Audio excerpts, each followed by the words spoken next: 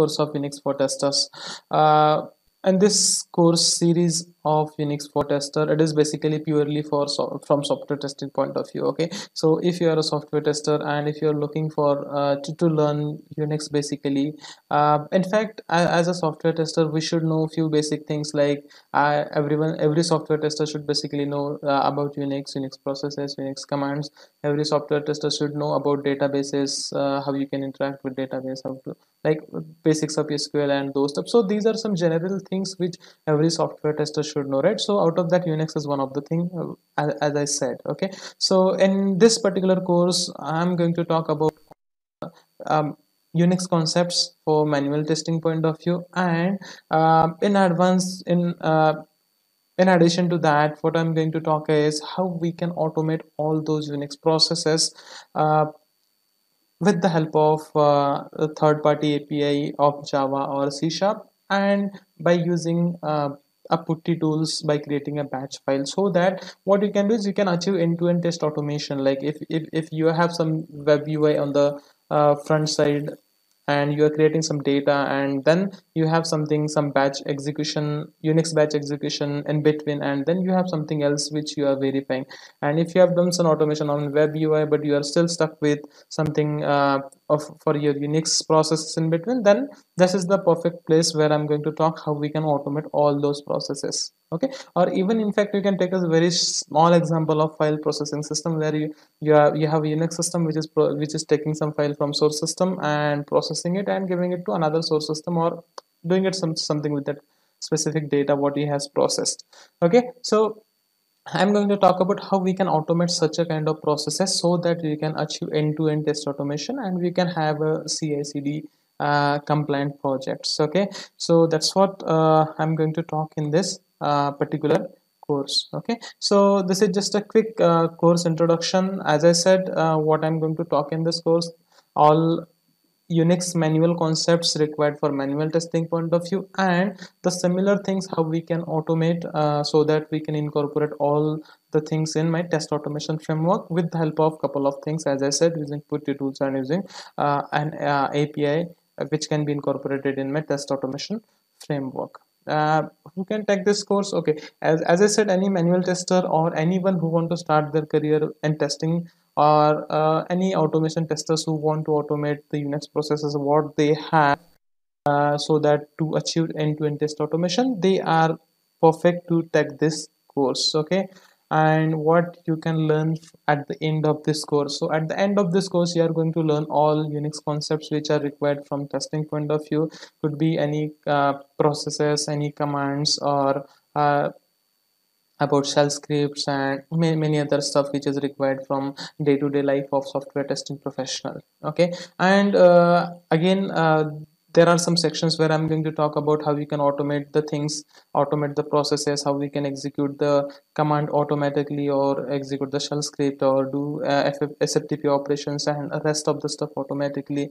And uh, how you can basically incorporate all these automated stuff into your test automation framework. Okay so that's what i'm going to talk and this is what you can expect from this course okay? And finally what is not a part of this course is basically uh, shell scripting is not a part of this course because writing a shell scripting is purely a job of a data stitch developer or a, a unix developer whatever we call okay? So that is that is not a part of this particular course.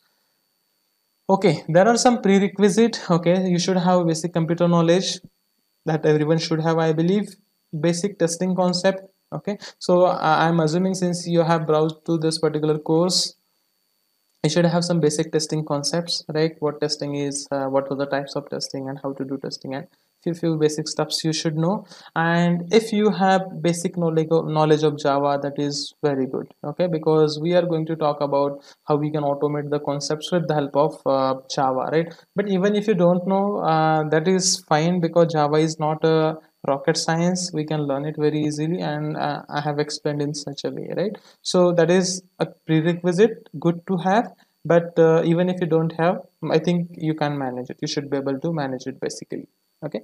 So that these are some course prerequisite what what i see from this particular course point of view.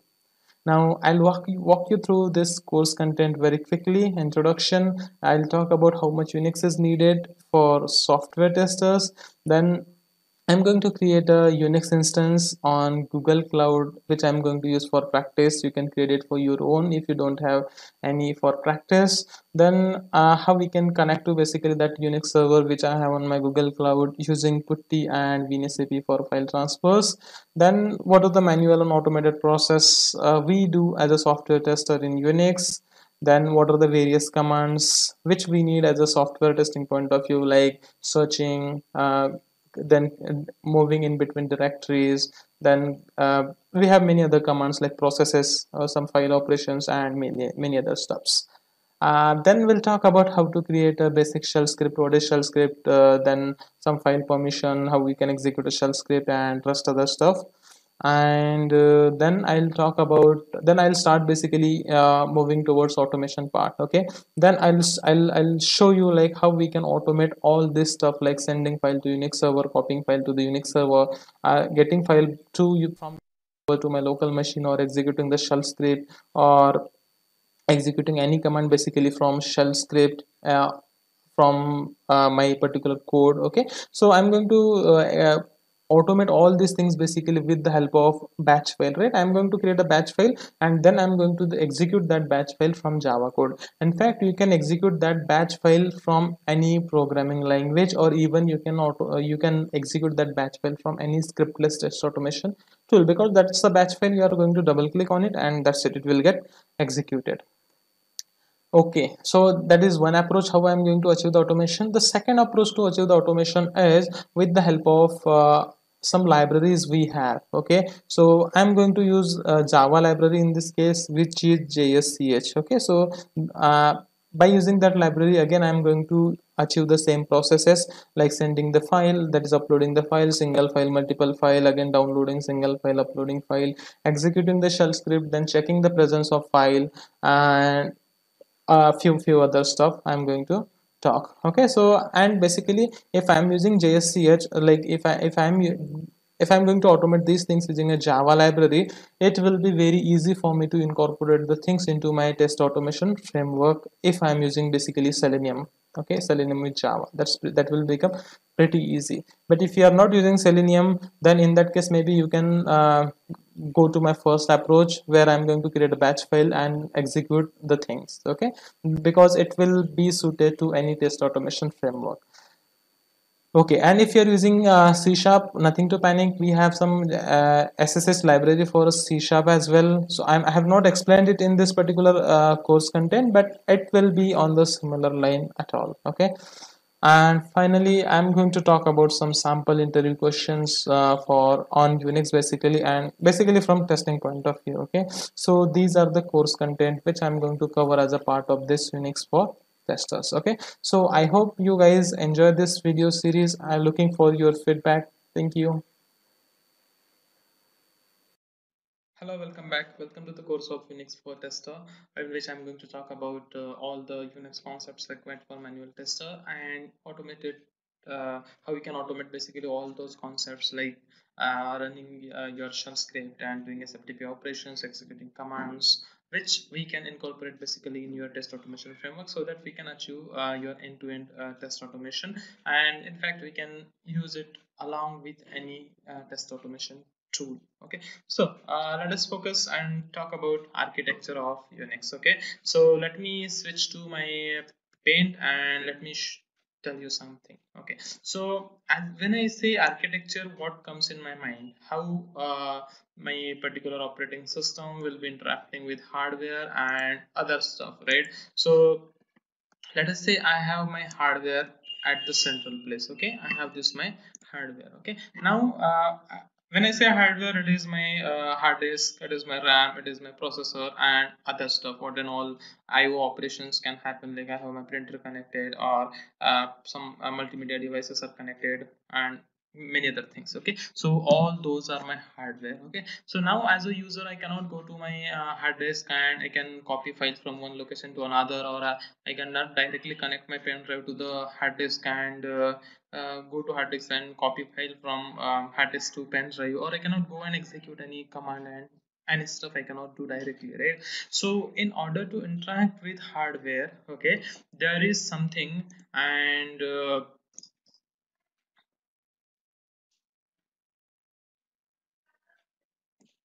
okay that something is it's my unix kernel. Okay what is this unix kernel and all? I'll talk in a shortly. Give me a second unix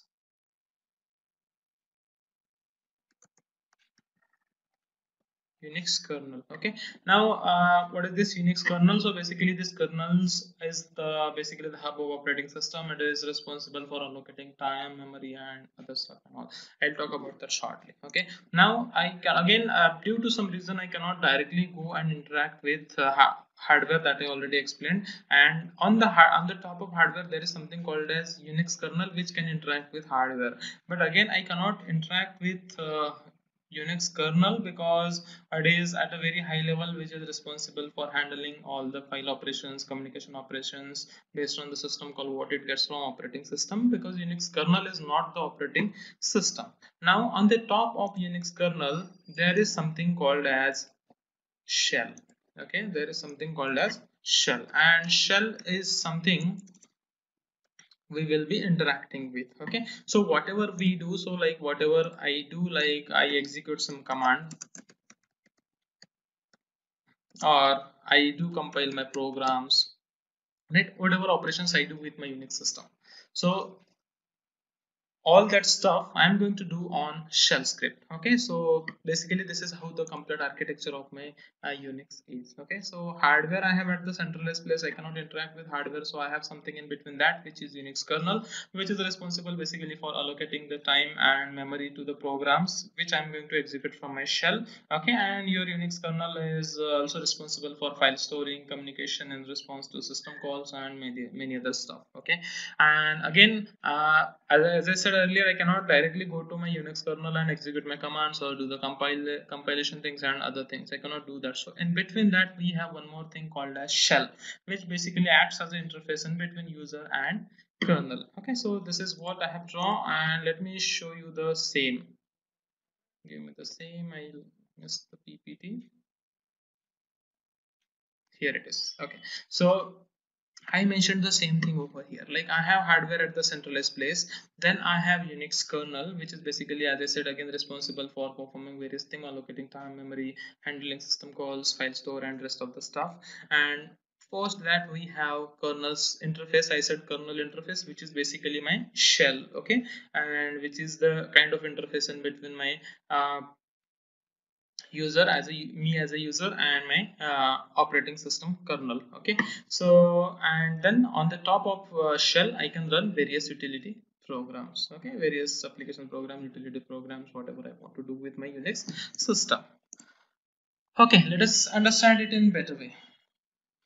We have something called as kernels okay? So if you see my presentation again okay? I have something called as unix kernel okay? I, we we all know hardware that's fantastic. We all know ram we all know hard and rest of the stuff fine. Let us try and understand what is unix kernels okay and what it is purpose so unix kernel is basically used to schedule the program basically manage the data file access and storage uh, enforcing security uh, and performing all hardware access related things okay? So in short i can say like the kernel is the lowest layer of my operating system. So my operating kernel and my shell both are the part of my operating system only because i'm going to install my operating system onto the hardware. But both are separate component me as a user to, to, me as a user okay? So kernel is basically the lowest layer of my operating system and it accounts for hardware devices data storages executing other regularly scheduled tasks okay? So this layer is basically uh, machine dependent okay? Because my depends on hardware to hardware unlike rest of the operating system. Uh, and uh, I can say like individual tasks that uh, user performs uh, constitute separate processes. So it's the ta is it's the process. Uh, sorry, it's the responsibility of kernel to uh, constitute or to create the process based on user request okay? The users usually run many processes concurrently during the normal operation because uh, unix is multi-user multitasking operating system okay? Now uh, next what i want to show you is the init program okay? So whenever you boot your operating system init is a very first program uh, which kernel uh, runs okay? So init i'm going to talk about init in one of the video where I'll talk about commands, various commands. Okay, so I'll skip it as of now. And then on the top of kernel, we have something called a shell. Okay, so shell. Um, so if we work with Windows operating system, I have good graphical user interface which I can work with. I can browse the folders. I can browse my uh, view. Uh, sorry, uh, web browser uh, for multiple websites i can play a video i can again i can do many stuff okay uh, likewise in unix we have shell only to interact with my unix operating system okay? Uh, in short to interact with kernels which will do all the things for, for me like as i said scheduling the program managing file executing the things and blah blah blah all the stuff. Shell is just a medium to um, just a medium in between kernel and myself because i don't understand the language of kernel kernel don't understand me so shell is the medium okay? Uh, so shell presents uh, each user a prompt which is my terminal. It interprets command typed by user. Whatever command command i typed into uh, command prompt or my terminal like i use ls to get a list or i use copy command move command um, chmod command and i execute shell scripts and many many other things i do. Right? So to interpret the command what i'm trying to execute what i'm trying to enter uh, it's the duty of shell and shell will convert that to my kernel so that kernel can execute that those things on my hardware. Shell is basically provide again a user or programming environment. Users of operating system do not interact directly mm, with kernel because of this incapability okay? User commands are sent to the kernel via shell as i said this part of the operating system is a high level programming language that interpret user commands execute the appropriate programs, send the request to the kernel and deliver the resulting output to the user. I can get back my output uh, from the on the same terminal right? The shell is an interface that let you customize your user environment and automate the complex operation for which unix is made up of okay? Made up for right?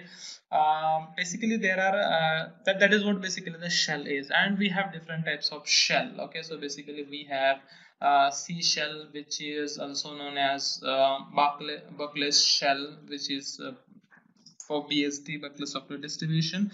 And we have many other shells like T shell, Taco shell then we have Bourne shell, we have uh, Korn shell and many other things. Those are the type of shell but we do not care about those things okay so this is what the architecture of Unix is. Okay let me switch to my presentation over here again. Uh, just a quick overview what I just talked. I have hardware in the place in the center uh, which is my RAM hard disk and rest of the stuff.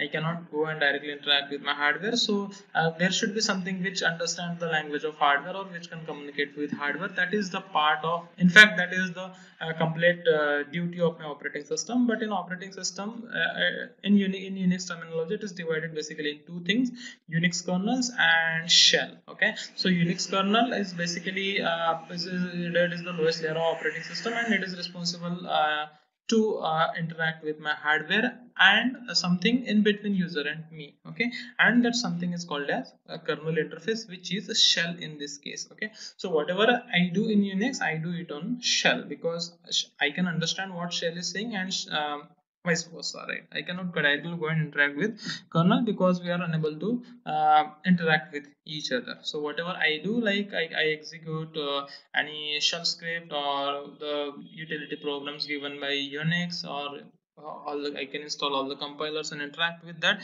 I can do all the things on shell okay?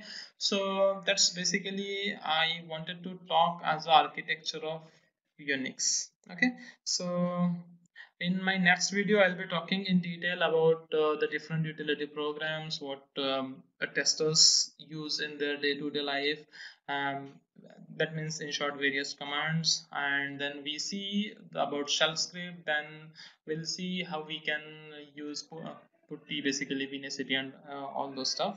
And then we'll move to the automation part like how we can automate all the things what we do as a manual testers like file transfer from here and there then um, executing the shell script verifying the files and many other things right? So we'll be doing it in two way using uh, putty uh, tools and by using uh, external apis like we have some apis for java some api for c sharp and we have many other things okay? So that's what the complete aim of uh, for this video course is okay? So stay tuned. Thank you Hello, welcome back. Welcome to the course of Unix for Tester, um, Unix manual concepts which are required for uh, manual testing basically and how we can automate all those concepts uh, like um, executing various commands on Unix, Unix terminal, uh, shell scripts and rest of the stuff. Okay SFTP operations and all. Uh, so that we can incorporate uh, those automated things in your test automation framework for example selenium. So without further delay let's start with uh, very first uh, video unix introduction. Okay uh, we all know Unix is basically operating system and uh, originally we do not see any UI so when Unix come in front of us uh, we we just see a Unix terminal okay? Just like my how my command prompts look like okay? So basically Unix is operating system and which was born um, in late uh, 1960 or 1960 I believe. And it was originally began with one man project which was led by Ken Thompson of Bell Labs. Okay, and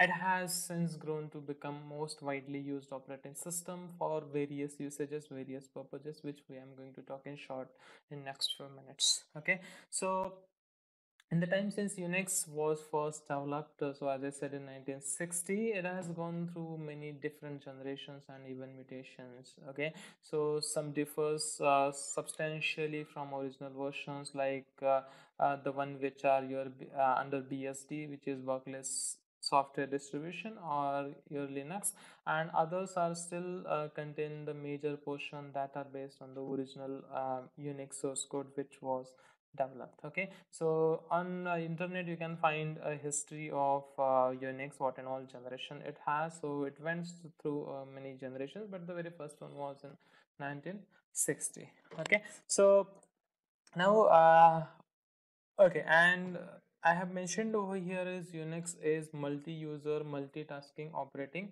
system okay? So before that let us understand quickly what is operating system though in uh, everyone have studied uh, what is OS in their college days. And we know OS is operating system just like my Microsoft Windows which is just a kind of interface in between my uh, computer hardware and uh, a, me as a human being okay? So operating system is just like a it is just a program which start up when you turn on your computer and turn underneath all other programs okay? Without it nothing would happen at all because i cannot go to my ram to my hard disk and tell okay go ahead and run this program. No i cannot do that. I need to interface in between that which is my operating system.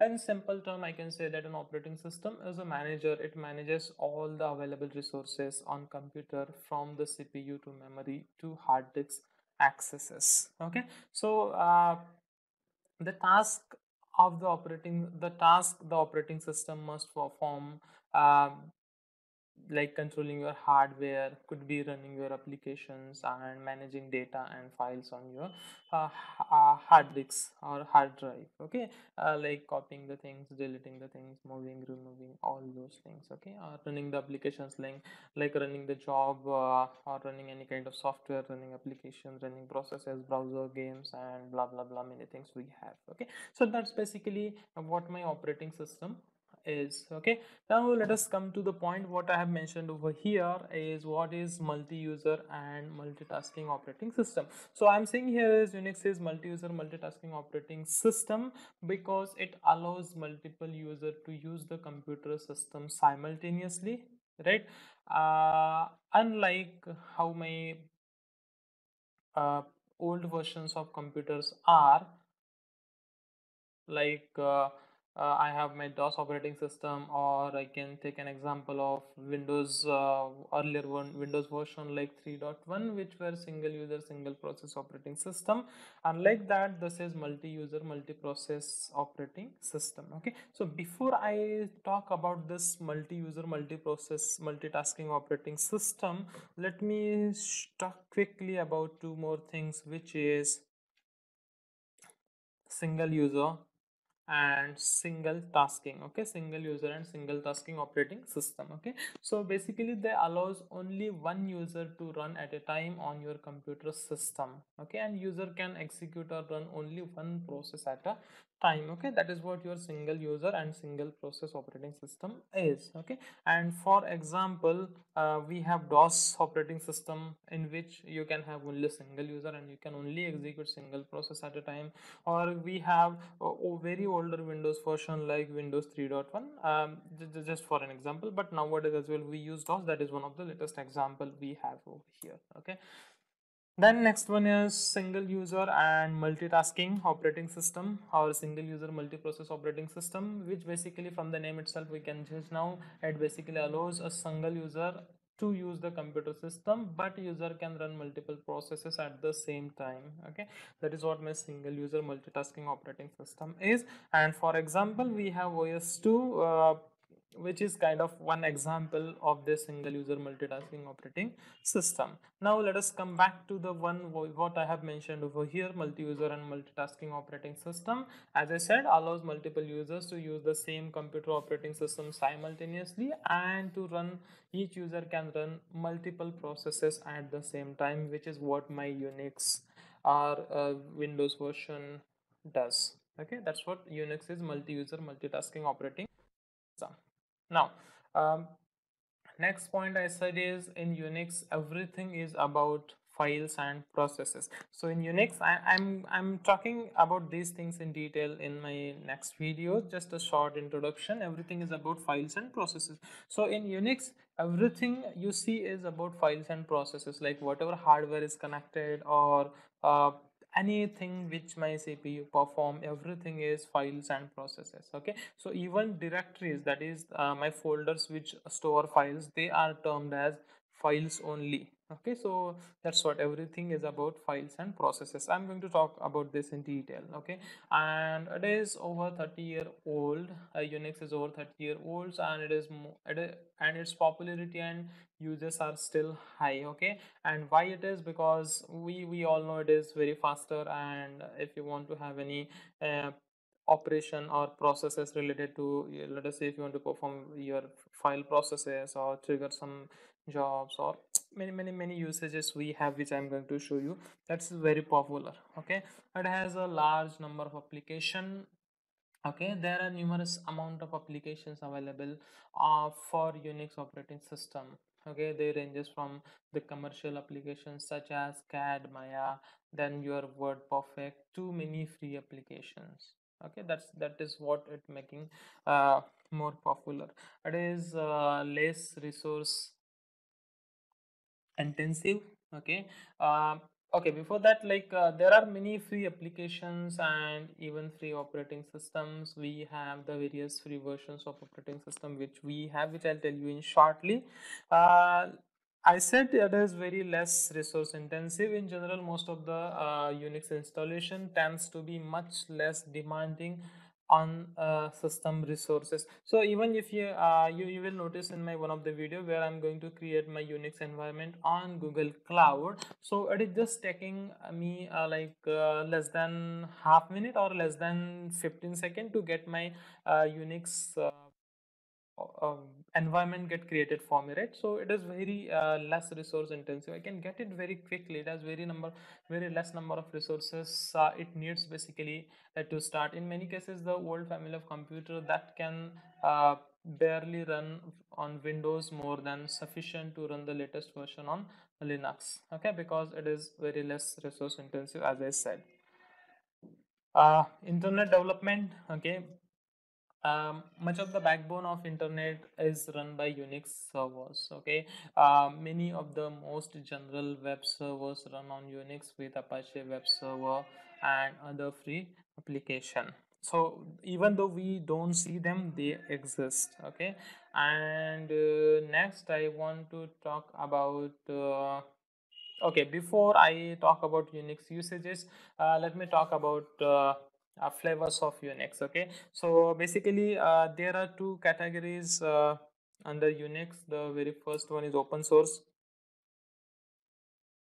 And the second second one is proprietary okay? Uh, these are the two categories. So under proprietaries we have uh, some operating system which you might have heard like we have uh, solaris we have irix then we have mac os okay and we have a couple of more okay. These are proprietary version. Then there are many open source uh, operating so open source is nothing but your source code is readily available and it is free to modify okay. So we have uh, some versions like the very first one is we have FreeBSD Berkeley software distribution then uh, this is basically one open source Unix version. Now uh, we must be knowing that Linux is just a copy of Unix okay? So uh, even you can use the your linux distribution to perform all the processes or all the things what you want to do in unix okay? So you can say linux is just a flavor of unix. You can say just a free flavor of unix okay? And we all know we have different uh, linux um, operating systems. Like we have red hat we have uh, debian we have SUSE we have slackware and many more we have okay.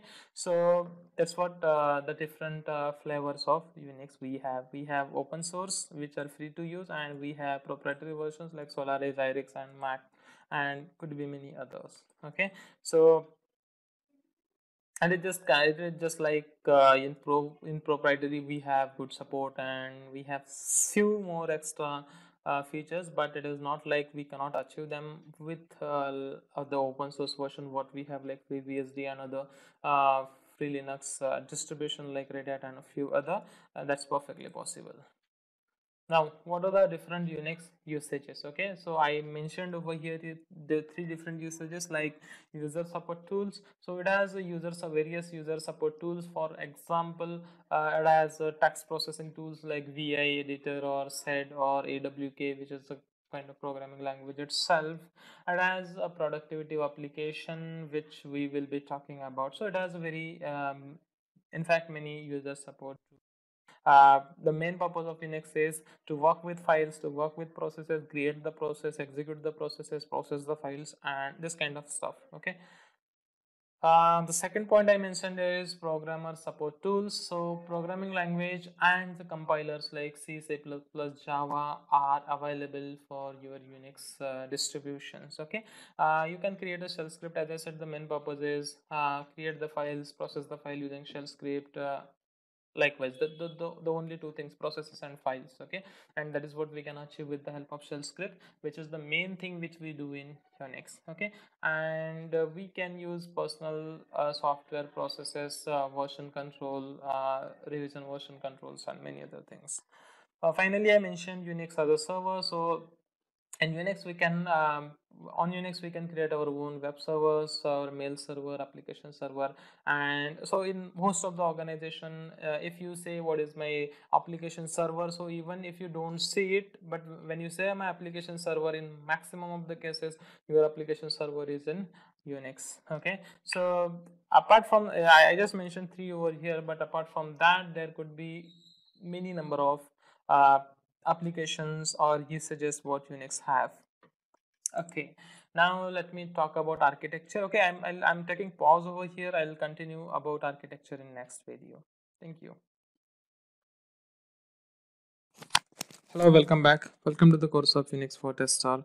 Uh, in this video, I'm going to talk about uh, what happens when you type any command or execute any shell script into Unix or Linux terminal okay? So we oh, so what happens like whenever we want to deal with uh, operating system unix operating system what we do is we just type the open the terminal type the commands and uh, we get the response okay? But let's understand the what happens in backend basically okay? So let me go to my okay notepad and okay so we all know my computer. Computer understand the language of zeros and ones right? Which is binary language and everyone knows that right? So it's called basically binary language. So in early days of computing instructions are provided using binary language which is very difficult for all of us to read and write. So in os uh, that is uh, unix in this case there are special program called as shell okay? So these shells are basically used to translate my uh, command english like command into binary language which is uh, which is zeros and ones okay? So let us see okay let me show that to you in paint basically okay? So let us say i have uh, let us say i am typing any my command okay? So my let us say it is my command or my shell script. Let us say i'm opening the terminal and i have typed one command or i have typed some shell script and i want to execute that. Okay so what happens when i hit enter onto the terminal? My command goes to uh, shell. Okay command goes to your shell. Could be linux or unix shell whatever depending on the operating system which you are using. Now there are multiple types of shell which uh, we have like uh, bourne shell Korn shell t shell c shell. Okay we have many uh, number of types of shell. Uh, what shell your operating system has basically you can get that by using this command called as echo shell okay? So it is giving me like i am using bash shell. So that means i, I have i'm using bourne shell which is freeware basically and almost all maximum of the unix and linux uh, versions are using this particular shell okay? So what happens? Whenever i hit any command it goes to shell specifically to bash in my case because i am using bash shell right? So let us say i'm typing some command called ls or let us say could be date or i'm executing any shell script right? Then what happens? Whenever i hit enter it will get sent to my um, bash that is shell right? And next okay? Well, now what is the function of shell or bash in my case okay? It is to convert it to uh, binary language which my uh, kernels understand like like if i'm giving like ls or date then what this shell or bash will do? It will convert in terms of uh, sorry english language uh, which is the language of ones and zeros which i don't know how it converts. That is the role of shell what is doing okay? So what this particular uh, shell will do? It will convert it to the binary language okay? Now once it is converted to the binary language okay what will happen is it will be sent to uh, something called as my kernels okay? Linux or unix kernels okay? And basically what happens is kernels interact with my hardware directly. So after kernel with my hardware whatever hardware i have my machine has kernel is interacting with that hardware directly okay? So let's take an example. I'm executing simple command called as ls or date onto my terminal. Let us say i type ls and i get some output on my screen. So internally what happens? This ls uh, i know it is ls to get list of command but uh, my uh, kernels which is the last layer of my operating system do not understand what ls is. So this ls will get converted into the binary language which kernels can understand okay? And kernel will send that binary data which is converted uh, which is equivalent converted of that ls command to my kernels. And kernel will uh, kernel understand it basically and kernel will send it to the like do it whatever um, he, he wants to do basically. And he will give the response back again in binary language then the function of my shell or bash comes in the picture and it will convert it into the language which as a human i can understand or my operating system uh, front user can understand.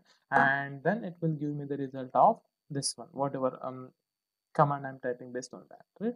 So this is basically how your unix or linux uh, terminal uh, operating system works basically whenever you hit any command okay? So uh, the important part is shell over here which converts your by uh, command or shell script into binary language which kernels can understand and kernels do whatever you want to do. And kernel sends the response back again in binary language. Again uh, the role of shell is there which converts it to human readable which i can understand which my operating system in fact can understand. So that is basically how uh, what happens when uh, you type any command or execute any shell script in unix or linux? So main important role is of shell script that is conversion to uh, computer understandable language which is binary language language of zeros and ones okay? So that's it for this video. Thank you welcome back friends. Uh, in this video series of unix for tester um, the manual concepts and how we can automate all those manual concepts as a part of our test automation i'm going to talk on uh, how to create a unix instance on google cloud which i'll be using it for my practice purpose. Okay so if you already have some unix instance which you are using in your organization or if you have a, linux machine or if you have any virtual machines set up on your windows environment that's perfectly fine. You can go ahead and use that. But if you do not have any of these uh, the better way rather than using virtual machines is to use uh, any uh,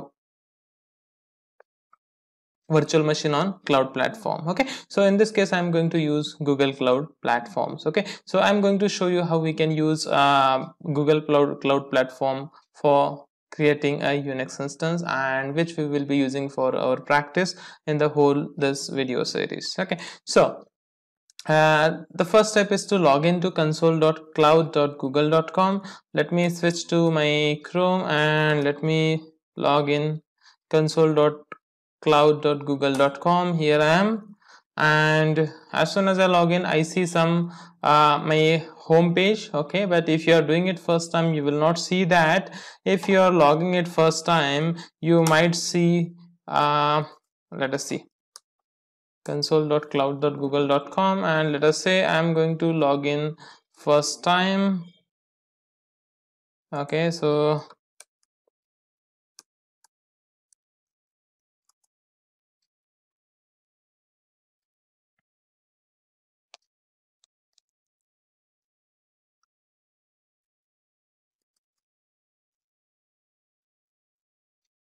okay so even i have it here. Give me a second. Let me log in with another email id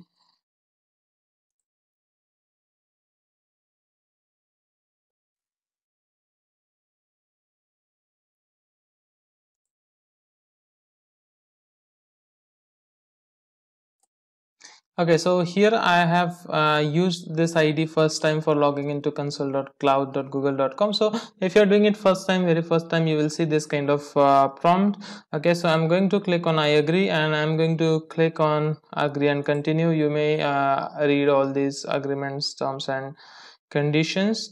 And next eh, you can you need to sign up for this free trial which is for 12 months with three 300 dollar credit. And whenever you use any application like let us say if you're using any vm or any cloud storage cloud sql or any uh, engines like kubernetes engine you're going to deploy something or anything like uh, whatever components you use on uh, cloud they are going to charge you for that okay? So for this first 300 dollar uh, google is not going to charge you anything because they have given you a free trial and uh, let us try it for free now. So you need to fill up some form okay? I have selected my country. I clicked on i agree and continue. And in the next now it is asking you to fill some information okay? So you can go ahead and fill this information and you can fill your card detail and click on start your free trial. Okay? It will start your free trial. Do not worry they are not going to charge you uh, even if your 300 dollar get exceeded. They will ask you for your confirmation and then only they are going to charge you. If you do not want to continue you can go ahead and delete your car, uh, card details from there. That's fine okay so let us say now you have created the cloud platform account okay and i want to create a virtual machine instance. What i'll do is i'll go to this navigation menu three lines you see on the uh, left hand side top. I clicked on it and i will be going to compute engine okay so in compute engine i see an option called vm instances. I clicked on vm instance and now I'll get an option to create a VM instance. Okay so I'm going to create a new VM instance now. I clicked on create button and I just need to fill up some information. Let us say uh, name of my instance is Unix instance or Unix only that's fine. And what else? Okay so you can select your machine type. Uh, since I'm, I'm not going to do any uh, heavy processing on my this particular VM instance I'm going to select the macro service with one CPU and 0.6 of GB of memory. That's fine. And you can see uh, how much they are going to charge you. Okay so this this charge is uh, going out of your $300 okay so you need not to worry. Okay so fine. And here what OS you want to install on your VM instance by default they offer debian but if you want to do any uh, other os you can go ahead and change it. Okay i'm keeping as it is. I do not want to change it. That's fine. Now i'm accepting this firewall terms and i need to do some security uh, give me a second. And okay so uh, let us say I want to connect to this particular VM instance via external uh, tools. Like let us say your uh, PuTTY or WinSCP then in those cases i need to provide this ssh key okay? So for now in this video i'm not going to provide this ssh key because in this video i'm not going to show you how you are going to connect your uh, putty uh, with this particular vm instance. That we'll be talking in next video. So we'll we'll do this part in next video. Fine. So for now i'm just going to click on create and this will create a new vm instance for you okay? So uh, it's in process. You can see the instance creation is in process. So as soon as the instance gets created it will assign some external ip for you. Okay? So by using that external ip you're going to connect with external tools. Okay? So let us wait till it gets connected. It won't take much time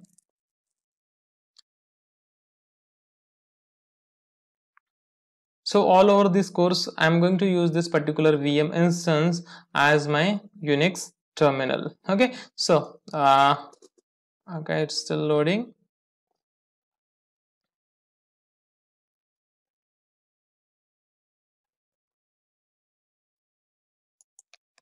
Okay now you can see the green tick. That means my instance is running okay? So the instance is created successfully with the name unix and it has some zones where my data is going to reside though it is your uh, cloud but definitely it has some uh, servers somewhere okay? So they are situated in this us central one region.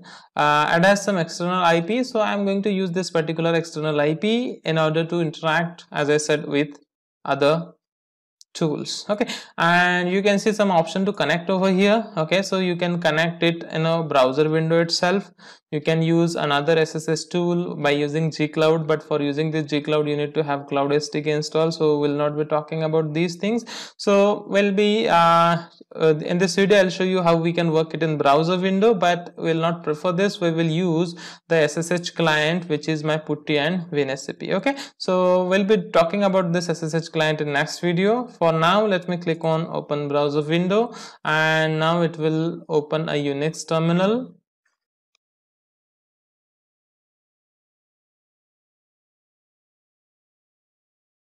so it is just connecting. Now this time it will not ask me which host i want to connect what's username what's password is there any ssh key which i need to use nothing it will not ask because we are directly connecting it from this particular instance. So it is taking all those details and now you can see i am connected to the VM instance. Okay, so here you can see my username is AEC underscore Prakash and my machine name is Unix okay? So if i do any command over here it is going to work. Like i'm trying my what is my present working directory? It is home slash dot prakash. Okay? So this is how uh, you can connect with the unix instance on cloud. Okay? But the way which we will be using from our next session is by using another ssh client which is with the help of putty okay so we activated uh, we saw how we can activate a trial account on gcp services and we created a vm instance under compute engine and we are good to go for your practice. Okay so that's it. Uh, let's meet in next video where i'm going to talk about uh, how we can use putty and WinSCP in order to interact with your vm instance that is your unix terminal. Thank you. Hello welcome back welcome back to the course of unix for testers where i'm going to talk on manual and automated concepts uh, regarding unix okay? So uh, in last video if you remember i talked about how we can create a unix instance for practicing purpose on google cloud. Uh, in this video i'm going to talk on how you can connect to that particular unix instance unix server or vm instance via putty okay? So basically putty uh, is a ssh client is used to connect to unix server okay? So uh, how we can install putty okay? So there are um, many ways how you can connect to put uh, unix server but this is the um, general used uh, SSH client okay? So I'm going to uh, download and install putty from putty.org okay? So if I click on putty.org it will ask me to download putty. And the very first link I'll click on you can download putty from here and it will give me the option. So I'm using my Windows installer for 64 bit and it's going to download okay? And it is downloaded. I'm just clicked on it. It will open. It's going to install. I just clicked on next. Uh, the installation location fine with me. Clicked on next what and all you want to install install putty. I don't want to create a desktop shortcut and whatever default they have. That's fine with me. Clicked on install and it is going to install. It won't take uh, more than a minute. View readme file I don't want. Click on finish. So now I have installed my putty. Great. Next. We have done with the installation. Now the next thing is uh, to generate a public or private keys. Okay so uh, okay so let me go to my unix instance. Okay so here i am. This is my unix instance. And once again let me connect to this particular instance via browser because i want to show you something regarding the keys. Okay so uh, basically the uh, public private keys okay so there are two kind of key public keys and private keys. Public keys are specific to my particular user accounts of key uh, public key and private key. So my private key is personal to me which i'm going to use it to connect to particular instance and i'm responsible for it okay? Whereas public key is made public by particular unix instance where uh, a number of uh, users from that particular server can interact to it. Okay? So if i go to my unix server so i again opened it from my uh, browser window itself. Okay? And if i go to uh, okay if i try and list the number of files what i have okay so we'll be talking about details what and all command we have. So i'm just trying to get what and all file i have in my account. So you can see i have one file called as dot ssh okay? So it is dot ssh which is a hidden file okay? So if i try and open okay or let me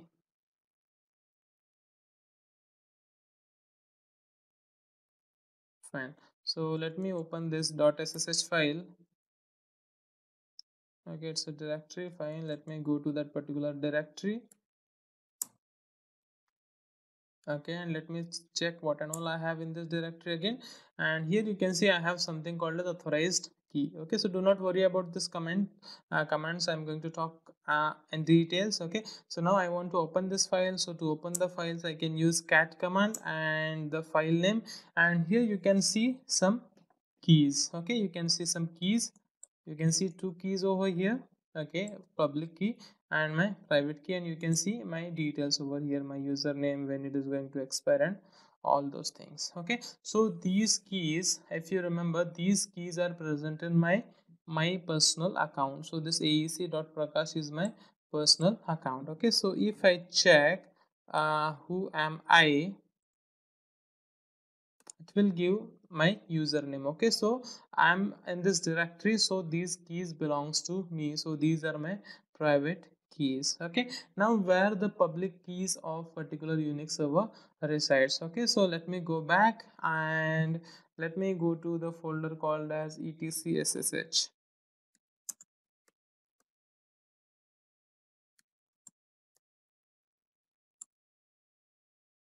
let me list out what and all I have. Okay.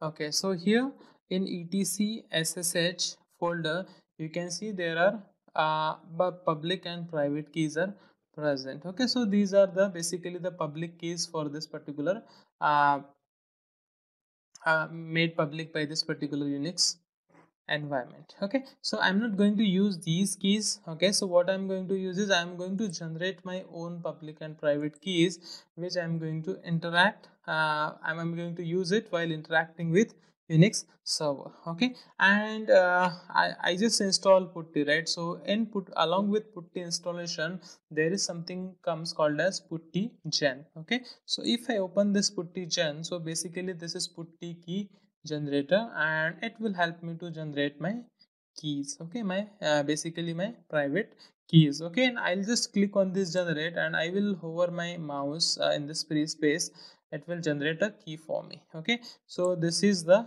key generated for me okay? So i'll just copy this particular key okay? And okay i'll add uh, key comment as my name. So basically that's my user name okay? And i'm going to save it as my private key. And i'm going to save it uh, in some folder that's fine. And i'm going to save it with name key fine. So now my key is saved fine. Now i just copied this particular key. Okay. Now what i want to do is i want to use this specific key in order to interact with particular this particular unix server. Okay. This particular unix server i want to interact with and for that purpose i'm going to use this key. Okay. So how i can use it? Let me close this particular uh, terminal now and let me go to this particular instance okay? I'm going to that particular instance and because i need to update these key into that particular instance okay? So i'm going to click on edit this particular instance and i should see some option to add the ssh keys okay? So you can see some option as ssh key and it says you have zero ssh key. I didn't added any ssh key yet okay so i just clicked on add and here i'm simply going to paste my key. Okay so fine now my key is there. Okay so that's fine i just clicked on save. Now my particular uh, uh, okay so my key is updated now. So now what i'm going to do is uh, let me open putty now. Okay so to open the putty i'm going to use this putty which i just installed. Okay so this putty is basically the interface uh, which i'm going to use it to connect to this particular uh, unix instance. Okay now it asks me few things like what is my host name? Okay so basically the host name is your external ip address. So i'm just going to copy this external ip address and i'll put it in host name here. Fine. And what else? Port 22 is by default port which they will use. And one more thing which i should give it over here is ssh key. Okay so if i go to this ssh over here and if i go to authorization it will ask me for some key file. Okay so i'm just going to browse and i'll give the location of the file which i just saved if you remember a couple of minutes back fine. And I want to allow this and I just click on open.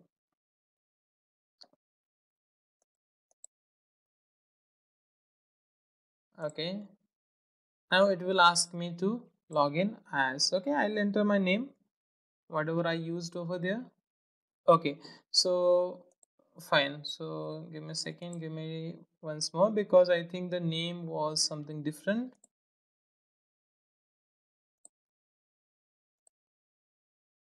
okay so what has happened is when we copied the key over here uh, let me show you. When we copied the key uh, let me click on edit.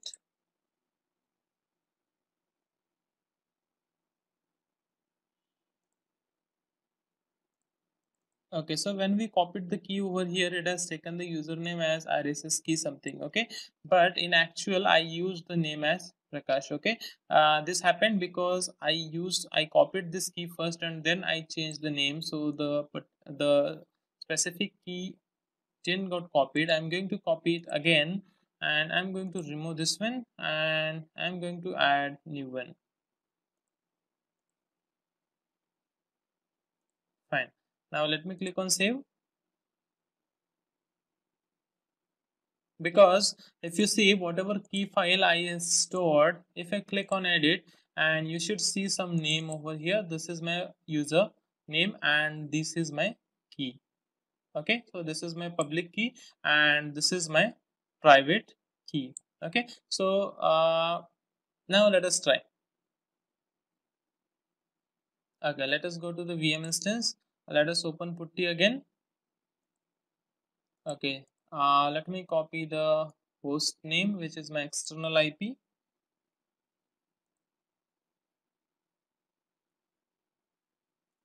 fine. And let me give the SSH key again. Let me allow agent forwarding and let me browse the key okay? Now what I'll do is I'll just go to the session and I'm going to save it with let us say uh, Unix. Okay because every time I did not to put this host name this port and this key okay so I'm going to save this. Fine I'm going to click on open and now it will ask me for the login name. My login name is Prakash. Fine so now I'm authenticated okay and here if you read it is saying authenticated with authenticating with public key Prakash because that's what my username is in my particular uh, SSH key. Okay so that's how now I'm connected to Unix instance via putty. Okay so now if you want I can close this particular uh, my cloud. Okay I, I, I can close everything and now I can uh, work on this particular Unix server. Okay like let us say I, I, I do ls-l to find out all the files which are present in my particular directory. I do not have any file. If I try ls hyphen a which will give my hidden file as well. So you can see now I am able to communicate basically with my Unix server. Okay, so that's what I wanted to discuss in this particular session where uh, I talked about how we can connect with Unix server via putty okay so what we did is we installed putty then we created uh we, we generated basically a public private key by using uh putty gen okay? So what i did is i just click on generate okay? I just click on generate. I hovered my mouse over here so that it will generate some random key for me and it has generated some key okay? So the mistake what we did first time is we uh, basically we copied this key first and we copied it first and then we changed this particular name okay? Let us say i changed it to prakash okay? If you change it this particular key is going to modify. And we didn't copy this modified key and that's the reason we got that issue while connecting with your unix server. Okay? And you can just save it and you can refer it from your putty okay? So that's all i have for this video. In next video i'll talk about how we can connect to the same unix server via WinSCP, which is uh, again another platform, which is basically a GUI platform uh, to interact with the files on your Unix server. Okay, thank you. Welcome back, friends. In this video, I'll be talking on uh, how to connect to Unix server via WinSCP. Okay, so uh, in my previous videos, I have talked on uh, how to create this Unix instance on cloud for practice purpose and in the last video i have shown you how we can connect to that particular instance via putty okay which is the ssh client used to interact with uh, a unix server securely okay so that's the putty basically it's an ssh client okay uh, the another thing what we have is uh, WinSCP okay so in this video i'll be talking on what is WinSCP and how we can download install and connect to the unix server via WinSCP. Okay, so what is WinSCP? So WinSCP uh, is basically a free file transfer tool for Windows that supports uh, FTP, SFTP, and SCP. Okay, all these are the transfer types which we will be talking in uh, next few videos. Okay, and uh, the, the basic beauty of this WinSCP is it provides the Windows Explorer type interface that lets you do a drag and drop of files or folders in between your local and remote machines okay uh, unlike your putty which is just a, a, just just like a command prompt. It's not that user friendly the WinSCP is bit user friendly and it is windows style. And to to transfer the file from unix to local local machine to unix or um, to perform edit operations or to create files and to perform many operations we will be using this WinSCP which is uh, windows style. Okay so to, to work with unix uh, sorry to work with unix via putty if you are a uh, bit experienced you will enjoy working via putty. But if you are a beginner then you will find this WinSCP uh, little useful for you. Uh, you will find it more comfortable as compared to putty okay? So I have to download a WinSCP so to download WinSCP this is their official URL winscp.net I just clicked on it and it will take me to the download URL okay so here I'm on the URL winscp.net okay here you can see it's a free SFTP, SCP, S3 and FTP client for Windows. Basically it is for Windows. So I'm going to download WinSCP here and yeah the download has started and fine. So meanwhile it downloads. We'll be running the WinSCP installer as like how our normal program we install. Okay so the download is completed. I'm just opening installer. Great. Accept the terms. Can just go through the terms and click on accept and typical installation i want. I'm going to use it as explorer okay? Because we wanted windows style. I clicked on next I clicked on install and it is going to install WinSCP for me. Okay now it is asking me you have stored session sites in putty SSH client. Do you want to import them into WinSCP? So my particular WinSCP has already detected that you are using putty SSH client and it has some sessions stored. Okay. So if you remember I stored some sessions to it. Okay. So if I open putty okay so you, you can see here i have stored some session over here. This is what. Okay so it is asking me do you want to use that? I'll click on yes go ahead and use it. Unix this is the one which i stored. Go ahead and use it so that uh great. I clicked on launch. Now it will open. Okay so this is the one which i stored. Okay so i'm just going to click on login. So the username is prakash.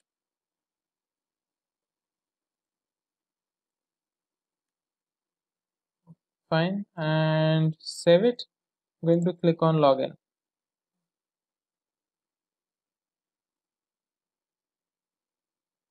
Fine. So now you can see I am already logged in. Okay. So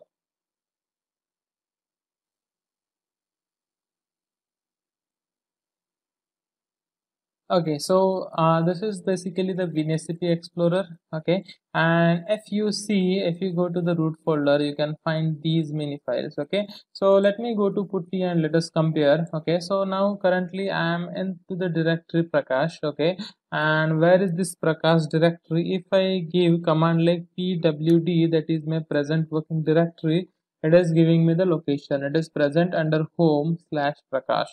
So if i go to home okay and if i go to prakash it is giving me uh, okay so it is showing me under prakash i have these four files one two three four okay. So now i'll check the same thing over here. So to check the list of file we will using will be using ls that is list. But here it does not give me any list because all these four files you can see they are starting with dot that is they are hidden. Okay and to see the hidden files we need to use hyphen a as a parameter. And if I use hyphen a as a parameter you can see now I am able to see dot ssh dot profile bh bash rc and bash logout you can see again a single dot and double dot. So the single dot is nothing but my current directory. Double dot is nothing but previous directory. That's what it refers to. Okay. Now see uh, this makes very simple. Now let us say by any chance I want to go to this SSH folder. Okay now you can see the difference. Okay so SSH is um,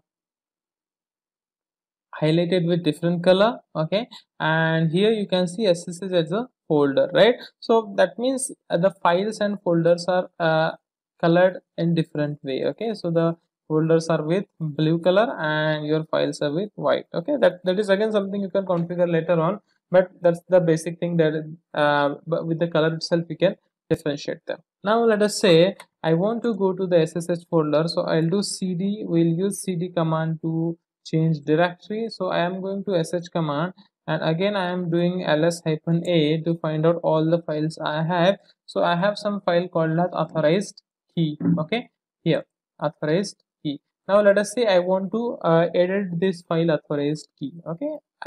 Ideally we should not edit these files keys files and all but just for an example i want to edit any of the file okay? So how i will do it in uh, from putty i'll be doing it like cat and my file name and basically here it is the file okay? So so if if you are a beginner and if you see something like that the very first time you will get very disappointed okay? But if you go to this WinSCP Explorer and if you go to dot .ssh here you see something called as authorized key. And if you open this you can see you have opened it in a uh, notepad and you're pretty good with this. You can edit it very easily right? So that's that's what it, it gives you the windows like structure okay and here you see only windows file okay and what i said WinSCP is used to transfer the file from your local machine to uh, Unix server, right? Uh, now let us take an example on your Unix server you want to create new file. So here you can find one direct option as create new file. Let us give file name as file1 okay and I'll give some text as text and I'm going to save it and now your file is created in the directory Prakash. Okay, so it is seeing, uh, it is connecting and it is uploaded 100% completed and you can see file is present over here, right? You should see the same file from Putty as well. Let me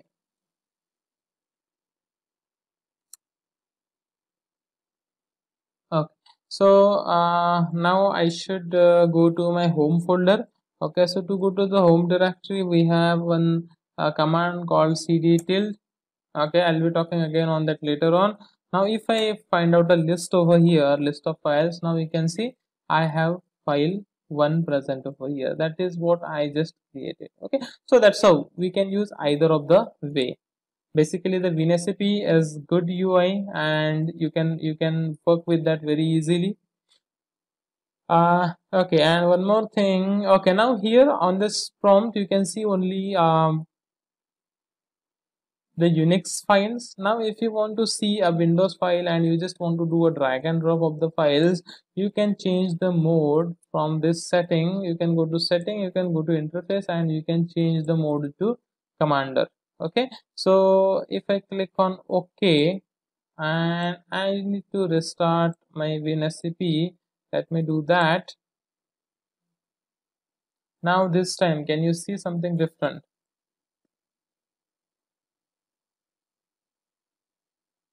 did it connect okay and this time you see something different on the left side you see uh, files from your windows from your c drive users my name and on the right hand side you can see the files from your unix server. Right. So now let us take an example. You want to upload some files okay? So let me go to my uh, so some directory. Let me go to my G drive and let us say I want to upload this some file Oracle DB data okay? So I'll be just doing a drag and drop over here and it is going to copy the file. Now you can see the file is uploaded to my Unix server right? You can verify the same thing from here right? Can you see now? It has the file oracle db.data right? On the similar line if you want to download any file you can just do a drag and drop. Let us say i want to download this file file 1 from unix server to my local. I am just doing drag and drop into my local and I should see the file as file one downloaded to my local. So that's it. Basically it's the uh, it provides you the very good UI uh, to work with files just to transfer your files okay? Uh, along with transfer it gives you the way to change the properties uh, to edit the files to create new files to create new directories. It gives you the most of the functionality with UI rather than using it on Putty. okay? So uh, going forward we will be talking about both the things okay whenever we need okay? So fine. So that's what uh, I wanted to show you in this video how you can connect to your Unix server via WinSCP okay? So fine. Thank you Hello, welcome back. Welcome to the course of Unix for Tester, uh, manual uh, Unix concepts, and uh, we can automate all those manual Unix concepts so that we can incorporate them into test automation framework. Uh, in this video, I'm going to talk about how much Unix is basically needed uh, for being a software tester. Right? Because uh, if you look out for job description for any software tester profile could be manual or could be automation. Almost all the time they do ask for uh, uh, whether you have a unix knowledge whether you have a database knowledge. So these two things are almost mandatory in each and every organization if it is a at least a medium scale organization okay? So it is pretty much needed okay? So what and all things now see unix is very vast concepts right? It's a complete operating system. So now let us see what and all uh, unix is needed uh, for a software tester okay? So this could be a little bit varying depending on organization to organization or project to project but most of the things which are needed for common uh, manual or automation tester that's what i'm going to tell you now. So the very first thing is basic Unix architecture. Uh, even though this is not uh, very mandatory to know, uh, but ideally we should know this because we should know uh, the architecture of whatever we are going to work on. If I'm going to work on Unix, I should know what is shell, what is kernel, what is uh, uh, different like utilities and all those stuff, right? So I should know basic architecture of Unix basic unix command okay. So this is the very first thing uh, test software testers should know what and all basic unix command we have. The very first starting from ls command then we have various uh, utility programs. So commands are basically utility programs. So we have different commands or utility programs for file comparing. Then we have uh, some for fi file operations and many other stuff we have executing the shell scripts and many other we have right? So we should know all those basic stuff as a basic uh, windows command okay? Then um, uh, how we will be executing those commands. So we will be interacting with the unix server via various tools like your putty uh, to do uh, any kind of these operations or we will be using WinSCP or any other open source tools in order to interact with the unix server for any sftp operation for file transfer operations from your uh, one server to another server or for your uh, local machine to unix server. Okay? So we should know this couple of tools like putty and WinSCP and we should know all about processes and file system basically how the file system um, is uh, designed in unix like what and all different folders we have what folder is meant for what then what are the different processes we have how to deal with processes how to trigger the processes how to stop the processes. So these things we should know okay? And uh, okay and apart from that um, i think everything everything will come under unix commands. So like what and all daily task we will be doing like we will be creating a file. So to create file we should know some editor like mostly people use vi editor. Then we will be doing some search operation into the file or we will be doing find operation uh, for the file or uh, could be uh, executing the shell script or changing the file permissions right? So all these things comes under your file permission. So that's so these are the basic things uh, which any uh, software tester should know.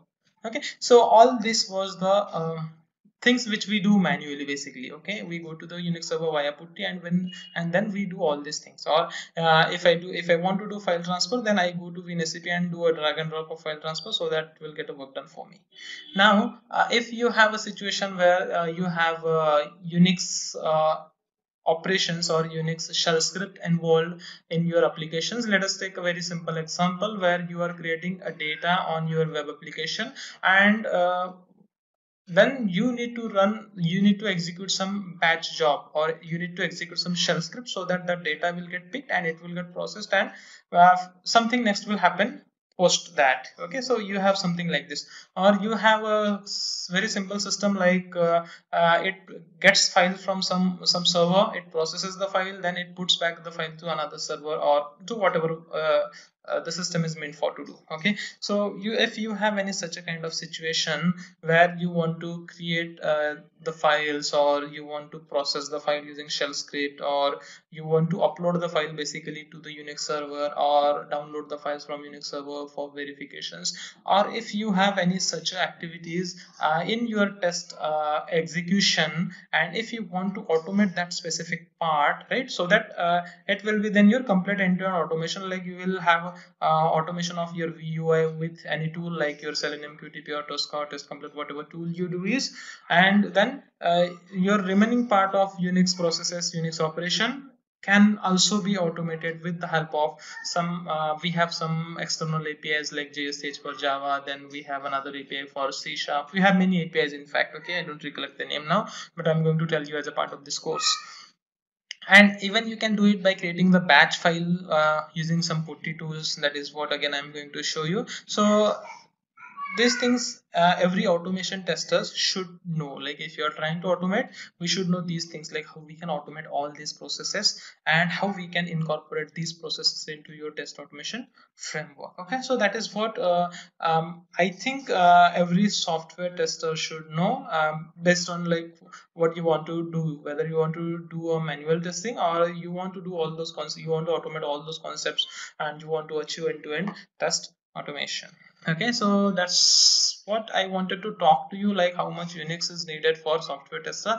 Again as i said there might be little changes from organization to organization or i must say from project to project but all uh, most of the things are common um, which every software tester should know. Okay so i'm going to cover all these things as a part of this course right? So stay tuned keep watching this uh, uh, unix for tester course from start to end.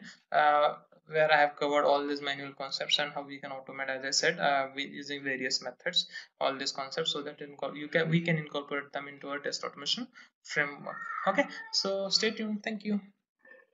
Back Welcome to the course of Unix for Testers which covers all Unix concepts required for testing system which contain your Unix operations. And uh, I'm going to cover in this video like how we can automate all those processes Unix processes in your test automation framework so that we can have complete test uh, end-to-end -end test automation. Okay so now uh, what are the manuals and automated process in uh, Unix? Okay so if you're if you're working on Unix, you might have some systems like uh, uh, they, they just need to uh, execute the shell script okay? And based on the shell script something else is getting triggered and you want to verify again outputs of that another system or another screens let us say or you want to verify the same screen after your shell scripts has has been executed something like that. Or you may have something like some file processing system where you are sending files to unix server unix server is processing and then you want to verify again the file which is processed by your shell script.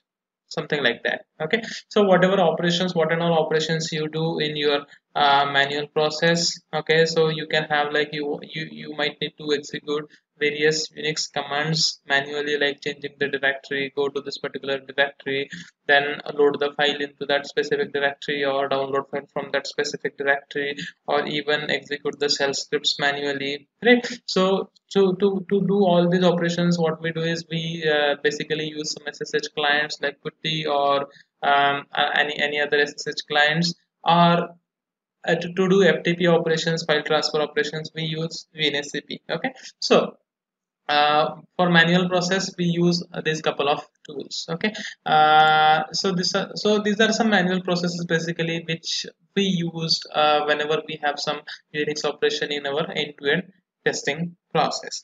Now let us say i want to automate the complete process. Let us say i have some web application where i'm going uh, I'm, I'm feeding up some data and based on that data as soon as i hit enter or so something like or I feed the data, then I want to trigger that particular script, then it will generate some file for me, uh, let us say text file for me, and I want to verify the text file, or as soon as the script get triggered, it, it is going to update some uh, screens and I want to verify those screens, something like that. It can be anything. Okay. So basically you have uh, some uh, SSH operations which we perform SSH operations and some FTP operations. If you have anything in your manual process, then we can automate them okay so we all know we can use uh, selenium for performing test automation of your web applications. And even if you have some operations like you if you want to deal with excel if you want to deal with text files or even if you want to deal with uh, some pdf files or maybe some uh, what I can say anything okay? So basically uh, what I wanted to say is basically Java is compatible with most of the things and you can find libraries for most of the things like so we cannot say like okay I cannot uh, in, uh, I, I cannot integrate the automation of putty uh, or let us say um, Unix server whatever I'm doing on Unix server, I cannot automate those things and uh, combine them with my Selenium test automation framework. That's not the case. We can definitely do that and it will work very much perfectly. Okay, so uh, whatever uh, manual processes I just talked over here or there can be any other manual processes your project specific might be right? So all those Unix processes can be automated with the help of uh, any SSH client library okay? So basically we there are many SSH client libraries uh, which are specific to your languages. Like for Java there is some set of libraries. For uh, if you're using C sharp there is some set of libraries which uh, which uh, helps you to interact with your Unix server via ssh okay so by using these libraries okay so in this uh, for this course i'm going to use java and in java there is some library called a jsch in java basically there are four to five libraries but this, but this jsch is one of the best library and the famous one so i have picked it. So i can use that library in order to automate all these processes. Okay so uh, yeah so that's what so in this video that's what i wanted to tell you like we have some manual processes and how we can automate those manual processes using uh, some uh, like by, by writing some automation code with the help of ssh client libraries okay so Hello, welcome back. Welcome to the course of Unix for testers, manual and automated concepts which uh, can be incorporated in your test automation framework. In this video, I'm going to show you how you can use VI editor basically uh, in your Unix or Linux environment to edit uh, text files. Okay, so uh, now uh, let us say if I'm, I'm into my unix box and if i do ls i can see i have many files okay? Now let us say if i want to view the data from one of my file let us say from input file.txt how i can get the data? So if i just want to view the data i can simply display it okay? Like by using cat command cat input file dot txt and it will display the content of my uh, file okay? So these are the data of my file but now what if i want to um, edit the data or i want to make some uh, changes or add some data or delete some data? How i can do that? So this is something basically i can do with vi editor okay? So vi there are many ways in fact uh, how i can edit the file in unix or linux but the best way is uh, uh, using a screen oriented text editor which is my VI editor. There is another advanced form of VI editor which is VIM which is VI uh, in fact a improved version of VI editor. Uh, but we prefer generally vi okay and white is uh, like uh, preferred more because uh, it is uh, you know available across all versions all flavors of unix systems and its impl implementation is uh, a bit uh, simpler and it requires very uh, few resources to work on. So it is uh, pretty faster as compared to other uh, editors. Okay. Now uh, okay let's see how we can use vi editors now. Okay now let us say I want to edit the data from this input file. Okay. So how I will use it? I will use vi space my file name. So my file name is input file dot txt okay. So if I simply hit enter you can see uh, my data is getting displayed okay? And you at the end of the file you can see tilde icon. And at the bottom you can see something my file name. And at some it shows you some information your os and all. And it has six lines and 176 characters and my current position and all those things okay? Um, so uh, in this video i'll be showing you how we can basically create the file how we can edit the file and how we can do any any kind of operations with the data into the file okay? Uh, so this is how basically you can uh, open the file uh, in order to work on it. Now let me close the file. How we can close it? Simply you can uh, hit escape. Okay basically uh, you need you can hit escape and it will get converted into command mode whenever it is converted insert mode. Now what is this insert mode and command mode? Okay. So now whenever by default you open any file it will get opened into command mode. That is you cannot write anything in it because it, because it is not in insert mode. And now how to make your file into insert mode? You need to simply hit um, i button or i key from your keyboard and you will see the at the bottom you can see the mode has been changed into insert. Okay. So you need to press i okay i as an insert. Now my uh, file is in insert mode so i can insert any data. Now i'm good to write some data in it. Let us say this is modified data something like that. I, I can write anything. I can write new line inserted whatever it is. Okay?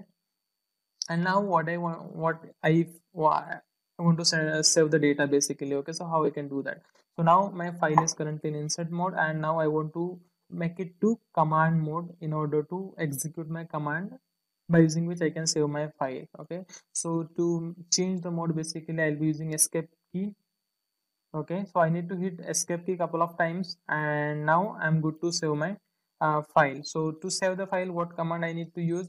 I need to use colon and W which will save my file okay so there are basically uh, let me go to my text pad and let me show you.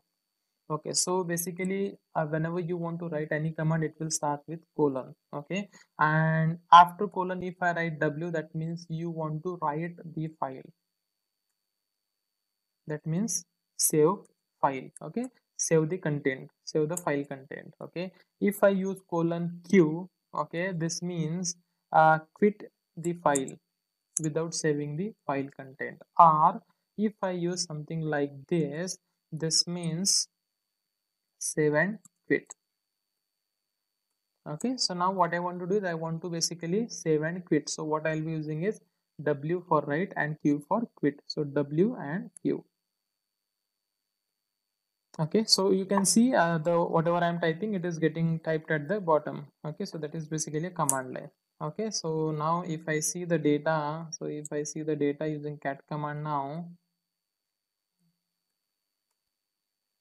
you should see the data which I have inserted. This is modified data and the new line is inserted something like that right? So this is how basically you can open the file. So you can open the file using vi space your file name. Okay now I'll show you how we can open the file into read-only mode. So you if you use hyphen r as one of the option uh, hyphen uppercase r followed by your file name. This will basically uh, opens the file in read only mode. And how I'll get to know if my file is in read only mode? Just uh, okay. Uh, now okay how, how will get to know?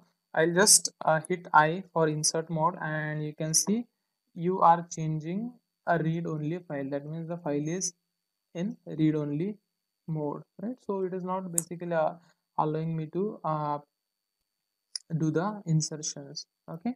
So let me quit.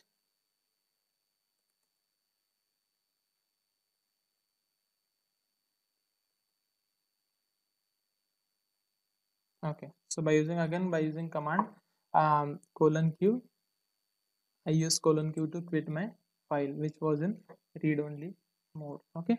There is another way how you can view your file. So by using uh, one of the command called as view and followed by your file name. Okay? This will again open your file in uh, read only mode. Okay? By using view command. So we three ways. Vi space your file name. Vi space hyphen r for to, to open your file in read only mode followed by file name. Vi space of uh, your file name to open your file now as i told we have basically two modes. The first one is command mode and the second one is basically insert mode. Okay so basically your command mode enables you to perform your administrative tasks such as saving the files or executing commands or moving the cursor, here and there cutting or doing copy paste into the file and all those kind of stuff.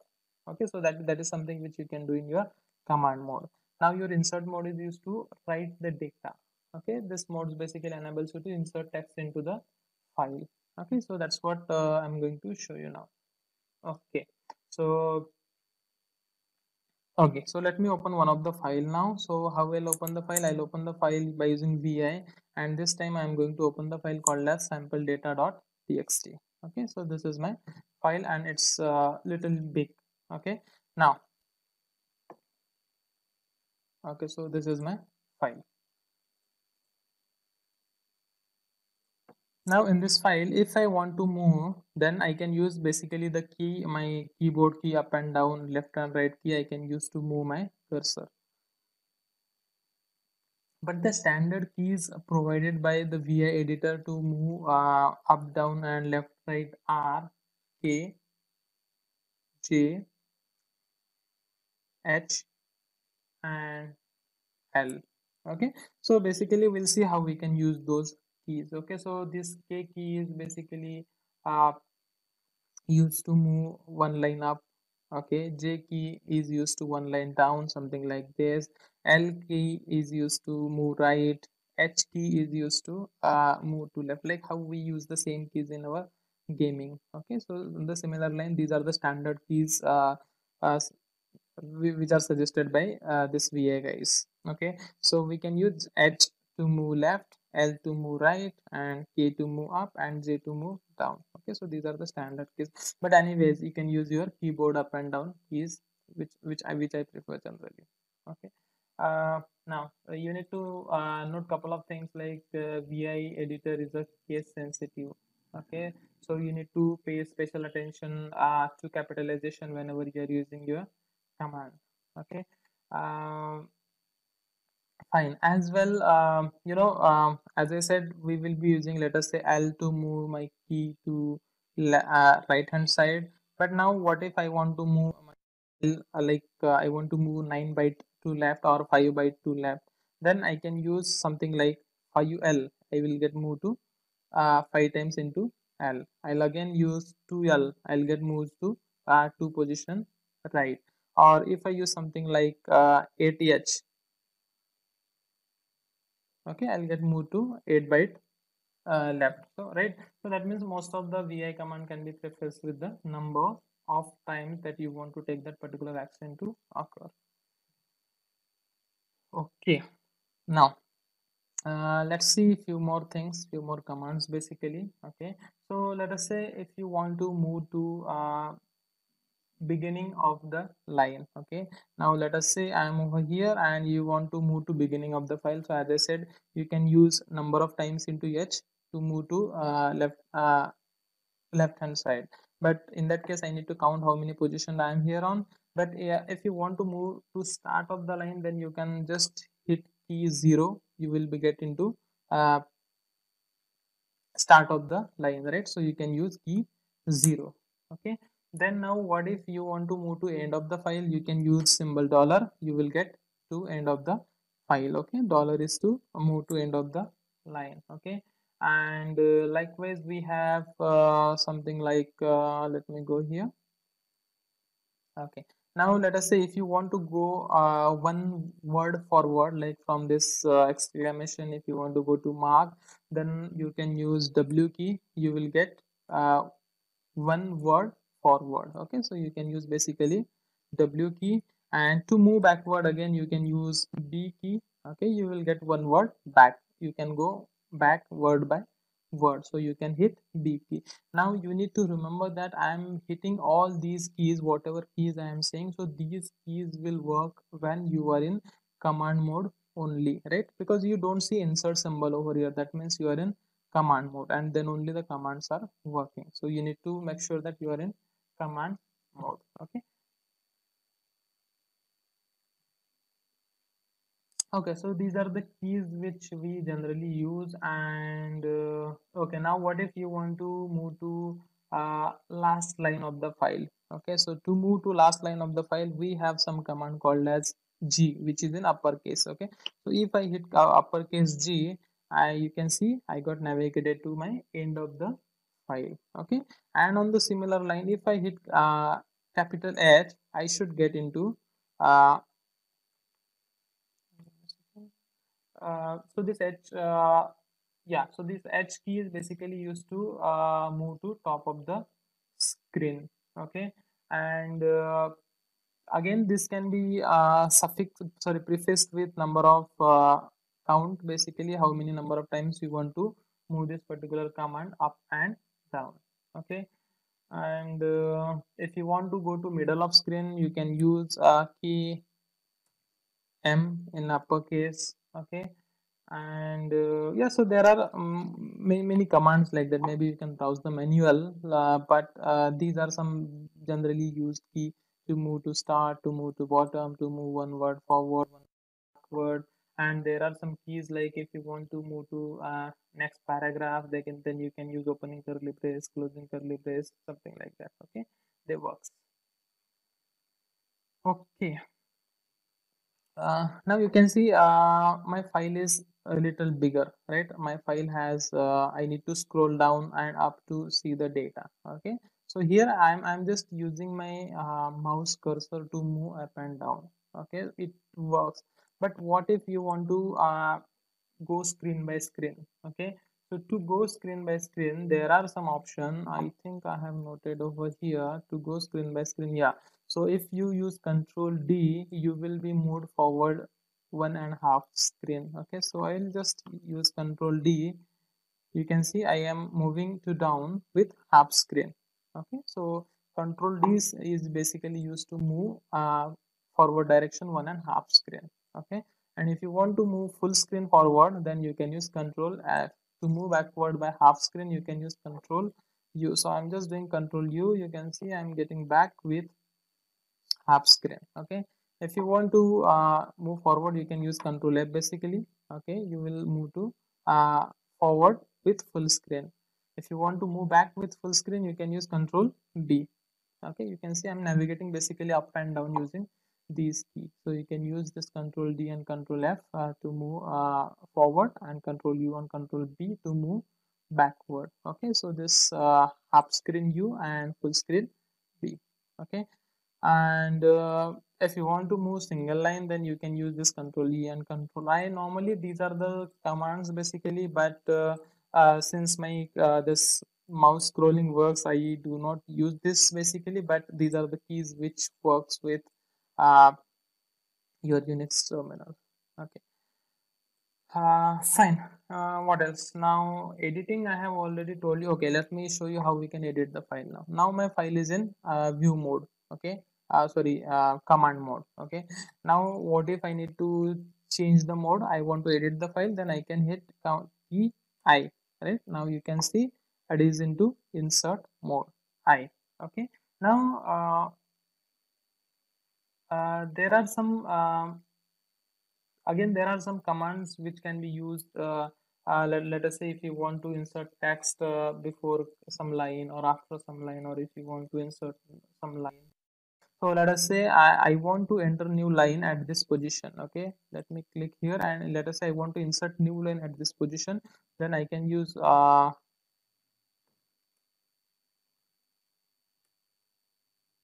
give me a second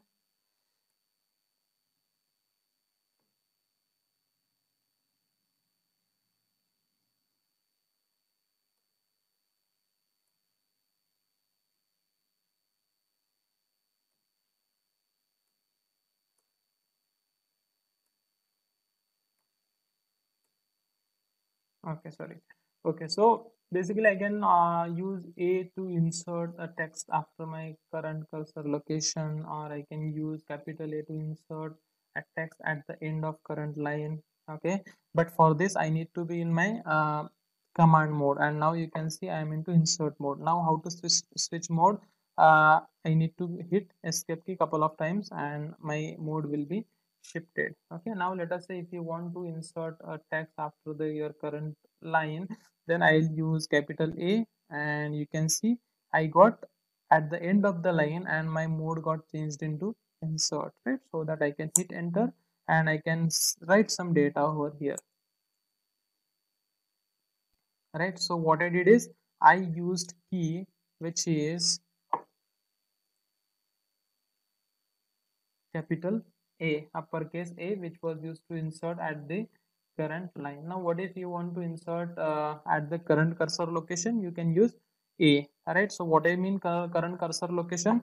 Now currently my file is in uh, command mode because you don't see insert over here. Now let us say i clicked on this queue. Now let us say if you want to insert at this queue at uh, after this queue okay where my uh, where i currently clicked on you can uh, hit uh, lowercase a and you can see now my mode has been changed into insert and my cursor is just after q and i can type some data to it right? So what i use i use lowercase a okay?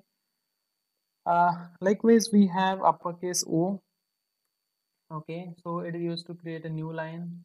Uh, uh, let us see how it works. Let me change my mode okay? And if i hit my uppercase o now you can see i got into if i use lowercase o okay you can see uh, sorry for uppercase o you can see it has uh, just created a new line for me right? So what i use the uppercase o okay? And uh, i can use lowercase o to create a new line for a text entry below cursor location right? So this uh, oe is used to create a line above cursor position and lowercase is used to create a line below cursor position. Okay now uh, if i uh, let us say if i want to create a new line after just below this division sign i can use a small o. It will sorry i should be in uh, insert mode. Uh, sorry command mode. I'll just hit o now and you can see a new line has been created just below division sign because i entered a lowercase o which is used to um, create a new line below. Okay uh, what else okay so this basically this vi editor is quite a bigger concept. There are many commands which we can use. Uh, now let me okay and uh, let us see uh, how you can delete a complete line. So again to use command you should not be in insert mode. Currently i'm in insert mode. Let me get out of it. And to delete any uh, line you will be using double d okay? So let us say i want to delete this blank line. How i will be doing that? Just hit double d. It will delete the file. I want to delete this double d sorry this blank line delete double d. Let us say i want to delete this 73rd record hit double d. Your 73rd record will get deleted. Can you see? Yes. Right? So you can use basically double d in lowercase to delete the line where your cursor is on. Okay. Now uh, okay. Now let us say if you want to do copy paste of some lines let us say i want to uh, copy this line number 72 and I want to paste it uh, after last line. Okay so how I can do that? So you need to click on the line which you want to copy and then you need to use command double y in lowercase so that it will copy the content. Now I just click double y so that it will copy my content right? Now what I need to do is I need to use p. Okay I need to use p uh, where you want to uh, paste my content. So let us say I want to paste my content after this tilde. So or let us say after this uh, ff whatever it is. So i'll hit e over here and you can see my line has been uh, pasted over here. Right? So this is basically how you can do copy paste. So double sorry double d is to delete double y is to copy and uh, p is to paste. Okay?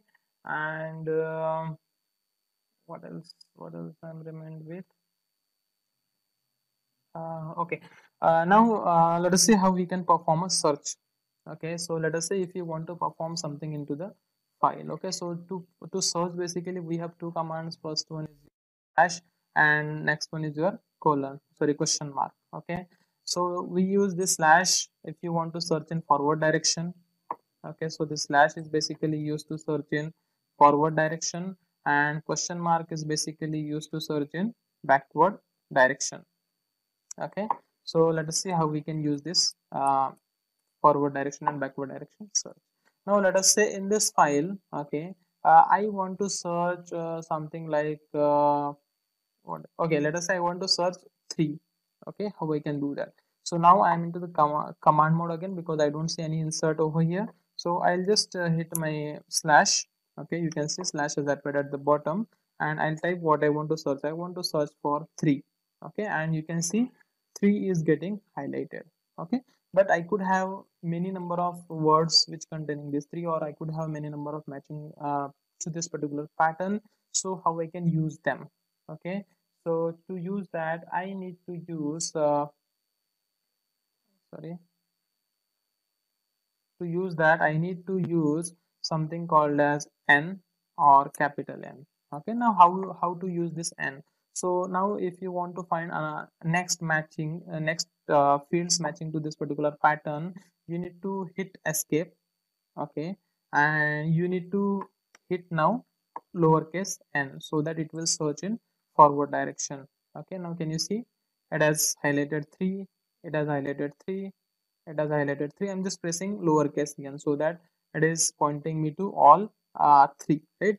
And here you can see search hit bottom continue at the top so that it has searched from all top to bottom okay?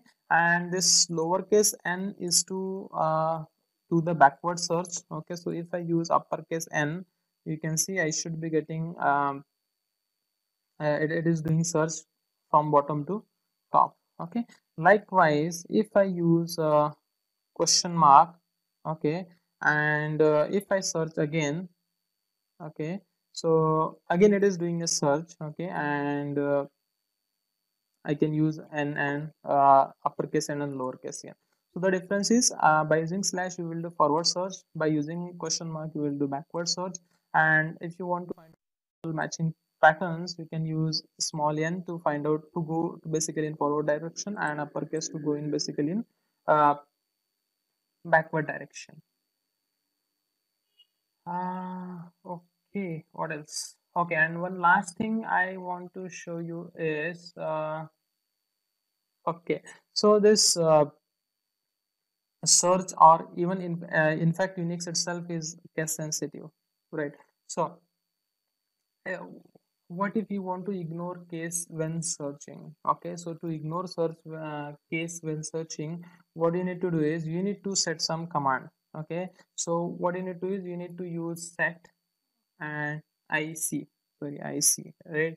So what it will do is it will ignore case. Ic stands for ignore case. So you are basically setting ignore case for particular uh, file open instance okay? So if i use something set ic okay and if I use now 3 can you see? I have typed 3 in lowercase but it is giving match me in uppercase right so this is basically uh, uh, how it works to uh, set something okay?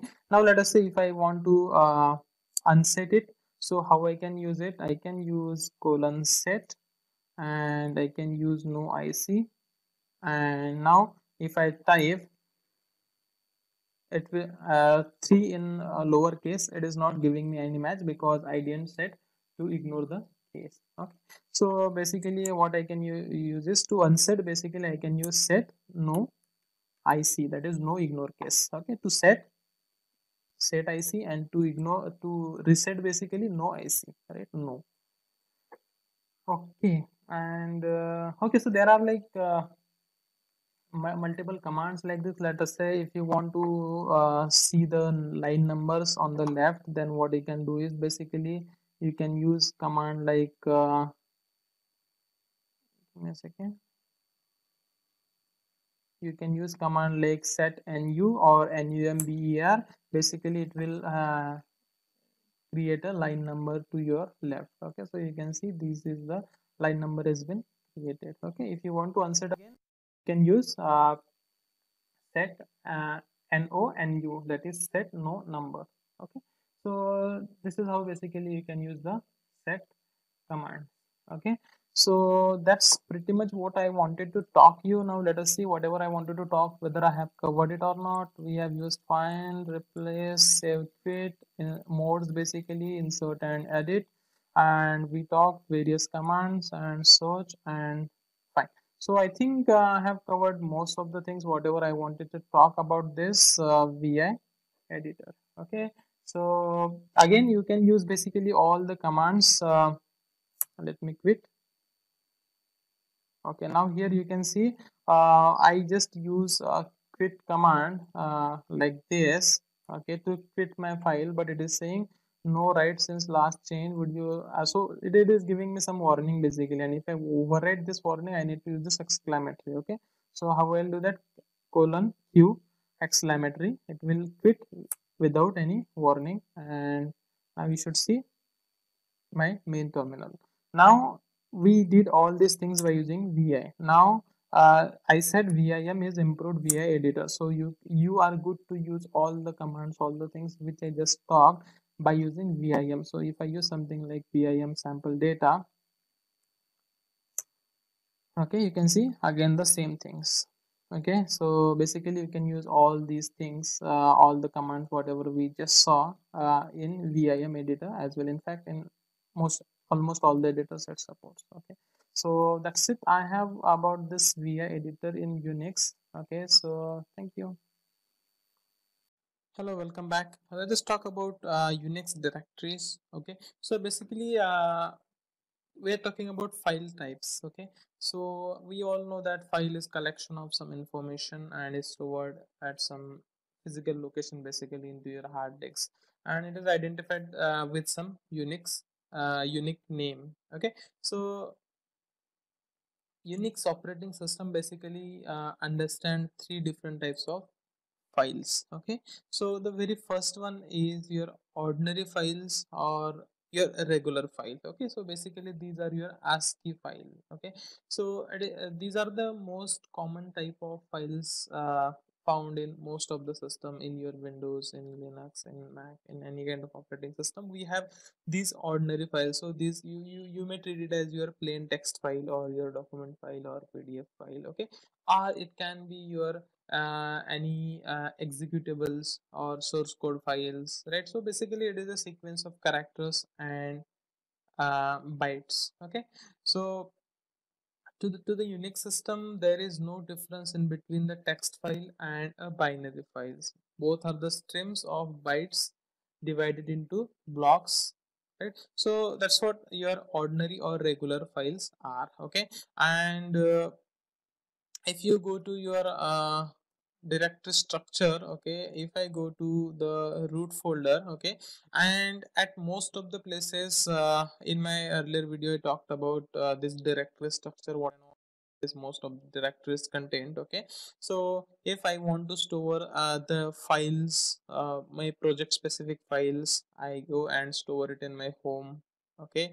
And if there are any executables or compiled source code uh, then those are present into this bin folder right? So uh, all my files uh, all my basically all my ascii files which i can read or even the binary files or any executables all comes under ordinary and regular file. So basically we should understand that unix system is all about files and processes. Okay?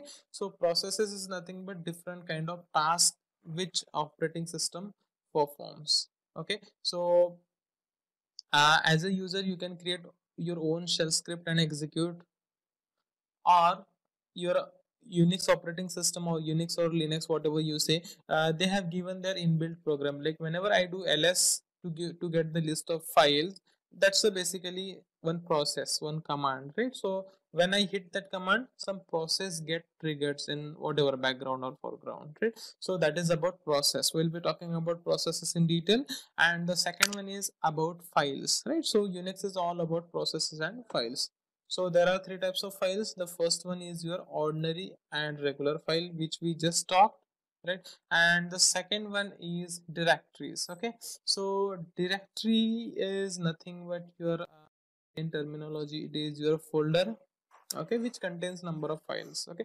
So basically a directory is a special type of file. In fact it is a file of files okay? So this type of file does not contain any text or executable program but it contains the list of file names right? Because my directory will contain some files right? So directory is nothing but uh, it, it is special type of file which contain list of files. Because as i said in unix terminology everything is about file and processes. So directory is again a type of file special type of file which store your list of the files which are in that particular directory.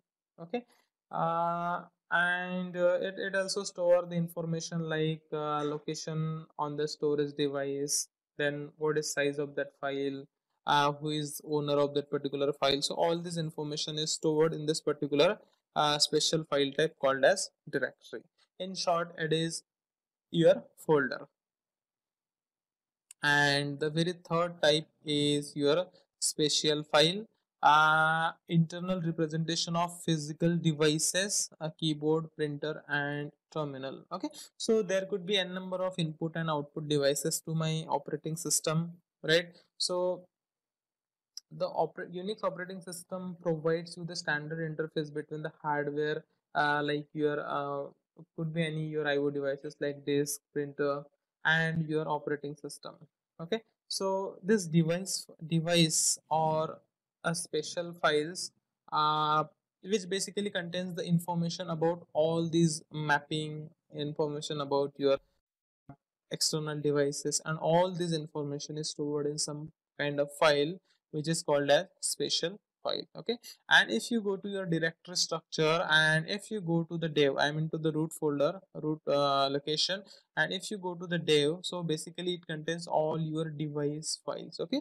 So that can be your any io devices which are connected to um, which are connected to your uh, particular unix os okay uh, so that's what your uh, three different types of files are. Ordinary files or regular files or your ASCII files which are my plain text files or could be my binary executables or could be my source codes could be anything which I can read. Directories is nothing but list of files. It is a special type of uh, file which contain a list of files. In short it is a folder and special files used to store all your device information IO device information. So that's what uh, these are the three types of files in unix okay? So yeah that's it. Thank you. Hello there welcome back. Let us try and understand uh, unix directories now. Okay so let us talk about unix file system okay? So if you go to your uh, putty okay and if you go to my home directory let us check where i'm currently. Okay let me go to uh, my root directory. Okay so i need to go to three steps back. Okay and now you can see i am present i am currently in my root directory. Okay so if i hit now ls command over here it will give me the list of all the files whatever what and all i have. Okay if i do ls hyphen a okay. It will give me the all my uh, hidden files as well hidden files and folders as well okay. Now what and all these files and folders are okay. So that's what i'm going to talk in this video. That is about all about your unix file system okay. So the very first thing is your root directory okay. So uh, this slash is nothing but your root directory right? So if i do pwd and if I see a slash that means I am into the root directory. So whatever whatever all directories whatever I have all my application all my data all uh, like all the software components everything is present in my root directory right? So everything is under my root directory. Okay or better what I can do is I can go to my WinSCP and here I can show you uh, a file structure you can see it in a better way right? So uh, I, I just clicked on root okay? And in the root you can see I have these many number of files okay? Sorry folders okay? And in this folders each folder is specifically mean for some purpose okay? That's what we are going to talk. Now we are not going to talk in much details okay because it's a huge right? That's the those are the complete operating system concept that that is something which we don't want okay? We just want uh, the, the folders which we will be dealing with and some important folders okay? So let us talk about that. So root directory everything is present under your root directory. The next one is your binary directories okay? So binary directories are uh, the directories which contains your executables. Like you see you have some bin directory or yes bin so if you go here you see you see some bin directory. So if i open this bin directory you can see all the executables under this bin directory. Okay? So let us take an example what and all we used. Okay? So let us say we use this pwd command right? So for us it is a command but for uh, unix it is an executable right? It is a application right? So this pwd if i try and open i may not be able to read its content. Let us check if i can open it. Yes i can open but i am not able to read it because it is a executable file right? So basically it is a bin file. Uh, bin folder basically contains all your executables okay? And we have another one called as sbin okay? It is again it contains your executables only but the difference in between your bin folder and sbin folder is bin folder contains the executable for your account as well as for your system. Whereas this executables for uh, uh, sorry the sbin folder contains executables for your systems which can be used for with root privileges. Okay. Uh, that's what this uh, binary directories are. Basically it contains all your executable directories. Okay uh, executable directories is nothing but your uh, compiled source code. Next. Uh, next one is configuration directories. Okay. So this configuration directories contains your uh, all configuration files which are required for your system. For example etc or boot okay. So if you remember we navigated to this etc folder. Let me go to root and okay let me go to etc. As i said it contains the configuration files okay? So if you remember in etc folder i went to the ssh and then here i saw i have shown you that we have some keys okay? We have some public keys we have some uh, private keys. All the keys are present in this specific directories which are used to establish the ssh connection okay? So that's what uh, is present under your uh, etc directory. Not only that but we have all the system configurations. Fine. And the similar thing we have it in a boot directory as well okay? So if i go to boot uh, give me a second. Here. Okay so this boot directory again contains some file but I should not touch the files from this directory because it contains the bootloader files. What it means is uh, uh, from the name it suggests uh, used for booting my system. Okay? So in other words it's like they only contain the file which are needed for basic linux system or basic unix system to get up and keep it going right? I should not touch them. So basically it contains all my uh, files which are required to start up and to run my system.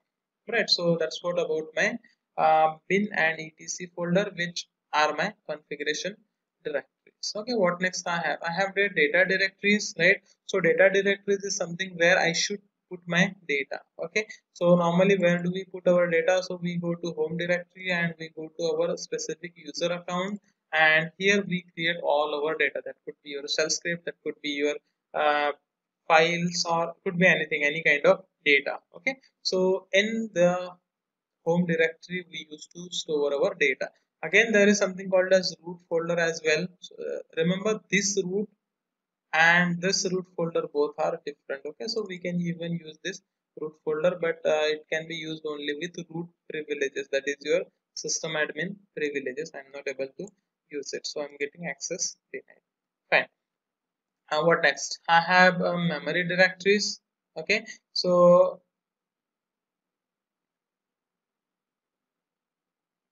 so basically your memory directory contains the files of your whole system right? So it contains uh, basically uh, all the information is contained in this dev folder proc folder system folder.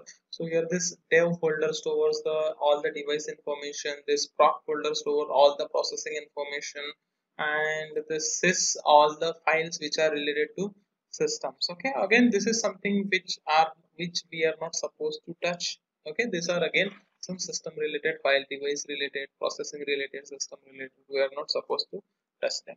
Next we have is user so this uh, from the name it sounds like this could be user data but, but this user stands for unix system resources okay? And uh, the data is present in uh, user slash bin and user slash lib. If you go to the path variable in path variable you will see these uh, unix system resources and it contains the uh, read-only data okay? Which is used by linux system. It contains basically all the libraries which are used by unix systems. Again we are not supposed to touch them. Next we have is a variable directory. So from the name we can say uh, var directory. Okay so whatever files i'm talking about all files are present over here. Like you can see proc you can see uh, system you can see user you can see var that is your variable directory okay? So in variable directory you can put basically the files from the name it's just like uh, uh, all the variable length file or variable size files okay? So it's like the files uh, where for which we are not sure about uh, its size okay? So that could be let us say your logs file or spool file or your cache files. We're not sure about their length right? Uh, or size right it keeps increasing or we may delete it uh, in our process somewhere right? So all those unexpected size files are stored into this variable directory. That is in var log and var cache. Okay so you can see cache and uh, log folder. So uh, while designing our system we should design in a such a way. Fine. So these are your variable directory.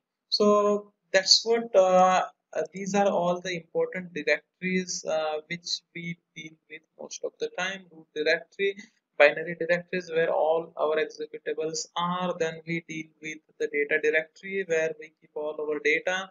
Keys and all our configuration directories configuration files are present in this uh, etc file.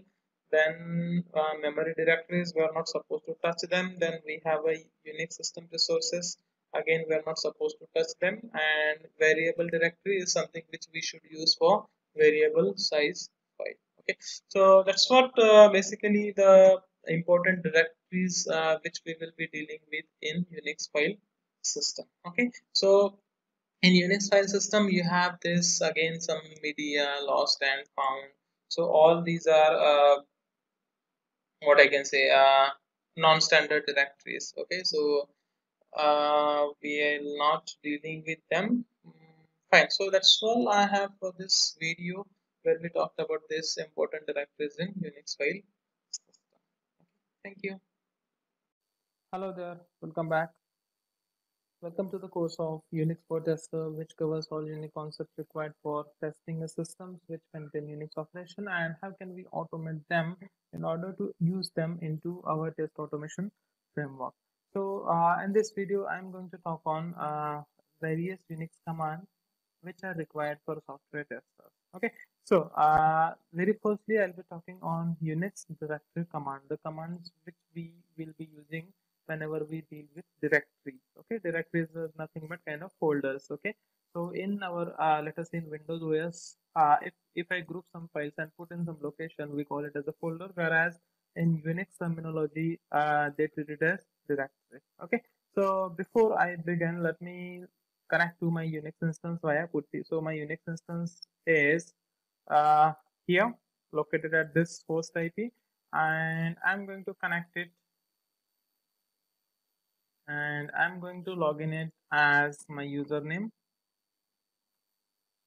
okay and the authentication is based on some public key which I have already supplied to my uh, Unix server as well and to my SSH client that is PuTTY okay? So now I'm connected to my PuTTY and let us see uh, which which is the first command which we will be talking. So the very first thing is pwd okay? So this pwd stands for print working directory on the terminal okay? So mostly people uh, term it as present working directory but it is print working directory okay? Now let us say I have logged into my Unix terminal and now I want to see what is my current location where I am in which directory I am currently okay? So that's what this command will do print working directory print working directory where I am currently in okay? So if I hit enter it gives me some location that is home slash Prakash okay? So this is the directory where I am in currently. So whenever you log in with some uh, username, by default you will be get logged into your uh, folder, okay, under home and your account name. So this is my present working directory. Fine. What next? Next one is ls, okay, which is used to list the content of your directory. Okay. So let us see. If I hit enter, if I hit uh, ls, so it gives me some list of okay so you can see i have multiple files file one hello file input file oracle db output file and script.sh so i have many files into my uh, this particular location where i am currently in. So this ls is basically to list out all the uh, directory contents okay? But it does not uh, list all the contents in fact so it does not uh, include the hidden files okay so if I want to use hidden files, then I need to give something like ls hyphen a so that it will include my hidden files as well.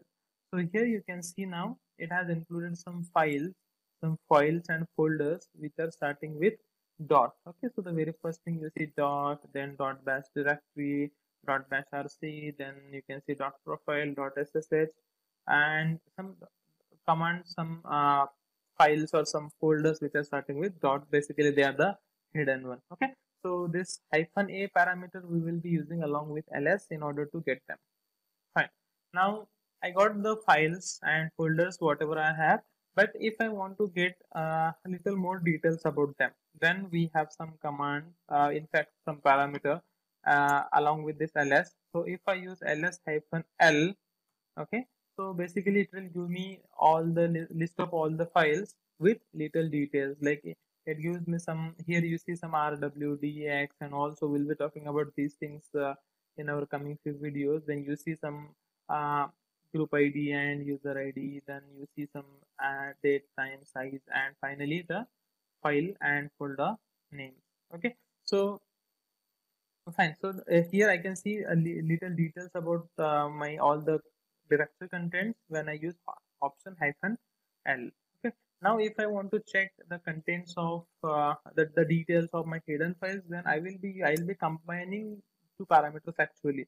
So, in order to get uh, my hidden files, I'll be using hyphen A, and in, in order to get them with details, I'll be using L. So, if I type ls hyphen al, I should get the details of all the files, which includes my hidden files as well okay so that's basically uh, uh, what we can do by using command ls okay?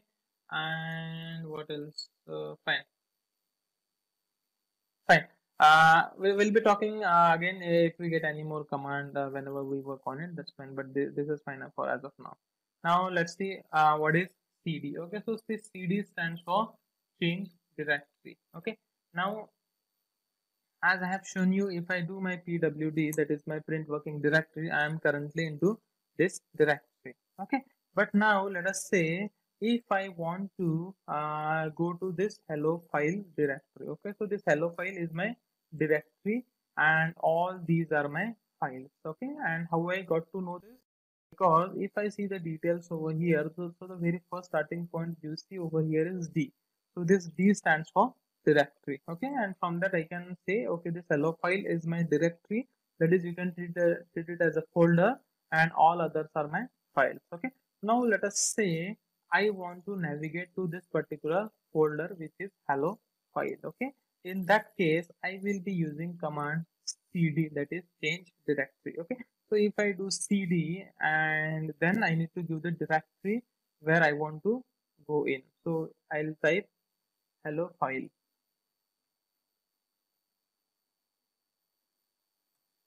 okay and now you can see and now if I check what is my print working directory now you can see it is home slash prakash slash hello file. Okay and if i want to check what are the contents of this hello file you see it has not listed anything. That means this hello file folder is empty.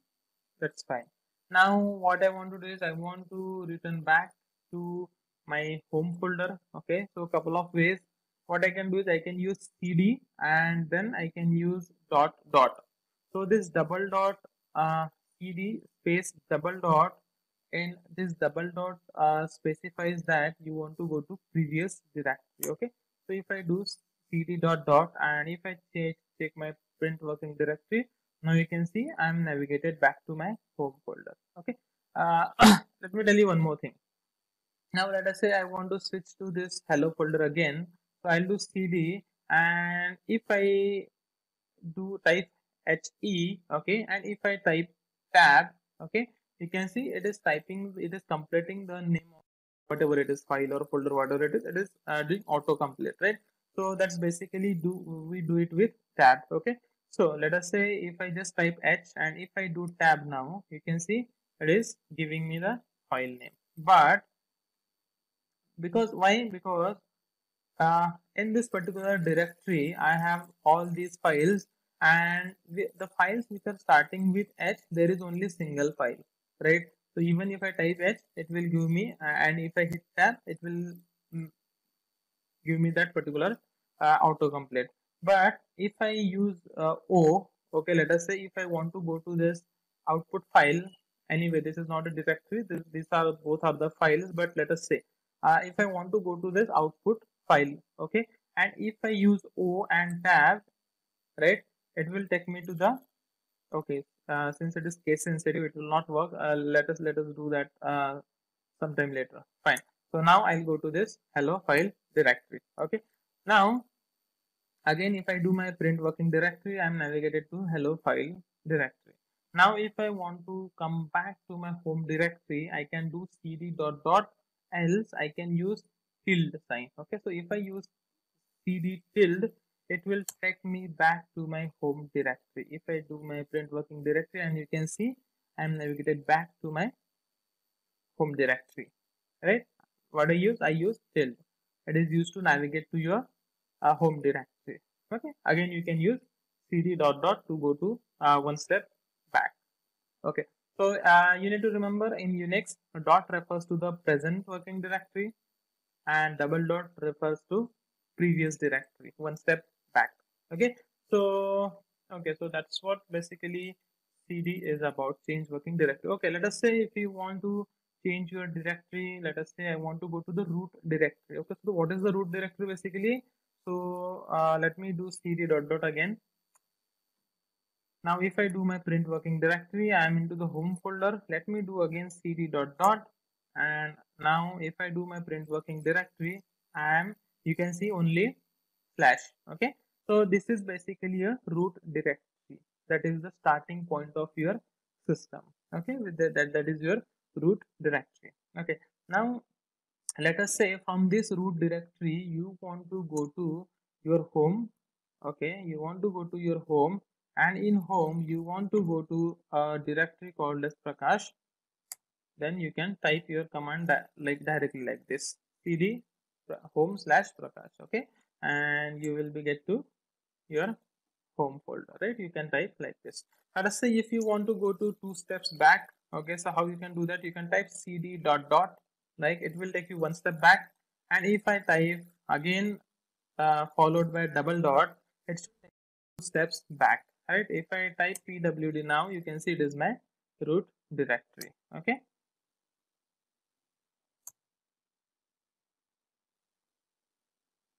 so you can see i used cd tilde it has taken me to my home directory.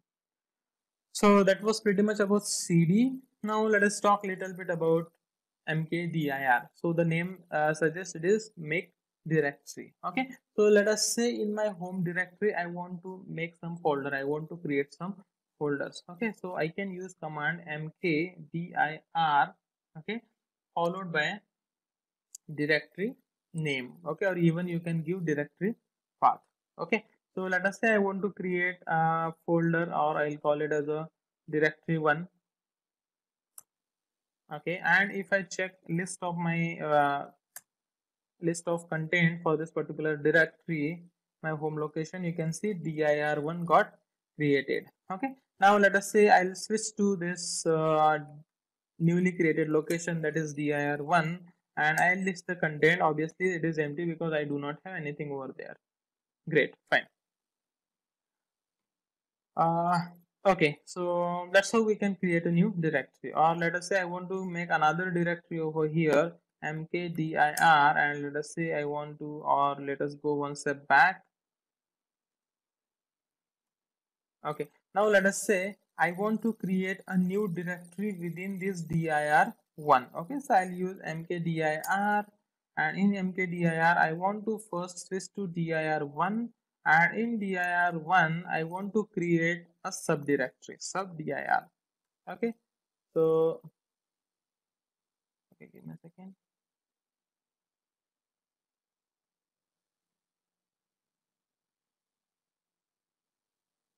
Okay so it has created okay? So now if i switch to dir1 or in fact I can go directly to dir1 slash sub dir okay? Uh, oh, give me a second. Cd slash dir1 slash sub dir okay?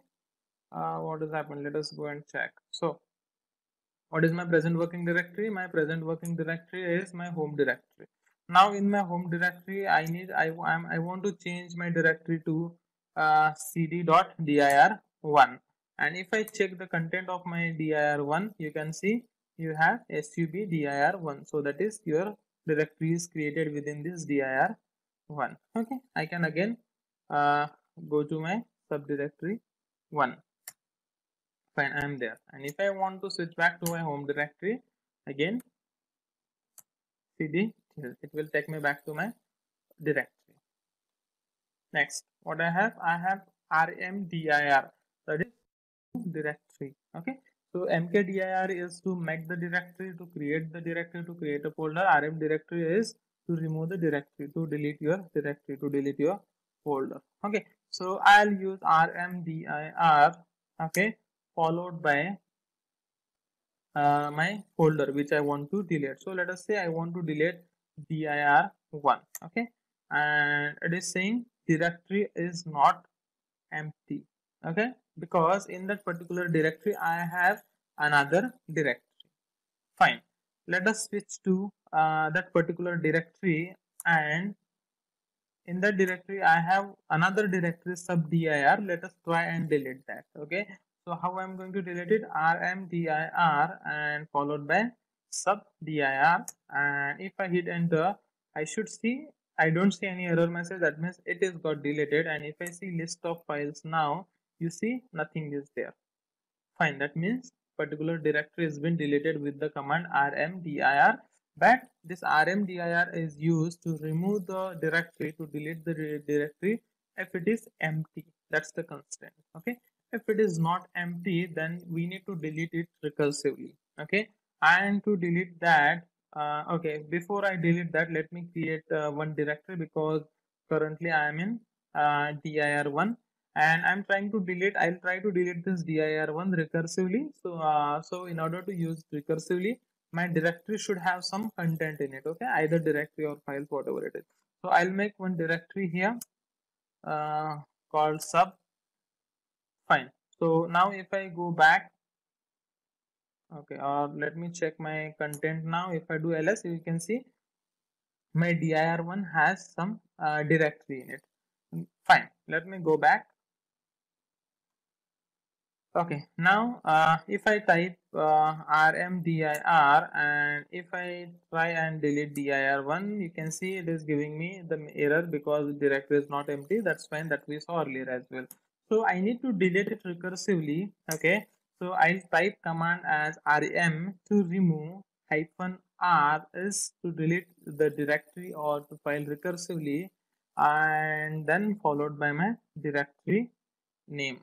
Uh, what is my directory name? It is dir1 fine. Now if i hit enter now i should see i do not see an error message. That means my directory got deleted. If i now i do not see any directory called as dir1 so that means my directory got removed. But to remove the directory we cannot use this rmdir command directly if directory is not empty. So we need to delete the uh, directory recursively by using uh, hyphen or option with rm which is used to remove your file. So this rm command basically used to remove your files okay? Uh, but if we use it with hyphen r and then folder name it will work to remove your directory even if it has some content in it uh, okay so this was basically uh, all about unix directory commands. Okay so we talked about pwd which is print working directory which gives it gives me the location where i'm currently in. Then we talked about ls to give the list of all the files and folders then couple of options along with ls that is hyphen a to get my uh, hidden folders hyphen l to get uh, uh, little details. Again you can use hyphen ltr to get it more details. Uh, you can use um, hyphen f as well hyphen p as well. We'll talk about those things whenever it comes in our picture. Then we talked about cd that is change directory. If you want to navigate from one directory into another directory again there is some concept called as absolute path and relative path. We will be talking about those things later on. Okay? Uh, then mkdir is to create the directory. Rmdir is to remove the directory. Okay? So that's it for this video. In my next video i'll talk about uh, some special characters and how we can use those special characters along with the commands which we just talked on. Thank you. Hello welcome back. Welcome to the course of Unix for Tester Manual and Automated for Selenium. Uh, in this video, I'm going to talk on Unix file commands. Okay, so uh, I, as I said, Unix is all about files and processes. So file commands are uh, pretty much important in Unix. Okay, so let us see what and all uh, important file commands we have in Unix. Okay, so the very first Unix command is uh, for file is touch. Okay, so this touch uh, Unix command is basically used to create the file, create new file. Okay, so if you go to your WinSCP okay, in WinSCP you can find the option to create new file here itself. Okay, so here. Give me a second we do have some option we never use it yeah here it is create new file or create new directory or create new link so if i click on file it will create new file for me but that's not the way how we do it okay? So i'll oh, go to my putty okay? And in putty as i said we'll be using touch command t o u c h touch followed by file name. Let us say i want to create some file uh, with name file1 dot txt so this is my file which i want to create okay? So uh, touch space file names okay so if i do ls now i should see file1.txt should be created. Okay so here it is file1.txt so this particular file is created. Okay now by using this touch command you can create again multiple files. so we just need to give some uh, multiple file names followed by space. Uh, let us say i want to create two files file2.txt and file3.txt okay so if i hit enter it should have created two files for me now. Can you see? File1.txt was my previous one and file2.txt and file3.txt are created by using this another touch command combinedly. Okay so that's what basically your touch command is about. That's that is used to create your files. Next is cat command. Okay so this cat command is basically used uh, to display the file content onto your screen okay. So now uh, this file1.txt or file 2 or any file whatever I just created are my empty file are a blank file. Okay. So if I do cat to display the content of file1.txt it will not uh, give me anything because it is blank. Okay. Now how can I add content to that specific file? Okay. So I can use option VI it is for VI editor. Okay so I'll be talking about VI editor in some time later. Uh, we have a couple of videos for VI editor as well. So talk about VI editor in detail. So for now you can say like if I want to add uh, edit or add content to any file I'll be using VI editor. There are again uh, multiple editors nano editors and some defaults editor. I prefer a VU VI editor. Okay so I'll give VI space file1.txt so that it will open file 1 uh, to enter me some data okay? Uh, let me enter some data. I'll enter some data. Give me a second. It is in insert mode.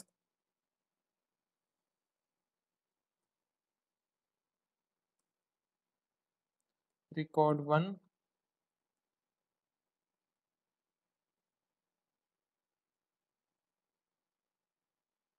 give me a second. I'm just trying to add some records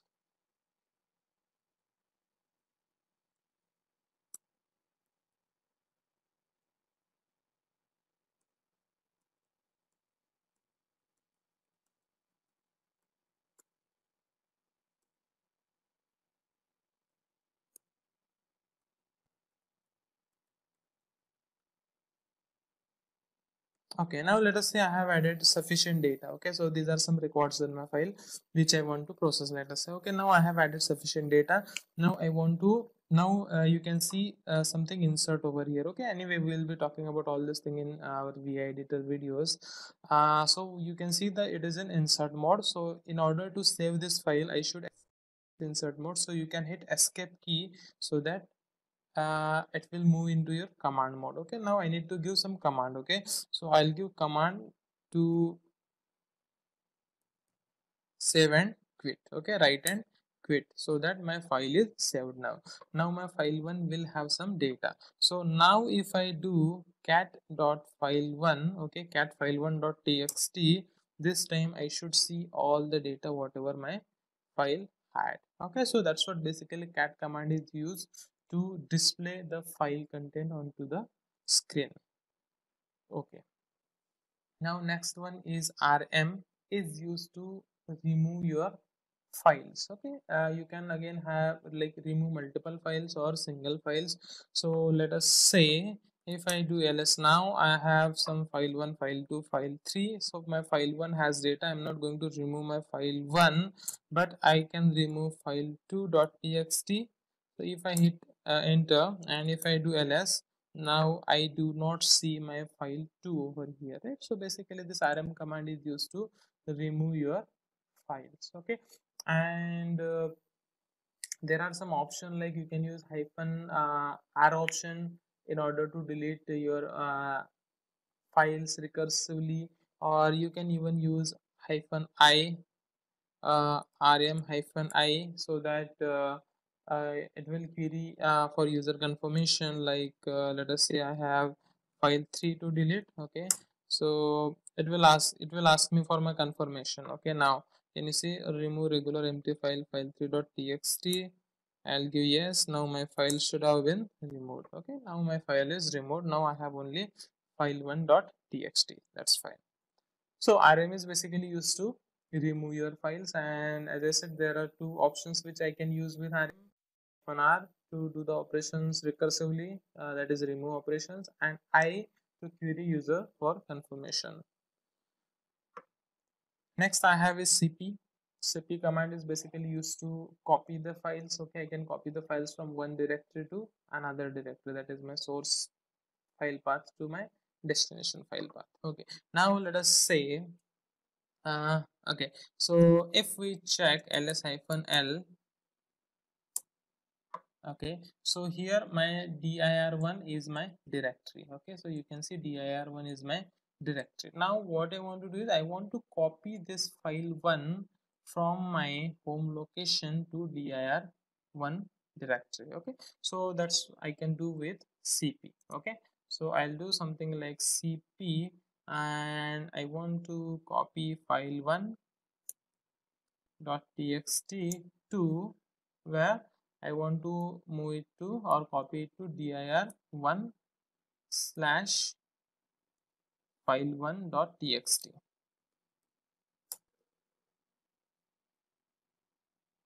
Okay so it's asking me cannot create a regular file dir1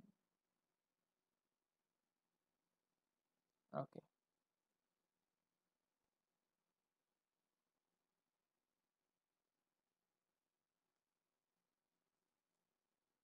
okay now it should have been copied. Okay now what i'll do is i'll switch to dir1 and i'll just list out the content. And if i check this content of file 1 now i believe this file 1 was uh, there earlier as well. But if i check the content i can get the file 1 is the latest one or the older one okay now can you see the content or whatever i had added? So that means the my file is copied from one directory into another.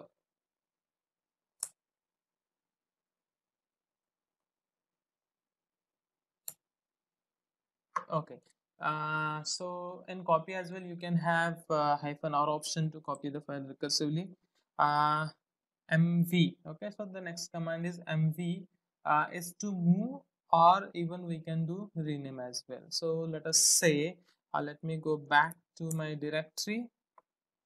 And if I do ls now you can see I have file 1 okay? So let us say I want to move this file 1 so earlier we did a copy right? Copy from one directory into another directory. But now in case let us say I want to move this file uh, from one directory. So I want to move file 1.txt to uh, dir1 I'll move it to uh, dir1 slash file9.txt let us say this time. I'll give file9.txt and if i switch to or let us say the content over here now here i do not see in my current directory i do not see anything called as file1 because i use mv command which is to move okay? And i moved uh, dir1 directory. Let me switch to dir1 and if I do ls now I should see something called as file9.txt which is uh, moved from my home directory right? So that's how we use mv command. Again with this mv command you can use user confirmation with hyphen i option. Uh, what next okay and and uh, i've shown you how we can rename as well right? So whenever you move the file it will you can uh, you can keep the same name or you can rename it right? So you you can see like earlier the name was uh, where it is file1.txt and i changed the name to file9.txt while i move the file. So that's what we can move and rename or rename whatever. Then we have uh, more command okay. So this we have basically two commands more and less. Okay. So this more and less command again basically we have four different commands more less head and tail. Okay. So now if i want to check the content of basically all these four commands are used to view the file content. Okay. So let us say let us talk about head first. Okay. So head command is to display uh first 10 records from your file okay? First 10 records starting from header. So that's what head is about. Displays the first 10 record of any file whichever you view with head command.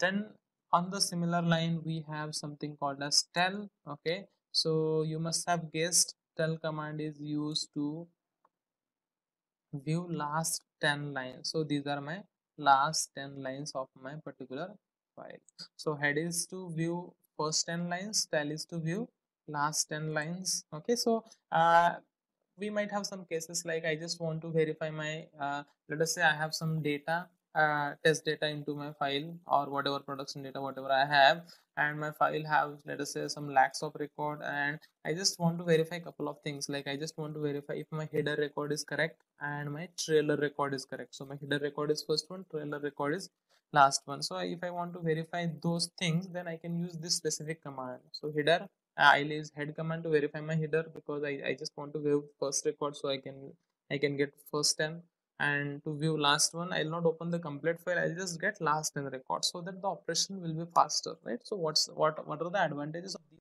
commands? More or less head and tail are uh, the operation will get faster right? Because it will not load the complete file into memory okay. Uh, now uh, let us talk about more. If i use more and what's my file name? File9.txt okay. And you can see it is uh, it is giving me the option to scroll right? So it is it is it is showing me more over here. And if i hit enter it is scrolling for me right? So that i can view my data one by one. So that's what we can use more is for now i'm done with that. If i use less um, less and my file 9.txt okay so yeah so it, it will again give me um, okay so the advantage of uh, list is let me quit. So i can use let us say uh, hyphen 5 hyphen 5 with file 9.txt it will just give me um, give me a second. What is giving me complete records.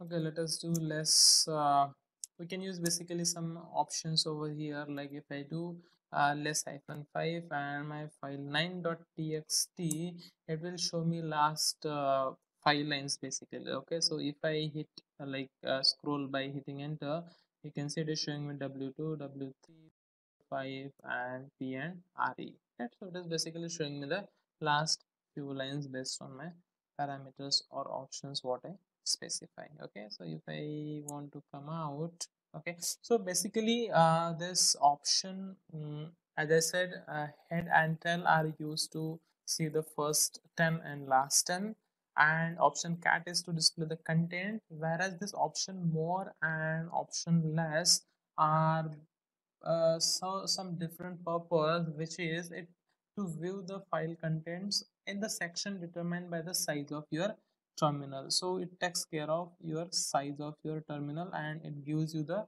option to check the contents by uh, like page by page okay so that's the basic difference in between your uh, head uh, like more or less and cat and other two head and tail.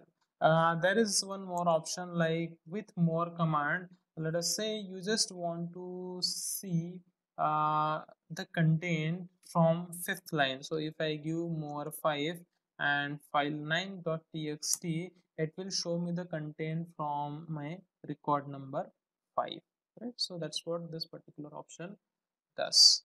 So this was about uh, the option again we can perform search operations mm, in this more and less command like let us say if i want to perform something i can uh, to perform any search operation i can use slash followed by the string which i want to search hit enter it will do search for me right? That's the basic thing um, okay so that's what i had for this video. Basically all the different unix file commands which are majorly used.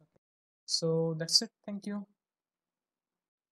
Hello welcome back. Welcome to the course of unix for testers. In this video i'm going to show you a few uh, more commands uh, which can be used in unix okay? So the very first one which i want to show you on the terminal so like in order to create a terminal we use clear but one shortcut i need i want to tell you is instead of clear what you can do is you can use control l it will create it will clear basically a terminal for you okay? So fine. Now let us switch to our video where i'm going to talk on some unix commands like who am i who su exit add user su and sudo okay? So let us start with the first one. So my first command is who. So who basically gives you the information about your username your uh, date timestamp and few other things okay? So the similar thing is if I use who basically it will yeah and if I use w basically it will give me time from when my this okay.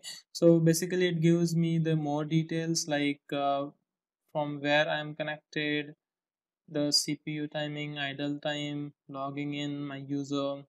It gives you details like that okay. It also gives you from when your unix server is up okay how many users it is connected with and other things uh, the important one is su so su is basically used to switch to root user okay? So the current user which i am logged in is you can see here it is Prakash okay? So if you want to see what is your users you can just click on users. So this particular users command will give you the it is used to basically show the usernames of the user which are currently logged into current host. So currently i'm logged in with my uh, username prakash. Okay now let us say i want to switch from prakash to my root user. So i can use basically command cd sorry.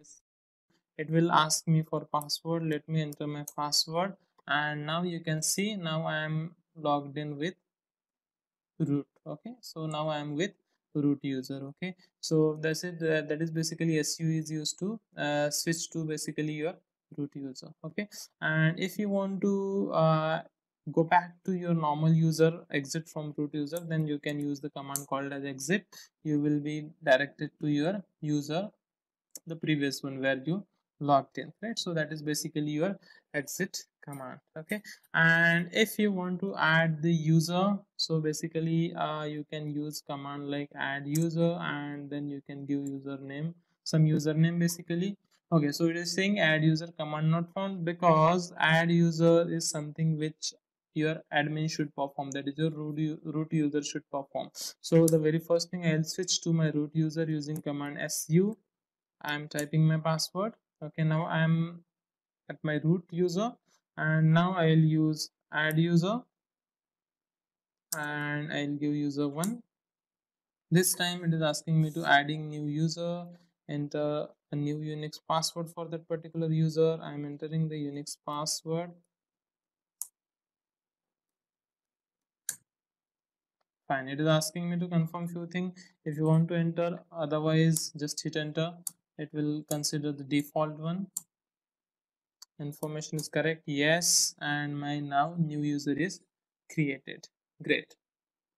So this is how you can use this command add user su i already talked uh, okay. Now let us say now i am into root user okay. Now let us say i want to change to my uh, user which is newly created which is my su user one. So this basically su command if if you are passing the uh, particular username then i'll get into that particular user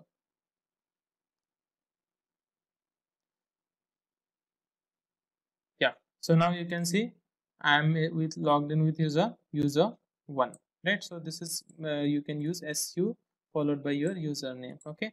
And if you want to switch to your uh, uh, again you to your normal user then you will be using exit command. It will take you to root user and if you want to ex uh, exit again then you will get back to your the user where you logged in okay? So this exit is basically used to go one level up okay so th this is how you can use this su command to switch to your root user as well. And if you enter the username followed by su then it will take you to that particular account. Uh, and the final one is sudo. Okay so sudo is basically used to perform or execute any command with root privileges okay? If you are not able to execute any command with uh, your account privileges then basically you can type any command like sudo and then the command which you are trying to enter. So in my case let us say i'm just trying to execute ls command but it is with sudo that is with admin privileges. Like in our windows like we do um, start with uh, some something like start with admin run as administrators right? So it's something like that. It start with root privileges. Fine.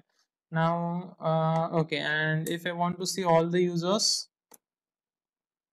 okay so basically this users command as i said it will it will give you the list of uh, users which are currently logged into your unix server. So my unix server with some host and i am the currently i'm i'm currently only one user who is logged in. That is what this users command gives but if you want to get a list of all users which are not even logged in currently but they are users of of your system then what you can do is basically uh, you can get it from uh, where it okay it is an etc slash give me a second. So this cat command basically is used to display the information and i'm going to directory cat sorry etc and in etc we have some file password. Okay so if i use cat etc password it will give basically all the information along with all the users. Like aec underscore prakash is my user rsak is my user prakash is my user automation talks is my user user one is the newly created user right it will give all the information but it will give you some other information as well which i don't want okay? So in that case what you can use is basically you can use the piping concept okay? So let us say uh, i want the, the very first step i want to get this information and from this information output of this particular first command will act as an input to my second command. And in my second command what i'm going to do is i'm going to cut up a specific portion okay? And uh, i just i just want to get this uh, the the first one right? And in this command sorry in this file you can see everything is separated by uh, colon okay? So what i can do is i can use hyphen d which is basically used uh, to define a separator. So my separator here is a colon okay? So hyphen d and uh, then i'll use a parameter uh, where I want to select my field. So I will use hyphen F. So this hyphen F is basically used to select your fields, which column you want, which field you want basically. So I want my first field. Okay. So I hope it is clear.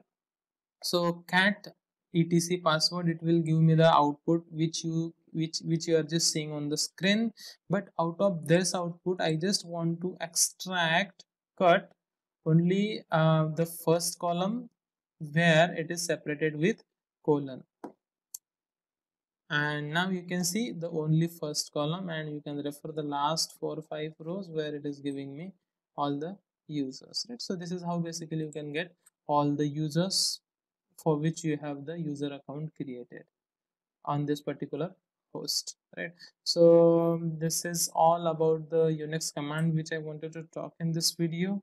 Thank you.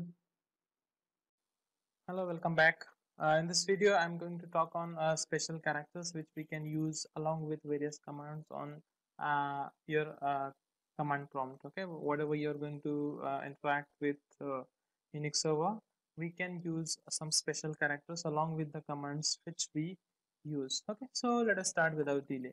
So the first one is tilde okay? So tilde we saw in my last video as well.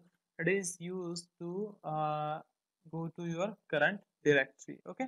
So let us say okay? So let us say i am in some directory okay? So if i do pwd and if i want to I, am in some directory that is dir1 but it is not my home location. So if i want to switch to my home location i can go simply back because home slash prakash is my home directory.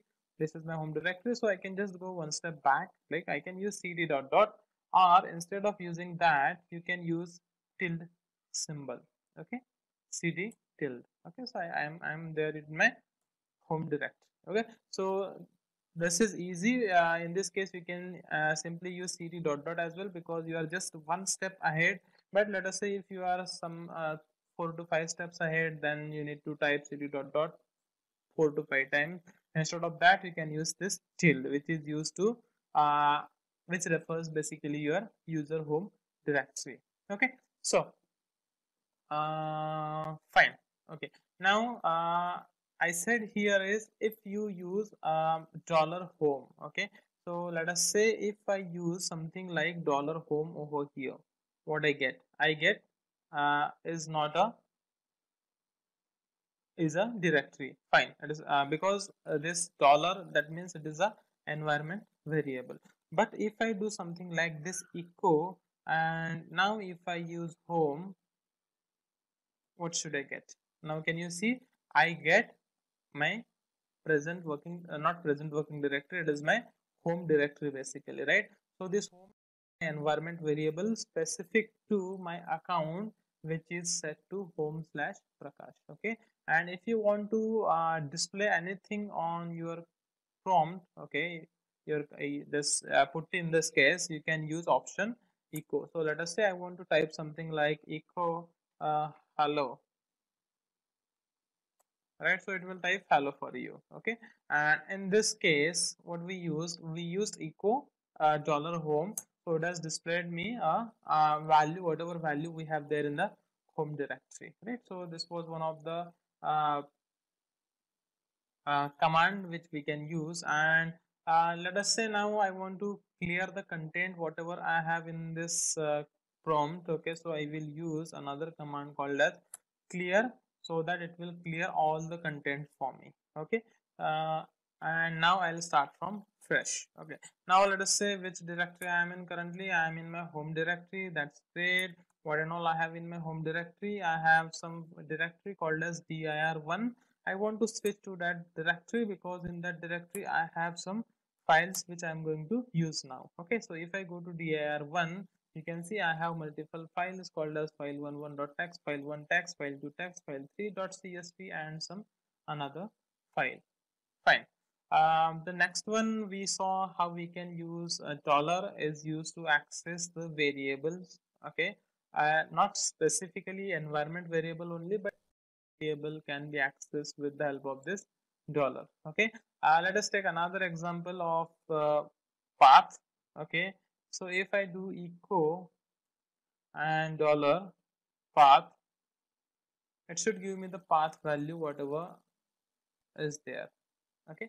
So like uh, in our windows we do environment variable and we set a path variable from where your particular program should be picked up. On the similar line there is another path variable in your unix as well.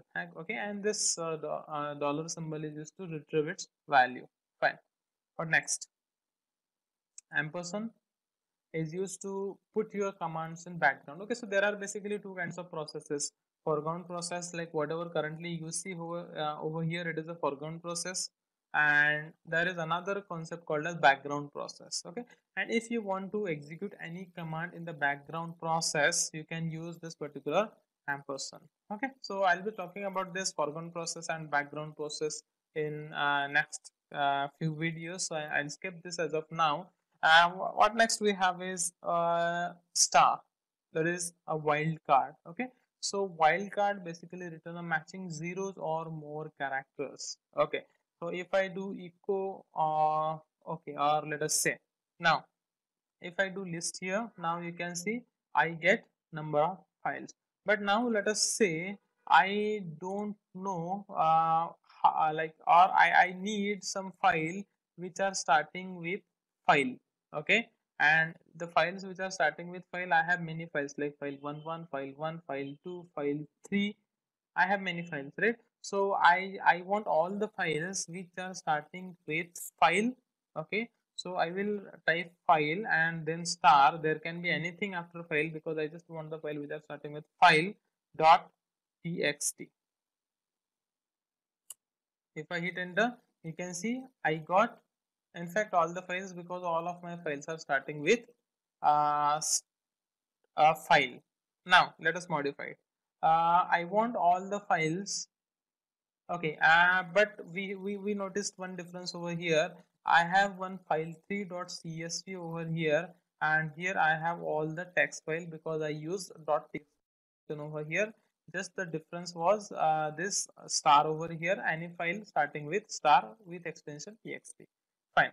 And now let us say um, I want any file which is starting with star and which can have any extension. So I'll use star again after dot. So I should see your CSV file as well over here right? So that's what. So this particular wildcard star is used whenever you're not sure what particular uh, and how many particular uh, places uh, some character or some uh, numeric value will be there in your file name okay? In fact it uh, it will be used in your shell scripts as well. So this is basically a wildcard it, it gives you the all the matching zero or more characters. What next? We have we have another wildcard which is your question mark. But uh, the difference is in star it will return zero or more characters. Uh, okay that could be any number of. But okay you, you must have noticed over here i used uh, where it is i used file star okay? Uh, so my file was file 11 so here it has picked two places one place two one place one place. And here it has taken uh, some 8 to 10 places right? So star can take more characters from 0 to n characters. Fine. But this question mark is a wildcard which takes exactly one character okay so let us say if i do something like if i want to list all which has uh,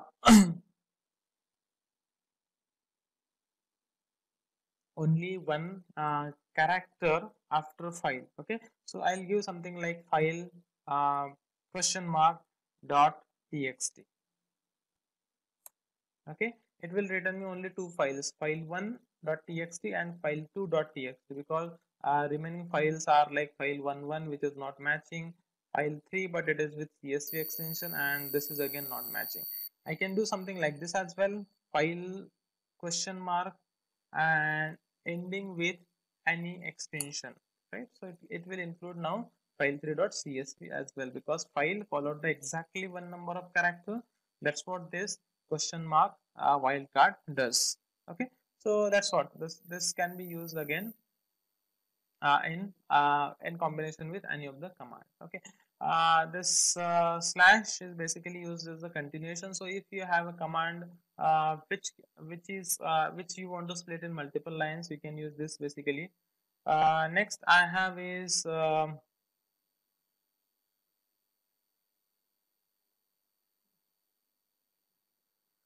okay so next i have is a single quote okay so this single quote uh, what it says is the shell will not evaluate most special characters contained within this quote. Okay so let us say uh, if i use something like uh, okay so if i do something like echo okay and if i do something like echo home with dollar it is it is uh, replacing the value of this home in my terminal fine.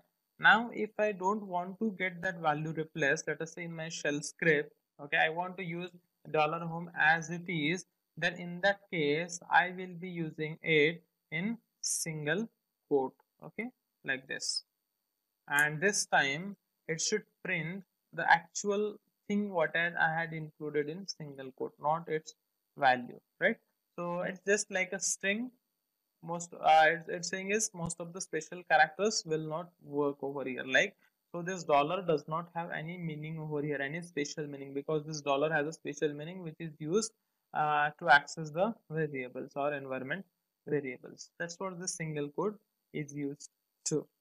Uh, another one is double quote. Okay double quote is again okay so this uh, double quote is used to evaluate the, your uh, variables contained within your double quotes okay so in this in the previous example if i use echo dollar home it was not uh, replacing the value of dollar home right? Because this uh, single quote is used to uh, in fact to, to skip uh, the meaning of the special character dollar okay? But if you want to print it somehow then you can like let us say uh, you have some statement okay? Let us say you have some statement some string so you will be putting that string in a double quote. So let us say my uh, home folder location is okay. And now you want to insert your home variable environment variable okay. And i'll close it with a double quote okay. Now can you see? It has printed a string for me along with the replaced value of your environment variable home right? So that's the difference in your single quote and double quote. So this double quote mainly we use it whenever we deal with string and along with string if you have any environment variable and if you want to translate that environment variable into the actual value then we will be using like this. And finally we have uh, backtick okay so this is your backtick okay? Uh, so the both are different. Single quote and backtick both are different. Okay. So this backtick is basically used to execute the command contained within these quotes. Okay. So this double in double quote we can uh, translate the value of your environment variables uh, in in fact the variables starting with dollar excuse me in backtick by using backtick you can translate any commands. Okay so let us say uh, if I use some string like this list of files is okay something like this okay?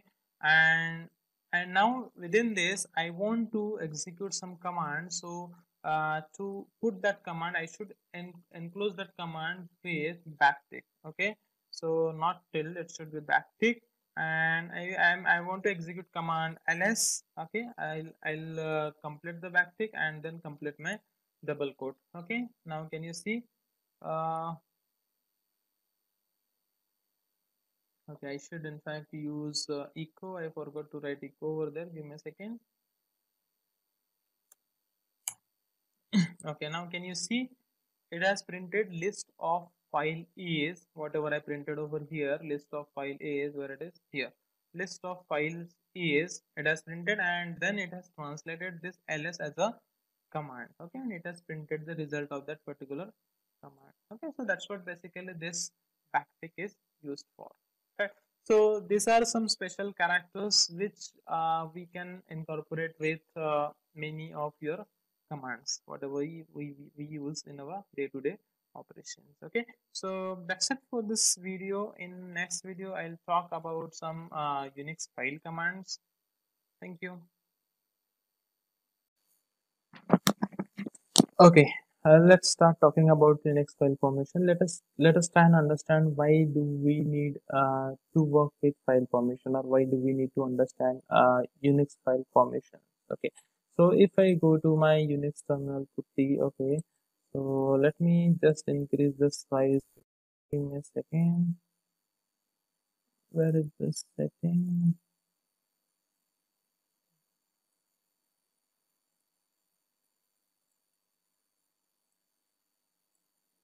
Okay sounds good now. Now fine.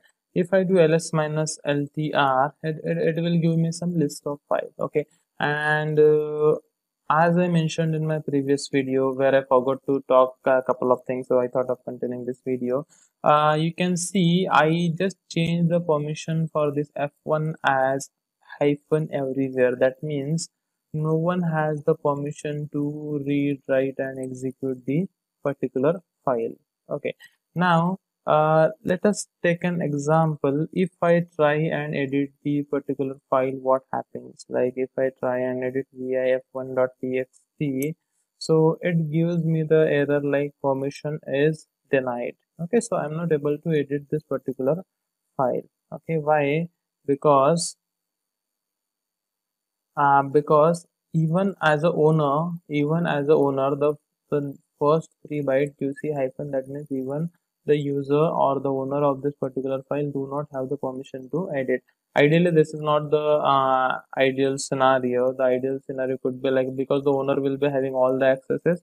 But if i am other than user or other than user group then i should restrict some uh, permissions to them. Like uh, other than user group should not be able to edit the things or something like that right so I should impose the permission um, uh, restrictions on them. And you saw uh, you already saw it um, if they do not have permission they will not be able to uh, write the particular file okay? Let us check what happens if I try and delete this f1.txt okay? So what it is saying is remove write protected regular file f1.txt so it is not allowing me to do right so I'll uh, fine. Now what else I wanted to show you is let us say I have some shell script okay? So this dot sh is my shell script okay? We'll be talking about shell script in detail you need not to worry. So you can see for shell script actually so this is a script. It is a program which I need to execute right? So to execute the shell script I need to have the execute permissions right but here you can see even as a user as a particular owner of this particular file I have only read and write accesses not execute access right? So if I try and execute the shell script okay script.sh okay we have two ways to execute it actually. We'll talk on that detail. So I just gave dot which refers my current directory slash script.sh now it is asking me uh, it is stating me permission denied. I do not have access to do that. Okay. Uh, if I do something like chmod I'm changing the permissions using chmod and I'm setting it to 744 let us say okay? Because 7 means I am giving all three permissions read write and execute to user uh, for my file script.sh okay and if I try this command now script.sh now this time I am able to execute my uh, shell script. You can see exec started and it is doing some execution. That's fine. I'm going to terminate that execution using control C. My execution is terminated.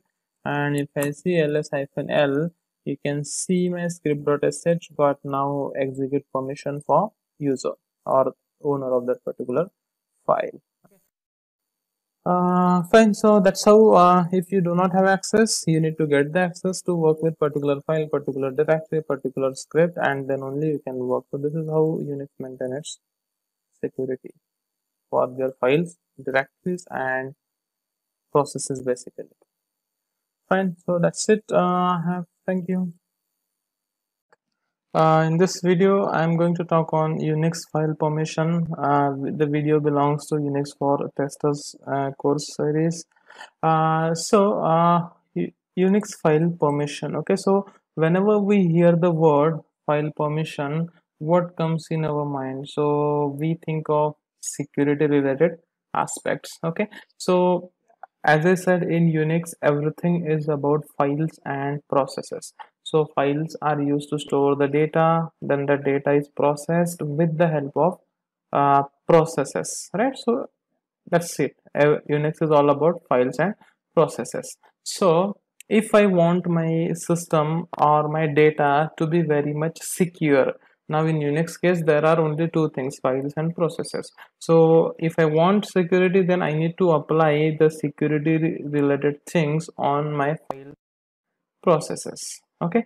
So on files what and all i can do? On files i can uh, restrict uh, like if i can uh, create a, create if i can give some user access of creating or deleting the directories or copying or moving or deleting the files right? So I, I can give some access based on their roles right? So that that, that is about the files. Uh, about processes in unix there is uh, like everyone will not have the access to start the processes right? You need to give the access explicitly to specific user right? Uh, to trigger the processes to execute the processes right? So that's how the security related concern gets handled in unix right? So it restricts the users uh, by default not to uh, perform uh, some operations like um, okay so let us go into little details. So types of permissions for files and directories. Okay so let me open my excel spreadsheet. Uh, i can explain it better there. Give me a second.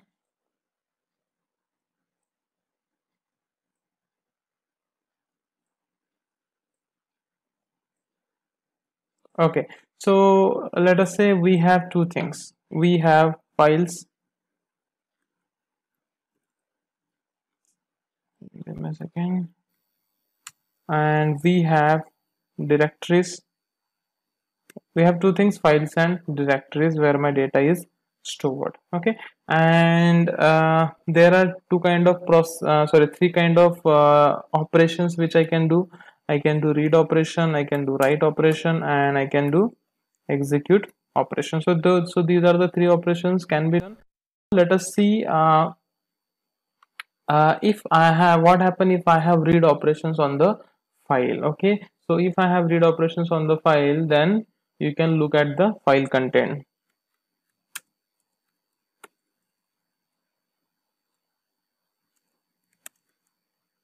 Because you have the read access. If you have a write access you can modify file content. And if you have execute uh, permissions for that particular file okay then you can uh, run the program. So why I then took uh, uh, processes over here? Because in Unix processes will get triggered via files itself. Like if I if I want to execute any shell script basically that shell script is my file only. When I execute that shell script from that particular file it will get uh, converted into a process right? So if I have execute permission on specific file then I can then only I can run the program. If I have write then I can modify read. These are the basic things. Fine. Now let us talk about directories. If I have read access to the directories then uh, okay if I have read access then I can uh, to, to read the directories what basically we do we do the command ls right? So if I go to my particular directory and let us say if I have read access to this particular directory then I can do ls. I can get the list of commands a list of uh, contents in the specific folder basically. That's what I can just read the folder contents. That's what my read access is okay? And if I have write access to the directory that means I can create new files rename existing files and delete the files right? So I can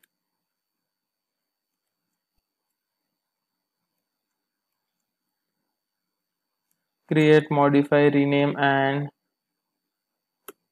delete files basically right? Because uh, those files belongs to the folders and I have uh, directory is nothing but your folder only. So if I have right access to the directory I can perform all these operations right? And what else? If I have execute permission then I can do basically uh, cd on that particular directory right? So see let us say if I have uh, okay let me go to uh, my WinSCP now okay. So in WinSCP if I go to the root folder okay and in root my particular my particular home is present in this home location and Prakash. Okay. So uh, what I'm going what I'm doing is I'm going in two folders detail. Like first I'm going into home and then I'm going to Prakash. So if I do not have the execute permission on this particular home then I will not be able to open this home folder okay so let us say for this RSA key or AEC underscore Prakash I think I okay I do have access because I might have logged in via root. Fine. But if you do not have the write access or eh, sorry execute access then you will not be able to see the uh, content right? Or mm, sorry not able to see the content but not able to move to that particular directory. That's what I said. You will not be able to cd you will not be able to change the directory right? So basically uh, there are three kinds of uh, permissions basically read write and execute which we will be talking now. So and in order to change the permission there is some command called as chmod which is change mode. Okay and one more thing is uh, okay now let me go to my uh, Unix. Now if I do ls, I get the list of uh, files. Fine.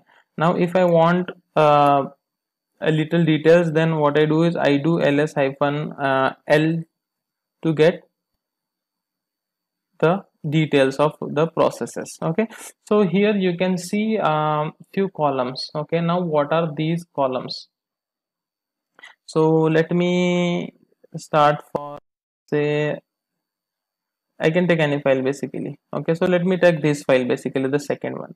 Okay so you can see these details. Okay so these are number of columns. So this is the very first uh, character basically the very first position um, denotes or defines whether what is your basically a file type whether it is a folder or it is a file or a folder is nothing but your directory so if you see anything starting with d over here that means it is a directory it is a folder. And if you see hyphen over here that means it is your file.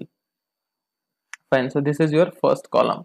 Now in second column you see something like r w x r hyphen hyphen something like that okay? So i'll talk about this in a moment. Fine. Uh, then next we have uh, the third column which represent uh, uh, memory blocks basically yeah it represents a memory blocks how many memory blocks are uh, utilized by this specific uh, files or folder whatever it is. Then this is my user this is my user group and uh, this is basically the size of particular file in byte okay? So if you see in directory they have the default size 4096 these two are the directory it is the default size. But if you see the files they have the size in bytes based on the content what they have in it okay? And then you have some data and all and we have the your actual file or directory name. Fine. Now let us talk about these things okay? So let me just copy and let me paste it in notepad somewhere. Fine. So i just copied this. So as i said there was one first character uh, which was indicating what is your file type. Now the second. Uh, you can see there are total three uh, total 9 bytes okay? So 3 bytes and then you have another 3 bytes and then you have another 3 bytes okay? So this first 3 bytes first 3 bytes corresponds to user second 3 bytes corresponds to uh, user group okay. And the third 3 bytes corresponds to anyone else. Anyone else apart from user and user group. Fine. Now what they mean? So r is stands for read permission w stands for write permission hyphen means they do not have any permission. Right? So what this mean is uh, if I talk about this specific file okay so to this specific file uh, the first three bytes are for user. So for this specific file the user have read and write access and the third one is for execute. So the user has read write access but no execute access. And the second one i said user group. So next three is r hyphen hyphen r hyphen hyphen. What this means is the user group anyone from the user group has only read access. No write and execute access and last three bytes states that anyone uh, other than your user and user group have only read access no write and execute access Similarly, if you talk about the directory, in directory, if you are a user, then you have all three accesses read, write and X means execute, fine. If you are a user group, if you are a part of user group, then you have read and execute access and anyone else also have read and execute access. Now this execute is nothing but simply you are able to browse or navigate to that particular folder because in the in terms of directory access nothing but you are able to uh, navigate to that particular directory. So i hope you are clear now. The first three bytes are for user. It states permission basically. Second, uh, next three bytes are for user group and next three bytes are for anyone else. Now okay as i said three things owner group and other. Okay now let us take an example. Okay so let us take an example of this file f1.txt okay now what i want to do is i want to change the file permission for this file f1 okay and as i said we have command called as chmod which is change mode. And to to change the the syntax basically for this chmod is for owner there is some number for group there is some number and for other there is some number basically followed by for which file or directory you want to change the permission. Okay so fine. So, uh,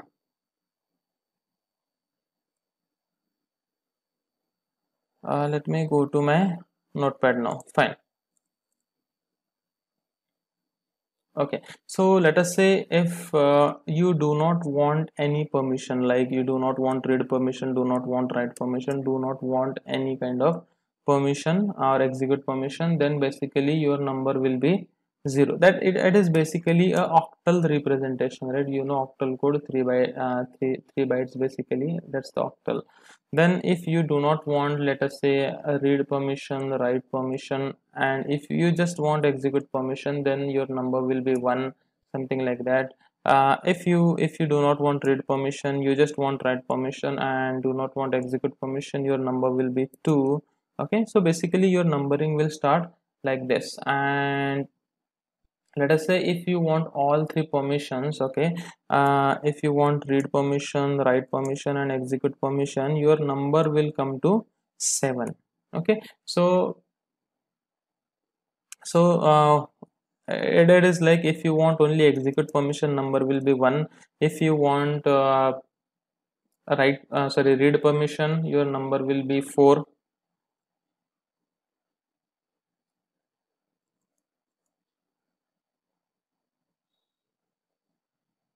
and for write permission your number will be 2 so based on this for execute number is 1 for write number is 2 and for uh, sorry uh, yeah for read number is 4 and for write number is 2 okay so now uh, what I wrote over here like uh, yeah that's what I uh, uh, wrote over here. Like your number is uh, calculated like for read there is 4 multiplied by 4 write corresponds to 2 execute corresponds to 1 now i'll i'll little bit simplify this. Let us say let us say my this particular file okay uh, i have some file f1.txt okay and my this f1.txt file wants all three permissions read write and execute okay. So what what number i have for read? For read i have number 4 number I have? 2 for execute what number I have? 1 that is 4 plus 2 6 plus 1 7 so for for rwx I need to give 7 okay? And we have three things. We have something for user something for user group something for anyone else right? So let us say for user I want to give all three permissions so I will give 7 okay? And let us say for user group I just want to give the right access. So for here I'll give only 2 and let us say anyone else I do not want to give any access so I'll give 0 so basically my number is turned into 7 to 0 okay? So how this chmod commands works basically it is chmod followed by your number. Now what is my number? My number is 720 what this 720 defines? 720 defines okay for this specific file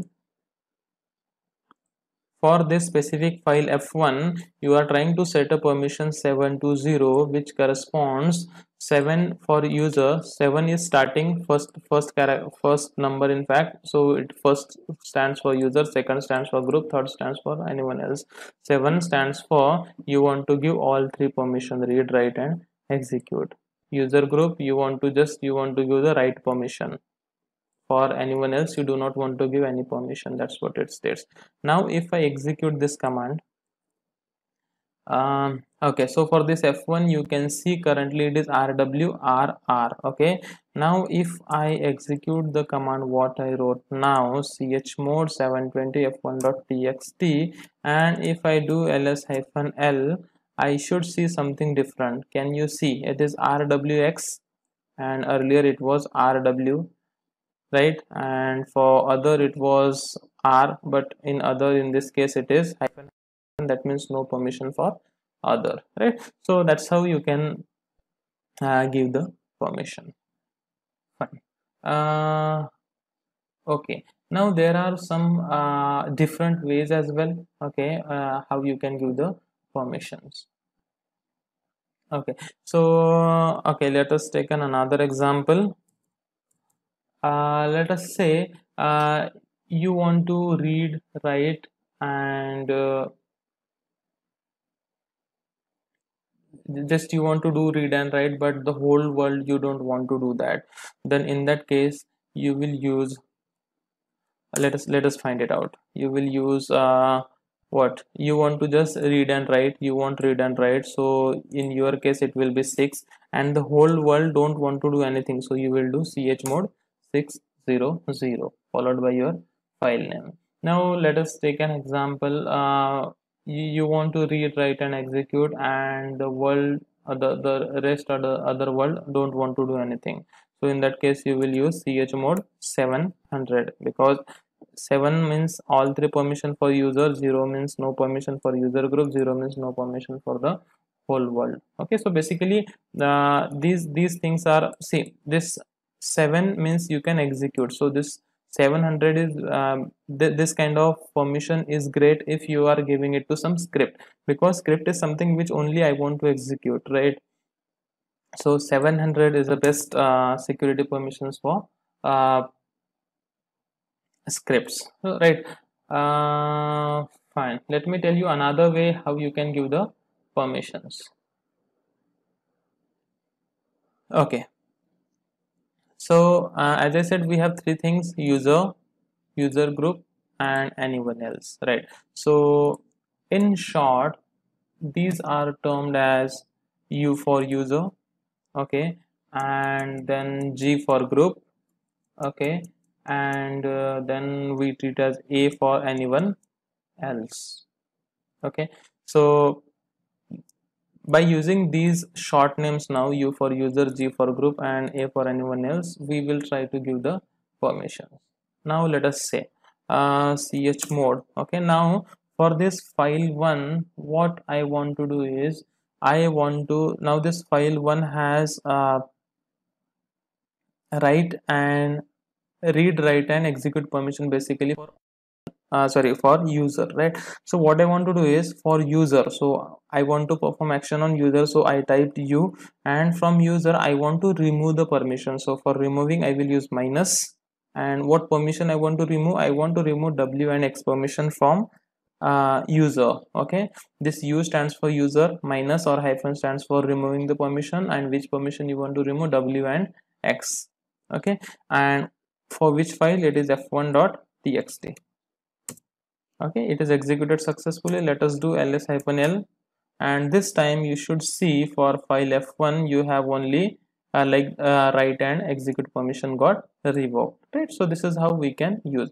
Let us take an another example. Uh, this time let us say you want to uh, add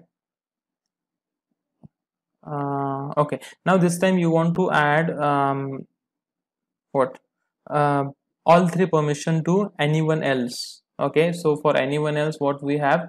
We have a. Okay so for anyone else let us say you want to add all three read write and execute. Okay so a plus read write execute for f1 dot txt okay if i hit enter and if i do ls hyphen ltr or l whatever then for file f1 you should see uh, anyone has all three permission rwx right? So i did it only for uh, like anyone a okay? So that means anyone anyone else. Or if you just want to do it for other okay? So so there are two two different thing o and a. So this O means only last three bytes and A means anyone okay so this is the difference. So let us say now from this file f1 uh, you have all three permissions for everything. So let us say now uh, you want to remove some permission from other. That is the last three bytes you want to remove r w x all the accesses you want to remove from other. So from f1.txt i'm done. And if i do ls hyphen l and uh, for f1 i should see all three accesses got removed from other so basically this is how you can uh, you, uh, you can use these short terms to give the permission. So you, you can do it in both ways. You can give it by numbers or you can give it with this short abbreviations by using plus and minus. Again you can combine the two things like uh, if you want to let us say chmod if you want uh, for group if you want let us say in uh, to, to the group if you want to give read and uh, execute access. And for other uh, you want to only execute access. So if you want to do uh, many things for the same file then you can separate it, separate them by comma. You can execute and you should see the things should get reflected as they want. Okay? So this is basically how you can manage the uh, unix file permission. Okay? So that's what uh, this is what all we saw. So let us take an example. If we have chmod 754 so this 7 stands for user 5 stands for group and 4 stands for others. Okay so this 7 means all three permission read write execute 4 plus 2 plus 1 5 means uh, 4 plus 1 that means read plus execute. So read plus execute for uh, group. And this 4 means only read permission only read permission for others right? So this is how the unix file permission get handled in basically unix yeah okay so that's it. Uh, i have uh, in this unix file permission video where we mostly talked about this chmod command and why file security is important and how this file security is handled with the help of uh, this file permissions. Okay thank you. Hello welcome back. Welcome to the course of unix for testers uh, unix manual concepts and how we can automate all those unix processes which we used in our day-to-day -day, uh, task as a part of testing uh, which can be integrated with uh, any test automation framework. Let us say selenium in this case because mostly i'm using java in this case. Fine. So let us talk about unix processes okay?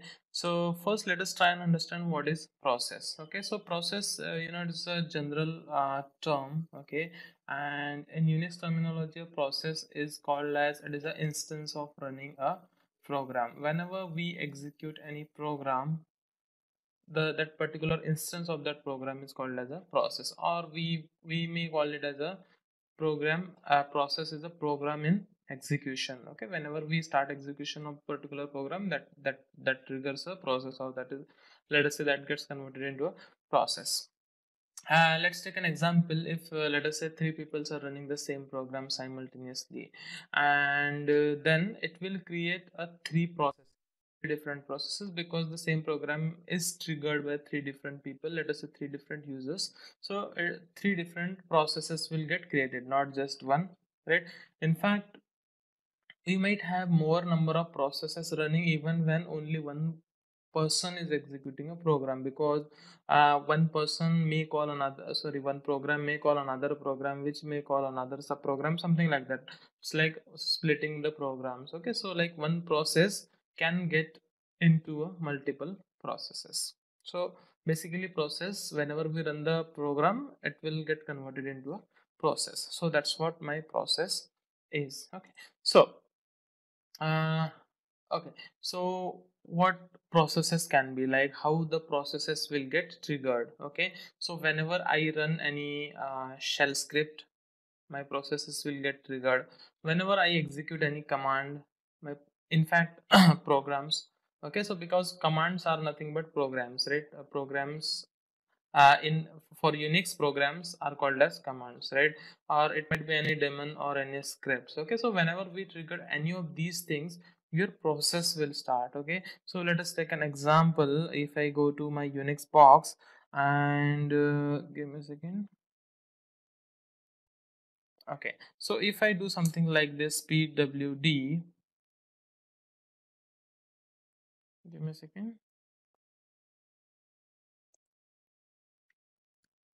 Okay so if i do kind of pwd that is my print working directory it is giving me some output okay? So i'm i'm hitting one command. So internally what is happening is this command is nothing but a program for unix. So uh, this command will trigger a program. That program will trigger a process right? So ultimately my command will trigger a process. So likewise whenever i execute any shell script it will trigger a process okay? So that's what. Your process can be triggered with shell scripts or commands. Uh, okay so uh, next is what is the parent of all processes? Okay so uh, basically when we boot up my unix machine okay, so what happens is um, it initialize all the things like what hardwares i'm using what softwares i'm using uh, like it initializes all the things right? And all so for initializing all those things we need a script okay? So basically there is one uh, process called as init okay? So if i go to my let us say WinSCP this time I'll go to WinSCP I'm browsing the same um, Unix server basically uh, so if I go to my root folder and if I go to etc and in etc folder if I go to apt so here I find some scripts okay? Some uh, scripts. So basically all these scripts get triggered uh, automatically whenever uh, my Unix system boots up okay? And basically that's the function of init process okay? Init init process initialization process okay uh fine. And uh, so basically init is the parent mm, process for all. It is a parent for parent of all processes init process. And there is something another something similar another process which is again um, mostly used uh, during boot up time itself which is getty command getty okay? Which takes care of your logins of different uh, users or different sessions. It takes care of all those things. So basically init is your uh, what can say parent of all the processes. Fine. Uh, what next? Okay so okay before i move to the types of processes uh, let us understand little more about commands. Okay so whenever any command is issued to a linux or any unix os basically it creates a it creates or starts a new process. For example as I, as I have shown you whenever we issued a command pwd um, it creates uh, a process for you okay? And whenever the process is or a process is started each process in unix or linux have a five digit id called as process id or pid okay? And that five digit id will be unique in your uh, Unix operating system. Okay, and it ranges around uh, 1 to 30,000 or 0 to 30,000 in fact. Okay, uh, okay, and uh, since it is a unique, as I said, it is a unique process ID, it will not be uh, same for multiple processes. Each process will be having the unique uh, process id okay so if i go to okay I'll, I'll, talk about commands later on little bit okay? But uh, to get the list of processes we have a command called ps and here you see something called as pid which is my process id so you can see i have two processes running over here. It has and two processes have different process IDs. So basically these are your process IDs okay? And it ranges from 0 to 30,000 okay? And it is unique for all the processes. Now, let us start talking about your types of processes. So, as I have mentioned here, we have two types of processes, foreground process and a background process. So, from the name itself, we can understand foreground process. Every process, when it is started, uh, run it by default it starts it's running in foreground okay? So it's like whenever i hit any command like as i done over here pwd my command is starting in foreground. That is i can in fact it is a user interactive like i can enter the out uh, input or i can see the output. So basically it is foreground which i can see okay? So the basic disadvantage of foreground process is when a command or a process is running in foreground and it is taking a lot of time no other processes can be run or started because the prompt would not be available until the program finishes processing and comes out right? Because see this i typed pwd it has given me instant result. But there might be some program when i start those particular program it might take some minutes to execute some hours to execute okay? And while those programs are executing i may not be able to uh, do any other things. Okay let us take an example okay? In my this particular directory i have some shell script okay? Yeah i have this shell script and i'll tell you later on in detail like how we can execute shell script and all that we need not to worry. Just i'm running it over here with command uh, sh dot sh script dot sh. I'll demonstrate about uh, creating script, executing script in our later videos. That's perfectly fine. So as I said when process will get triggered whenever we fire any command any program or any script my process will get triggered okay? So before I run the shell script you can see we have only two processes. That's fine. Now I'm going to trigger this particular process. Fine.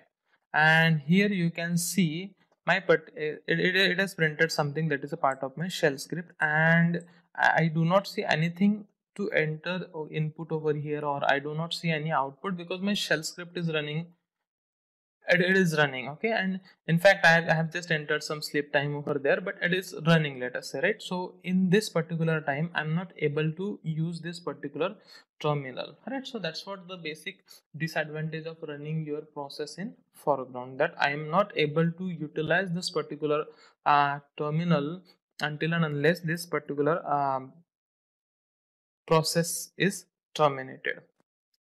That is your foreground process. Fine. Now i am going to terminate this process with control c. I have terminated my process and if i check the list of processes again i have two processes because this particular process is turned off. Fine.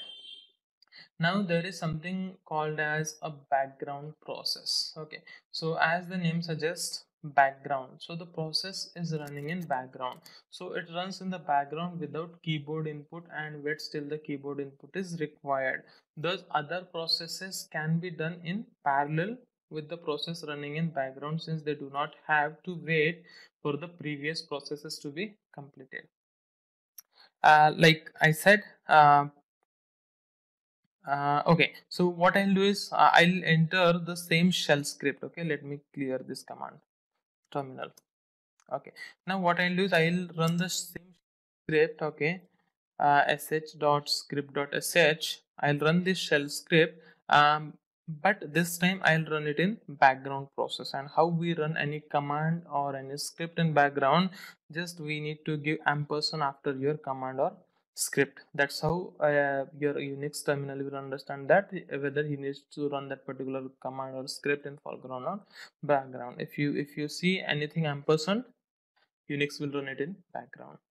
I'll hit enter and you can see it gives you the process id 24399 so my process is running now. Give me a second what has happened? We give ampersand fine my process is running. Great. Now if i check for ps that is processes you can see like earlier there were only two processes bash and ps right? But this time i see these two processes got added and these two processes are running okay? Even though these processes are running i'm able to run my further processes right? Because because this particular uh, script i have triggered is in backend right? Background. It is running it in background. So you can see the processes are still running. Okay? So this is basically um, the difference in between foreground process and background process. Okay. So what else? Okay. So what next we have? Okay. So moving the process from background to foreground and vice versa. So we have two commands like bg for background on fg for foreground. So we can use this command to switch your background command to foreground uh, and foreground to background. Basically uh, i was talking about processes okay? So you need to give bg followed by process id which you can see over here. This is my process ids pids uh, it will uh, convert your uh, process from one one uh, bg to fg or fg to bg whatever you want to do okay? So we can do that uh, okay, what next I have? Okay, some important commands related to processes. Okay, so I have shown you how we can use PS to see the processes status. So I have shown you we can use PS to get the processes status. So you can see here I have four different processes running. Fine. uh, okay and if you want little more detail you can use ps hyphen f okay? So you can get little more details like uid what is the user? So prakash is my user. Pid what is your process id so these are the process ids for different processes. Then you can see something called as ppid which is parent process id okay? So parent process id and here cpu utilization start time terminal type come uh, time and command okay? So here you can notice something. This is my pid process id and this is my ppid that is parent process id now observe middle two things okay? These two things.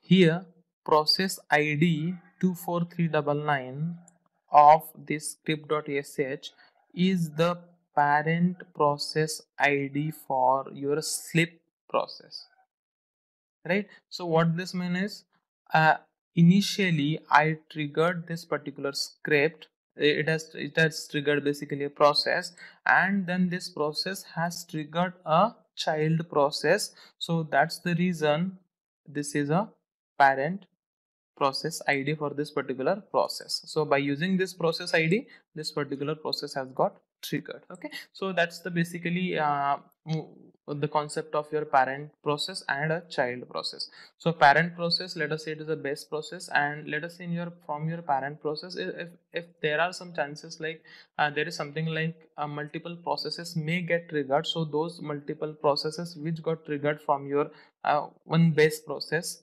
are called as your child process and your base process is your parent process. So you can see um, them uh, by using this particular IDs parent ID and process ID process ID and parent process ID okay and even if I show you the script okay the script is nothing. It is just one uh, one line. Give me a second. Let me show you that script what I'm doing. So in that particular script what I'm trying to do is I'm basically calling I am basically uh, so you can see here uh, this is my script.sh I have triggered this script.sh okay and from that script.sh it has triggered this slip process right? So this script.sh is my parent process whereas this slip dot uh, sorry slip and this uh, whatever time duration is my child processes okay? So uh, this is what your parent processes and child processes are okay. Uh, now uh, what else we have? So there, there are a couple of more options be used with uh, option ps uh, process status. Like we saw ps to get the list of detail list of your processes then we can use ps hyphen f to get them in detail. Then we have something called as ps hyphen e to get all the processes list of all the processes which in fact i have not triggered my os has triggered and uh, we have if if let us say if you want to get the processes which are triggered by your uh, your user so I, I have typed ps hyphen u and my uid which is prakash. So it will give me the list of all the processes which are triggered by my id uh, where it is? Yeah so from here. So from here these are the processes which are triggered by my uh, uid uh what else? okay and one more is there for hierarchical view okay? Uh, if you want to see the tree like structure so we have some command like ps hyphen uh, uppercase h. So if if if there are some uh, scripts or programs which are calling some sub programs or sub processes like in this case you can observe this middle two rows okay? So in this you can see one some tree like structure though it is very small the sh sh is triggering slip. That is the slip uh, process it triggered by sh. So this is a kind of tree like structure. If you have again a little sub processes you can find it in a tree format. So that's what basically this ph TS hyphen h is. It gives the tree like structure. So from here till now you must have clear this uh, uh, sorry 24399 process id that is command sh is my parent process id and the next one is my child process id uh okay. What else? Okay so this parent and child processes we already talked okay? And uh, okay and if you have any processes let us say sh uh, and this time i'll run the script in foreground. Okay so my script is sh and my script execution is started now so i'm not able to do anything. But for some reason if i want to terminate my process to stop my process then we have some interrupt character which is control c. So if i hit control c now my process will get stopped. Okay so that's how we can stop the process basically if it is running in foreground. But what if my process is running in background? I, even if i do control c over here my process is not getting stopped. See uh, if if i do ps my one of my process couple of my processes are running right? But since they are running in background even if i use control c i'm not able to stop them. I'm not able to terminate them. So to do that we have some command called as kill followed by process id so i'll give the process id as 243 triple double nine 24399 okay? So what this means is i want to kill this particular process id which is my sh script. Okay? I'll hit enter. And if i do ps hyphen f now you can see uh, that particular process is not still in my list. So now i have only one process in my list which was my child process. Now let us try and understand what has happened. Uh, the process which is this particular sh process um, initially I triggered this sh process and from this sh process this child process has got triggered. Okay. So in in the program flow you you, you must be understanding okay if my base program is calling some sub program a child program basically my base program is waiting for some response some signal from the child program right? Now in this case since my base program or base process itself is killed uh, where my child program or where my child process will send response to? My child process will not be able to send response to anyone because its parent has died right? So this kind of processes are called as orphan processes okay orphan processes. Uh, so okay and there is something called as zombie processes. So what are zombie processes? Uh, so let us take an example. Uh, I, have, I have i have already killed the process uh, but still that process is getting reflected in my uh, when, when i do uh, ps okay when, when i when i do this ps command if my process id is still showing but i have already killed it. Um, but it is not getting reflected. So such a kind of processes are called as zombie processes. Uh, they are dead and they are of no use but still my uh, processes can I, I, can see them in my processes. So that was pretty much about uh, the unix processes. So we talked about what is processes whenever we start execution of any process any program or any shell script. Basically it uh, turns into a process. So we have uh, two types of process. In fact parent of all processes is my init. Then we saw something called as getty which is responsible for uh, login mechanism. Then we have foreground process and background process. So when whenever we hit any command on your terminal by default it will start in foreground process. In background process we need to use ampersand. We can move the command move the processes basically from background to foreground and vice versa. Then we saw some different commands uh, in fact ps only with the various options. And we talked about what are the parent processes child processes and basically the zombie process and orphan process. So that's it about this unix processes. Stay tuned. Thank you hello welcome back. Welcome to the course of unix for tester. Uh, a very short video where i'm going to show you what all filter commands available in unix and what's what is the use of uh, filter commands basically okay? So this is what i'm going to talk various filter commands in unix okay? Now uh, if i go to wikipedia so as per the wikipedia the definition of filter is a filter is a program that get most of its data from standard input and write its main result to its standard output. Uh, yeah so let me elaborate what it is saying. Now uh, let us say uh, okay let me change the font size quickly. Sorry i could have done it earlier. Give me a second.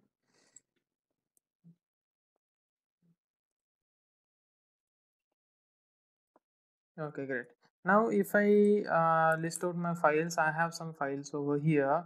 And if i let us say if i want to display data from one of the file let us say my file is cat new data. So it has a huge number of data right? But what i want to do is i want to filter some of the data out of this or i want to see only some amount of data as of now okay? So basically those things can be achieved with the help of what we call this as a filter okay so under filter we have a huge list of uh, commands um, in fact uh, filter programs okay? And we have many like awk cat itself is a filter program then we have cut then we have more or less head grep we already talked about this. Then we have sort as well we already talked we have tail we have wc we have uniq like likewise whatever we out of this we have talked about most of this uh, commands and those are called as your filter commands okay? Let us take very simple example okay? Now uh, you saw whenever i want to get the content from this file it has a big list right? Now i want to restrict the data uh, which i want to display onto my uh, screen right? So what i can do is i can use cat new data okay? And out of this what i want to do is i want to display uh, only the data which I can see on my screen, right? So for that purpose, I am using more as my filter, right? Now can you see? I am seeing only the data, right? The data is starting from here, starting from the following this much, right? The data is starting from this, right? So it has displayed the data which my screen can display, which is visible on my screen, and at the bottom it is showing the option as more, okay? And as soon as i hit enter it is scrolling me down line by line right? So it is restricting my data which i can display on my screen. Okay? Likewise let us take a another example uh, where i just want to do a word count. Okay? Or uh, another example what i can take uh, maybe want to display uh, tail okay? So it is uh, it is like you can display only if you if you just want to display only last uh, some number of lines on your screen. Let us see how it works okay?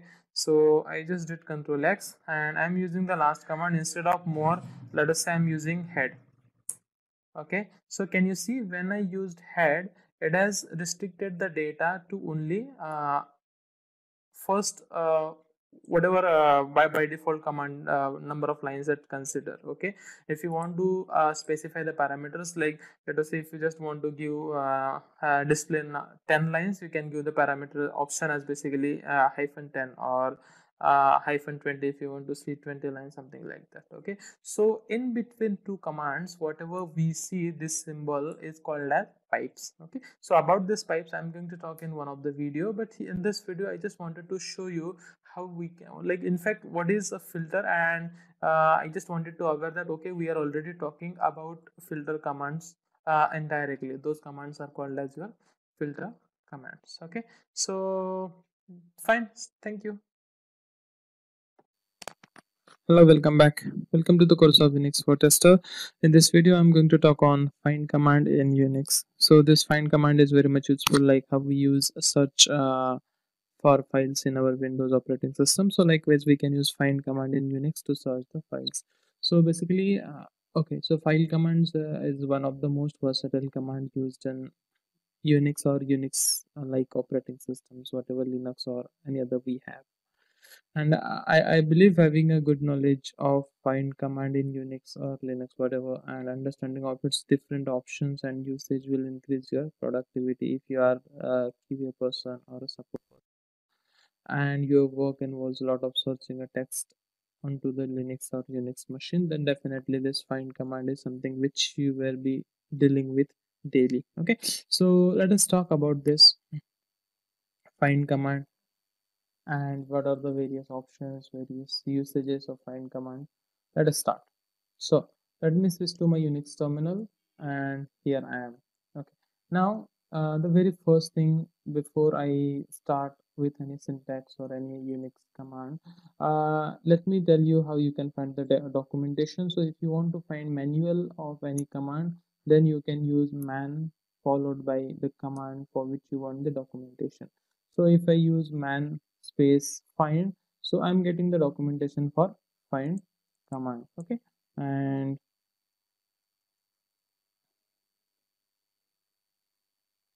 okay so here you can read all the documentation. So find is basically used to search the files in the directory of hierarchy okay? And you can just scroll down and you can see all the things like what are the various options are available and like you can read all the detailed documentation for this find command okay? So it's a huge document. I'm not going through that but i just wanted to show you okay if you want you can go through that right? So if you, you, you can just do man space your basic command which is fine and you will get that manual. Okay? So uh, fine. Now let us start with your find command. Now what is the syntax for your find command? So your command start with uh, find keyword find okay? And then it is followed by uh, your directory okay? In which directory uh, you want to search for or i can call it as a, a path name okay it, it is your directory or path name in which you want to search for uh, some file okay? And then next followed by some condition okay? Based on some condition you want to look for some file or it can be your matching criteria and actions okay? So this is the basic syntax how we can use a find command. Find keyword followed by the directory in which you want to look for the files and the conditions or the search criteria or the matching criteria okay? So your directory or path name if you want to find out it for uh, in the current directory then you can simply use find dot followed by again your conditions okay? Because this dot refers to current directory okay? So this is the basic syntax uh, we have okay? So as i said we can use dot command uh, dot to refer the current directory so what will happen if i just use find dot? Then it should list me uh, let us check what it does. Find dot. Basically it gives me a list of all the files all the directories and subdirectories which are uh, ref which are uh, referring my current directory. Okay so it is still searching for all the files in particular directory. I'm just doing quit okay let us finish uh, fine. So it is searched basically all the files and there are huge number of files because i have installed the software set. Great. So if i do find dot it will search for the current directory. Okay and now uh, let us say you are already doing find operation. You have typed one let us say big find command and if you don't want to repeat it yes by doing like upper arrow you can repeat it. Okay you can get that command but let us say if uh, after using this find let us say uh, I, we have executed some other commands like uh, ls or any other command whatever it is okay? Now if i doing uh, like up uh, pressing up up key then i'm not getting my last command okay? Or that, that could be uh, far far away. But what if you you want to execute your last find command okay? So if you want to execute last find command you can just use exclamatory and find so this will execute your last find command which you have executed okay? So if i use enter it is again executing the same same command which was find dot which was which is basically to list out all the files in my current directory okay? So it is happening okay? So let it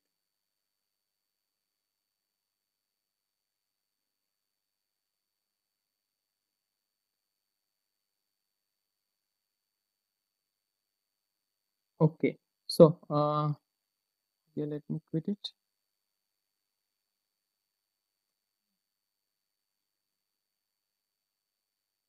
Okay fine. Now uh, okay now let us say uh, okay let me go to my current directory and i have uh, this many files over here. Let me go to my print working directory. Okay let me go to my directory in fact cd and uh, let me go to home. Slash prakash fine. And let me check out for the files I have whatever so these many files I have over here right?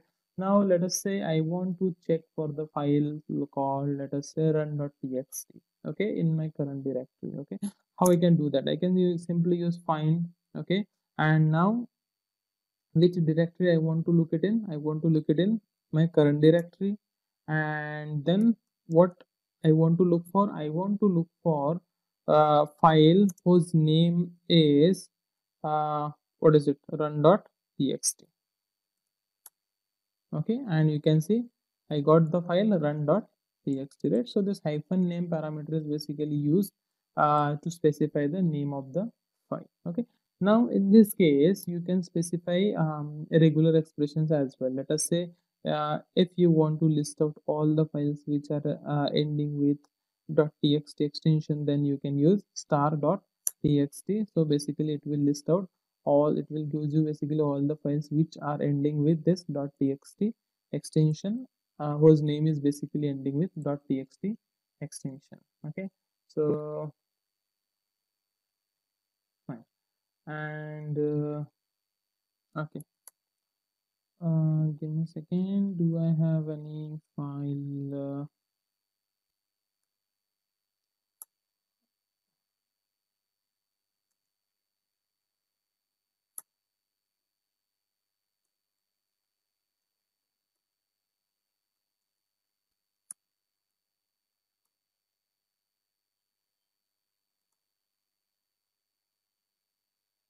uh, okay now uh, let me uh, go back and let me find out the file called as file3.csv okay? Uh, but the file is located in directory 3 okay? Uh, now what i'll do is i'll just try and look out uh, i'll try to look out for that file uh, into my current directory itself okay? So what i'll use find dot hyphen name and my file name is file3 dot csv. Okay. Now can you see it is giving me the path starting from my current directory? That is it is present in directory 3 file3.csv again i have file3.csv in my current directory. Again i have file3.csv in my directory 1 as well. Okay. Now let us try one more thing so let us say if i want to ignore uh, make it as a case insensitive then i can use hyphen i as an one of the parameter okay? So i can use like find dot okay hyphen i followed by my another parameter is name and file3 dot csv now in this time this in this case you can see file3 which is in uppercase as well got listed over here. So this i means case insensitive okay? So fine. So basically okay. And let us say if you want to look out for the files only in specific directories uh, let us say if you want to look out for the file3.csv only in directory 3 how you can do that? Uh, either you can change the directory either you can change the directory and then you can use dot to refer the current directory and do that. Or you can uh, give the directory here as well. Like instead of dot what i'll give is i'll give slash directory 3 followed by uh, hyphen name and what file I want? I want file3.csv uh, give me a second.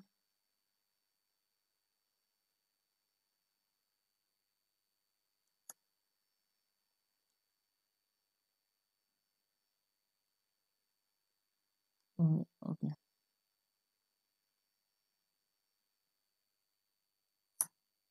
okay so can you see? I'm getting the file which is only located in directory 3 right? So this what I, what I wanted to show you is you can specify the file location here as well or else you can go to the uh, directory 3 and then you can give the dot so that it refers to the current directory okay? So that's how uh, okay and uh, okay and we have one more parameter called as hyphen not okay? So uh, from the name itself we can judge that okay hyphen not must be used to negate the things okay? So if i use something like find dot okay and let us say i want to find out the file you want to find out the file uh, whose name is not whose name is not uh, what I can say uh, run.txt let us say or uh, which is not my shell script let us say right? So my shell script must be ending with dot .sh extension. Uh,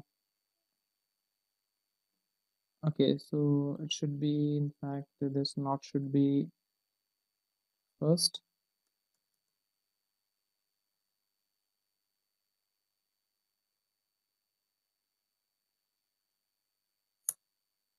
Okay so can you see it has listed all the files excluding the files which are having .sh uh, extension right? Those are my shell script okay?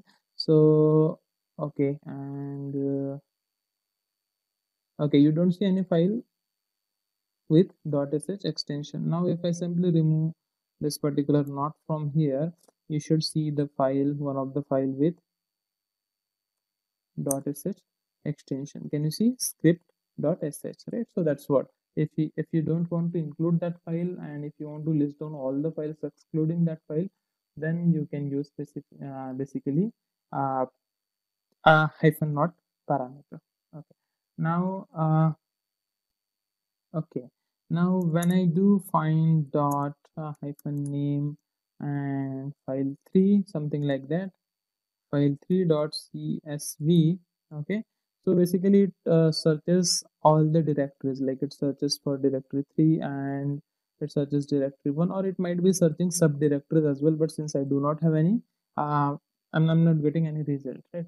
But if you want to restrict the result okay if you want to restrict the search result that is how many subdirectories it should look for how many uh, level it should go down to look out for your result you can give one of the parameter called as hyphen max depth hyphen max depth and you can specify its value. Let us say i want to look out for this file3.csv only uh, two two directories down from my current level so i can use something like max depth 2 right? So it can it will go like it might go from my current directory to it will go in first directory then it will go to second directory it will search only these two directories. But if you have any again subdirectories within those directories it will not go and search there because we have specified max depth is equal to 2 that is to restrict your search uh, okay. Uh, what else we have? Uh, okay so this find is basically very versatile command which we use most of the time uh, okay now let us take an example. You want to find the empty file in your directory. Okay so i how i can use? I can use find. Okay and let us say i want to use it in current directory so i'm using dot. If you want to look at it in some directory you can go ahead and like enter the directory. And you can simply enter the option as hyphen empty. Okay so basically all these are my empty files you can see over here this hello hello file is empty. This in directory 3 file 3.csv is empty. All three csv files are basically empty right? So if i use something like if i want to find out the empty files i can use something like uh, hyphen empty as one of the parameter argument basically okay? Find dot refers to my current directory. So whatever uh, empty file i have in my current directory uh, i'll get a list over here right? So that is something find hyphen empty okay. Now let us say if you want to find out the file based on its file type okay? So like we have some file types like we have some socket files or we have some directories or we have some hidden directories something like that okay? So to work with that we have one of the uh, parameter called as type or we can say one of the option called as type okay? So let us say uh, I want to find out I want to list basically all the directories which are present in my current directory okay? So how I can use find dot then I'll use option as hyphen type okay? And what is type? So type is the format directories let us say I want to find out all the directories. So basically it will use me the list of all the directories which are present in my current directories only directories okay? Uh, now let us say if you want to find out the hidden files then uh, basically hidden files start with uh, sorry hidden directories. Then hidden directories start basically with uh, dot extension right? So what you can use you can use something like find um, dot in your current directory let us say and host type. What type you want to search it for. I want to search it for directory okay? Now i'll pass my second parameter called as hyphen name and basically i search it with uh, okay so can you see? I have only one file which is starting with uh, space i mean uh, which is only with uh, dot ssh file. So this is basically dot files are your hidden files. So this is how you can find out your hidden files. Okay so i'm trying to find out the files in my current directory. So i'm i'm trying to find type d means directories and hyphen name. I'm just giving uh, i'm just looking out for the files which are starting with dot right? So this is how we can find out the hidden files okay? And uh, if i want to find out the regular files okay? So regular files are denoted with uh, f option. So i can use like find in my current directory if i want to look for. So i will give option as type hyphen type and f so that it will give me the list of my regular files okay? So basically we have uh, three to four types of file like we have uh, socket files. So if you want to look out for socket files you can use option s. If you want to list out the directories basically you can use hyphen uh, hyphen type and then option as d. Then if you want to look out for hidden directories hidden directories start with uh, dot uh, and then some extension. And if you want to find out for the regular files you can use hyphen type as f it will give you the list of uh, all your uh, regular files. Okay. So this was let me clear my console now. Okay. So this was pretty much okay. And what is uh, let us say if you want to find out the file uh, based on the file size.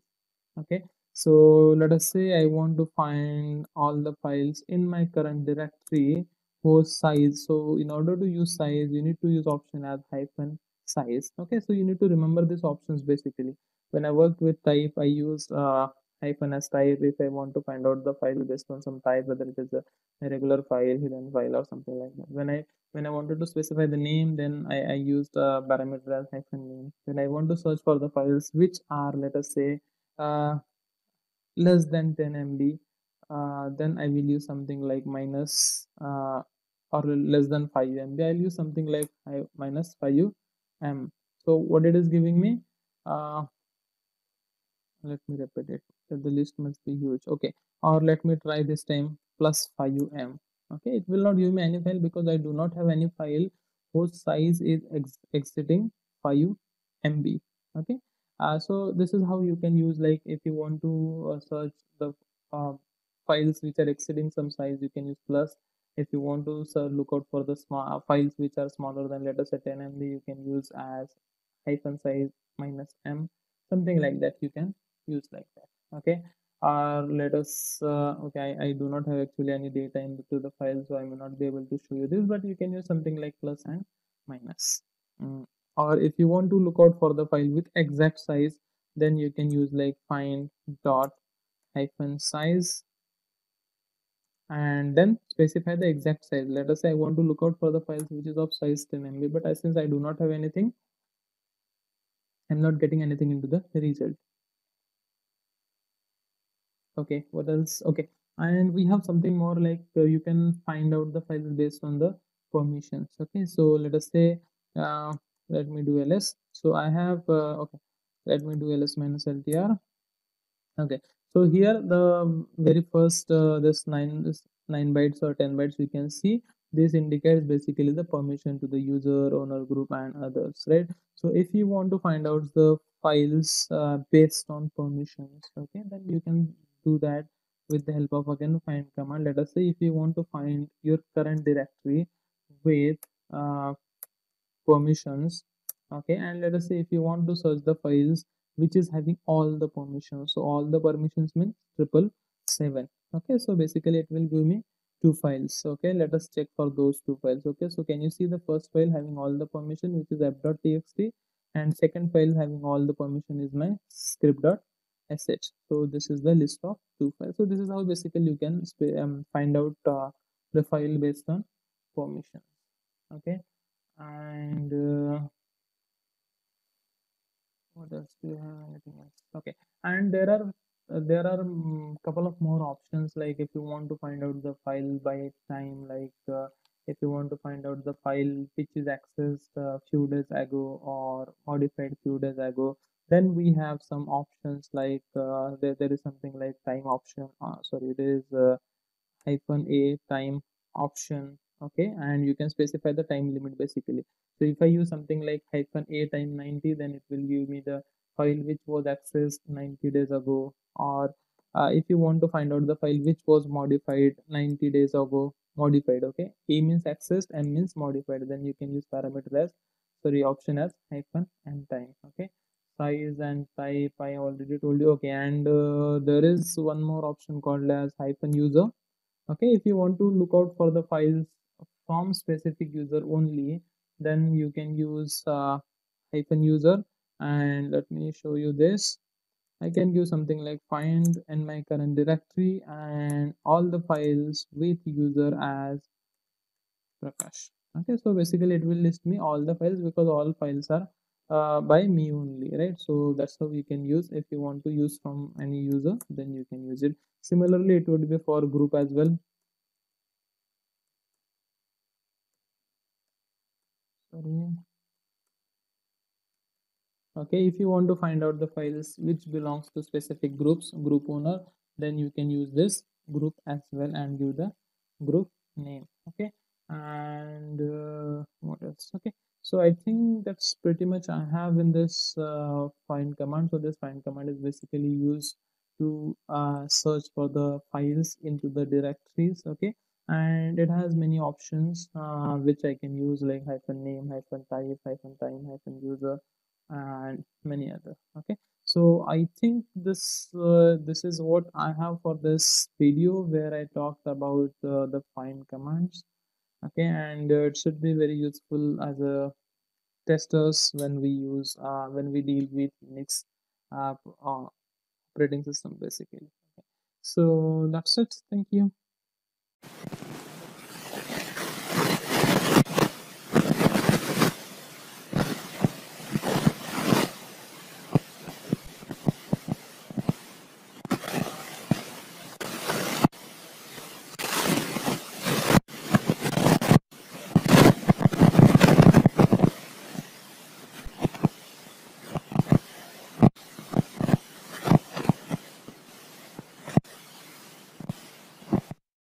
the data search within the files we have some grep command okay?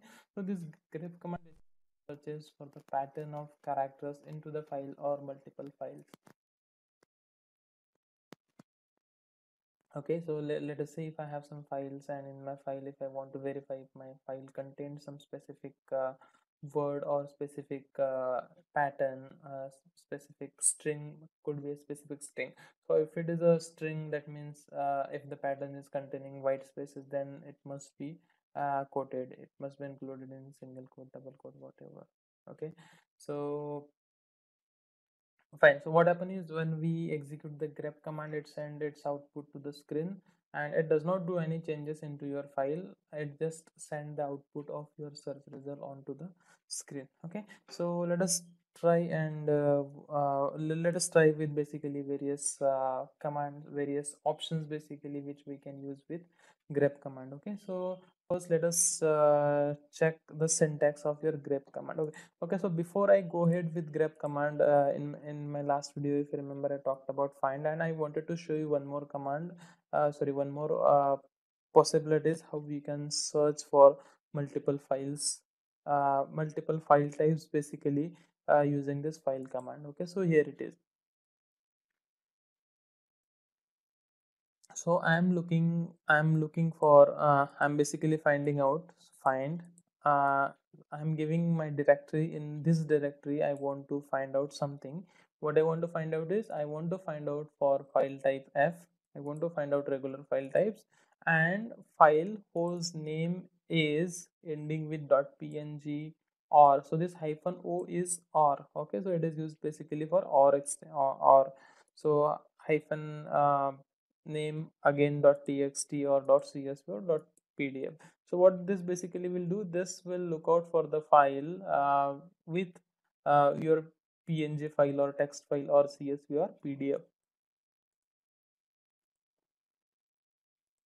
let me simply do copy paste and uh, let me execute this command and let us see if i get yes i'm getting all the files which are ending with the extension which i have mentioned over here like png or txt or csv or pdf so you can see here i have only csv and txt i do not have any pdf or png uh, but I have only text and CSV okay? In fact you can see I had some shell script file dot .ssh file and many other files. Those files are not listed because by using this command I'm getting only these four uh, I'm trying to get out only these four files right? So this is how you can use this file find command basically to work with multiple files to get multiple files. Let me clear the content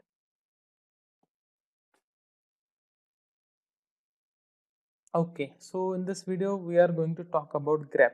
Okay so this grep uh, in this grep this re stands for basically a regular expressions okay so this with this grep is basically used for globally uh, searching your regular expression patterns into your files. Okay so what is syntax of for using this grep? So any uh, thing start with uh, the keyword. So it is starting with grep keyword okay so this grep as i said is to find out some text within the file okay? Now grep followed by what text you want to look for. Let us say i want to look for the word record. Okay you can like write like record and where you want to search for. I want to search for my search it in my file one dot txt okay? Pretty simple okay? So what will happen is this command grep will search for this particular text record uh, into this file 1.txt but let us see if you want to search something like record one is present something like that. Something like that. Then this should be enclosed in quotes right? Because it includes white spaces. Now what this command will do it will search for this specific uh, string into this file okay? Let us let us do and let us go and execute this in my file okay? So what an all file i have okay so let me check my one of the file. Okay so this specific file file to send to host has some content like file to send to host record one record two record three and couple of more lines. Okay so let us see how i can use grep uh, on this file. Okay now let us say i want to search for uh, this specific string called record one. Okay how i can search? I can type grep okay what i want to search for i want to search for record one okay? And where i want to search it in i want to search it in uh, okay i want to search it in my file okay? What is my file name? My file name is file to send to host okay? That's it. Can you see it is giving me the matching record my matching record is record one okay? Or let us say if you want to find out uh, in fact you can use uh, uh, what I can say asterisk over here. Like uh, how we use it in the regular expression. Let us say if you want to look out for any record starting or it could be record 1 to record n like that. Right? So getting two things record 1 and record 2 okay? Yeah you can see i have record 3 here as well. I have record should be something like that. But here it is starting with uppercase r so that's why uh, it is not giving that particular search because it is case uh, sensitive right? Unix is quite case sensitive so it is not giving you the result. Now if you want to ignore the uh, case sensitivity then you need to use option hyphen i to ignore the case sensitivity okay? So what i'll do is now i'll use the same command grep record star okay followed by a file name but after grep what i'll do is i'll use one option as hyphen i so that it will ignore the case sensitivity. Now can you see this time it is giving me all the um, matching records whether it is uppercase or lowercase so this hyphen i is basically used to uh, ignore the uh, case sensitivity. Okay? Uh, okay so uh, now uh, since this file is present in my current directory so i'm not giving the complete file path but if you are executing this particular command or uh, or let us say what i'll do is uh, i'll go back and let us say then i'll try with this command. Okay now it is uh, it is not working because uh, i need to specify the complete directory for this specific file. Okay? Let me do that. Okay? So i'll be going to home slash prakash slash and my directory name is file to send to host and can you see it is working now? So that means you can specify the complete file name as well complete file path in short okay? You should specify the complete file path as well if your file is not present in your current directory okay? So this hyphen i option is basically to ignore the case sensitivity. Now let us check another option which is uh, hyphen n okay? We have one other option called as hyphen n is basically to print the line number okay? Let me uh, use the same command. Now instead of i what i'll use is i'll use hyphen n. Let us check what happens. Oh. okay. Can you see it is giving me the uh, line number okay in this particular file on line number 2 you have record 1 line number 3 you have record 2 line number 6 you have some string containing some line containing particular matching pattern which you are looking for okay? And uh, you should be able to combine two uh, okay you can combine two options as well like i option hyphen i option is to ignore the sensitivity and hyphen n option is to print the line number. Can you see? Both are working simultaneously. I'm getting the line numbers as well and uh, getting the matching record by ignoring the uh, case sensitivity both. So hyphen i is to ignore the case sensitivity hyphen n to print your line number. Now along with that we have couple of more options uh, like uh, we have one option called as hyphen v. So this hyphen v option is basically to search all characters or line which do not contain some word. Okay? So let us say uh, let us use the same line. Okay? And instead of this in now let me use hyphen v command. So what will happen is uh, it will print basically it will print uh, all the lines which do not contain this specific pattern okay record okay. Now can you see it is it, it does not print this and record to it is printing other lines which do not contain this pattern record star okay. So it is printing rest of the things okay. Again you can combine um, uh, two or more options.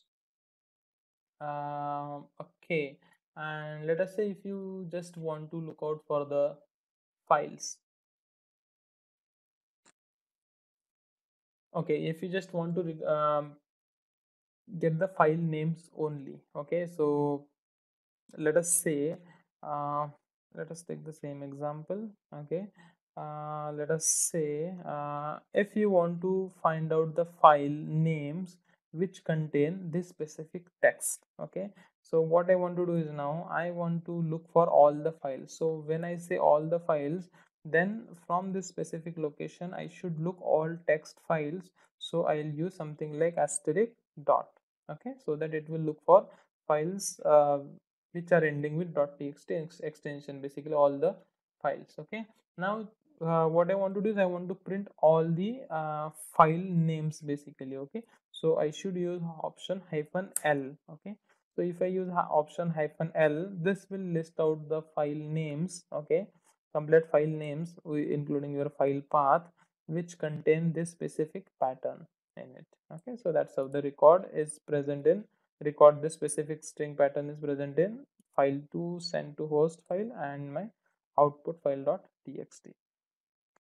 So this is how we can use hyphen l option to get the file names which contain specific pattern. Okay and there are a couple of more options like if you want to uh, what uh, okay if you want to use uh, count print the count like how many number of times specific uh, pattern has occurred okay let us try this uh, let us say if I want to uh, check how many number of times uh, this record pattern, this particular string pattern record star has appeared, uh, then I can get the list over here, right?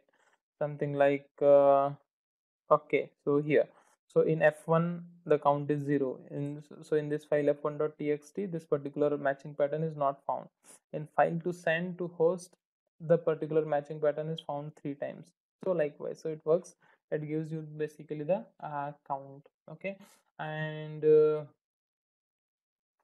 okay. And we have another option called as hyphen w which is basically used to print the search result only if the word is matching okay? So you can give a try with this option w. Uh, it gives the result basically if if specific word is matching.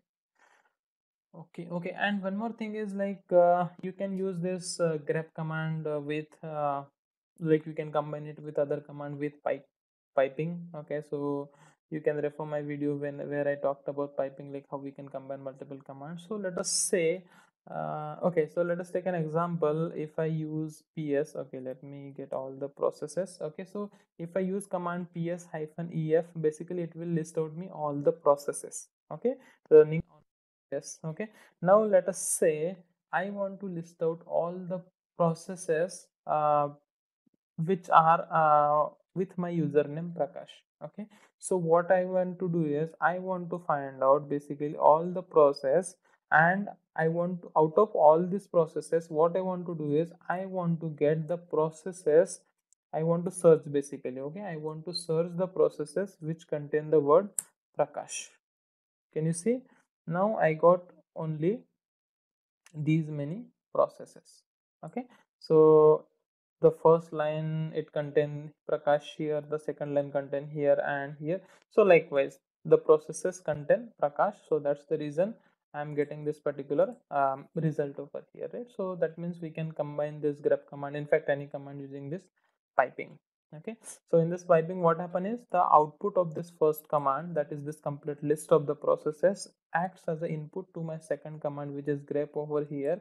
So this ps dot hyphen ef is giving me the complete list. Out of that complete list that complete list is going as input to the grep command then from that complete list this grep command is uh, sorting uh, basically extracting the records which contain prakash. Okay so that's how i'm getting that result. Okay so that means i can use the command with pipe. Uh okay what else? Okay so this is basically i have about grep command. So in grep we have multiple options like we have hyphen i option we have hyphen l option we have uh, hyphen v option we have hyphen c hyphen w okay? So these are the various options which we just demonstrated. And okay so the basic basic things basic purpose uh, in fact of this grep command is your re which is your regular expressions okay? And i have shown you already one of the regular expression which is by using asterisk okay? So if you remember i have given like something like record star. That means uh, any uh, word which is starting with record okay? So likewise so like how we use star. Okay so we use star. So the star means matches zero or more character okay? So its purpose is like it matches the line with zero or more spaces uh, then we have something uh, like uh, we have uh, what else i have? Okay i have something called as dollar okay? So this dollar is nothing but uh, it matches all the lines uh, which are ending with something okay? So let us say if i am if i am searching something like uh, record uh, okay so if i give uh, in my search uh, pattern something like record dollar. Then what will happen is it will search for all the lines and it will list out only the lines which ends with record. Okay? Because i am searching for the file the record which the the line which is ending with record. That's what this uh, dollar sign indicate. Okay? And uh, okay. And we have uh, what else we have? We have uh, dot okay we can use dot basically okay so this dot matches uh, one character basically. So let us say if I use something like uh, re dot dot rd okay so this basically it will find out all the words basically which starts with re and it it it can have any two characters in between that and it ends with rd something like that okay? So dot indicates uh, only uh, two uh, positions basically okay?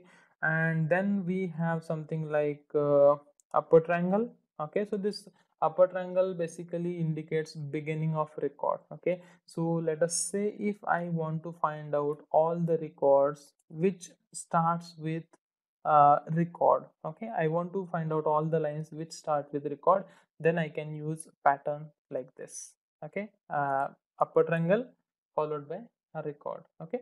So uh, there are many other things in the regular expression so you can browse for regular expression. So regular expression concept is common in all the technologies okay? So what i wanted to say is like if i use something like this instead of record one if i use something like this here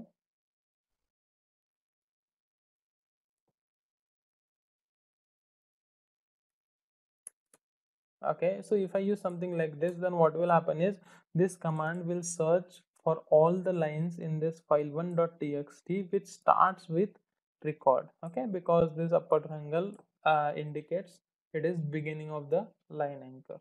Okay so that's what that basically uh, you can use any kind of regular expressions after this command so that it will give you the matching pattern um, in your result okay? So that's it i have uh, for this uh, okay. And there is one more thing called as egrep okay? So what is egrep? Egrep is your extended grep okay? So like how i used a grep command okay? There is another command called as egrep okay? So the egrep is basically extended grep. So the advantage so the basic advantage of using egrep is it has some regular additional um, uh, uh, as compared to our regular um, regular expressions it has some additional regular expression meta characters which might be helpful. Okay so if you want to find out the manual you can just go to man egrep you will get the complete manual. Okay so the so the basic uh, basic things are same like you will give the options and you will give the uh, pattern and you, you will give your file name. That's the basic syntax we have okay so that's it i have for this grep. So i have talked about grep command which is basically used to search um, in your file for a specific file pattern matching file pattern which you can use your any kind of regular expression to find out the matching pattern. Okay so that's it i have. Thank you hello welcome back. Welcome to the course of unix for testers manual unix concepts and how we can automate the unix concepts unix processes basically so that we can incorporate them into a test automation frameworks. Uh, in this video i'm going to talk about pipes in unix a very important concept. So let us start without further delay. So what is pipe? Okay so pipe is basically a method of inter-process communication okay? So inter-process communication is basically it enables the processes to communicate with each other to share the information. Let us say if i want to uh, give the input or sorry give the output of one process as an input to another process. So this is basically where my inter-process communication is going to help me okay? And in shell uh, a pipe symbol is used okay? So you can see a vertical bar that is called as a pipe symbol okay? And th that is what we are going to use as a pipe symbol okay? So what it means is uh, that the output of one program or one side of pipe so as the uh, input for the program on the another end okay? What this means is i'm going to uh, show you with example okay? So basically as i said pipe is a uh, is used to basically uh, to achieve inter-process communication to talk in between the processes. And pipe is a half duplex process uh, half duplex basically. Why? Because the data flows only in one direction. That is input uh, sorry output of one program goes as an input to another program. But it is not vice versa. Like output of my second program is not coming back to the first program. It is not happening. What is happening is output of first program is going to input as my second program okay? That's what i said is a half duplex okay? So pipe basically allows to chain together your commands in very elegant way passing output of one program to input of another program and to get our uh, desired end result okay? Basically in short we can call it as used to connect two or more command okay? So uh, let's take one very uh, simple example. Um, okay and what i'm saying is the set of piped command is also called as pipeline. And why it is basically useful? Because combining a simple os utilities one can easily solve more complex tasks. Okay very simple example i'm going to show you now. Okay so if i go to my unix box okay and if i do something like ls okay uh, in my present working directory if i do something like ls hyphen l or ls whatever i can see list of all the files and directories what i have here. Now if i wish to count uh, number of directories in my particular location okay if i want to count then uh, how i can do? I can either use like ls hyphen l uh, I'll, I'll get a list and then i can do one i'll count one by one one two three four five six seven eight nine ten up to 20 i can count it manually or the another way what i can do is i can do like uh, ls uh, hyphen l and then i can write the data in some text file. And then I can count the number of lines into that specific file. That's the another approach. But it's tedious. If I have number of like less number of uh, files in my directory that's fine. But if I have hundreds of files that is not going to serve me right? So uh, in that case you may write uh, let us say a C program by using read directory to and uh, for, for counting it in the loop.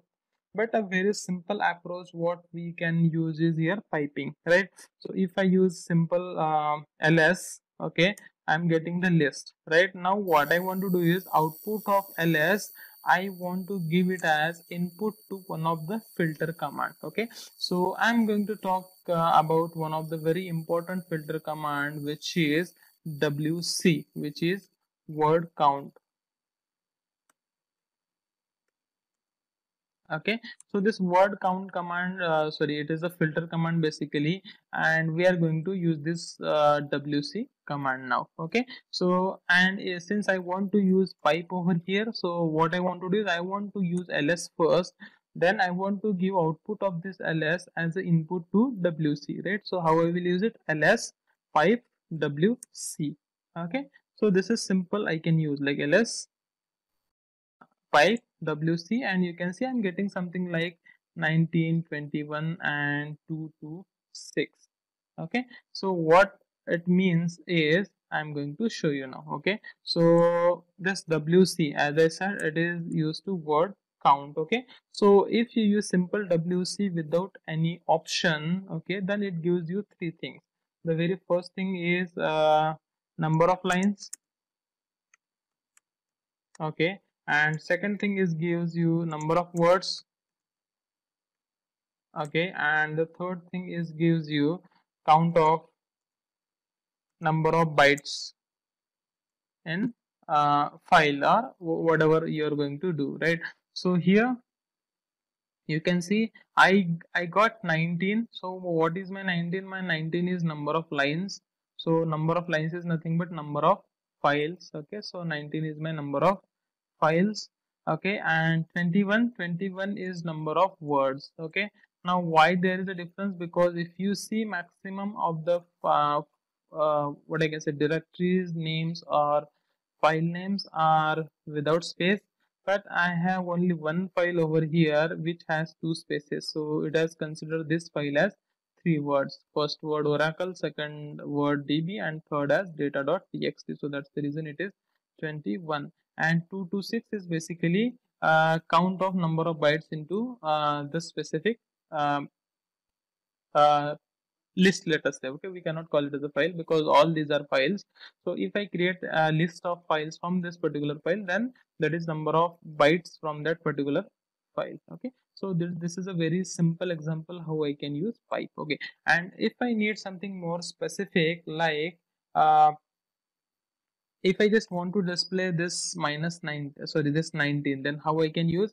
I can use something like ls uh, pipe okay I am passing the output of ls to wc and to wc I can pass number of arguments. Like if I use wc hyphen l going to display my 19 that is number of lines. Okay if I use another parameter uh, called as w okay it is going to display me number of words that is 21 and finally if i pass it as a c then it is going to provide me the count of number of bytes right? So this is basically uh, we can use this three different option hyphen l to get the number of lines hyphen w uh, number of words and hyphen c number of uh, count of basically number of bytes. Okay so this is a simple approach how you can count number of files into uh, your present directory let us say okay? And to achieve this i use this piping concept right? So i'm simply piping the output of my one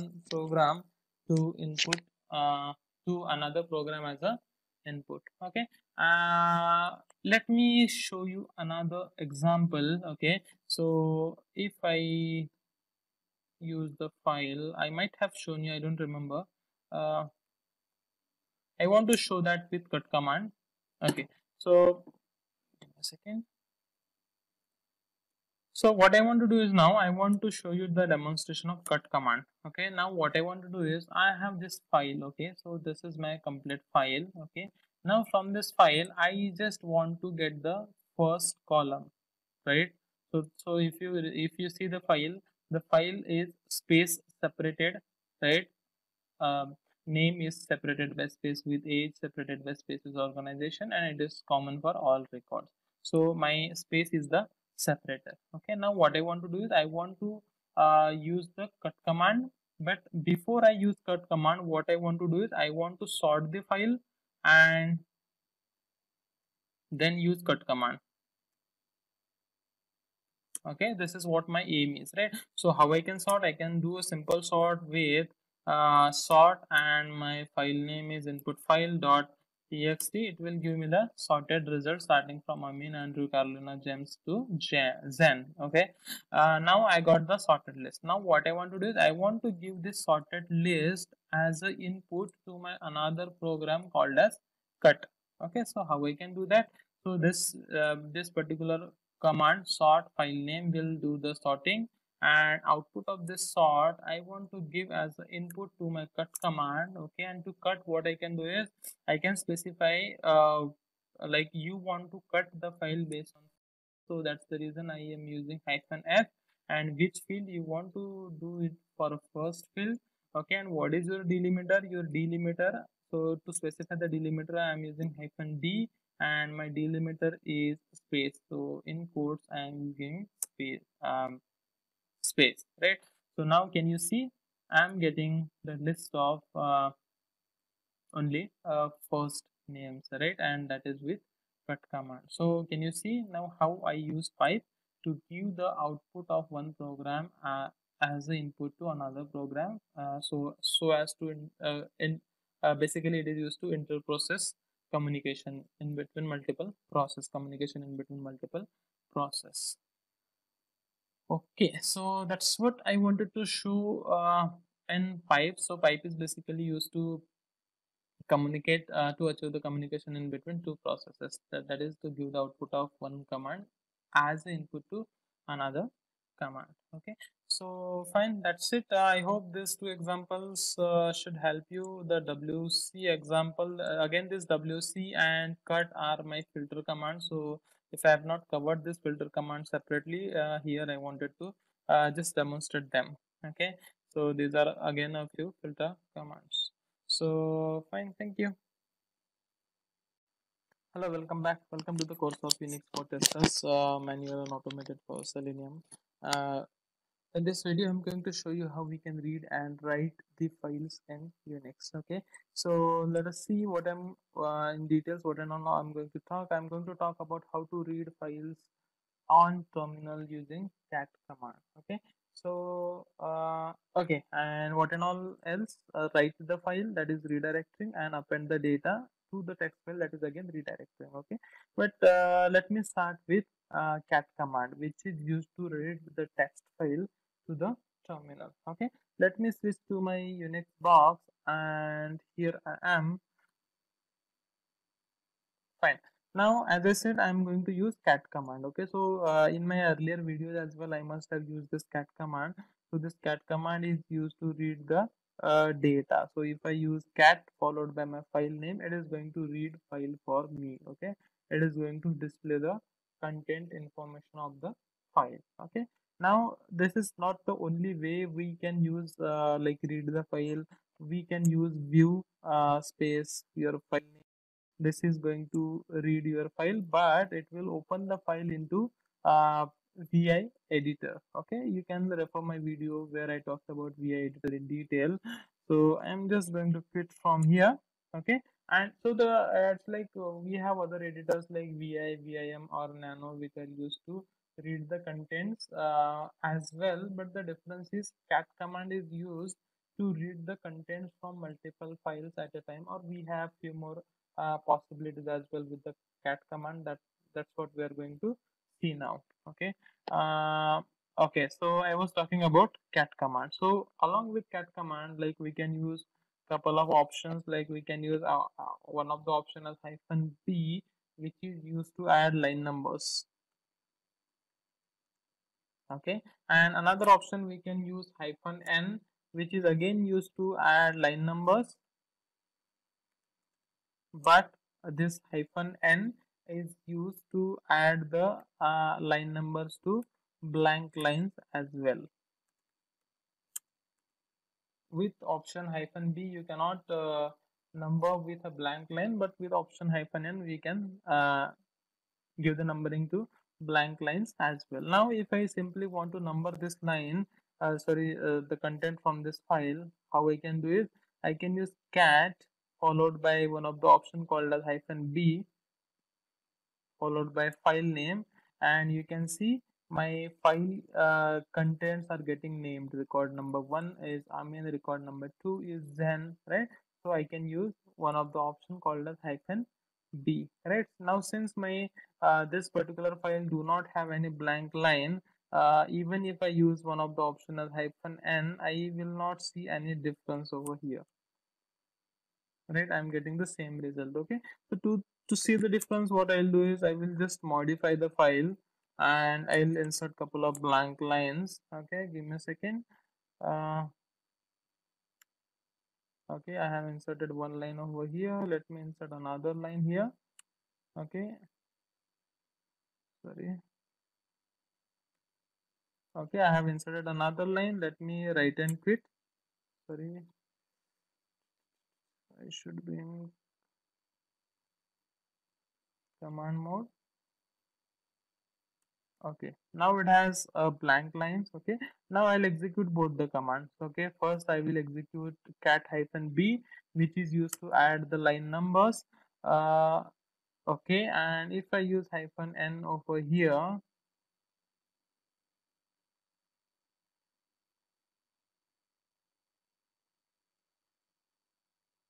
uh okay give me a second. Something is fishy here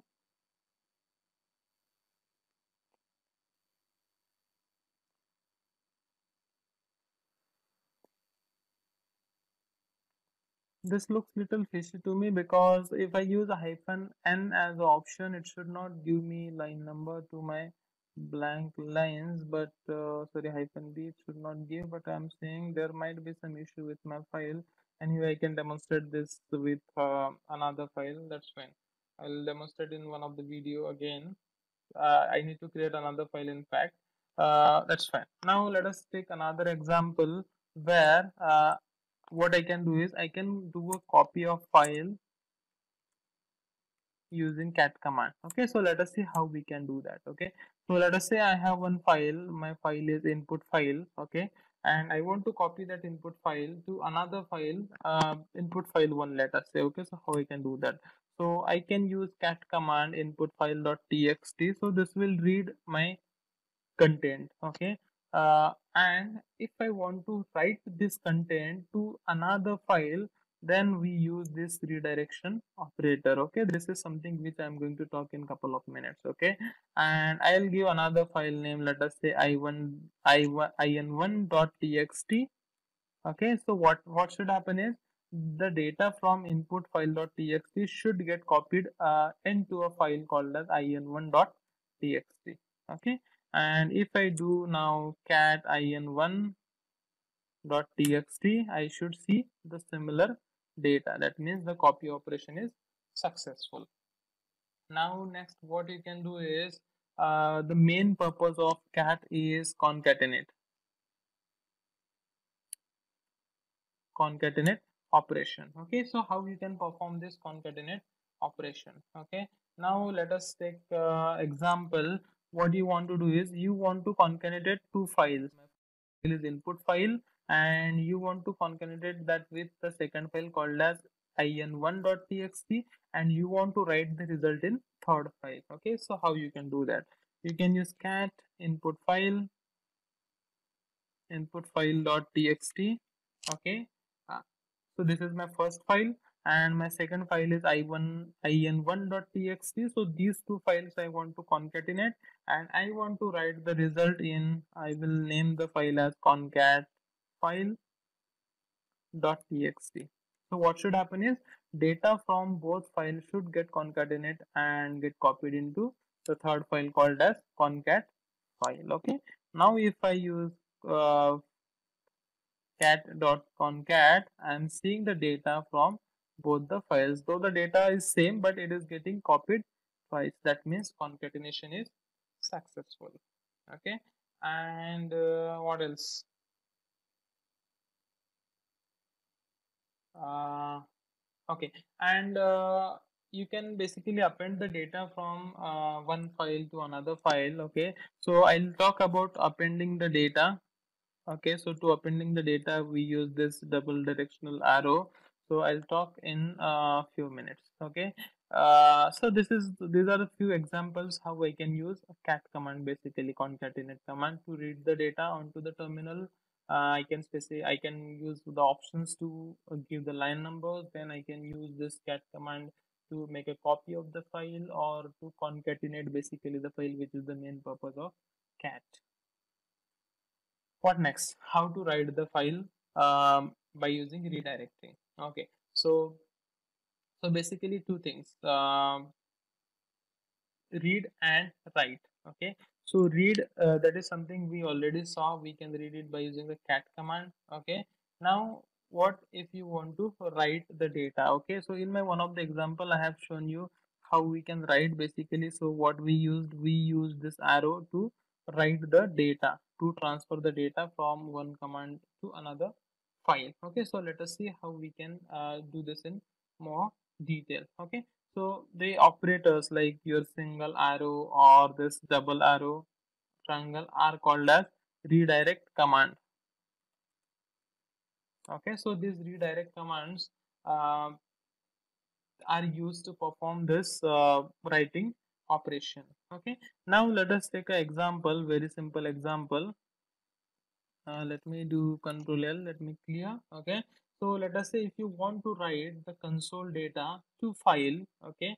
What uh, like how you can do okay? So let us say uh, my present working directory or let us say I want to uh, copy the data of my present working directory into another file or I want to copy the data from my um, ls into another directory or let us take an example pwd in this case so let us say I want to copy the data uh, result of pwd into a file called as let us say p1 dot txt okay? So what will happen is the outcome of this pwd it is and it will be home slash prakash will get copied into p1 dot if i see the content of p1 dot txt i should see the same thing home slash prakash. That means this particular operator is used to uh, write the data into my text file okay and uh, again uh, this will work with variables as well okay so uh, let us say uh, if you define your variable first let us say i define my variable uh, my URL as equal to www. Give me a second. Uh, there shouldn't be space. I'm just trying to declare a variable. Let us say automationtalks.com. I have created a variable. Now what I want to do is I want to write the value of this variable into a file. Okay. So how I can do that? How I can access the value of variable basically by using a dollar symbol. Okay. So my dollar symbol followed by my variable name is my URL and where I want to write it? I want to write it into a file uh, called as uh, uh, let me create uh, another file. Let me say it as url file. Dot txt right? Uh, command not found. Give me a second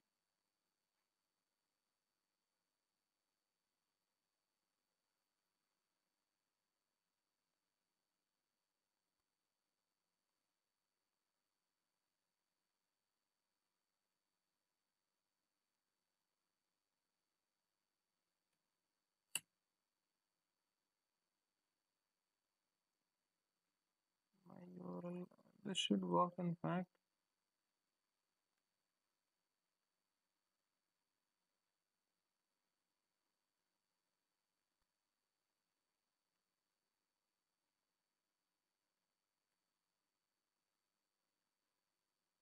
Okay it has created now. Let us do cat operation. Oh it is blank. Uh okay i use mu it should be my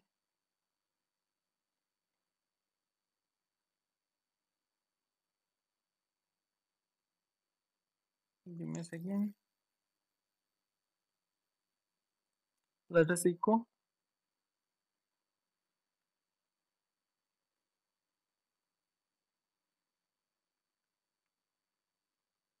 it is printing correctly let us do this again. Okay why it is not printing? Because I should echo in fact right? Because e uh, when I echo then only it will print it right? So I should use uh, something like this. Echo my URL and then I should navigate it to uh, URL file dot txt okay and now if I do cat on URL file dot txt sorry uh, url file dot txt now this should show me the variable which I did set that is automation talks dot com right? So we can use this redirect command basically to write the data from variables as well okay? Now what if you want to append the data right? Now what is difference in between writing the data and appending the data is uh, now let us say I have some data in my this URL file okay? And now if I try and uh, append the data of this ls-ltr to my URL file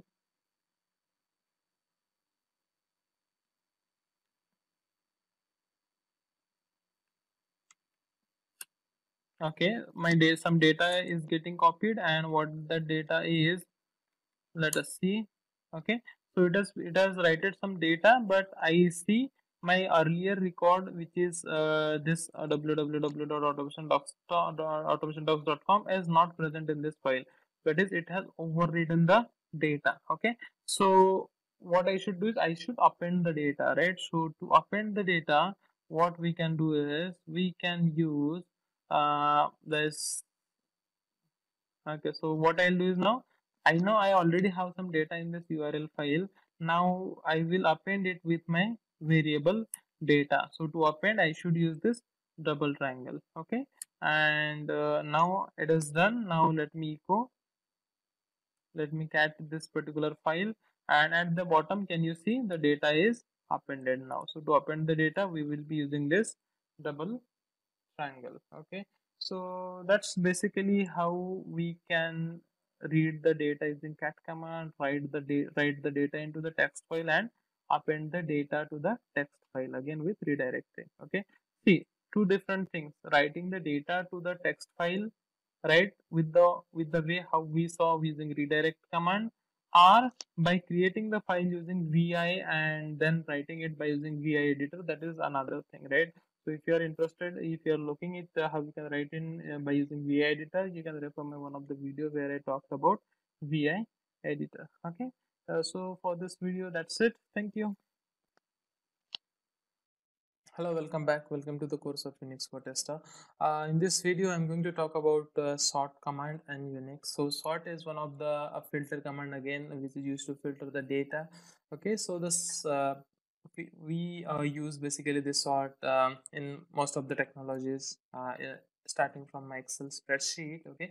So basically sort command here is used to sort the file that is to arrange the records in particular order. Could be uh, ascending order or descending order. Could be alphabetical order starting from a to z or numerical uh, sort as well okay?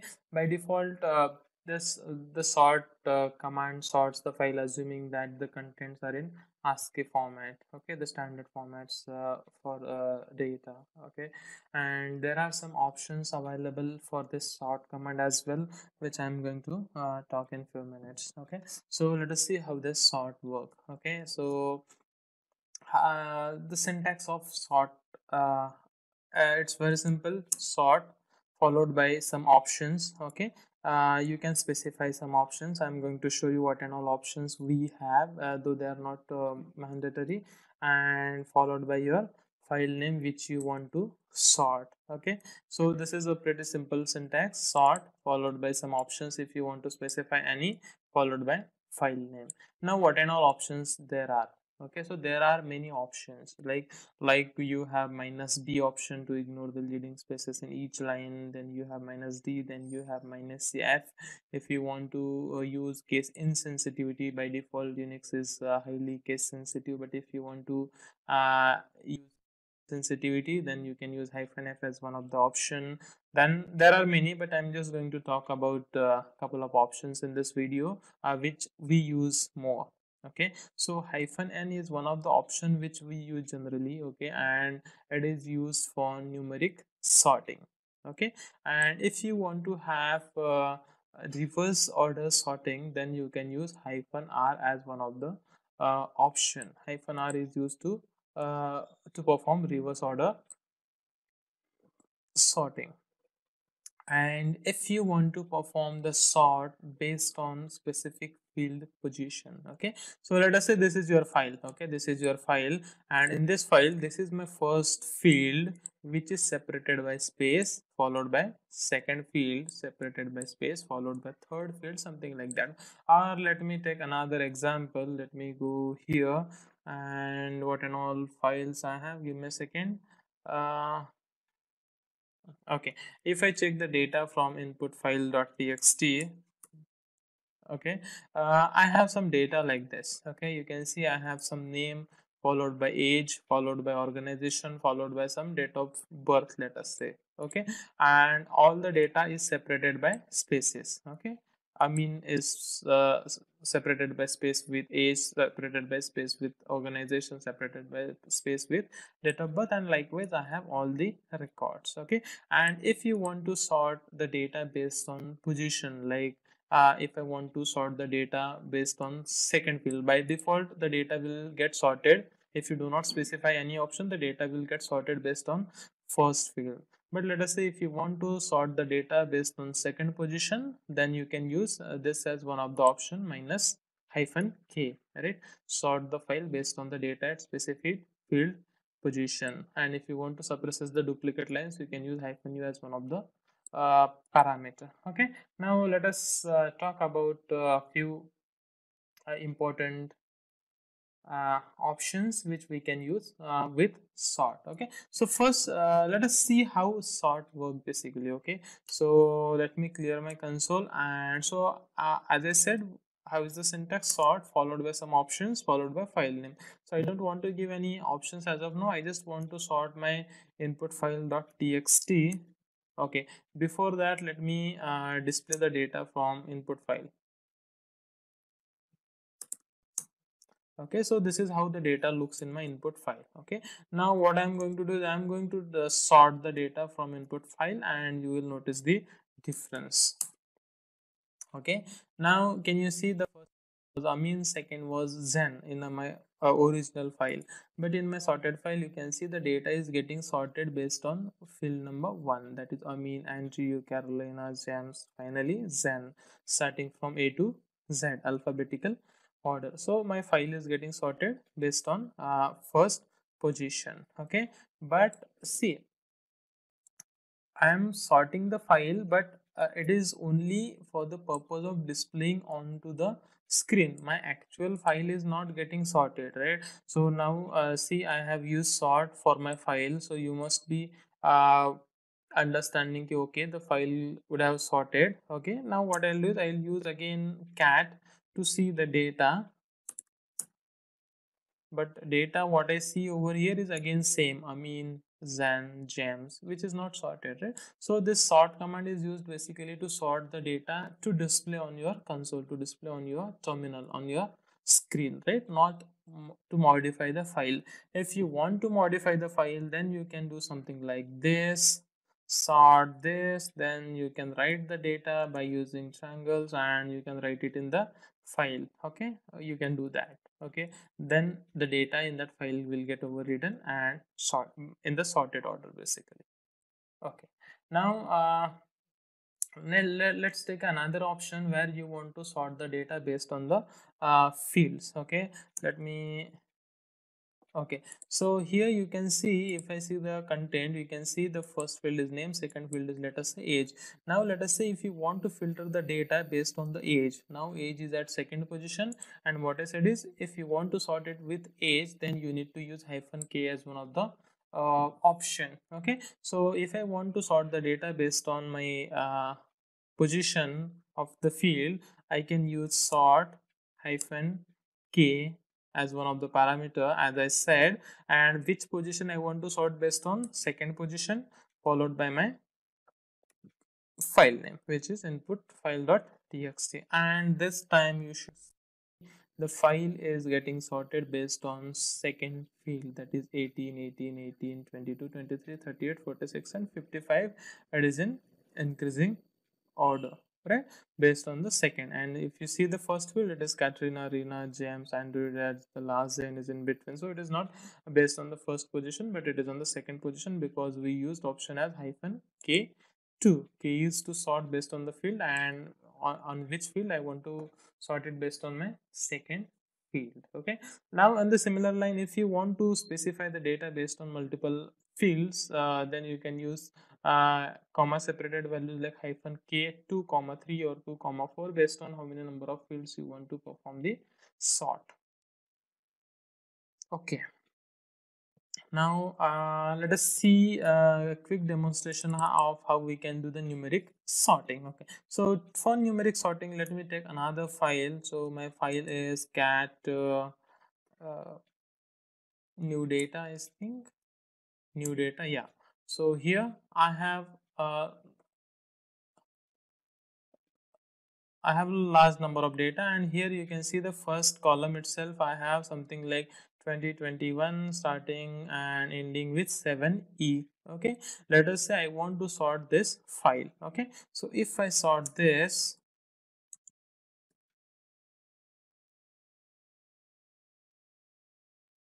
my file name is new data okay? And if i sort this can you see how it got sorted? It got sorted uh, like 20 starting from 20 okay? Starting from 20 21 22 23 likewise okay? And ending with uh, 7 a b c d e and finally my alphabets okay?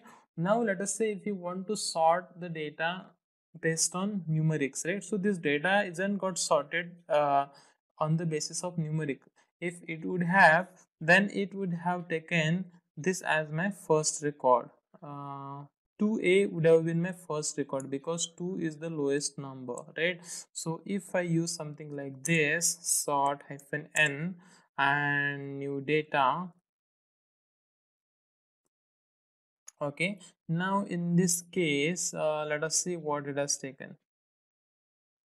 Okay so in this case can you see? It has taken the data like 2a 2a to 79 okay so it is considering the numeric value only right? So that's how we can use hyphen n as one of the argument uh, uh, to sort in a uh, numeric order okay? Now you can use uh, the sorting in uh, reverse order as well. So here you can see i have one of the option as hyphen r. So let us take an example where i was doing this sort uh, hyphen k2 okay? So this is doing the sorting in uh, ascending order basically increasing order 18 18 18 22 23 but if if i wish to have this order as my uh, reverse order then i can use one of the argument as let us say r okay? And this time i should see uh, give me a second. Okay uh, it, it works with in fact numeric orders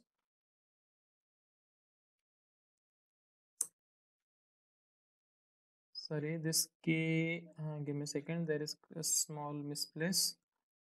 Because this 2 is with k right? So it should be an rk2 something like this. Yes. And can you see? It is uh, in descending order 55 to 46 38 and last it is 80 it's in reverse order right? So that's how basically we can perform the sort okay? And uh, you can have this sort in uh, you, you can you can use it uh, in fact with pipes as well okay? So let us say let me do control l okay? So pipe uh, is something to combine the two commands okay? So if i use sort and new data okay you can see i have used number of data. But out of that if i wish to restrict the data which i can display on my screen only then i can use something. Let us say i just want to see few let us say 10 rows uh, from my file. So what i can is sort the file uh, pipe and to get only 10 records i will use head okay so i can see only uh, from where my command starts. Give me a second. Okay so my command starts from here and it has sorted and it has displayed only let us say 10 records right? So that's how we can use this uh, pipes as well with my sort command okay? And in fact we can use this with cut command as well okay? So uh, okay so i'll talk about this cut command in my one of the video or let me show you one of the demonstration about this cut command. Uh, okay so this cut command is basically uh, used to let me open the file give me a second.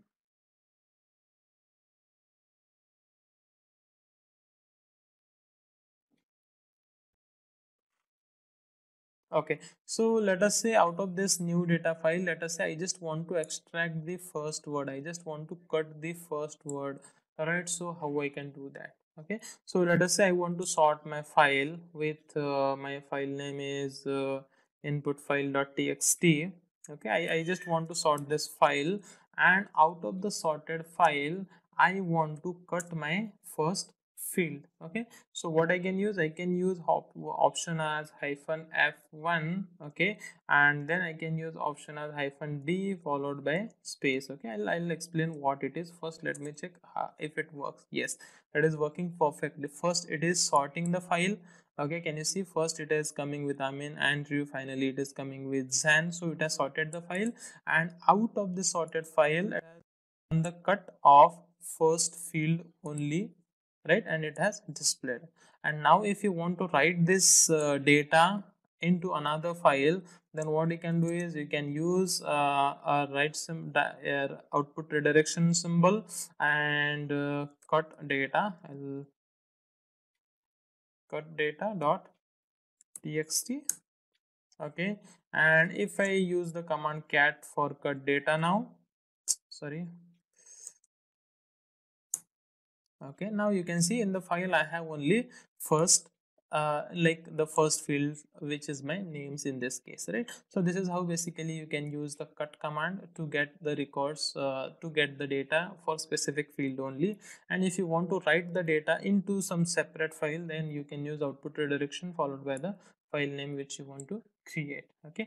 Now in this case what is this f and d okay? So basically uh, this cut command select the field uh, specified by hyphen f option and distinguish the field by the delimiter uh, give me a second delimiter character specified by hyphen d option okay? So this f specifies my field one. One is my number one field and hyphen f is for field. So hyphen f field i want to select the field. Which field? I want to select the first field. And hyphen d specifies what is your delimiter. And if you see in quotes i have given space. That means my delimiter is uh, spaces over here right? So here you can see it is separated by spaces. So that's the reason i have used spaces okay? So this is basically how we can use a sort command um, and which we can combine with uh, uh, many other commands with piping okay so that's it. I wanted to talk about uh, sort command over here. So it is basically used to uh, sort the data in some order which we want. Could be ascending descending reverse and we have many options as well which we can use it with. So i just uh, talked about some important options uh, over here. And one of the important is if you want to suppress duplicates line let us say in your file if you have many duplicate lines and if you want to suppress them then you can use hyphen u as one of the uh, option note that we can use many option together. Like i have shown you in one of the case like i use nrk2 we can combine many options okay?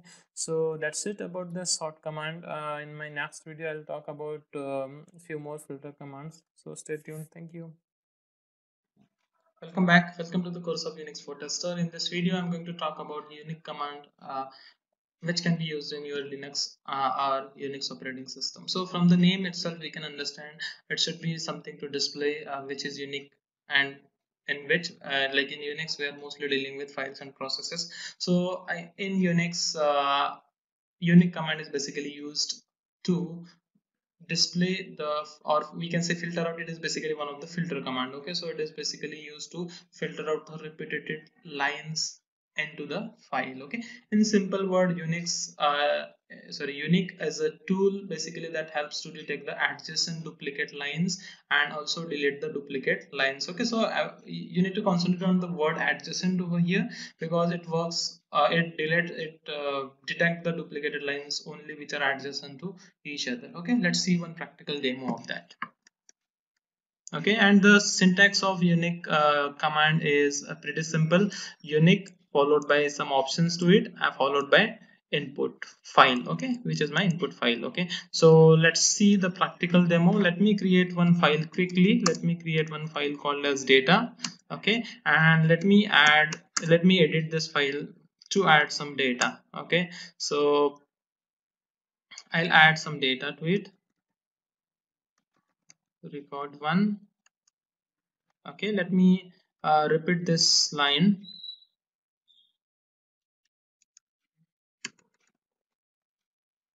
okay i have repeated this line some five times. Fine. And uh, now i'll insert few more records. Record 2 excuse me. Give me a second. Let me correct the spelling.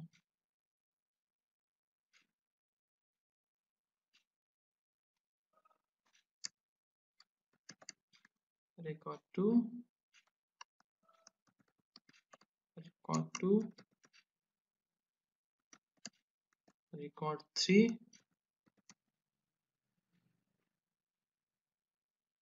and now let me repeat the first records again. Give me a second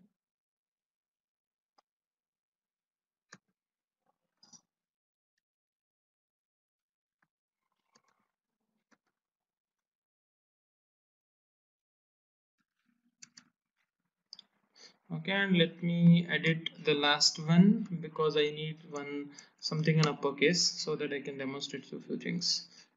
Fine. So this is what I wanted. Let me save and close the file. Great. Now my file has some data. I can view the data using cat command.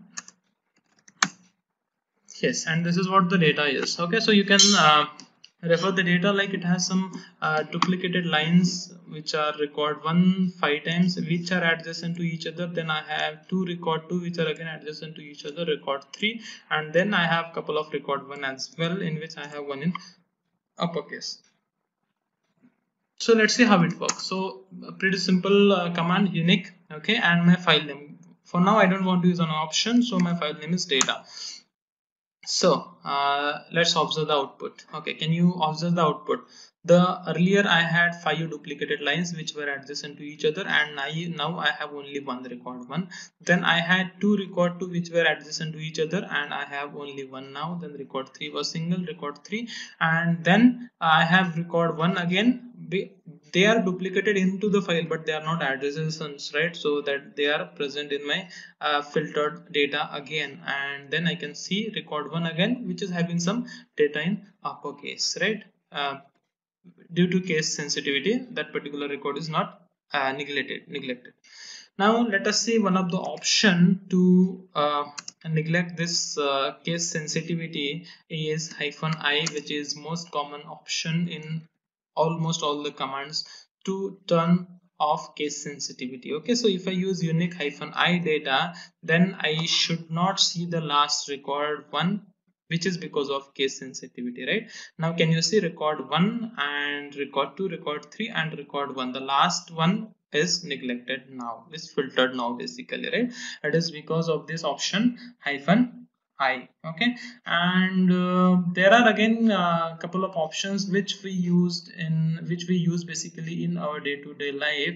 Uh, let us take an example of one option called as hyphen c okay. So what this particular option does is it basically gives you the count okay. So if i use uniq hyphen c data this will basically gives me the count how many times particular line particular record has appeared like so like record 1 has appeared 5 times record 2 has appeared twice and 3 1 1 is appeared once right? Again this record 1 and record 1 are adjacent to each other but due to case uh, sensitivity they are not picked up as a duplicated now uh, i have one option as hyphen i to ignore case sensitivity and i have option hyphen c to uh, count. Can i combine both? Let us try can I combine like hyphen ci yes I can. Let's see the output. Now can you see the output? Earlier there were two record one with one one count. Now I have record one with count of two because I used option hyphen i to ignore the case sensitivity. Okay? So that's how we can use option hyphen c to count and option hyphen i to ignore the case. Okay? And um, okay there is uh, another option called as option hyphen u okay let us see what it does. So from the name we can judge this u is used to print the unique data only the data which is unique right? So you can file in the file i have duplicated data for record 1 and record 2 but record 3 and record 1 and record 1 they were unique right? So that's the reason it has printed only unique data and that's what this particular uh, command hyphen D does okay? Um, then what else we have which we use? Option hyphen i we already used uh, okay. I'm just trying to recollect if I use any other option with this. Hyphen s we use but that is not much important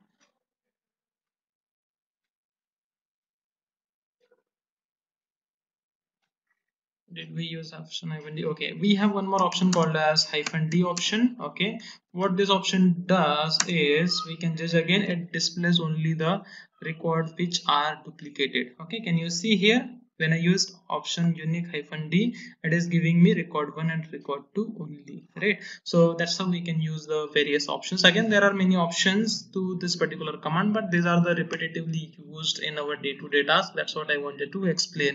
To to get more details you can refer the manual uh, by using command man space uniq. You will get the complete manual with uh, all the options uh, which which can be used along with this uniq command. But i i just explained this uh, four to five options which we use um, day-to-day -day basis like option i to ignore case sensitivity option c to see the count option u to get the unique data hyphen d to get the duplicated data. Okay?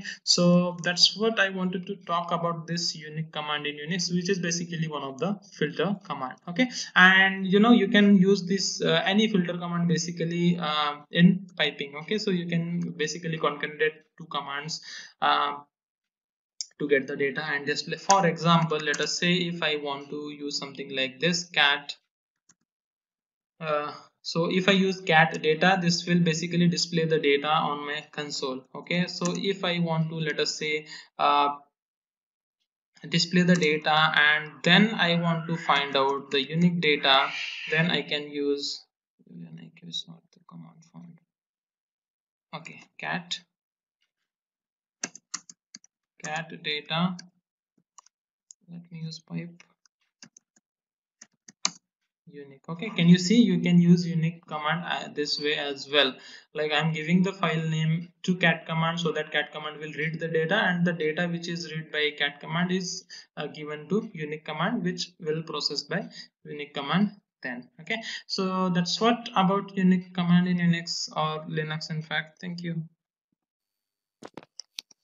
Hello welcome back. Welcome to the course of unix for tester. Uh, in this video i'm going to talk about uh, how you can compare two files using command diff diff command okay so in my last video i have shown you how we can uh, use cmp command for comparison and which was basically doing byte by byte comparison okay? Now in this case uh, if i use diff command the comparison will happen line by line. If i was using diff command it was showing me that okay the difference was found in line 1 and byte 16th okay? But uh, in diff command the comparison will happen line by line and which is something which i find most useful as a uh, testing point of view okay? So let's see how it works okay? So uh, okay let me show you the syntax basically. Let me okay so the syntax is something like diff which is my command itself and then i have some options which i can specify okay? Again there are a huge number of options for this particular command which i'm not going to talk about all but just couple of options which we use more frequently and which we need basically okay? Those options i'm going to talk here. And then followed by my file 1 and file 2 okay? So this is the syntax which is very simple okay? So let's see how diff works okay? So let me use diff command now. Diff. Now my file 1 is new data in which I have some data. And again the it's same copy with some minor changes and new data one. Okay I'll hit enter and you should see something like this. Okay now uh, th there are few uh, things you should notice over here. Okay so give me a second. So what you see over here is you see some uh, some words like 1c1 and you see some less than symbol you see some greater than symbol you see something 18 c 18 something like that okay? So what are these things okay? So what this basically diff command tells you the diff command tells you that what and all changes are required into the first file so that it will look exactly as same as your second file. I have two files file new data and new data one. So what this particular command will tell you what and all changes you need in new data which is my file 1 so that it will look exactly as same as uh, my second file which is new data 1 and basically the comparison happens line by line okay? So unlike its fellow member like we have different commands uh, for comparison like cmp as i said earlier and we have one more called as com comm it tells uh, basically they tells us uh, uh byte by byte comparison uh, but in this case we see the comparison line by line okay? So it basically tells us which line uh, in one file have to be changed to make the two files identical okay? So what these things are now? 1c1 less than symbol greater than symbol. So uh, basically uh, this diff command give you the output and it uses some special symbols and instruction to uh, give you the output. Okay so uh, there are the two things. The very very very first one is the special symbols which are a c and d. So as the name suggests it is uh, a for add c for change and d for delete. A for add c for change and d for delete. Okay now what it tells i'll tell you okay? And we have two more things like we have one less than symbol which refers first file okay and we have uh, some greater than symbol which refers second file. Okay now something should be clear to you.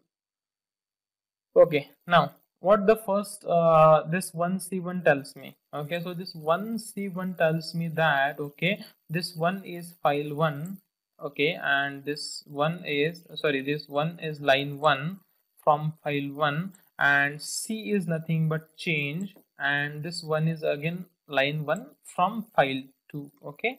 So what this basically is telling you you need a change in line 1 of file 1 and line 2 of file 2 okay? And where that's where that change is you can see the very first is less than symbol. That is uh, this particular line is from my first file okay? So the you can see the file the following are and in r i have uh, r in uppercase in first file and in second file i have it in lowercase. That's the only change what i have in this particular uh, line. Okay so because of which i can see this particular difference. Okay so i hope you are clear. Now this one refers line one from file one.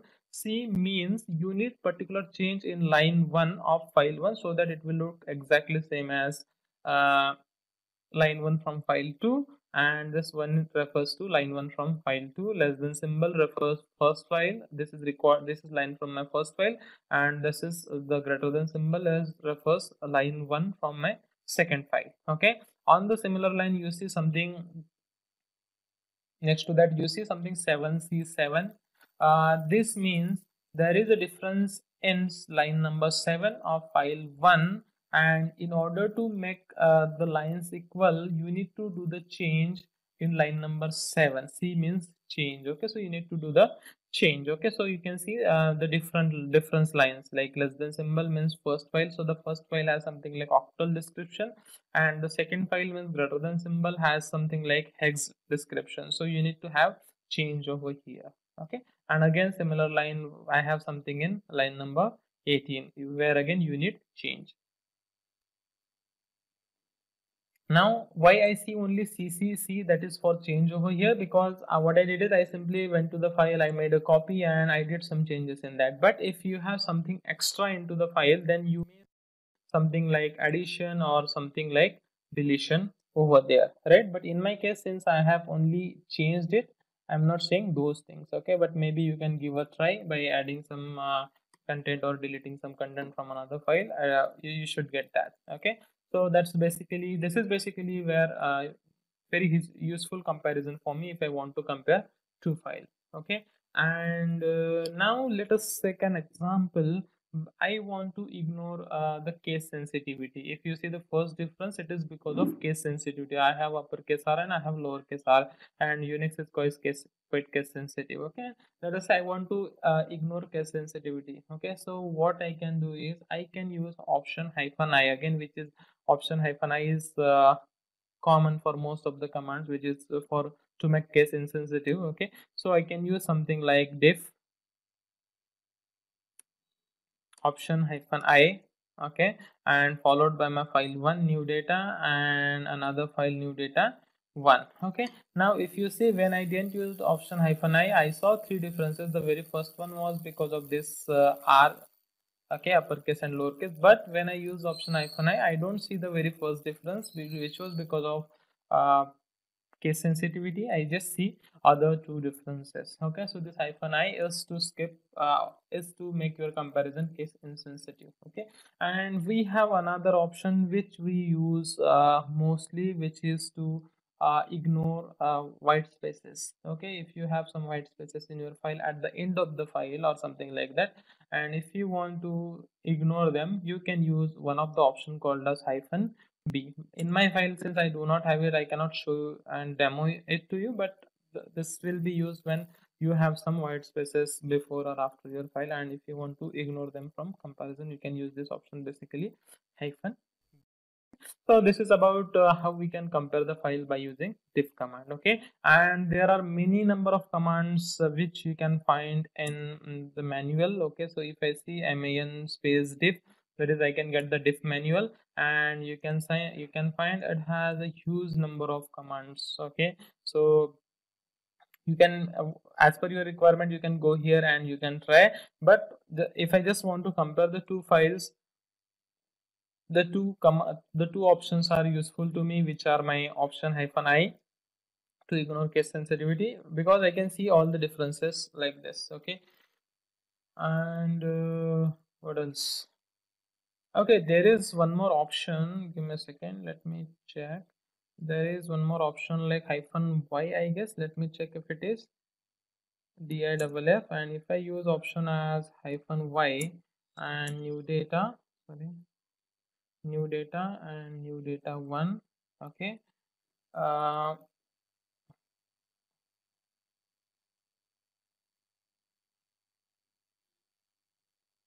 where it is starting? Give me a second okay so this file i will not be able to see it correctly but i'll just tell you what this particular command does.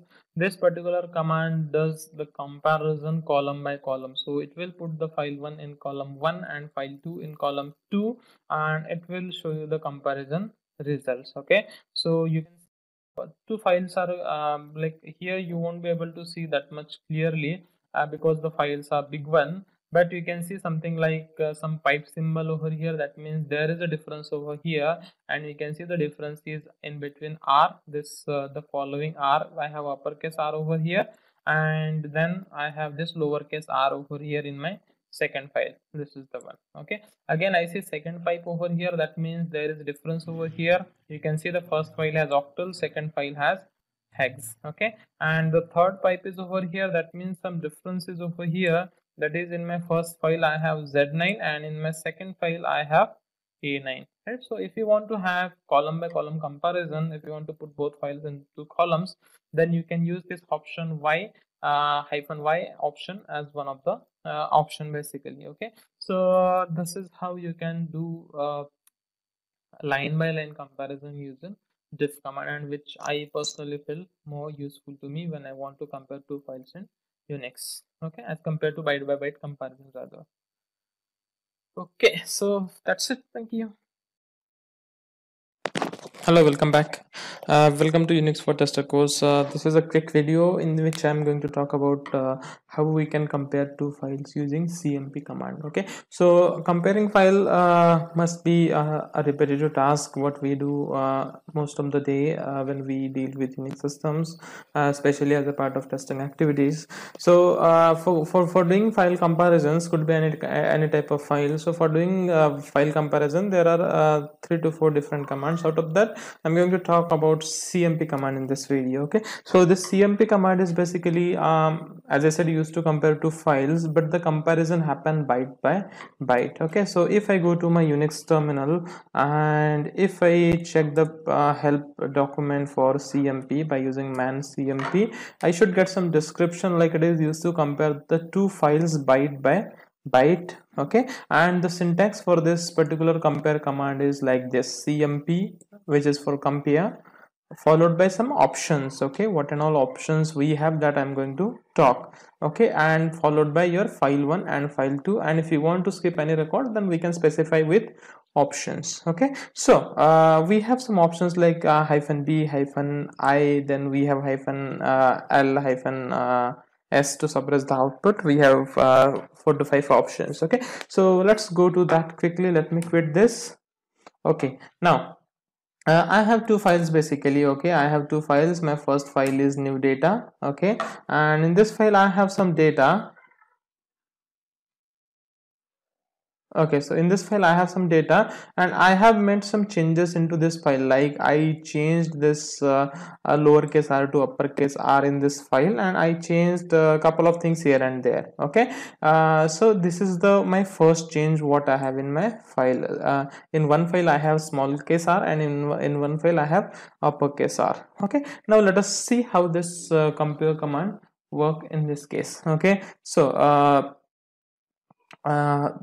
the syntax is basically cmp okay? Then option which are optional basically which i'm going to show you in some more time and followed by my file one name my file one is new data and my next file is new data one where i have made changes okay? New data one. These are the two files to compare new data and new data 1 and I'll hit enter and you can see new data and new data 1 differs at byte 16 of line 1 so the comparison is happening basically byte by byte okay? And wherever um, this particular uh, program finds the uh, difference it is going to terminate the program and giving me the output where where my first mismatch found right? So the first mismatch was on line 1 at byte 16 okay? So this might not be that much useful in this way okay? But uh, uh, if you want to use it in shell scripts then this particular uh, utility could be useful. I'll tell you how okay? Now let us see a few uh, options what we have. So we have uh, option hyphen b okay? So if i use cmp hyphen b okay. Uh, it is basically used to print uh, differing byte. Okay. The, the the bytes which are differing it is used to print that. So i'll use cmp hyphen b i can give file 1 as new data and file 2 as new data 1 and you can see there is something like new data and new data 1 differ. Byte 16 line 1 is 12 some control j and uh, 160 r. Okay. So there, there is some uh, configuration issue with my unix system so that's the reason i'm getting this. But in actual you should get like uh, uh, in this case you will get like uppercase r and lowercase r. That's what the difference in between two bytes okay? So this hyphen b option is used to print the bytes which are different okay? So we have one option called as hyphen b for that. Now we have another option called as hyphen i okay? Uh, if you skip uh, some bytes from comparison let us say what i want to do is i want to skip uh, let us say first uh, since the mismatch is on 16 byte let me say i'm going to skip my first uh, 20 bytes so for that i'm going to use option hyphen i followed by how many bytes I want to skip from both the files. So let us say I want to skip uh, 20 bytes uh, from both the files. The first 20 bytes should not be compared and comparison should start from 21st byte. Okay. What are my files? My file is new data and new data 1 okay and now can you see the file is having another difference and it is on line 7 byte 267 that is the second change i made but now can you see clearly that it has uh, skipped this particular comparison where i had the difference on line uh, 1 on byte 16 uh, so this particular uh, comparison has been skipped and now there is a difference in line 7 byte number 267 okay so it worked now uh, you might have situation where uh, you uh, give me second. You might need to uh, skip let us say first uh, 10 byte from file 1 and 12 byte from file 2 might be you might have some few few junk characters special type of characters or few uh, differences in the initial wording. So if you want to skip let us say first 10 bytes from file 1 and 12 bytes from file 2 then you can use syntax something like this okay? So since i do not have that kind of file i'm not going to show you that but you can specify sorry there should be hyphen i as well here. Give me a second so it should be like hyphen i then byte to be skipped from first file. Let us say i want to skip 10 byte from the first file colon byte to be skipped from second file. Let us say i want to skip 12 byte from the second file and my both file file 1 and file 2 right? So it will work in that way. So yeah so again we can use hyphen i option for that okay let us take another example where you want to uh, compare only first 10 byte okay? So by using hyphen i option we skipped first 10 byte or first 12 byte whatever right? But now if in case if you just want to compare only few bytes from some file then you can use hyphen n as one of the option. And let us say you want to compare first 15 byte of both file and my both file are new data and new data 1 now in this case since my file had a difference on byte 16 of line 1 and I just said just compare first 15 byte so that's the reason I'm not getting any error message over here. So if I'm not getting any uh, message warning or anything that means the file comparison is successful. So what we compared we just compared first 15 bytes using option hyphen n and uh, okay and one last option I want to show you is uh, hyphen s option okay? So this hyphen s option is basically used to suppress the uh, output okay? So whatever output you see the comparison output in this case the output is something like this. New data new data file differ add by, uh, by 16 line 1 whatever this is okay? So if you don't want to see this output you want to suppress it then you can use the option called as hyphen yes okay. And uh, you can give your file name new data and new data one. So see i have the differences but the output is getting suppressed okay. But uh, in this case it will return some uh, exit status. So it will return exit status 1 and 2 1 if it is success and 2 is uh, there is some message something like that. So now where it should be where it can be used it can be used uh, in your uh, shell script wherever you want to write a script. And in that in particular script if you have some functionality where you want to compare the file and if you just want to check if both files are equal or not then you can use this uh, hyphen s option from where you will get the exit status. Okay anyway uh, we don't want it to use uh, for our file comparison. So uh, as a tester i will not basically use this cmp option because it is not much useful to me. Um, but this is one of the utility program what unix has provided okay? So in next video i'm going to show you uh, we have another two options uh, to compare the files uh, diff and one more we have. So that is what i'm going to explain in next video okay? So stay tuned. Thank you. Hello welcome back. Welcome to the course of unix for tester. Uh, this would be a very short video where i'll talk about uh, variables in unix or linux. So though as a software tester it is not necessary for us to understand uh, variables in detail. I'm just going to show you uh, at least how we can get the values from system variables okay? So uh, let us try and understand what is variable first okay? So in any programming languages when we work with okay we assign some value to the variable in order to make it dynamic okay? Like i define some variable as name is equal to something like I, I define some variable and I assign some value to it right? So that is what my variable is. That is something used to store some value um, which basically uh, refers some memory location okay? And in unix there are two kinds of uh, variables. First one is system defined variable and second one is user defined variable okay? So system defined variables are something which are created and maintained by unix or unix or linux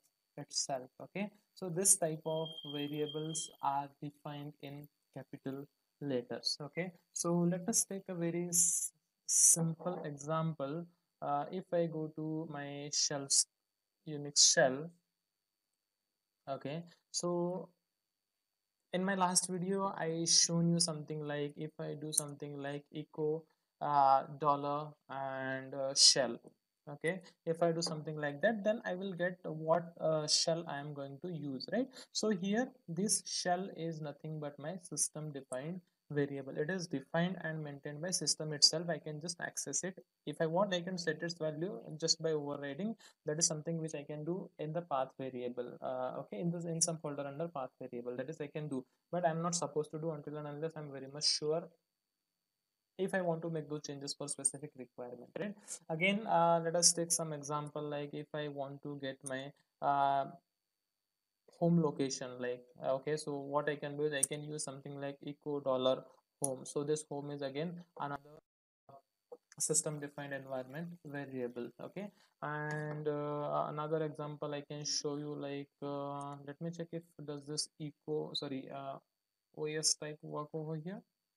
It works in linux. I'm not sure if it works here. Yeah it works over here. And it is linux gnu which is uh, the unix flavor basically okay? And uh, we we all know right? We have some environment variable in uh, windows operating system like if you if we install let us say any tool then um, let us say if i install java then i need to configure environment variable so that it refers to particular environment uh, particular version of java right? On the similar line there are environment variables okay? And uh, everything is maintained under this path right? So you can go to this location and do some changes if you want to do. Uh, i suggest not to do okay?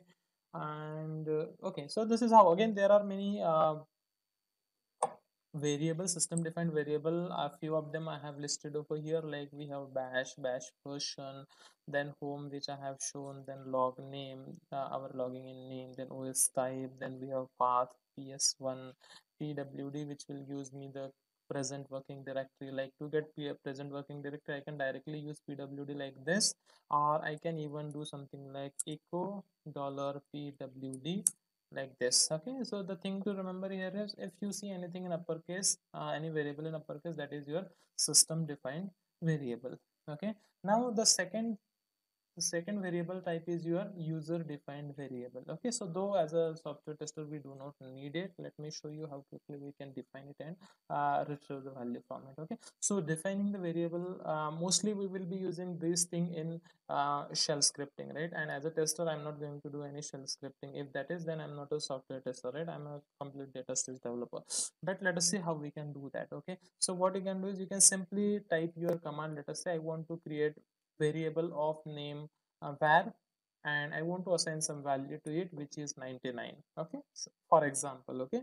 I have set it. That's it. My variable has been set. And now if I want to access that value how I can access it? Echo dollar var and it should print 99 so this is my uh, user defined variable which we should write it in lowercase right? If it is system defined that is in uppercase user defined should be in lowercase. Right so this was a very short video about variable types though it is not in detail because as a software tester i'm not going to deal with uh, variables and all concept but i just wanted to show you some uh, variables and how we can access them basically. Okay. So that's it. I have uh, for this video. Thank you hello welcome back. Welcome to the course of unix for tester. Uh, in this video i'm going to talk about shell script. Okay so I'm going to talk about how we can create a shell script, how we can execute a shell script. In fact, I'll start with what is shell script from. Okay, so uh, first let us talk about what is shell script. Okay, so if you are aware in Windows, we have something called as batch file. Okay, and I have one simple example where I have created a batch file. Okay, so if you want to execute any script from DOS okay. Uh, then we use this specifically windows batch file okay with dot .bat extension okay. If i open and if i show you something like this this is my batch file okay. And these are the uh, three different commands which i'm going to execute from my batch file okay. So uh, like if I don't use this batch file then what I need to do is I need to execute my command one first then I need to execute my second command then I need to execute third command in the sequence one by one manually. But instead of that what I did is I wrote all three commands one by one in a line and I saved that particular file with .bat extension that is batch file. And simply I can double click on that batch file or even I can call it from my uh, command prompt and the all the commands from that particular batch get executed okay? On the similar line if i wanted to do some same thing for linux then there is something called as shell script okay? So basically shell script is a text file that contain a sequence of command for a unix based operating system so let us say in unix i want to uh, do some processes. Like first i want to navigate to some directory. Then i want to read text file from the directory. I want to process text file. Then i want to save the process data into some other text file and blah blah blah. We have many operations which which can be achieved with uh, unix right? So if i want to do all those operations one by one manually it is very much time consuming. I need to write a command uh, each time uh, for each uh, command which i want to execute basically one by one manually right? That is pretty tedious task. So a unix shell script is a text file that contains sequence of all these commands which you execute which you want to execute one by one okay? Uh, it's called script because it combines uh, two words script in a single file that is a sequence of commands that would otherwise have to be presented to the system in the form of keyboard one at a time right? And the shell is the operating system systems command interpreter right? Because uh, see what kind of uh, operating system i'm using? I'm using uh, unix operating system and its interpreter is shell okay? I'm going to show you where this shell interpreter is so based on these two combination like since i have a shell interpreter and i am writing uh, all my command into a file which is a script so that is why it is basically called as a shell script okay? Uh, now I'm going to let us uh, I'm not basically going to create a shell script but I'm going to existing shell script which I have created okay? So if I do ls over here uh, if you see any file uh, here which is ending with .sh extension is called as your shell script okay? So this is my shell script which is script dot sh okay? So as i said in windows batch file we have uh, like we, we will be writing a text file with dot bat extension but in case of unix it will be uh, file ending with sh extension. That will be termed as your shell script. Okay? Now let us view the content of this shell script what this particular shell script contains. Okay? So let me do vi script.sh and this is basically my shell script. Okay? So uh, the very first line you see something like hash then exclamatory symbol and then you see some path like slash bin slash sh. Okay first let us go and check what this particular path is. Okay let me go to slash bin. And let me check what and all I have here I have many things. Let me check if I have sh anything called as sh uh, yes I do have.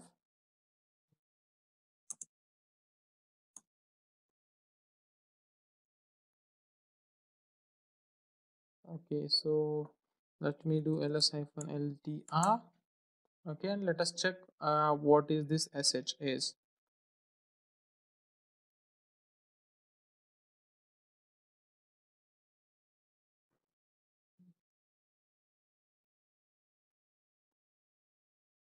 give me a second. I saw a switch somewhere it is there. Uh yeah so it is okay? And this sh is basically a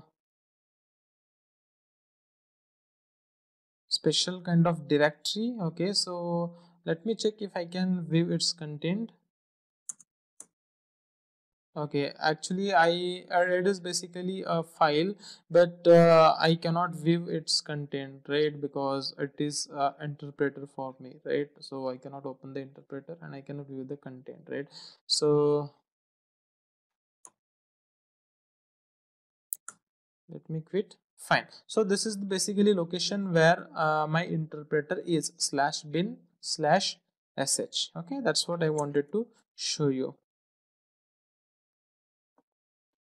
now let me go to my shell script.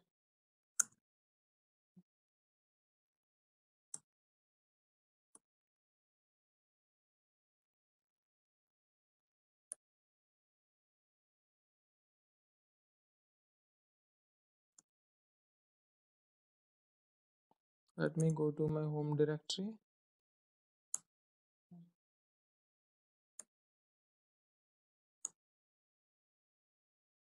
okay now i have my shell script over here.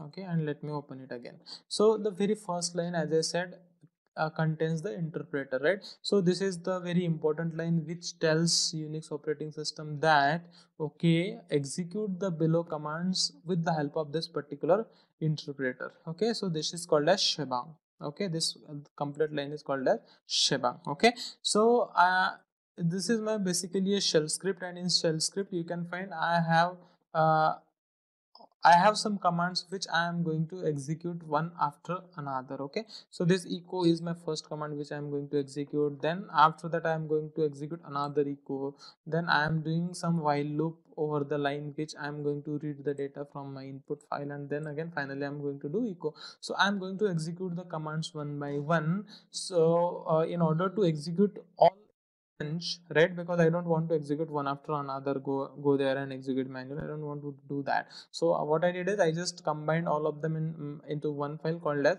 shell script. Okay so this was what this shell script is basically doing. It is reading the data from input file.txt okay so we know that uh, this less than symbol and greater than symbol are the IO redirectional uh, operators basically we can call them. So this less than symbol is used to read the data and this uh, greater than symbol basically used to uh, write the data into uh, file right? So this double uh, greater than symbol is basically used to append the data to the output file. Okay so this shell script is basically reading the data from my input file and simply writing the data to output file by iterating over all the lines. Okay that's the pretty simple example what i have. Okay now let me come out of this.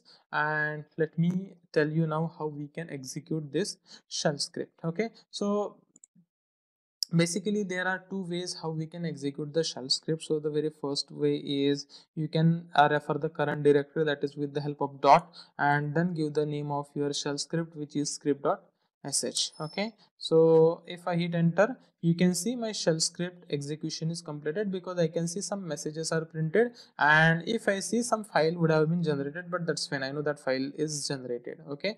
But since i see this message that means my uh, shell script execution is completed okay?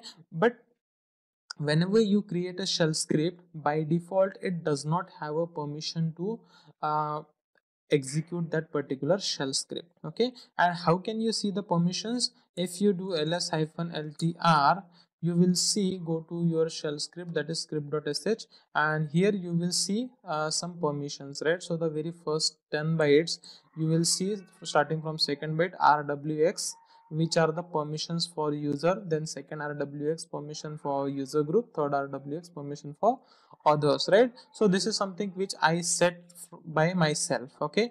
But if you are doing it first time then you will have something like i'm just changing the permission back to the normal level. chmod i'm setting it to 640 and script.sh okay? So this is how basically uh, whenever you will create this script first time you will see something like this. And let me check what and all permission it has now. So script.sh you can see it has only read write permission for user. And at the fourth place you can see it has a hyphen. That means it does not have the execute permission. Okay? And if i try to execute uh, the script without execute permission i should see the error message called as permission denied. Okay? So in order to execute any shell script we need to give the permission. So you need to give the permission whether you want to execute this uh, shell script by your username or maybe uh, all other users from particular group or maybe anyone else can execute this particular shell script. So you can give permission accordingly right? So you can refer my one of the video where i talked about file permission okay? I have talked about all these things like how we can change the file permission using chmod command okay? So for now i am setting the permission triple seven. That means i'm i'm giving all the accesses to all the all the uh, like users user group and others right? And my script is script.sh okay? And if i try to execute the same shell script now script.sh now this time i should see my script got executed right? So this is the one way how we can execute the shell script. Navigate to the directory where your shell script is and then use dot slash your script name okay? Another way to execute your shell script is again navigate where your shell script is. Currently, I am in the same directory where my shell script is, and then use sh, which is basically a, com a command or you can say utility program which basically runs your shell script and then give the name of your uh, shell script which is script.sh and if I hit enter I should see my script execution is completed right? So these are the two way basically how we execute the shell script okay so that's what i wanted to show you in this video. Basically what is shell script how we can create a shell script and how to execute okay? So see as a uh, test engineer uh, whenever we deal with any system with unix operations and all we are not going to create any shell script right? Because that's the job of data test developers or unix developer whoever it is. What my job is my job is to execute the shell script verify the output file if the output file is getting generated if the contents are correct and all those things right?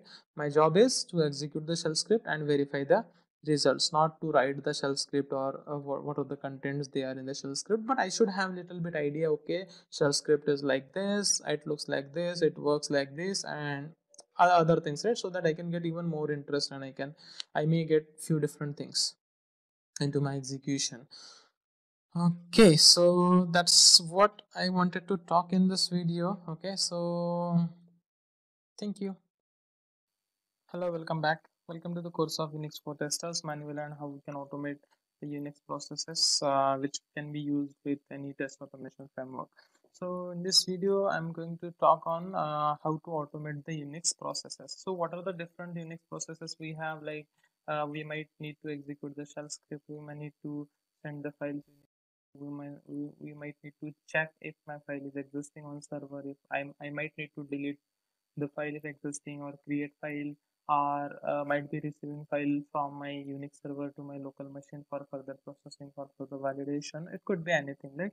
So we can automate all those unix processes so that i can accommodate them into my test automation framework. Okay so let us take an example. I have some uh, application where I input some data on my web application, which let us say which you have automated with Selenium, okay, and then you have a part of Unix shell script execution.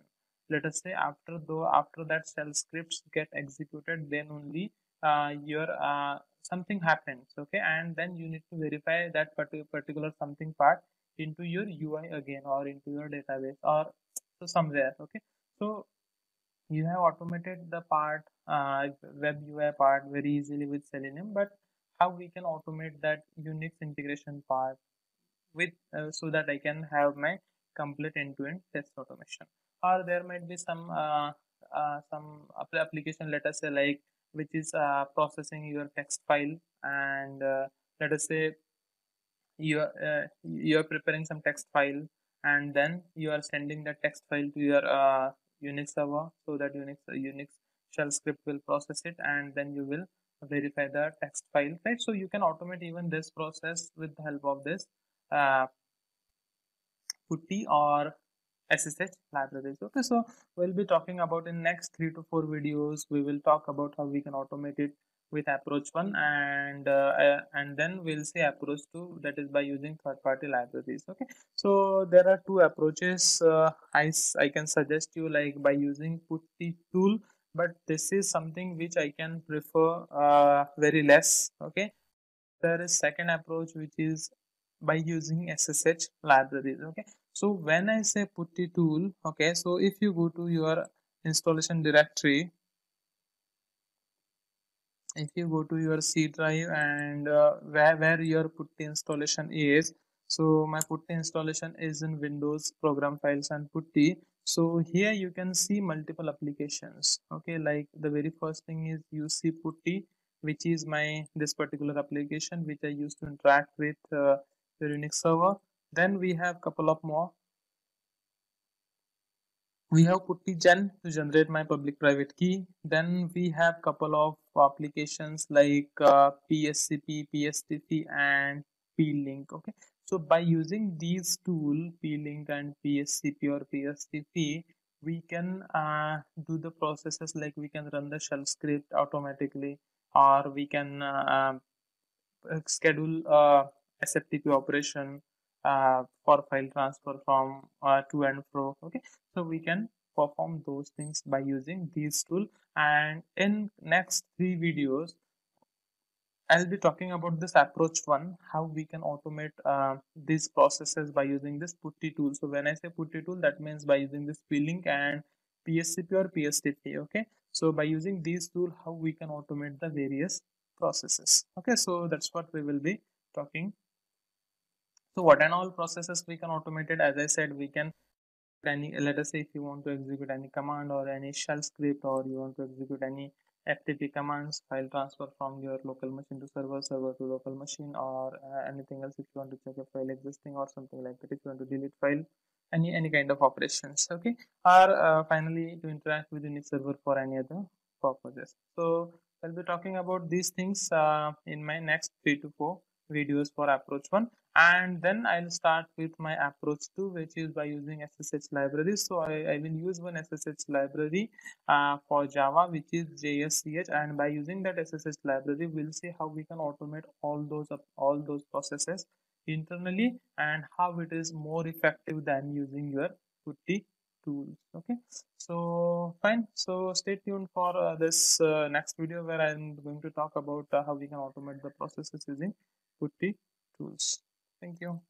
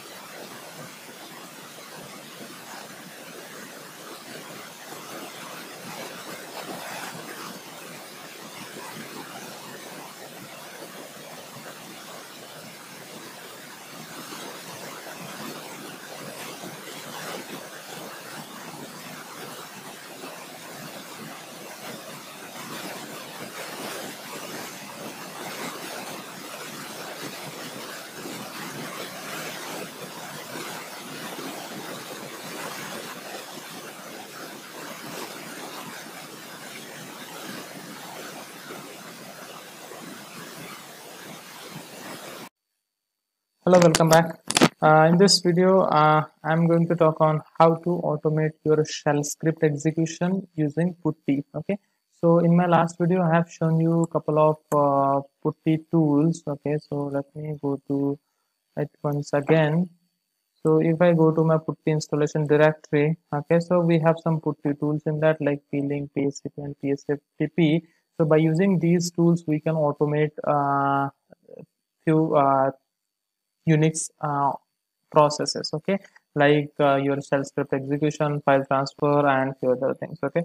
So in this video i am going to show you how we can execute a shell script automatically okay? And how you can include it in your program okay? Um in your letters in java programming in, in this case. So the very first thing is what i'm going to do is i'm going to create a batch file okay? So uh, you know batch file is uh, ending with .bat extension that is my batch file okay? And the advantage of creating batch file is as soon as I double click uh, in fact batch file is executable executable file. As soon as I double click it starts its execution into command prompt okay? So that's where I'm going to use my batch file okay? And then okay now uh, from this putty installation tools I'm going to use plink in this case okay? Because this plink uh, okay i'll not be able to open plink like this like how i can use uh, putty but i can call this plink to execute my shell script. Excuse me. To execute my shell script. Okay so i'm going to show you how we can do that. So the very first thing is since i'm using this plink i need to change my okay and as i said we will be using uh, uh, command prompt okay? So let us say if i navigate to my command prompt okay and if i if i need to use this uh,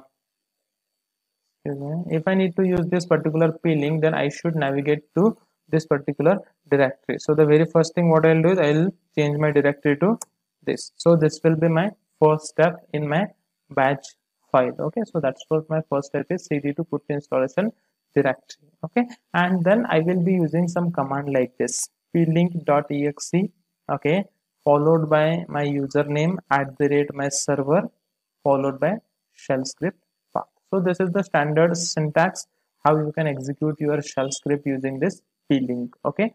And we will be uh, adding all these things into the batch file so that as soon as I double click on my batch file or you can call even that batch file is your executable file you can call that batch file from anywhere and uh, like from any programs and it will execute it okay?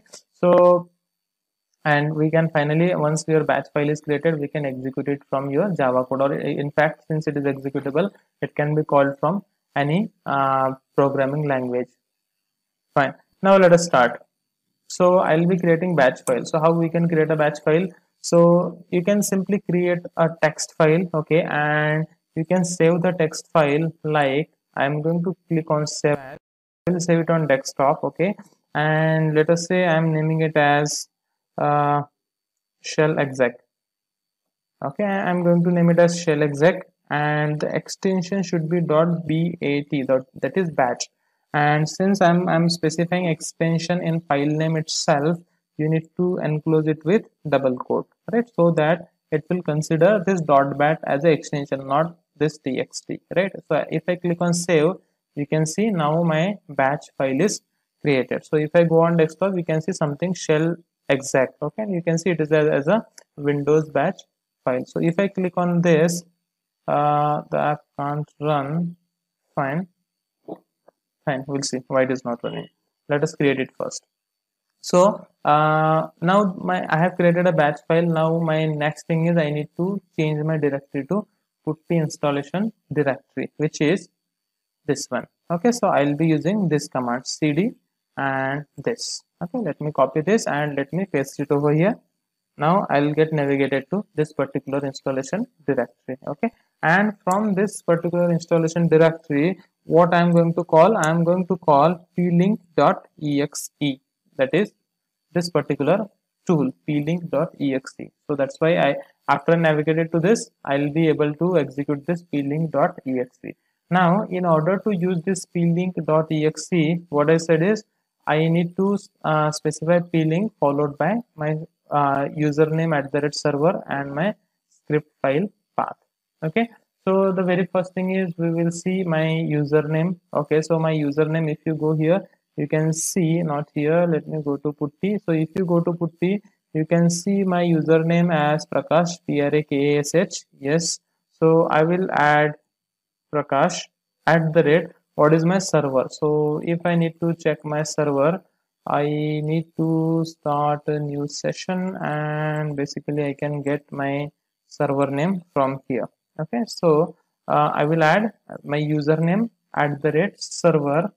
Okay and then okay so i have given p-link username server followed by script file path. Okay so i need to give my script file now. So now i want to tell uh, p-link that i want to execute a shell script. So i am using parameter hyphen s s h. Okay? So shell script i'm going to execute shell script. And now how to execute a shell script? Okay? So let me go to my putty uh, here. Let me close this.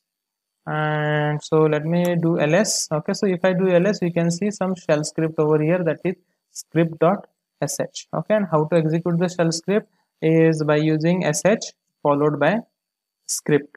What is your script name? Okay.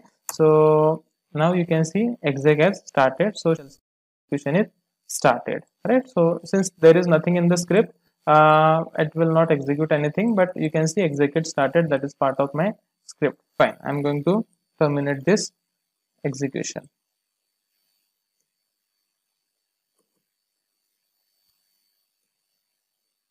fine uh, so my execution is stopped. Fine. So what what i just wanted to show you in order to run the shell script you will be using sh followed by your script name.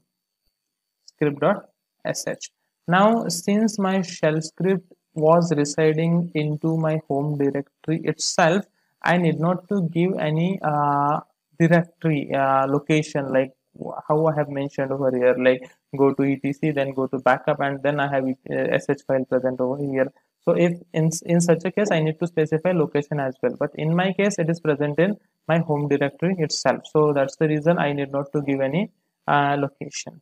So what I've done, I'm calling plink.exe from this particular location. Then I am passing my username on this server uh, followed by SSH and my script.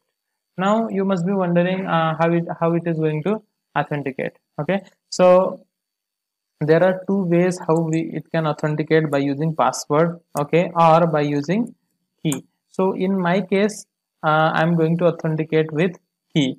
Okay, but if you have password already handy with you then what you can do is you can use one parameter called as pw as an option and specify your password like just before username you need to pass this parameter as a pw and your password here you can specify your password here then followed by your username and whatever we have next right? So the extra thing is you need to pass your password over here by using hyphen pw uh, in my case i do not have password okay? So in my case i have ssh key. So if i have ssh key then i need to use a parameter called as hyphen i and then i need to pass my public private key okay? So where is my key uh, my key should be in my app drive key and here is my key which i'm going to use it to uh, achieve the connection. That's what i'm passing it from my WinSCP from my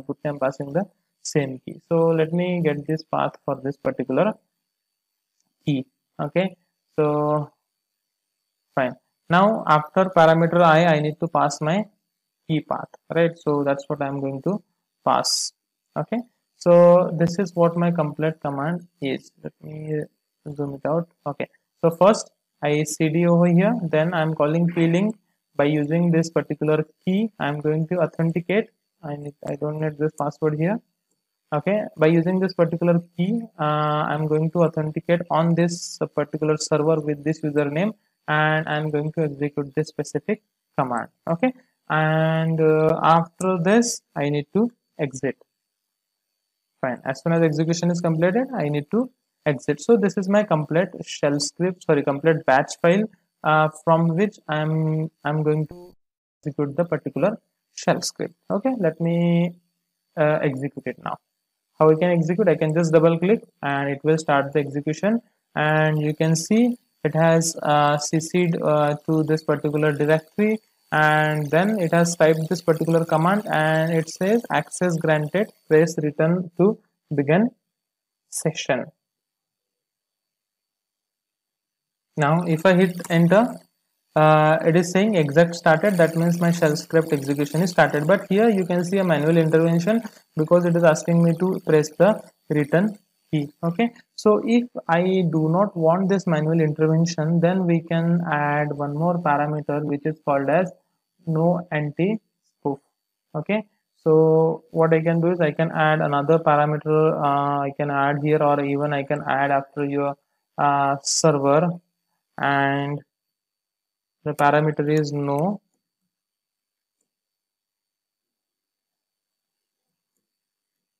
No anti spoof. Okay? So that it will not ask you uh, to um, press return key as a confirmation okay? So now I just saved it and I'll hit enter on this uh, exec and now you should see the execution should start. Yeah now you see the execution is started. I, it do not have any manual intervention now and your shell script execution will start. Great. So my shell script execution is started and now what I can do is basically now my shell script uh, shell script execution uh, basically batch file for shell script execution is completed by using this particular syntax. And now I'm good to execute this batch file from my Java code. In fact as I said this is a executable executable file Windows batch file. You can execute it from any programming language okay? So in next uh, next three videos I'm going to show you after three videos in fact I'm going to show you how we can execute any batch file from your Java okay. So uh, what next I'm going to do is I, uh, I'm going to call this particular shell script sorry this particular batch file from my uh, Java code so that I can uh, include this into my automation framework. Okay. So this is a part of in fact my approach one which I said I prefer less rather than uh, I prefer uh, using SSH libraries like JSch for Java or SSH.NET for C sharp okay. So fine. So we'll continue with uh, next video where we I'm, I'm going to show you how we can do a file transfer from your windows to server from server to windows. And post that i'll show you how we can execute this particular batch file from your java code. Okay. So stay tuned. Thank you. Hello. Welcome back. Welcome to the course of unix for testers manual unix concepts. And uh, how to automate all those unix concepts and unix processes uh, in order to accommodate uh, the processes, various automation processes of Linux in your test automation framework. So uh, as a part of this series, I'm going to talk on uh, automation of sending file to Unix server using PuTTY. Okay, so as I said, um, I have two approaches using PuTTY tools and using uh, SSH library called JSch. So using PuTTY tool, uh, currently I'm talking on. So here, um, for uh, like in my last video, I talked about how we can execute a shell script using uh, plink by using PuTTY and here I'm going to talk on how we can send the file in fact how we can transfer the file to and fro uh, from Unix server to your uh, Windows machine or, or your local machine or from your local machine to your Unix server via PSCP which is a part of PuTTY installation. Okay? So the process remains same I need to create a batch file then I need to see cd to the PuTTY installation directory. Then I'm going to use at this time if I go to my PuTTY installation directory you can see something called as PSCP okay? So this is uh, PuTTY secure uh, SFTP uh, protocol which is uh, used to transfer your file and that, that is your file transfer protocol for performing FTP operations okay? So the plink in last video I have shown you how we can use this plink to execute the shell scripts uh, in fact we can execute any commands by using this plink and uh, here I'm going to show you how we can use this PSCP okay. So I'm going to use this PSCP and we need to use it in below format. Okay, so this PSCP and here I need to provide some options. Okay, what are those options? Like uh, uh, could be my password or could be my um, SSH key or could be any options. Okay, then I need to specify the source. Okay, and then username, host, and my target okay? So in this case since i'm sending it from my local machine to the unix server so my source will be my file from my local machine okay? And my target would be uh, any target into my uh, unix server okay? So let us start. So let me go to uh, this okay? So this was the script from my last uh, video where I have shown you how we can install SSH, uh, how we can execute SSH script by using batch file. Now I'm going to create a new uh, SSH, uh, sorry, new batch file. How I can create? I can create just a text file and I can go and I can click on save as and I will name it as send to host. Okay, and the extension should be bat because it is a batch file. You can refer my previous video for detailed description and I'm going to click on save and I'm going to paste my command from my previous video because I need to cc cd to this particular directory where my put is installed. And from this I'm going to use in fact this exe is not required uh, so at this time I'll not give exe uh, or even if we give there is no harm. I can give uh, pscp because we are going to use this pscp okay so i have i have cd to this particular directory and from there i'm going to execute pscp okay? And this time our format is options okay? So in options i need to give my uh, option which is my uh, public private key. So here again we need to use parameter hyphen i. Fine uh, along with hyphen i my key okay? And then i need to specify my source okay? So now what is my source. So let us say let me go. So let us say i want to send this particular file to my unix server okay? So i can get the path of this particular file. Uh, let me copy copy as a path okay? And i need to specify path over here okay? So i'm just uh, space followed by path okay? Which is my source file. So let us say i want to send this specific source file to uh, host. Okay. And uh, followed by what next we have? We have user at the rate host. So what is my user? User is prakash. So i'm just removing this unwanted spaces now. User is prakash uh, at the rate host. Okay. And this time um, this no anti-spoof is not required i believe or let it be because I think this anti-spoof is, uh, I, I, mean, uh, why we use this anti-spoof?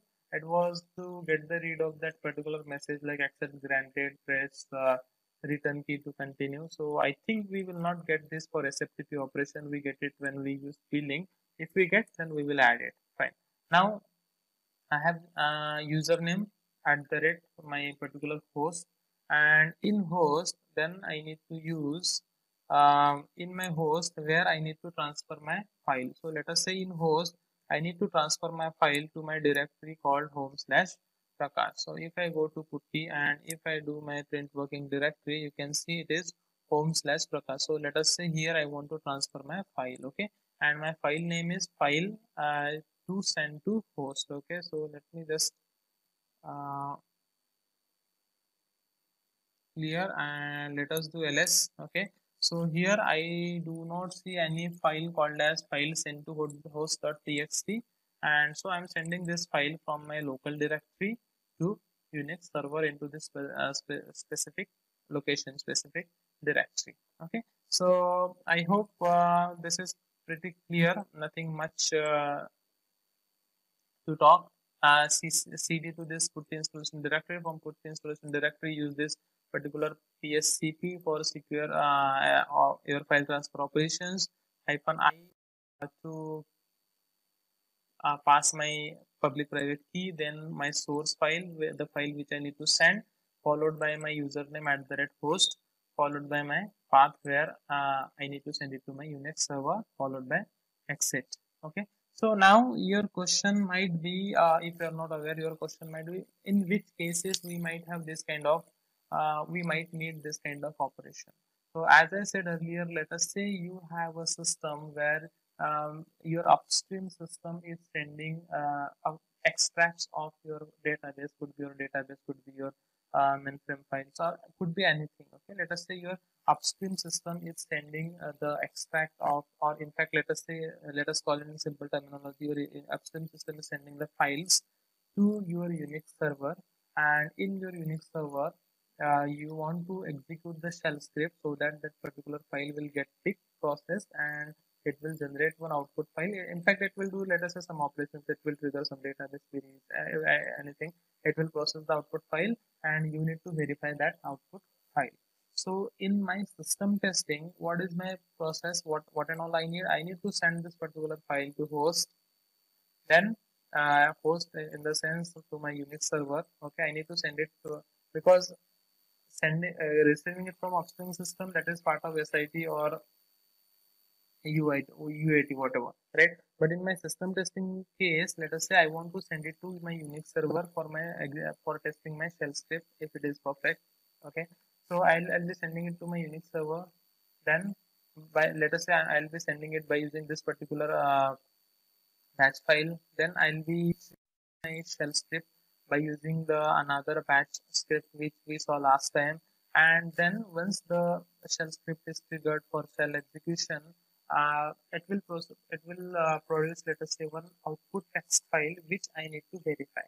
Now in order to verify that file I can uh, even verify it on uh, Unix server but uh, in order to uh, do some operations on it like read it line by line and then verify then compare it with my results and all those stuff what I'll do is better I'll get it on my local machines. In those cases we will download the file from my Unix server to my local machine. So in there could be any uh, such a scenarios where you might need this. Okay so now i'm done with this. I have saved it. Okay now let us run this particular script send file to host. So i'm just double clicking it and you can see the script is triggered in your command prompt. And uh, now you can see the file transfer is successful. There was some pop-up and uh, I couldn't uh, grab it actually but uh, if you go to your uh, putty now and if you do ls now you should see some file new file which is file to send to host now this particular file has been sent from your local machine to putty installation sorry uh, unix server. Okay and uh, the script which we use is this one by using pscp okay so this is how basically we can send the file from your local machine to Unix server using Putty, basically using PSCP. So this is when we have a single file. But even you can play uh, along with multiple files as well, like uh, simply by using uh, this uh, wildcard, you can do that. Let us say from this particular directory, I want to send all the files with with dot uh, doc extension, or maybe you can you can give like dot dot uh, sorry asterisk dot asterisk so that it will send all the files with all extension from the specific folder to the required directory where you want to send it. So likewise you can send multiple files as well. Or even if you want you can add this multiple command into the same batch file and you can execute so now your main task is you need to make these things parameterized like from where your key will be picked up or uh, from where this particular file name will come in, in your uh, test automation framework. You need to update it dynamically. So that is something you need to take care okay? So fine. So that's what i have for this video. In my next video i'm going to talk on how we can receive the file from unix server to my local machine using again putty. Okay? So that's it. So uh, in again as i said in my next couple of videos i'm going to show you once we are done with creation of all this batch file how we can execute this batch files from java code. Okay? So fine. That's it. Thank you. Hello. Welcome back. Welcome to the course of unix for testers manual and automation uh, by, by using selenium. Okay so uh, in this video i'm going to show you how we can receive the file from unix server uh, to your local machine using uh, one of the putty tool called as pscp okay so in my last couple of videos, I talked about uh, how we can execute the shell script using Putty uh, automatically uh, by creating a batch file and we can invoke basically invoke that batch file from any of the code. Then how to send the file to Unix server and this video I'll talk about how to receive the file. So basically the steps are same create a batch file then cd to put the installation directory and this time as well we'll be using this pscp but only this this uh, syntax will change okay? So what i'll do is i will just uh, go and create another batch file okay? I, I have copied the content because most of the things will remain same. I'm going to save it as a batch file okay on my desktop itself and i'm going to name it as receive from host okay something like that and my extension should be dot batch used in double quotes because I need to uh, override this .t extension, extension with batch. Fine. Now the very first thing is uh, cd to put t then pscp again I'm going to use and just the format will change because I'm receiving it from Unix server. So the first thing will come your Unix thing and then your local thing in my earlier video where I talked sending the files from local machine to host. In that case the first point was sending the file that is from your local and then your uh, Unix server. So the, the sequence was basically reversed in a sending case your local file will be first. In receiving case local file will be last right? So it would be uh, your uh, let me modify this. So in this case your this particular parameter will be at the same position just this file name should be last right? And let us say from uh, this uh, particular directory uh, home slash prakash i want to receive one file called as let us say this output file dot txt. Let us say i want to get this file. So i need to give basically the complete path. Even we can use wildcard here to receive uh, it in multiple files. So we can see that. So what i'm going to do here is uh, using this key on this for this specific username for this server and the file from my unix server that is uh, prakash it should be slash. So this output file from this particular directory will get received at this particular location. Pretty simple. Okay. Now what i'll do is simply i'm going to execute this receive file from host and you can see the process quickly. Now you can see the output file and you see something right? If you if you want to just uh, keep it you can do is you can add one more line called as pause so that it will wait for you okay? Do i have added pause and i'm going to run it again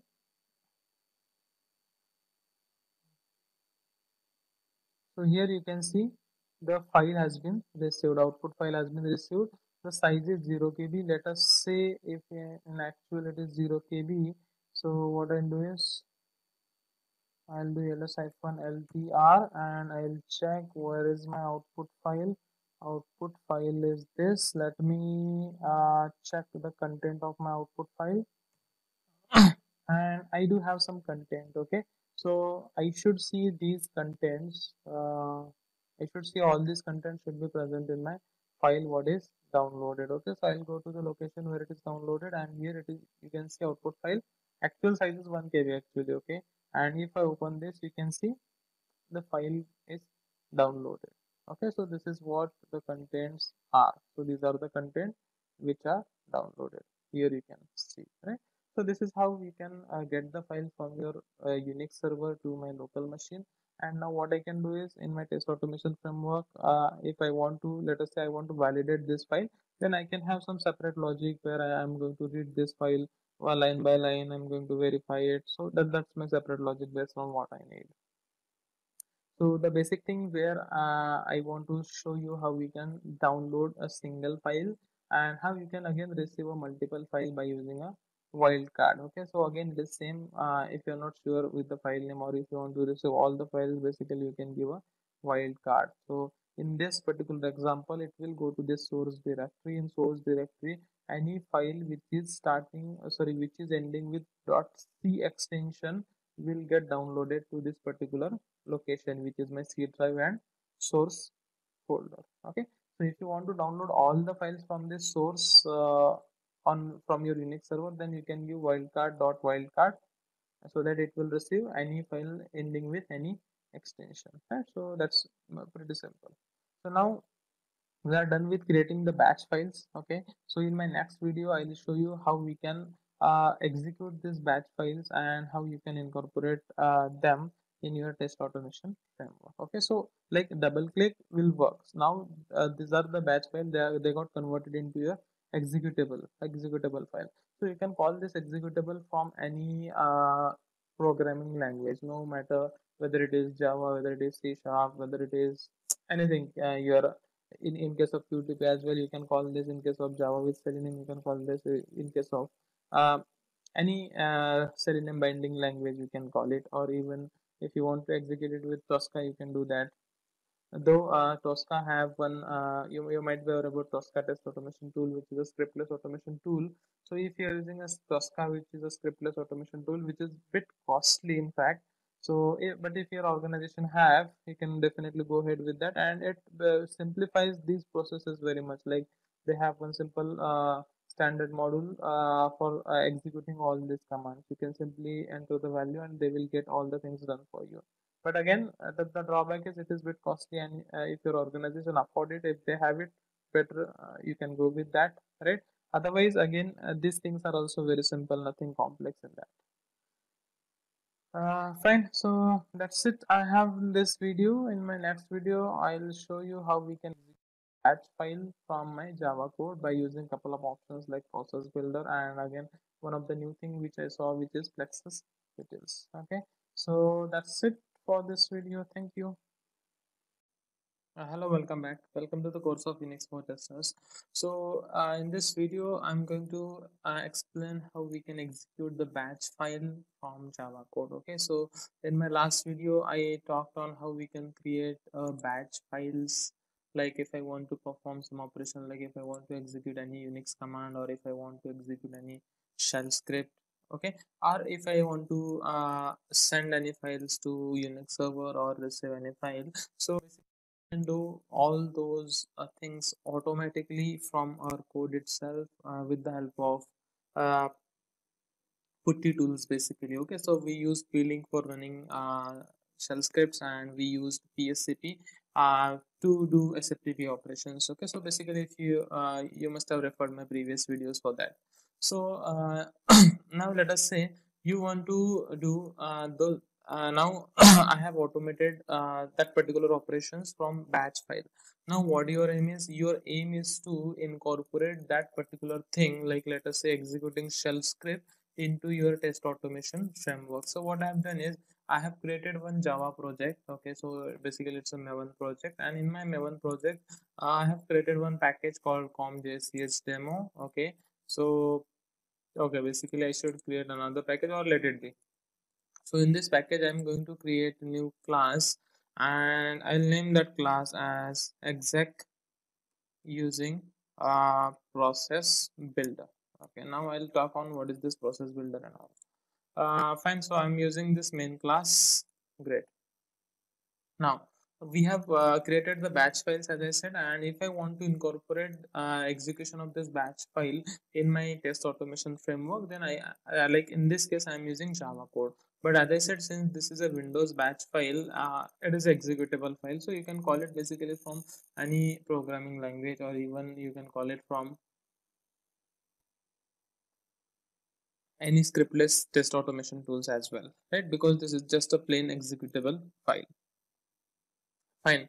Now uh, what i what i'm going to show you today is how you can execute that windows batch file from uh, java code which you can incorporate in your test automation framework. And basically we have two ways to do that. The first way is using process builder okay? And we have another way which i'm going to explain in my next video where we are we, we are using one API which gives us a good uh, way to deal with command lines. Okay? So now I'm going to show you how we can do it with process builder. So process builder is basically a class in your Java. Okay? So the uh, it, is basically used to uh, perform execute the uh, or to initiate various processes. So the very first thing is you need to create the object of process builder class okay so if I just hit enter you can see process builder uh, belongs to java.lang okay so i am using this builder and i'm creating the object called as pb is equal to new and it should be process new process builder string command. Fine. So i'm using okay give me a second uh, new process builder and here i need to give my basically the location of my batch file okay? So in my case i have my uh, okay so here it is. Uh, let us say if i want to sorry i double clicked. If i want to send particular files to host okay so i'm going to use this particular uh, batch file okay? And how, how I can get location for this batch file I can go to properties. I can either get this full location okay or I can get this location only and then I can use uh, system dot uh, get properties right? So let us say if I want to get the location of my current project and then I from my current project location I can navigate to this particular path okay? That's what I'm going to do okay? So if you want to get the current location of your project then you can use system dot get you should have something get property. Yes and the property to get your uh, location is user dot dir. It is to use get user directory. Now i am into this particular directory. Let us say and, and from this directory i need to navigate through these steps till this particular location wherever i want okay? So i'm using plus okay? And now i want to navigate uh, so i've just copied the location and i should use double slash. Right because it, it acts as a skip character. Fine. Uh, now i have created the object for your process builder class. Okay. Now what next? I should start the process. So if i use pb dot and I should see one option as start okay? And here you can read the basically description is just to start the new process using the attribute of this process builder. So I have created the process builder and going to start my process by using this pb dot start okay? So if I execute this simple line two lines of code it will work perfectly. No issues okay? But now what i want to do is i want to uh, check if my execution is successful what is the written code what is the output uh, that i am expecting on my console uh, or your terminal whatever right? So in order to do that uh, we need to uh, get it basically in the process object. So if i hover my mouse on start you can see it returns the process object okay? So what i'll do i'll i'll uh, use process object it is again from the same package and I will name it as process equal to pb dot start. Now I got this process object okay? So by using this process object what I can do is I can get the input stream that is uh, the data which uh, gets on your terminal and basically I can get the uh, exit code okay? If my exit code is zero then the execution is successful. If it is not then there is some issue fine. Now my process is started and i have uh, assigned it to some process variable okay? So what i can do is i can use uh, process dot okay? So if we do just process dot dot you can see some uh, uh methods in it like get input stream and you can see the description for get input stream is it returns the input stream connected to normal output of your sub process okay? Uh, so what basically this get input stream is uh, whenever you run any process it will display some uh, it will write some content on your console or uh, on your terminal. So in order to read that uh, content we will be using this get input stream. Again we will be using uh, this wait for okay so this wait for is used. You can see it causes the current thread to wait it necessarily wait until the process is uh, terminated. Okay so we will be using this process for as well. And by sorry wait for as well. And by using this wait for we will be uh, waiting for my process to get completed and uh, get the return code. Okay or exit code whatever. Okay so the very first thing is what i'll do is i will get this input stream. Okay and I'll just display it on my uh, this particular console over here right? So I'm trying to get my input stream. Now uh, okay what this get input stream return? It returns input stream. Okay so I need to basically assign it to input stream. Okay so what I'll do is I'll use new input stream.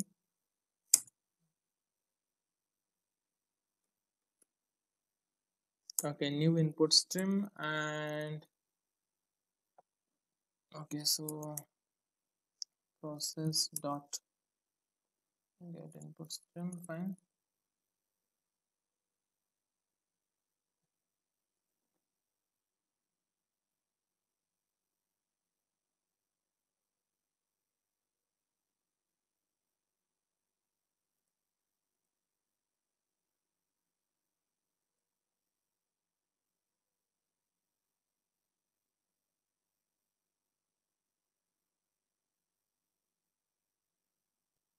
okay so basically we should use uh, input stream reader. Uh, yeah so we'll be using input stream reader to read the content. And where we will be storing those content? We will be storing those content into a buffer reader okay? So i will create one object of buffer reader class. Buffer reader uh, bf is equal to new buffered reader. And I need to pass the reader. Okay and what is my reader? My reader is basically this particular input stream. Excuse me. So now what will happen is we, we are using the process object to get set input stream. This get input stream returns uh, input stream reader. Okay and by using this input stream we are storing the content of that input stream into my buffer variable which is bf okay now or even I'll let me call it as reader. Okay so I'll, i'm going to store the content into the reader. Now what i'm going to check is i'm going to read the values from reader okay? So to read the values from reader what we can do is we can use that object of reader and you can see the method called as read line okay? So basically we can use this object read line okay? And what i'm going to do is i am assigning it to some string. Line is equal to let me define some string fine. So what i will do is i will use while loop over here so that i can iterate over all the uh, what i can say all the lines of uh, text which is present into my buffer reader. And i will check if my uh, line is not equal to null. If it is not equal to null then i want to display it. Okay? Okay now if it is not equal to null then I want to display it. Okay I, I can use okay or else what I'll do is uh, okay uh, I can basically one uh, string builder. Okay so what I'll do is I'll create one string builder. So string builder is basically a mutable string and what I will do is I will append uh, the data to string builder okay? My data is present in line okay? And then uh, I need to add a line separator okay? So I'm going to do it so that my next line will get displayed onto the uh, next line in my uh, string buffer string builder sorry okay? So now uh, I'll have my all data into this specific string builder okay? Which is my SB. Now, what next? Fine. So what I can do is I can simply display system.out.println SB. That is my content from string builder. Okay. So oh, I got this command over here not required. Fine. So now if I execute this code simply, it will uh, it should execute the code but before i execute the code let me connect to my putty and let me check what file i am going to send it to my I mean, Unix server.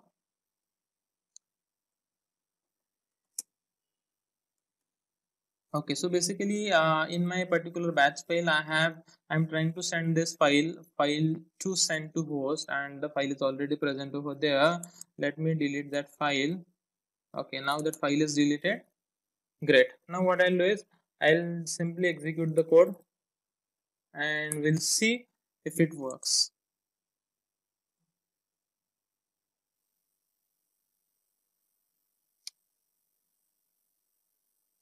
okay so you can see uh, my execution is successful and you can see the the things which uh, which get performed on your terminal are already displaying over here. That is because of this particular reader and this particular part. Otherwise if you just want to trigger the process these two lines are enough. And if I do ls now I should see that particular file uh, here. But why don't I see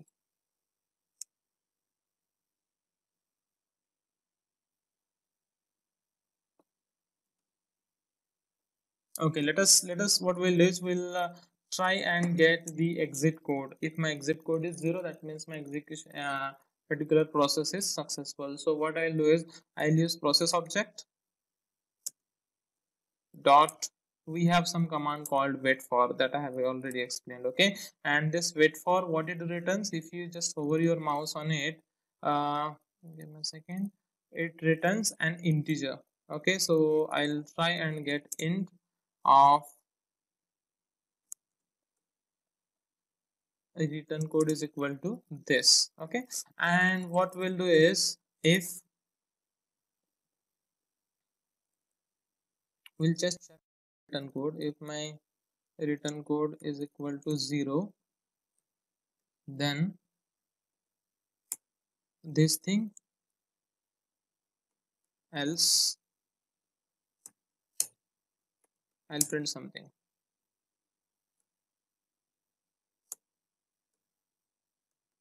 Not not successful. Now let us do it again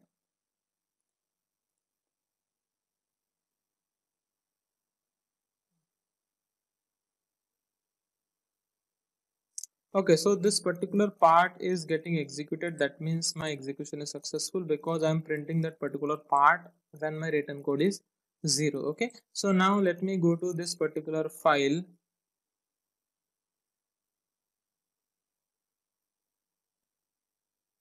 Okay so basically uh, my file what I'm ex executing I'm ex okay so actually I was uh, using this receive file from host so I should use this send file to host.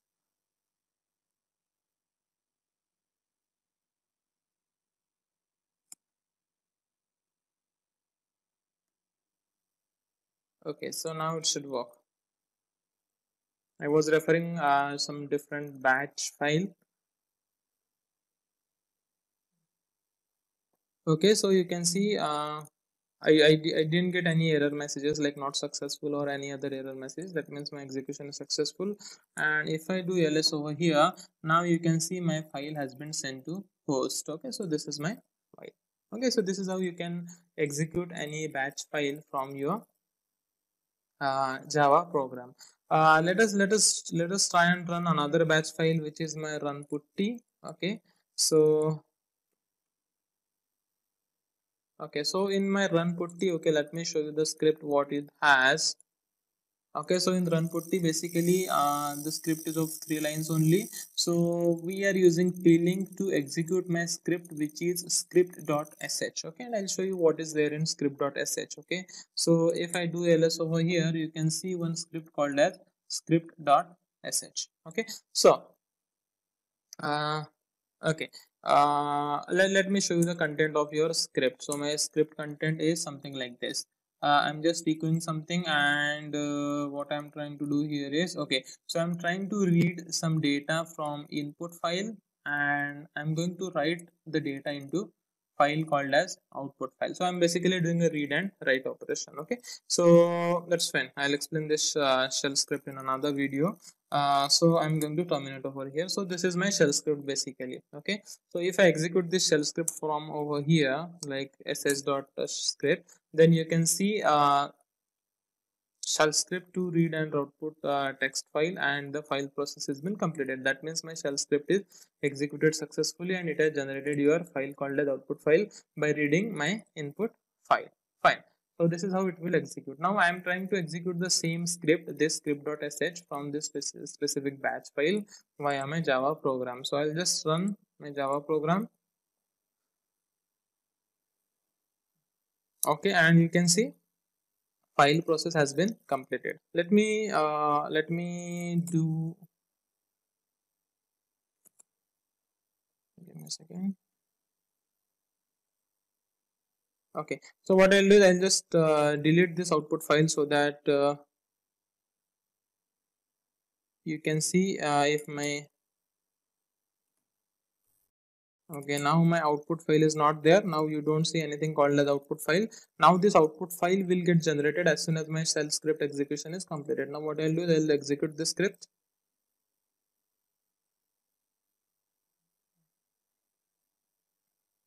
Okay my execution is completed and i should see the file called as output file. So here it is. So this is how basically we can use uh, this process builder class to execute any batch file. Okay.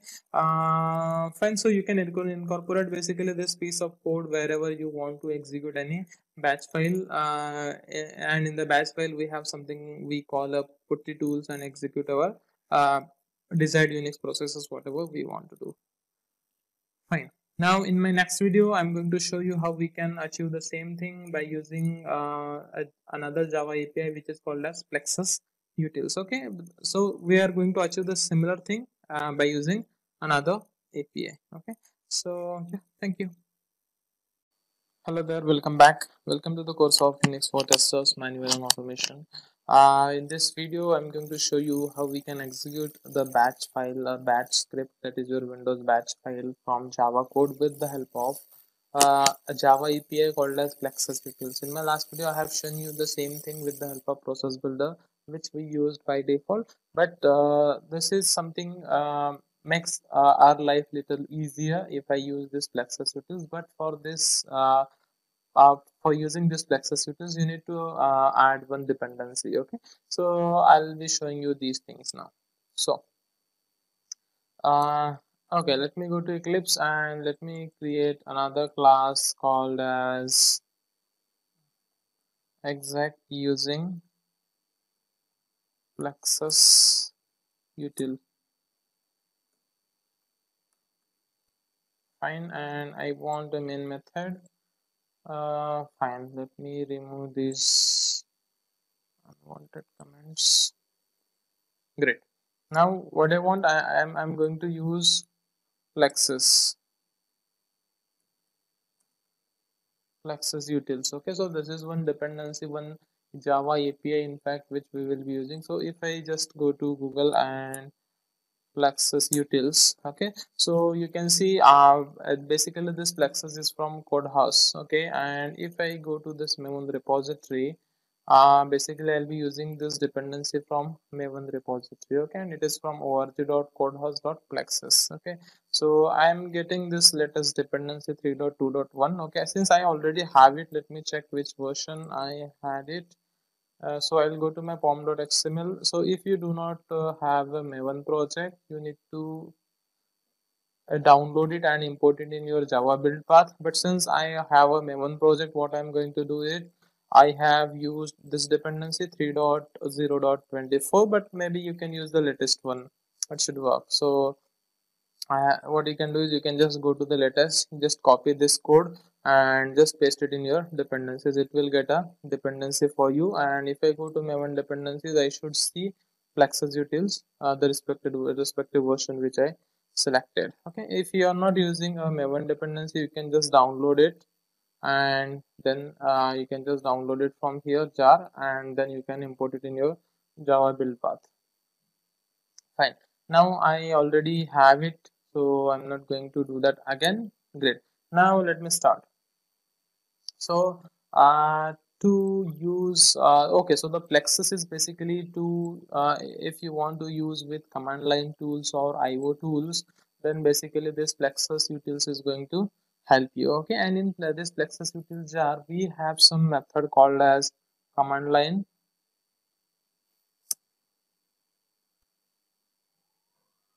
Okay so this is something which we will be using and it is from org.codehaus.plexus.util.com CLI. Okay, and you can see the description here.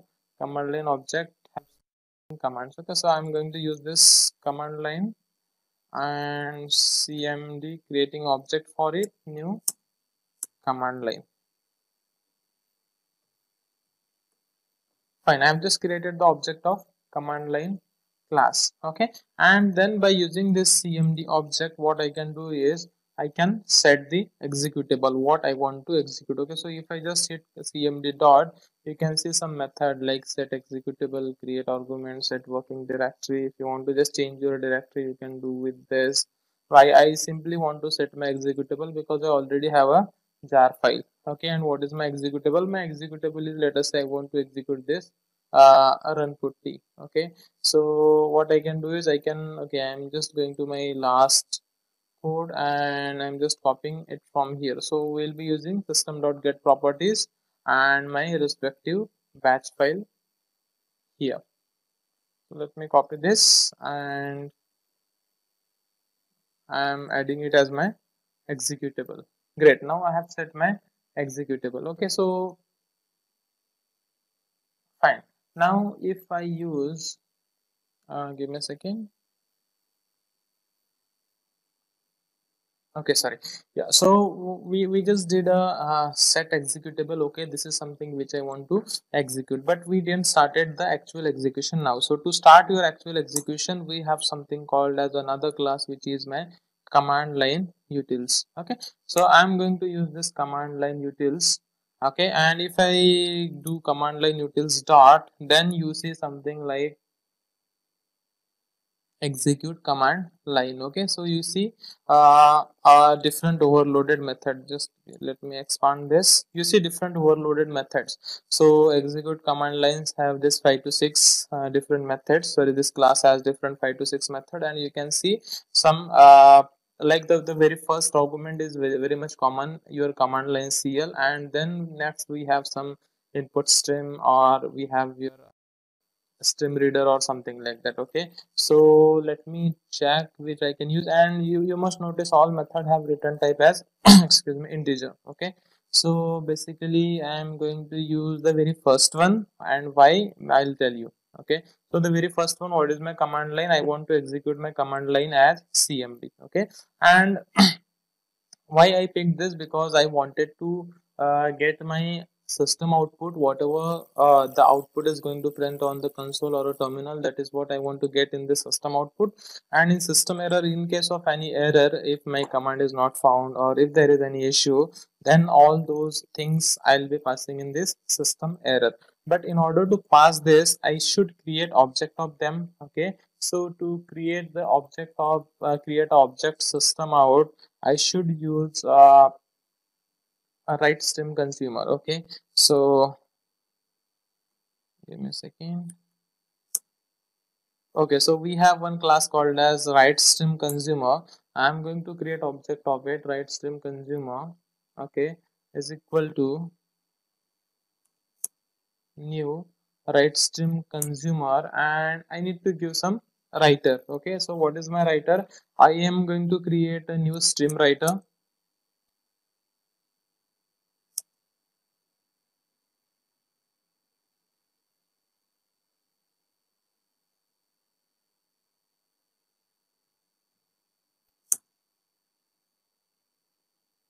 second i'm looking for stream writer.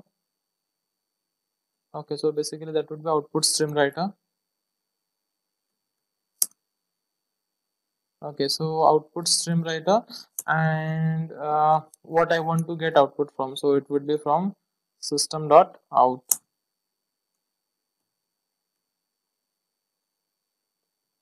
It will print my stream. Fine. So now i got one object which is my uh, system out with the help of class writer stream consumer. So this will basically uh, print it on my my console basically or i can get it in my uh, what i can say I, I can get the text from it and i can use it in my program if i want. Next is my system error. Okay so what is system error? In case of any error okay so how i can get it? So again i'm going to use uh, what I have. Uh, okay, so basically, see, uh, two things system out and system error. So if i execute any command on my terminal let us say so i'll get my output as well on this terminal itself and if any error then i'll get that error itself in the same terminal okay? So basically i can use this system dot out itself for my system error as well okay? So i'm just doing going to do a copy paste and assigning it to a object called as system error and that's done. Fine. Now this will execute my command. Okay. And uh, what is return type? So its return type. You can see its return type is integer. Okay. So what i'll do is i will just get return type integer uh, in my let us say return code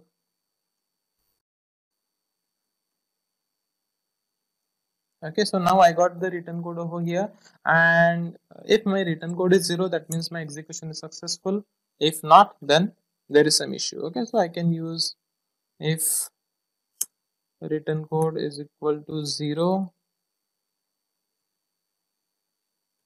then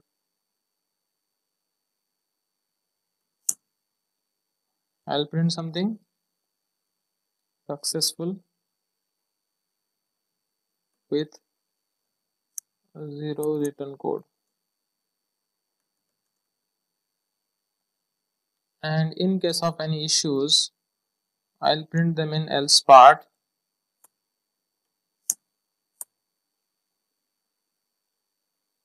Okay so basically I'll just copy paste this. And my execution will be unsuccessful. And my return code would be non-zero. Okay so that's pretty simple. What we did is we just created an uh, reference of uh, object reference for this command line which is the base class from where we are going to start. And then to this cmd we are going to uh, uh, like I have just set my executable okay? If you want to change the directory we have a method for that. Uh, I just wanted to set my executable directly because I do have a batch file which is directly executable. And then to read the content uh, from my terminal I'm using like in case of normal system.out in case of error I'm using system.error those two things I need to pass to this uh, execute command line methods uh, under command line okay. So uh so and this particular execute command line method which is from command line utils returns uh, an integer. If that particular integer value is equal to 0 that means your execution successful. If not then you have some error. Let me execute this. And okay you can see the execution is successful 0 code. And you can see whatever I had printed it in my command shell uh, shell script it is getting printed. So that means the execution is successful. Great. So now uh, you can just embed uh, this this much lines of code anywhere in your test automation framework wherever you want to execute any batch file. Okay so this is how basically we can run the batch file. And in my batch file i have the code i have some code which interact with my unix server right? But now uh, okay. So now uh, earlier as well i might have talked like uh, I'm, I'm going to tell you two approaches. The first approach to do the automation of unix uh, processes is with the help of putty and another one is with the help of an java api called as jsch okay? There are n number of apis for java for other other technologies as well. For c sharp we have for other as well we have. Uh, but the drawback of using this particular uh, batch file this batch file because in the batch file what we used in the batch file we have let me open the batch file. In the batch file basically we have used something called as pscp.exe or plink.exe okay? Uh, so uh, wherever you want to run this specific test automation framework if and if you are using this particular line of code then you should have this pscp with which is basically a putty tool installed at this specific location whatever you will mention over here. So if you are trying to execute this particular uh, code in your test automation framework from uh, let us say from jenkins server uh, in your jenkins servers as well you should have putty installed and you should location of putty over here the same location what you have in your jenkins server. Okay on the machine where your jenkins server is installed. So that is a prerequisite basic prerequisite uh, for using this particular approach. Okay? So and the second approach what i have is by using uh, java api okay? So since i'm using java in this case i'm going to use java api but if you are using c sharp then you can use another api which are available in c sharp which i'm going to show in my next video. So if we are going to follow that approach this particular dependency gets removed because we do not interact with unix server via uh, via any uh, ssh client like putty okay? We do the direct interaction okay? And how do how we do that? I'm going to talk in next four to five videos okay? So it depends on uh, your uh, your, your way where you you want to execute your test automation framework. In some organization ssh uh, java api for ssh client they do not permit. They only permit using this putty. So for them this is the way how they how they can do this. Otherwise if your organization permit you to use another uh, third, third party api like jsch which you are used to interact with uh, unix server from your machine then that's the best approach we should go ahead with. Okay? So that's it uh, from this video. So from next video i'll be talking about uh, my second approach uh, by using jsch okay? So yeah that's it. Thank you welcome back. Welcome to the course of unix for testers manual and automated processes which can be clubbed along with any test framework like selenium. Uh, in this video i'm going to show you uh, in fact talk about uh, what are the various libraries available to automate Unix testing. So in my last four to five videos, I talked about how we can create a batch file and how we can execute that batch file uh, by using Java code, that is by using process builder and uh, another Java API. Okay, so that is one way how we can automate the Unix processes, the various processes like sending the file to your Unix server, executing any Unix command or uh, receiving the file from your Unix server to your local machine for some purpose and executing your shell script which is most important functionality within Unix. So uh, that's the one way but in my last video I must have talked about excuse me drawback of why we may not use uh, that that approach using SFTP uh, sorry uh, or using putty tools uh, because it need to have put installed on that particular machine where you want to run that uh, run those specific test cases. Uh, the another approach is to use uh, a set of libraries various libraries which we have okay to automate all those processes. And uh, in this video i'm going to talk about two libraries uh, basically uh, for two languages. So the first one is for java clients okay? So the java you must be close to like maybe more than 80% people prefer Selenium with Java. So that's the reason I picked uh, Java library for uh, automating this Unix testing. But in fact, you can use uh, like we have the SSH client for your C sharp. We can we have SSH client for Python. You can have respect to SSH client and you can use them to achieve the similar things.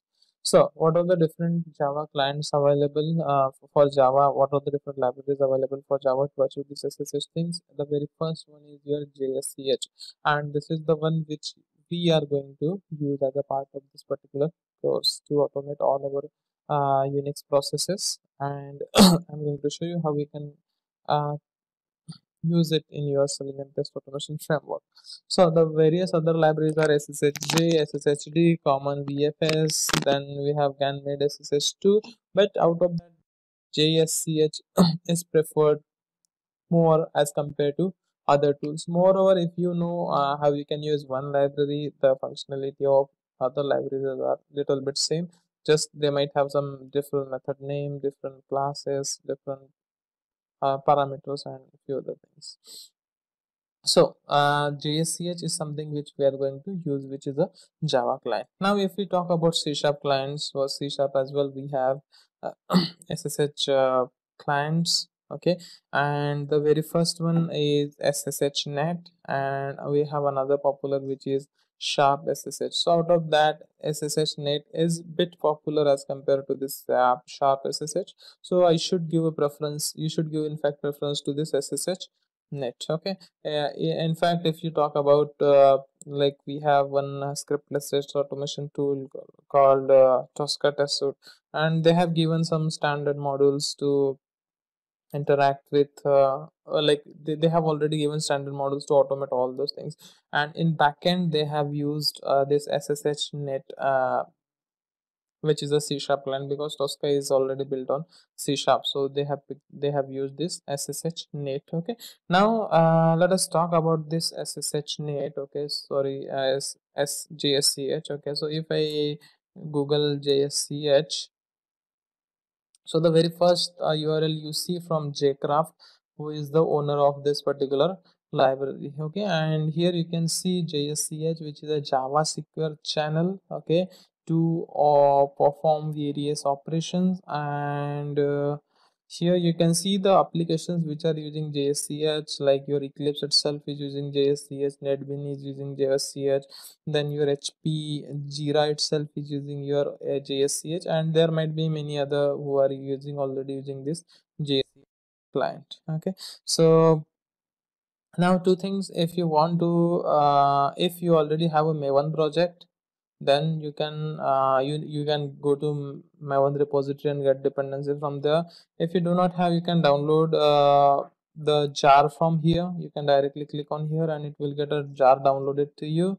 But if you have a maven project you can just go to uh, or what i'll do is i'll jsch maven dependency. It will work for me. Jsch maven dependency the very first url i got is com.jcraft.jsch and the latest one is on dated November 2018 that means it is quite up to date. Not very much up to date but it is okay. It is up to date okay? So i'm going to prefer this latest version 10.1.55 and we will be using this dependency in our uh, project which we will be talking from our next uh, video okay? So this to perform all these processes like execute any unix command uh, could be a very simple starting from your ls to get list of all the uh, things in your particular directory. Could be your search functionality grep or any kind of command uh, and that could be your sending file to your unix server receiving file executing your shell script checking a particular file exists onto your unix server at particular location. Could be uploading downloading multiple files to your unix server to and fro okay? So all those things we are going to achieve with the help of this particular jsch library okay? And that's what we will be talking uh, that's what i'll be continuing in my next five to six videos about these things how we can automate okay? So that's it i have for this video. Stay tuned. Thank you. Hello welcome back. Welcome to the course of unix for testers manual and automated. Uh, so in this video i'm going to uh, show you how we can use basically uh, JSCH in your Java project. So the language binding which I choose uh, chosen over here is java okay? So that's the reason i'm using jsch okay? So i'm going to show you how we can basically uh, we we must be knowing everyone how we can create a java maven project. And then i'll show you how we can get this jsch maven dependency. So if you're using a maven project then you can use basically the maven dependency. If you're if you're using non-maven project then you can download the jsch jar and then you can add it in your build path okay? So I have already created uh, basically the Maven project so I'm not going to create a new one but I can just show you how we can do that. Click on file. I am basically using Eclipse. Eclipse IDE okay? And uh, the process must be common in uh, almost all the IDE whether it is Eclipse IDE whether it is NetBean or it can be your RAD so I'm going to file click on new. Then I'm seeing the very first option as Maven project. If you don't see over here, then go to other and search over here for Maven. Okay, so you should see option called as Maven project. If you don't see, you might need to install the Maven add-in so you can get it from help and install software or Eclipse Marketplace. You can send. You can find both the options. You can get it from there.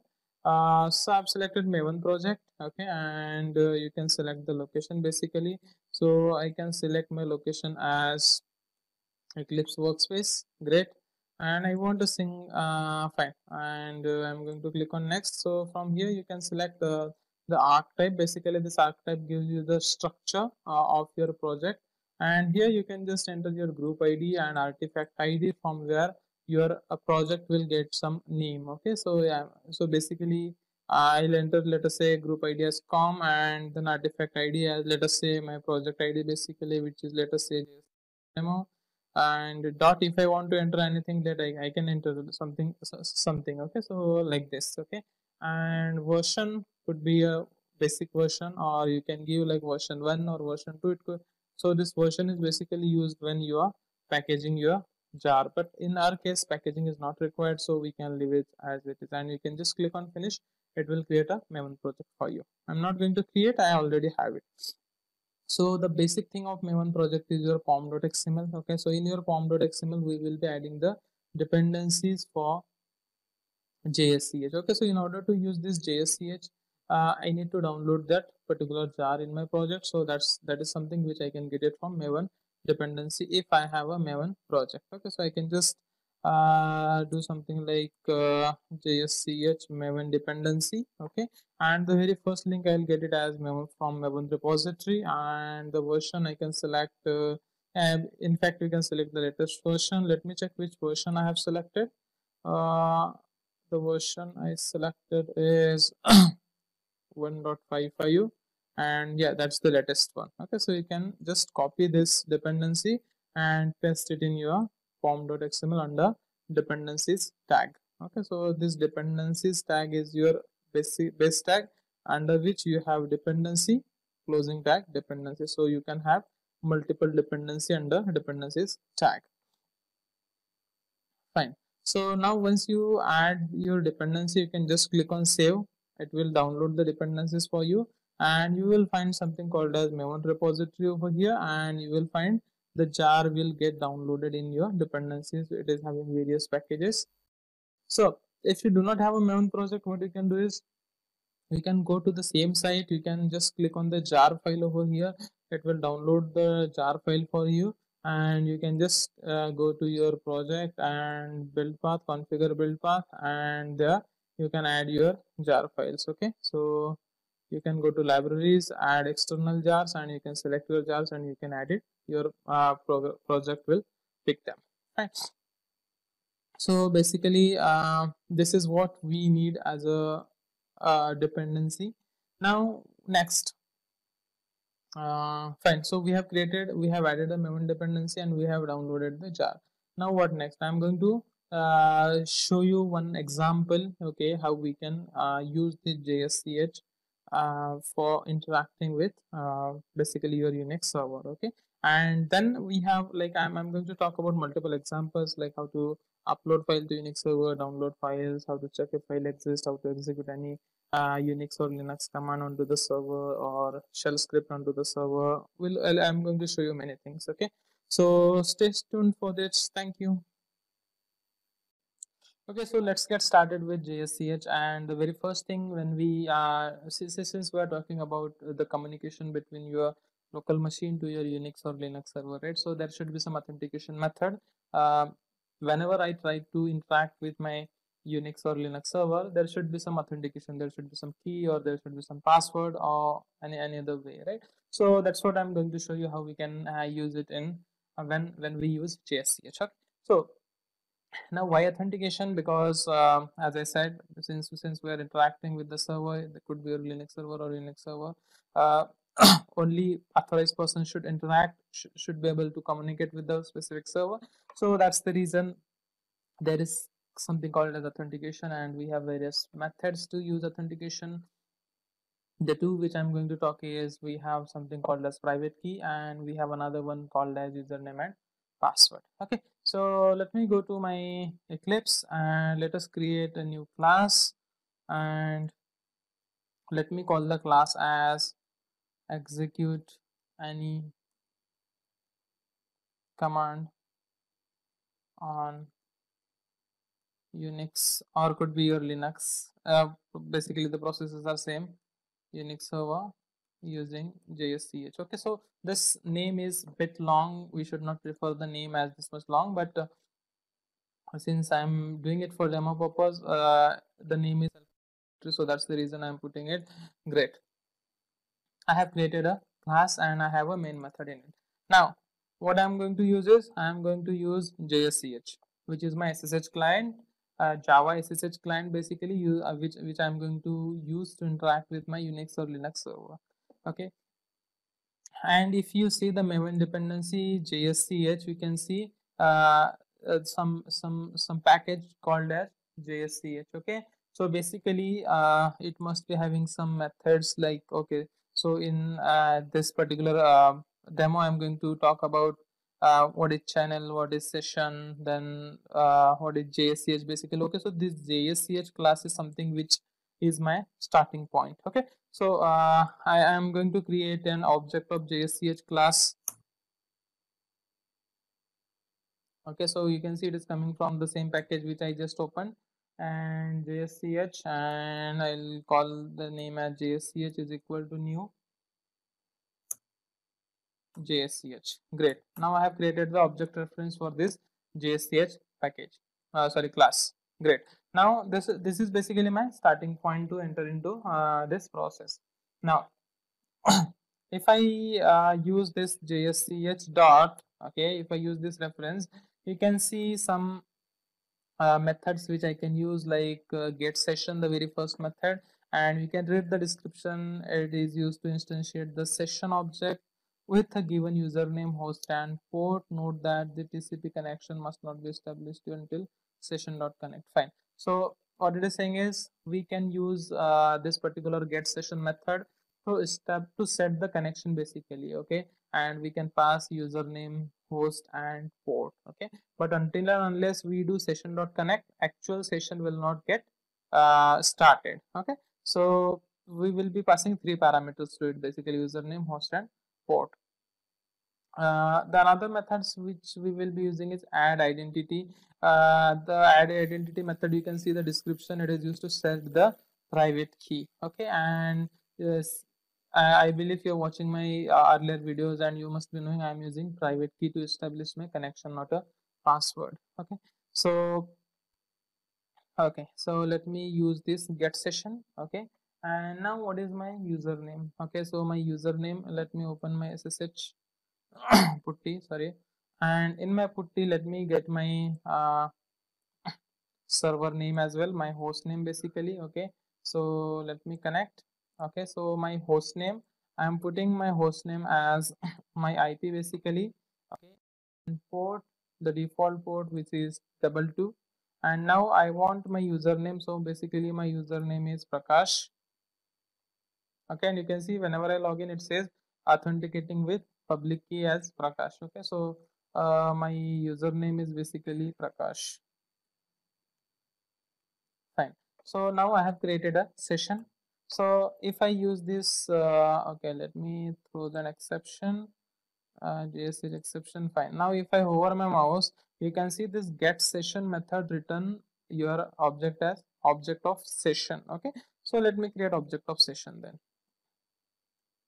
Session session is equal to uh, let me import this session from again from the same package now I have created a session. So basically the flow goes like this. So you have created the object of JSCH uh, class which is the entry point. Then so by taking the reference of JSCH I'm creating the session okay? And from this session I'm going to create a channel okay? Uh, but before we uh, go ahead with channel now we need to do something with uh, setting my password or setting my uh, key basically. Okay so how we can do that? Okay so if i do session dot let us see what an all method it has. It has a method called as disconnect. It has a method called connect. So these two methods are self-explanatory connect and disconnect. To connect and disconnect my session.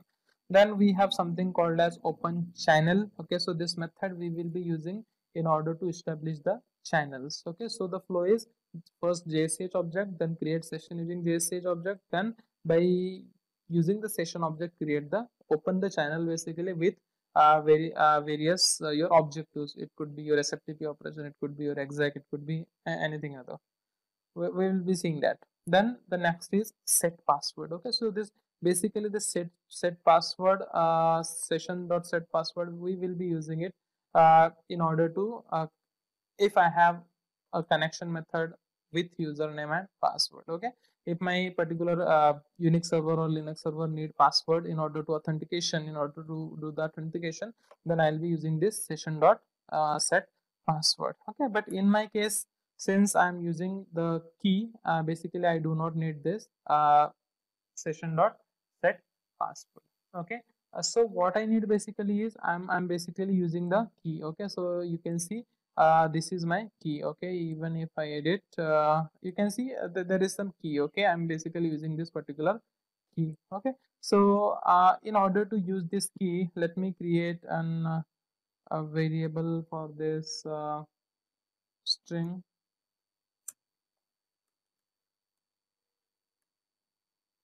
Private key path is equal to and let me get a path for this particular key because i'm going to use this particular key okay? And fine. Now i should use uh, sorry double slash.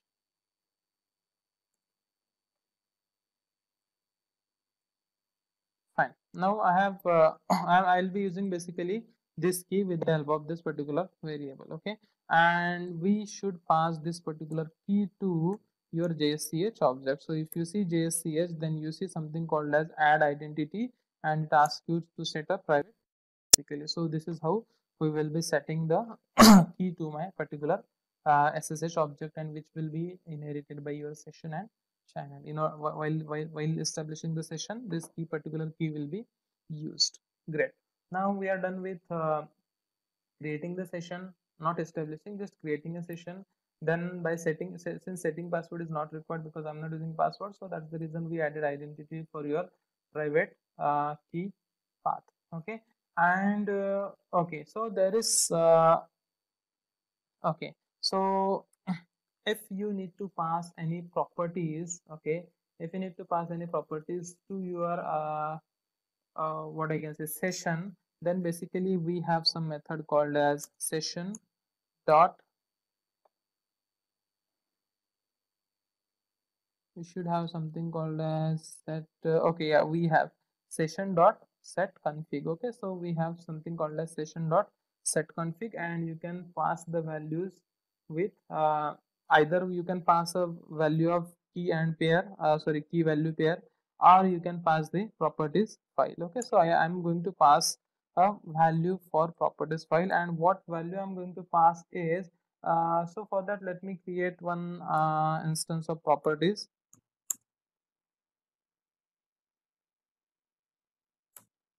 properties. Config is equal to new properties okay? And in this properties what i'm going to put is config dot uh, we should have some method called put. Yeah fine. And then here i'm going to add a value in uh, a key value pair basically okay?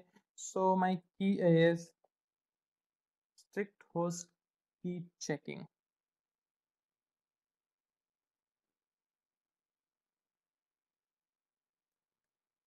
and I should give the value as no okay? And why we need this I'll tell you. Okay so sometimes what happens is uh, even if you are setting the password from here or you are setting a private key from here it might ask you for a password in your command prompt whenever you uh, whenever it's uh, create a session. Before before in fact before it create a session okay? So that's the reason we are asking to strict give me a second uh, it should be strict strict host key checking and i'm setting it to no. And basically i should pass this config to set config here right? So this is how we can configure the session. If, if there there could be a number of properties which we can get and you can find the details on the website of JSCH. Okay, so you can refer this website. It's their official website, JCraft. Okay, so you can see some examples over here. Uh, some examples over here and wiki. Okay. Uh, basically you can explore this particular their homepage you can see some examples as well over here okay so that's fine so now i have uh, set it this particular uh, configuration file and now i should be good to establish my session. Session dot i should see some method as connect. Great. Now i should be able to get connected with my unix or linux server. Okay i'm just trying to click on run and so now I will not understand if my session is successful. I, I can expect some uh, uh, exception if anything but uh, I do not expect anything to be printed on this console okay? So I'm assuming it is connected because we didn't use session dot disconnected okay? Because uh, otherwise it will keep the session connected continuously. Session dot disconnect. Okay so let me put some thread dot sleep.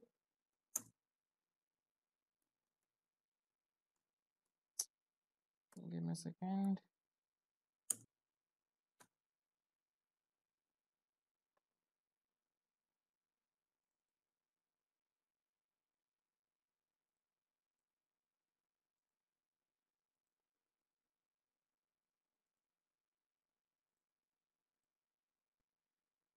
okay so you can see the execution is started let us say and it should get disconnected let us say after three seconds. Yeah it got disconnected now. So i am i'm able to basically authenticate uh, by using my uh, private key and my particular details uh, my host name and my username. Okay so that's it i wanted to uh, cover in this particular video. In my next video i will uh, explain the further processing how we execute how we can execute basically any command in JSCH and which we can incorporate in your test automation framework. Okay, so stay tuned. Thank you.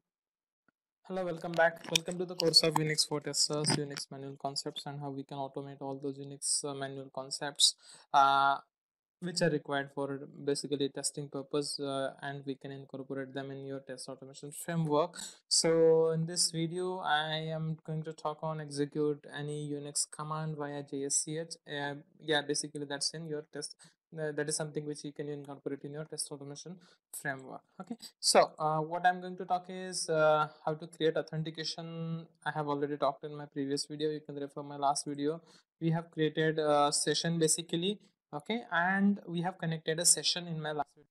So till that we uh, covered. Now in this video i'm going to cover about uh, how we can create a channel then how we can execute a command and how we can get the output of basically that executed command and i can ver verify it basically okay? So let us switch to my eclipse. Now this is what we saw last time. Now uh, let me remove this session dot disconnect and thread dot sleep now once my session is connected okay and if i check what and all object i have uh, sorry methods i have in my session so the very second one you can see open channel okay? So that is session dot open channel. So now i'm going to create a channel okay? So now uh, what kind of operation i'm going to perform over here right? So let us say if i open this open channel method and uh,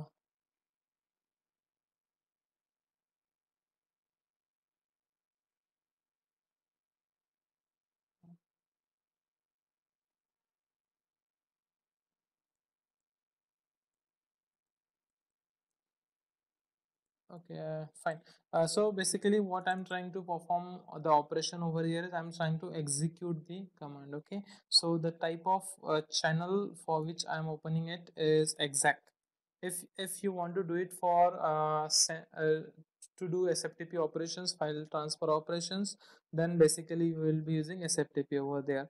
But in this case, I want to perform exec operations, right? And if I hover my mouse, you can see it returns a channel. So let me create an object for channel and assign it to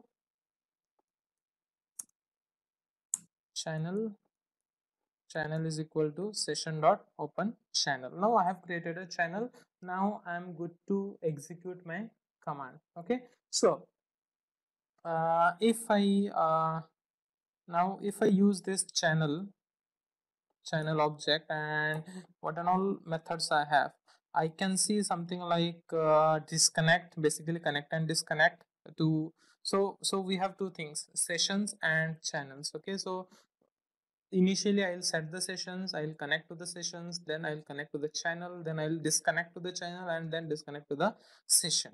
So uh, then we have something called as get input stream, get output stream. Is closed and we should see something uh, okay we have another one called as get exit code to uh, basically get the written code what is my uh, output of my current uh, operations which i'm which which i'm just doing.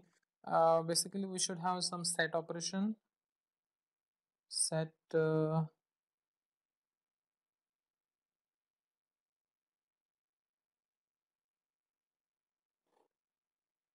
okay. So basically what we should do is we should cast this channel with channel exec because we are forcing it right? So we should give me a second.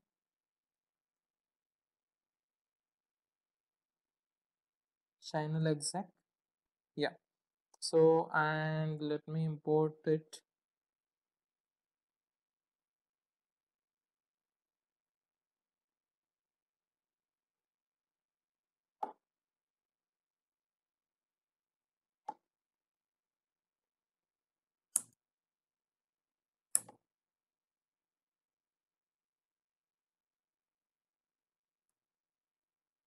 Mm, let me import it. I should get some option as import. Give me a second. Okay so let me import it explicitly. So let me copy this channel and I'm trying to import channel exec. Okay so if you see this jsch package you should see something called as channel exec so here it is channel exec so this is the class which i'm going to use now okay? So channel exec yeah. So and whenever i'll be doing sftp operations file transfer operation i'll be casting it with channel sftp so in this case i'm going to use channel exec fine. Now i should not see that error. Okay let us check with if i can see. Yeah now i can see the method with set command okay? And basically here i'm going to pass my command okay? The command which i want to execute okay? So let us say i want to simply execute my command as ls to get the list of uh, files basically list of uh, items in my present directory okay? So fine. Now fine. So uh, now I'm done. I'm I'm just I've just set the command. Now I am I'm good to disconnect my channel channel dot disconnect and I should be able to uh, disconnect my session. Great. Now and if I run this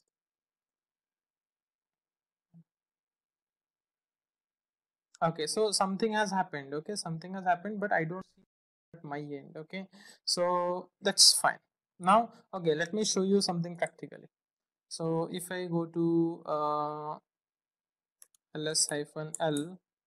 Okay so you can see something like uh, okay so you can find my f1 file and the permission for f1 file is all r hyphen right? So what i what i'm going to do is now i'm going to set a permission for this f1 and i'm going to set it all triple seven permissions. Okay so the command which i'm going to execute over here is and the command to set the permission is you must have referred my earlier video is chmod and i'm going to set up permission as triple seven that is all the permission and my file name is f1.txt okay? So if i execute this command now and if i do ls again i should see this permissions of this particular file. F1 should have been changed to uh, read write execute. Okay so now i can see the uh, operation is completed and if i do ls hyphen l okay so you can see it is not done. That means there is some issue. Okay let me check if the file name is correct. It is f1.txt f1.txt yes chmod fine. Okay let us check Uh, okay, so what we did is we just created a session and we are directly trying to disconnect a channel, but we didn't create, we didn't connect it to the channel yet. So basically I should use channel dot connect. Okay, and now if I see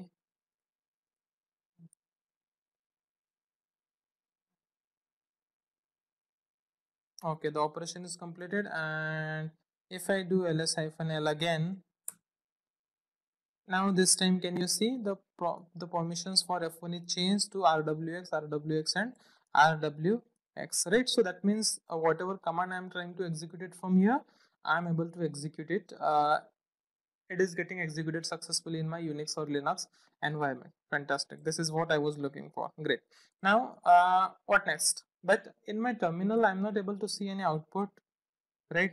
Uh, let us say uh, like uh, how will i get to know? Okay they, we have something like uh, uh channel dot uh, get exit status. We have something like channel dot get exit status. From this we can get to know if my channel execution is successful or not. This is one way.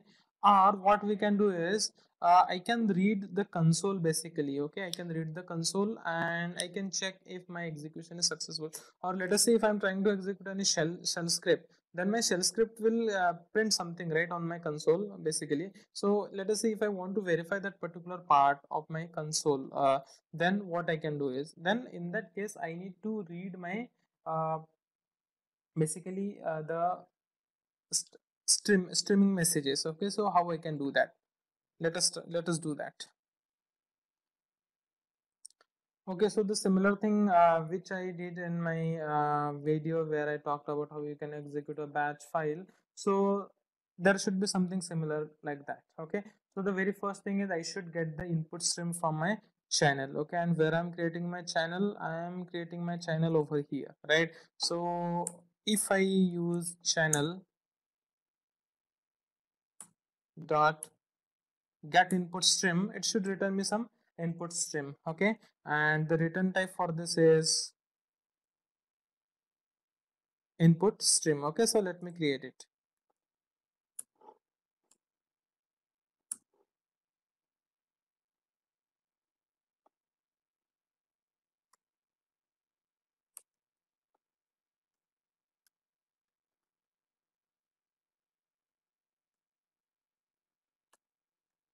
input stream in is equal to what's wrong okay yeah.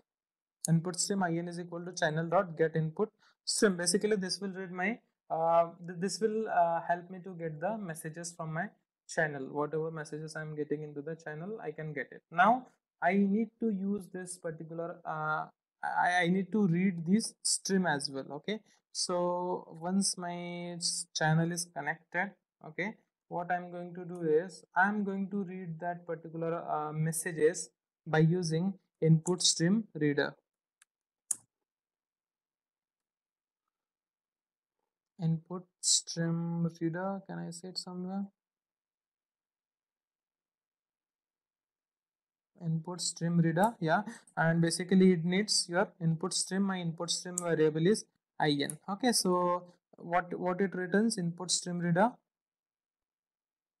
okay and what I can do is basically I can pass this input stream reader to my buffered reader where I am going to store my all the messages okay? Uh, buffered reader yeah.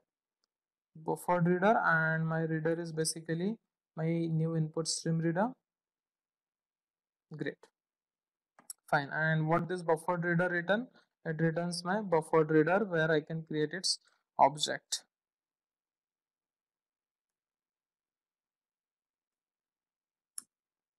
Buffered reader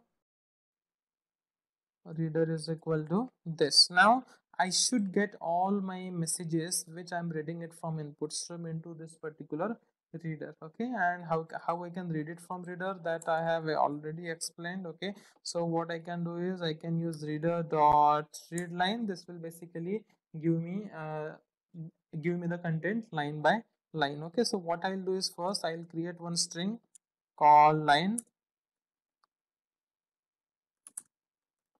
string line okay? And what i can do is basically i can use a while loop okay? Uh, while because i want to do it till my uh, okay till it is not null okay? So what i can do is while it is not null.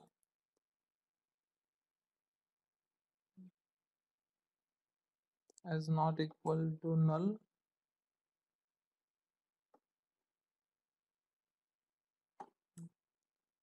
Okay if, if it is not null what i want to do is let us say i want to print it.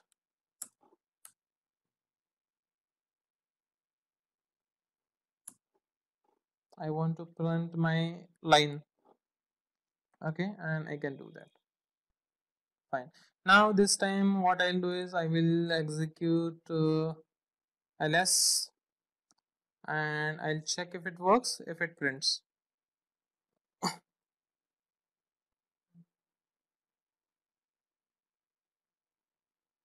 Great. It is printing it for me right? If i want it in more sophisticated way what i can do is i can use ls hyphen ltr it will give me little more details.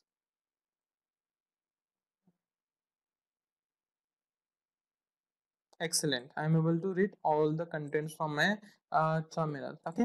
Now uh, if you want to verify this particular content if uh, let us say if you want to verify if a particular file is there or if what are particular operations uh, sorry uh, uh, what are the different rights or permissions for a particular file has. If you want to do some verifications then what you need to do is you need to store basically it in some list.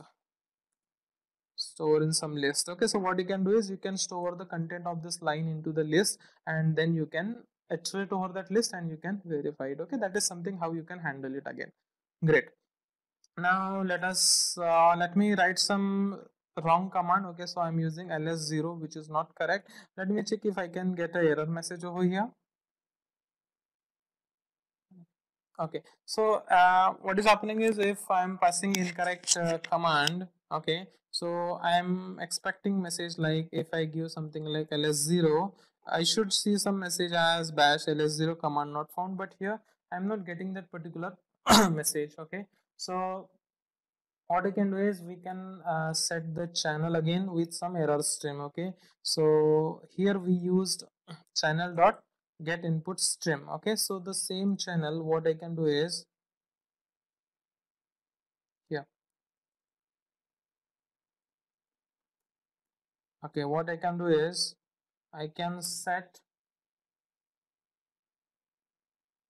I can set channel error stream and what error? I am expecting the error from system dot error. Great.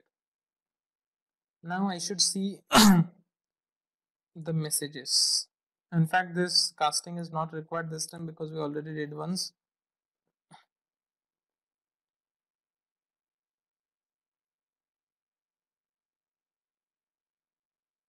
Okay can you see the message now? Command not found great. That is what i was looking for now. So this is how basically you can execute any command. So as i said if you want to verify anything what you can do is you can create a list array list and you can add all the message into the array list before you disconnect. And then uh, you can uh, verify the content of list whatever you want basically okay? So that's how you can execute any command basically on the unix server using jsch which is a java ssh client. Okay so that's what objective of my particular uh, video was. Okay so what you can do is you can basically uh, incorporate it uh, incorporate this particular code into your test automation framework to do wh whatever you want basically okay? So most of the time it might not need to execute any command in automation but what we need is mostly we need how you can execute the shell script or how you can uh, send the file to host or receive file from host. So those things mo mostly we work with we deal with okay. So i'm going to talk about those things in my next video. So stay tuned. Thank you. Hello welcome back. Welcome to the course of unix for tester. Uh, in this video i'm going to talk about uh, how you can send or upload the file to unix server from your uh, local machine let us say okay. So uh, assume a situation in your test automation project where you want to uh, upload some file to the unix server your shell script will run on the unix server which picks up the file which you have just uploaded. And yeah basically it will process and it will uh, do some operation. Could be that, that could be db inserts or could be uh, producing another file or could be sending alert somewhere. Could be anything right so basically what you want to do is you want to send the file uh, so that let us say my shell script will pick. Could be an example okay? So this is just which i said. So how we can achieve this uh, using uh, jsch api which i'm uh, about talking from my last two sessions. So the very first thing is creating authentication. That is again same as how we did in my last two videos again creating channel that is again going to be same. So let me jump to my eclipse quickly and let me create one class. Okay or rather what i'll do is i'll simply copy and paste this exact shell script class and i'll rename it as because i'm going to copy most of the content from that class so that's the reason i'm doing copy paste. Send file to uh, unix server great. Now uh, let me open it.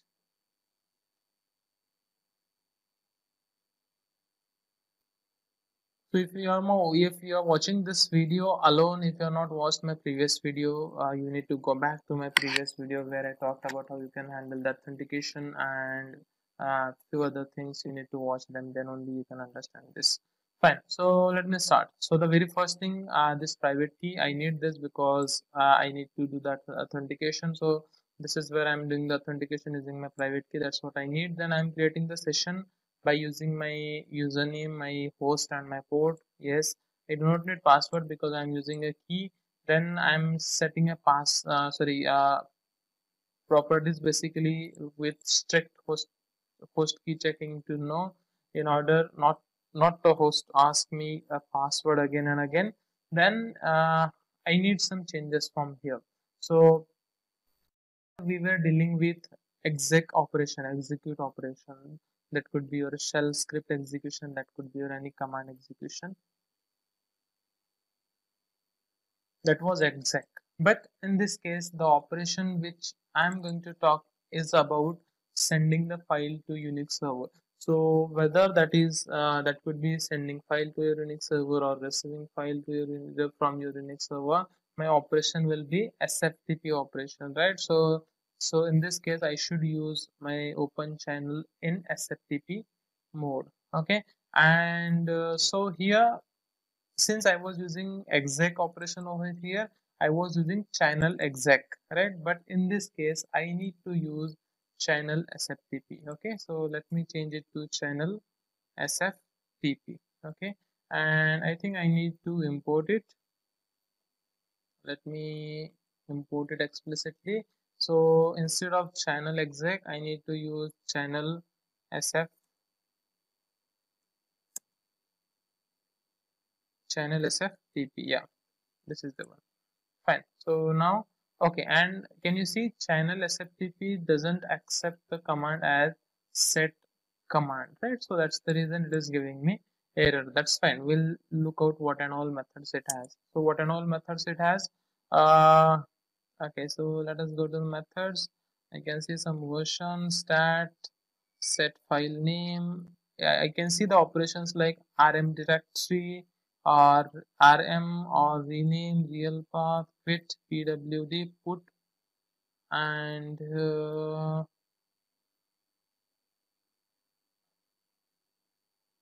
get. Okay so basically uh, sending file is nothing but it is my put operation. I'm going to put my uh, file onto the server right? So this is my put operation basically okay? So what what i need. So i need to put my uh, source. Let me go from start. Okay. So i'm going to pass basically two parameter. So first is my source and another one is my destination. Okay. So here you can see this method particular particularly this method. Put string source and string destination. So this is the method which i'm going to use. Okay. So what is my source? Source is nothing but the file which i'm going to send. Okay so let me check if i have any uh okay so let me go to unix for testers and let us say uh, okay give me a second. Let me okay or let me go to g drive and okay so here i have some file called as file to upload. Okay so let us say i'm going to upload this specific file. Let me copy it as a path and that could that should be my source in this case. So it should be double slash. Fine. And what is my destination? Okay so my destination let us say my destination path. And destination path is from your unix server. So my destination path is let us say home and prakash. So that could be your any destination server where you want to send it. Fine. So i don't want this uh, okay uh, let me use uh, sftp okay it doesn't accept that's fine i don't need it anyway. Uh, okay now let me try simply executing this okay? And before that let me go to my uh, server and let me do ls if if the file is existing okay? So what file i'm going to send? I'm trying to send file to upload and i don't see any file any such a file over here great. Let me execute.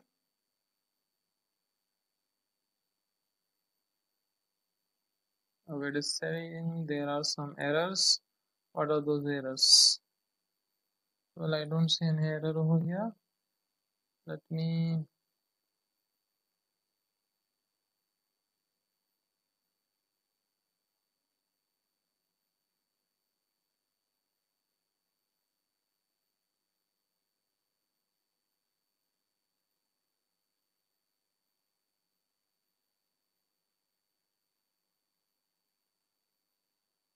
give me a second. Let me fix this.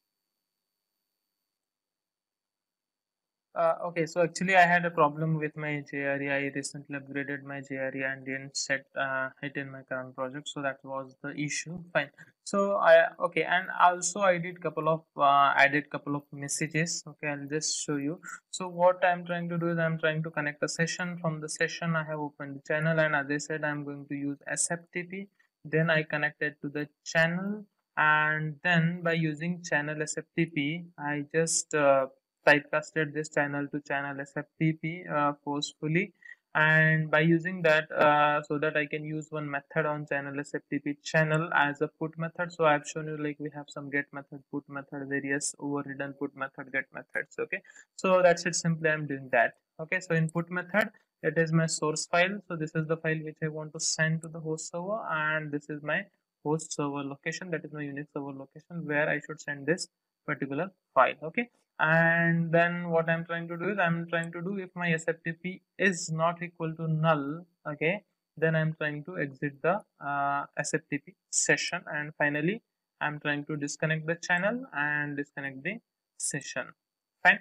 So basically you can uh, get this code on my github repository. I'll share the link of my github repository. So i have code for all the uh, uh, basically programs what I'm coding on my uh, GitHub repository. Fine. Now let me quickly execute this program and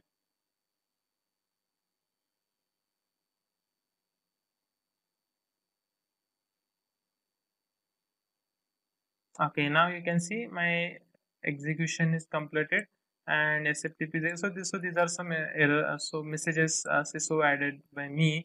So now uh, we should see the file existing on the server which we're trying to send and yes it is file to upload.txt. So this is the file which we were trying to send file to upload.txt. Right. So this is how we can send the file from my local machine to the Unix server. So this is my source file name and this is my destination location where you want to send it. So basically you need to parameterize these things based on your project requirements okay? So what and all things you need to parameterize uh, if you have your private key path then that is something which you need to parameterize. If you have a password then again that is something you need to parameterize.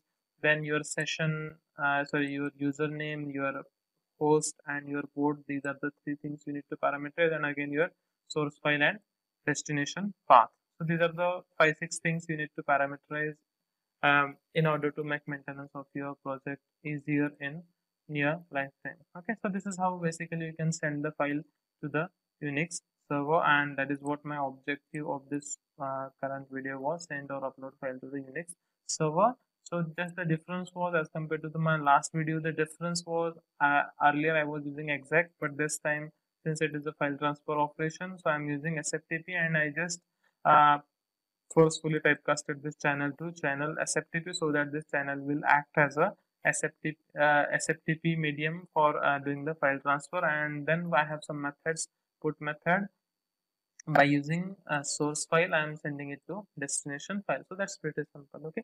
So that's it i have for this video. In my next video i'll talk uh, the reverse thing that is how we can get the file from unix server or how we can download the file from your unix server to my local machine okay? So stay tuned. Thank you. Hello welcome back. Welcome to the course of unix for testers. Uh, in this video, I'm going to show you how we can upload or send uh, multiple files to Unix or Linux server using a JSCH, which is a Java SSH library, which can be used to interact with your Unix or Linux server from your Java code. Okay, so okay, so basically in my uh, previous videos, if you remember, I talked about how you can send a single file by using put command. Okay, so we can use some put command on SFTP. Uh, object okay so we do something like sftp dot put uh, followed by your source file name and destination name my destination name is my unix directory okay so on the similar line we can perform uh, the operation like sending multiple files or uploading multiple files from the directory to your Unix or Linux server. So here I'm not going to write a complete code, but I'll just tell you some uh, logic how you can write it. Okay, I already have written code. I'm going to explain that. So let us say I have some uh, files into this particular folder called uh, this G in my G tree. I have some folder called as files, and in that I have multiple files file 1 file 2 file 3 file 4 or file 5 so let us say i have some situation where i want to send all this file or i want to upload all these files from my to my unix or linux server then how i can do that in one attempt? Okay. So it's pretty simple. So i know how to upload a single file. So i can put put all the files in the loop and i can send it. That's pretty simple right? So basically i need to use a for loop. So i will do it uh, on the all the files. But the thing over here is we need to get the list of the files okay? So the very first thing I'll do is I'll try to find out list of all the files how many files I have in this specific folder. And then from that specific collection from that specific list I'm going to uh, get one one by file one by one basically and put it on Unix server by using my normal sftp object dot put command okay? So let us see how we can get this list of the files uh, into a collection object or a list object. Let me switch to my Eclipse. Okay, and so here I have uh, written a code already. Basically, most of the chunk of the code is remains same that we saw in my last videos. So creating the SSH object, then uh, this is my uh, key, basically a private key used to authenticate. Then I'm setting the private key. I'm just setting the session by using my uh, username and my basically server and port.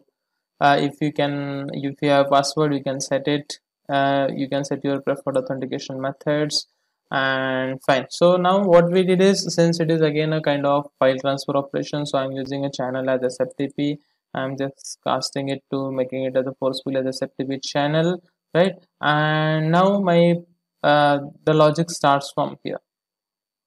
So the very first thing is i am creating the object of uh, file. I, so this files this files is my folder right? So this is my folder. But internally it is file only. It is collection of files right? So basically i'm creating an object of file where my uh, files are located. Like in my g drive under files folder all my files are located. So that's where i'm creating object uh, of my file. Now i'm checking if particular folder is existing. If it is exist then what we do is by using the file utils class okay? So basically this file util class belongs to common io uh, package okay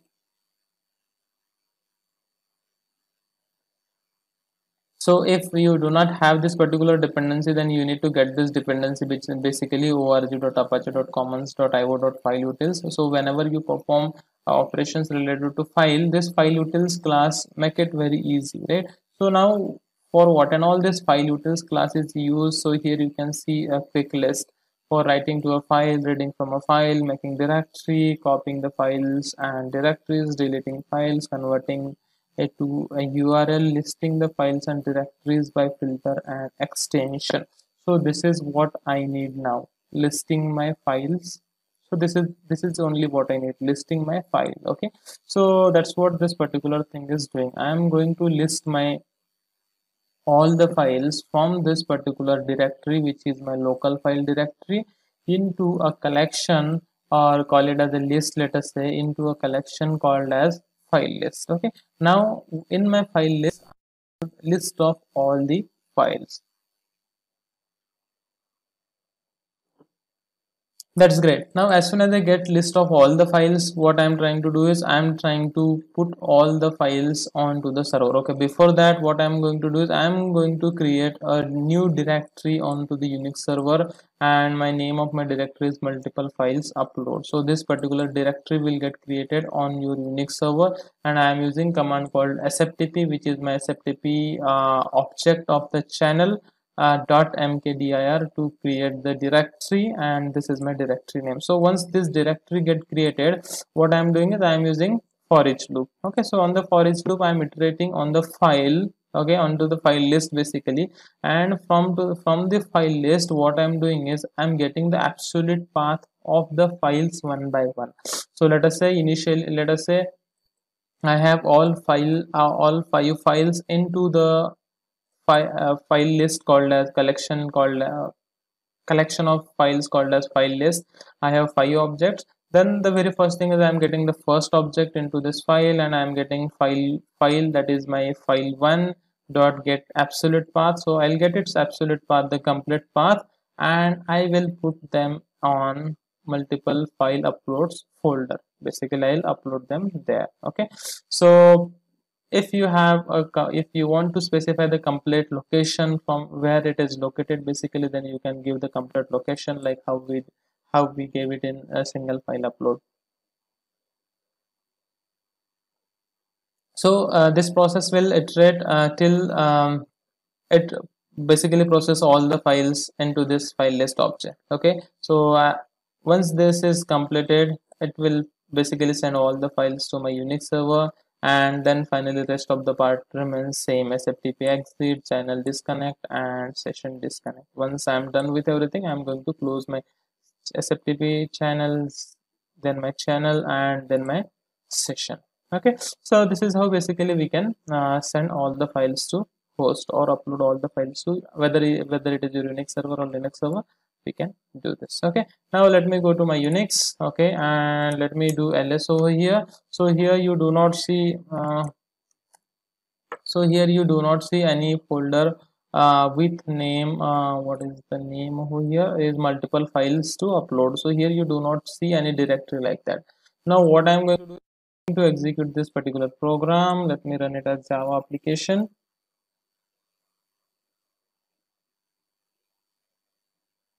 you can see the file uploaded is it has uploaded the first file second file third file fourth file and fifth file and my execution is completed sftp exited channel and session disconnected. That's when my program is worked all and all. Now let me go to my unix and let me check the list of file again. Now this time do you see some folder called as multiple file upload? Yes. Now let me go to that particular directory and let me get a list of all the files over here.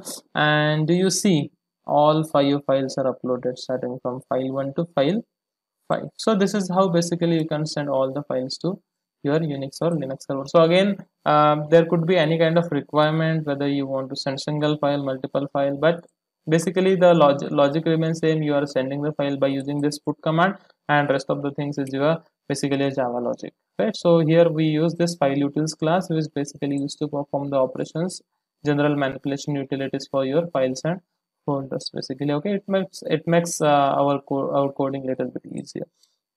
So fine so that's it i have basically. So here i talked about how you can send our multiple files to unix or linux server using a jsch which is a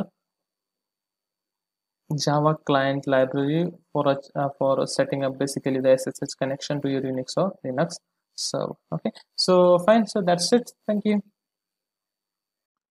Hello welcome back. Welcome to the course of unix for testers uh, where i'm going to um, i'm talking basically um, manual Linux concepts and how we can uh, automate those Unix concepts uh, in order to use them in my test automation framework. So in this video, I'm going to show you how we can execute a shell script via JSCH, which is my SSH library for using Java bindings.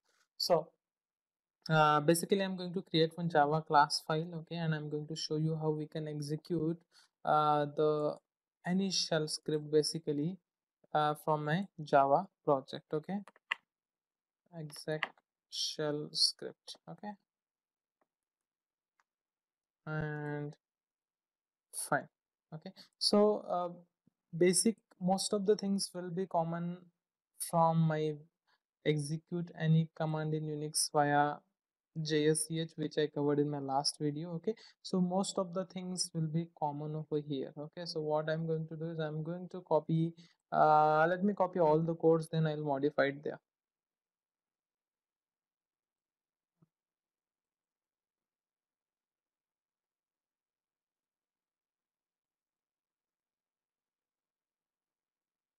okay fine. Now what we need? Definitely we need to set the key. Exactly yes. We need to create a session with my same uh, username host and port. Yes we need uh, the strict host checking key in, uh, in order to skip uh, this uh, key checking again and again. That is it might ask me for password again and again.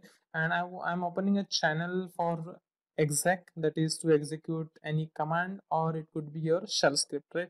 Even right if i if i if i want to execute any shell script then i'm doing it from my command itself right? So that is again your command itself. So i'll be using exec only here right? Now the difference will be here right? So i'm, I'm i'll be just passing my uh, shell script over here right? The, the way how i can execute my shell script in my set command part. Okay to, to i have explained uh, all these things briefly in my last video. You can go through that. I hope you must have gone through that. Uh, if you have not please go through that first then you can refer this. Now if i uh, check my directory so here you can see some shell script called as script.sh now i want to execute this script script.sh from my java program. Okay so what i can do is i can use dot which will refer my current directory slash script dot sh. Okay so if i use something like this it will execute my script with name script dot sh right? So of course you need to parameterize these things whenever you incorporated uh, incorporate these things in your test automation framework. So this is something which i am hard coding as of now. Fine now uh, if i execute this let us see what happens.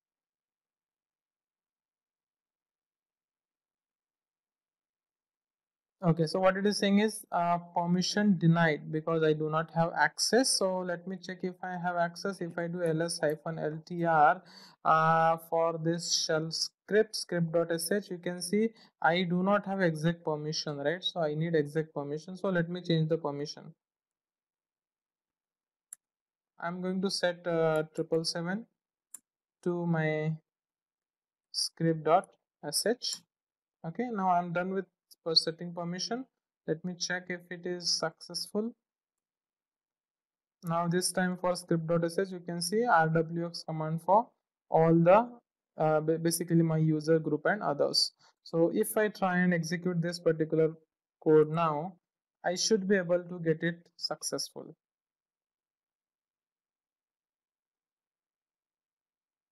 okay so you can see the shell script re is reading a text file and the file process is completed. That means my shell script execution is completed okay? Okay let me tell you one more thing. Uh, so let us say i'm, I'm changing my uh, properties of this particular file back to what it was. So it was 640 i believe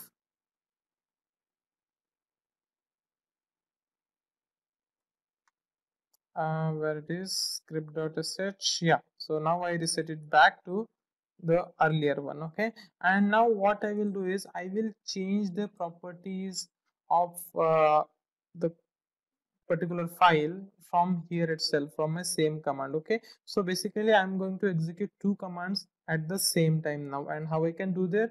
I can use chmod and i want to set triple seven to my script.sh okay? And basically in order to concatenate two commands i need to use double ampersand right? So this is my first command. So this first command will be executed first. After that it will execute my second command okay? So now even though it does not have a execute permission but since i'm setting the execute permissions from here it will execute my code okay? So let us check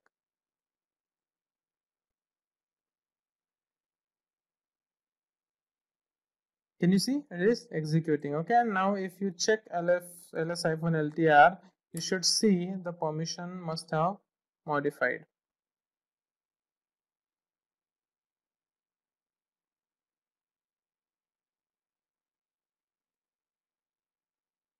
Can you see? Script.sh all permissions are set to rwx that means the permissions are modified by executing these uh, the first script and then it has executed the second script. Okay now let us say uh, uh, okay now what i'm going what i'm doing here is i'm just uh, starting my execution uh, via this channel.connect as soon as i do channel.connect it will start my execution. Fine. Now let us say if i want to wait till my execution is finishes since this file uh, this whatever shell script i have it does not have much things to process. But if my uh, shell script has many things to process like let us say millions of record to process then my particular channel should wait uh, for processing to get completed before it disconnect right? So if i use something like channel dot i should see some method uh, is closed. Okay i'm, I'm seeing method as it's closed okay and is closed method it is a boolean method you can see it is a boolean method okay. So basically what i can do is uh, if it is not closed then i want to uh, continue something like that. So i can use something like while channel dot close is false something like that okay. And if it is false then you can keep waiting right. So i can add something thread dot sleep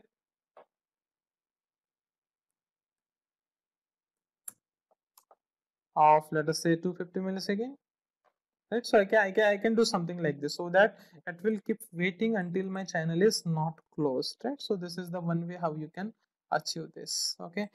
And what else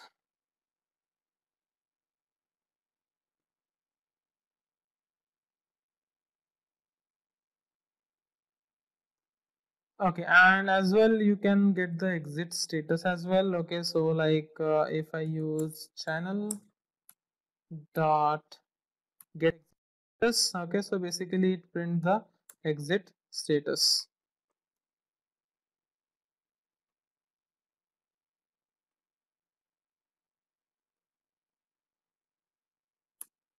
Exit status is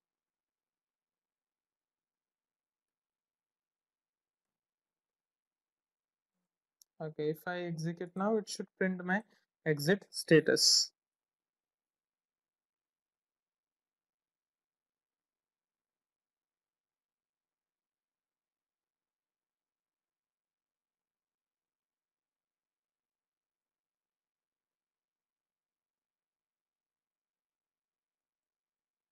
Sorry i used uh, err it should be system.out.println it's my mistake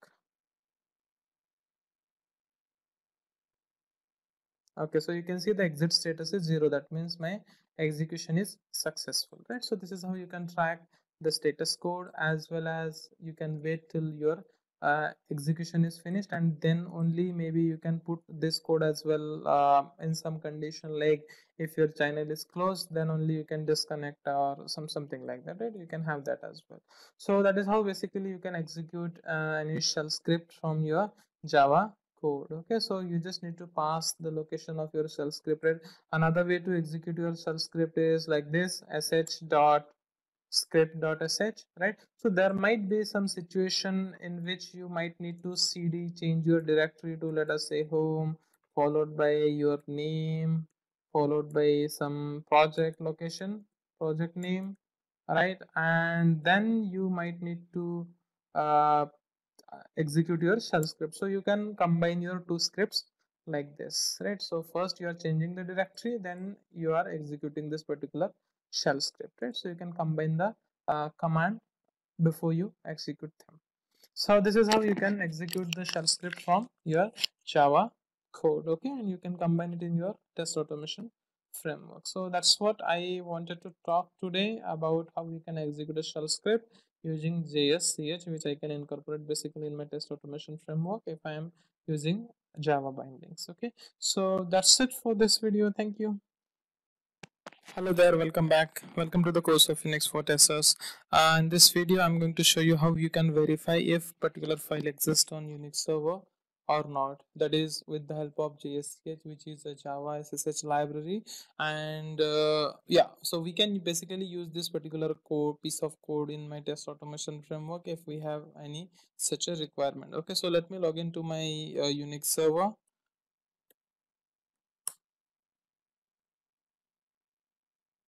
okay. So if i do ls on my home page you can see i have multiple files present over here.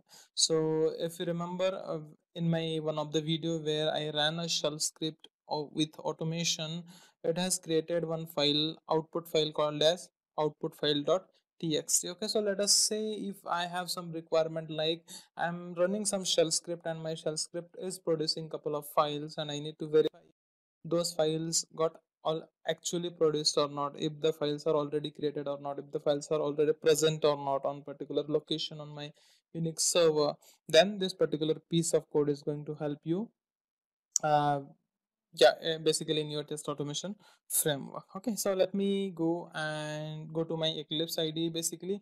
Okay so this is my uh, code where i talked in my last video like how you can receive a file from unix server okay? So basically last time what we did is we created a instance of sftp and we used the get method to get the file from unix server. Again we have one put method to send the file to your unix server right? So basically i'm using this piece of code. So what i will do is i will just copy this uh, class and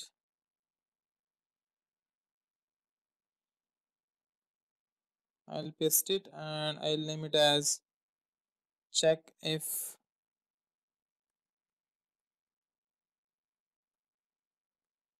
file exists on Unix. So Unix or Linux fine. So it's here. Great. So now what and all I need now. So let us start from scratch. So the very first thing is my private key path. So this is something which I need in all the uh, examples which i'm talking because in every example i'm i'm connect i'm getting connected with unix server and i'll be getting connected with the help of this key itself key and this few parameters like username hostname and port.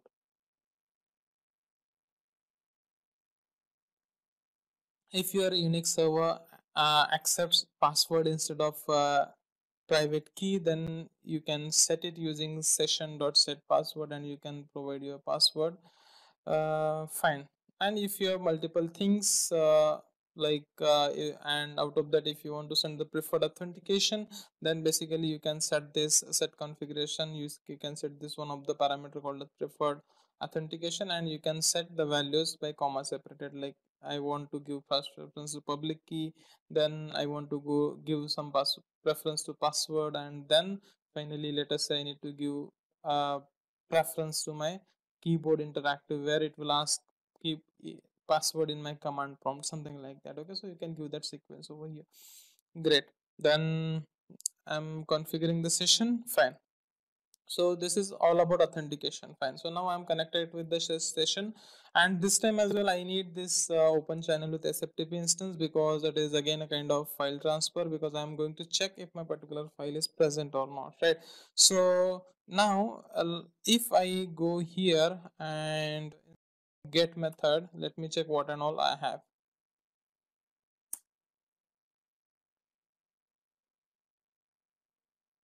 So connect and disconnect uh, the very basic method. Then i have one cd method where i can change my directory. Then i have another method called as ls to get a list of files right? So basically this is something which i'm going to use in this case ls then we have a few more like make directory then we have get put exit and we have many more right?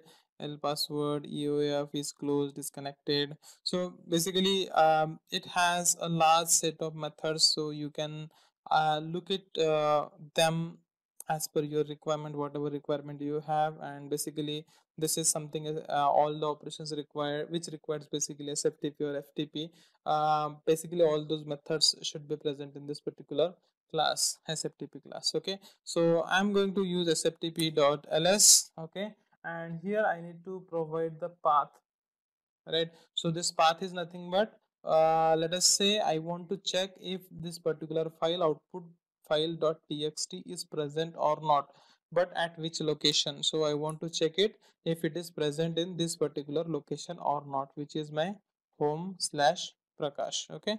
So let me give that particular location over here.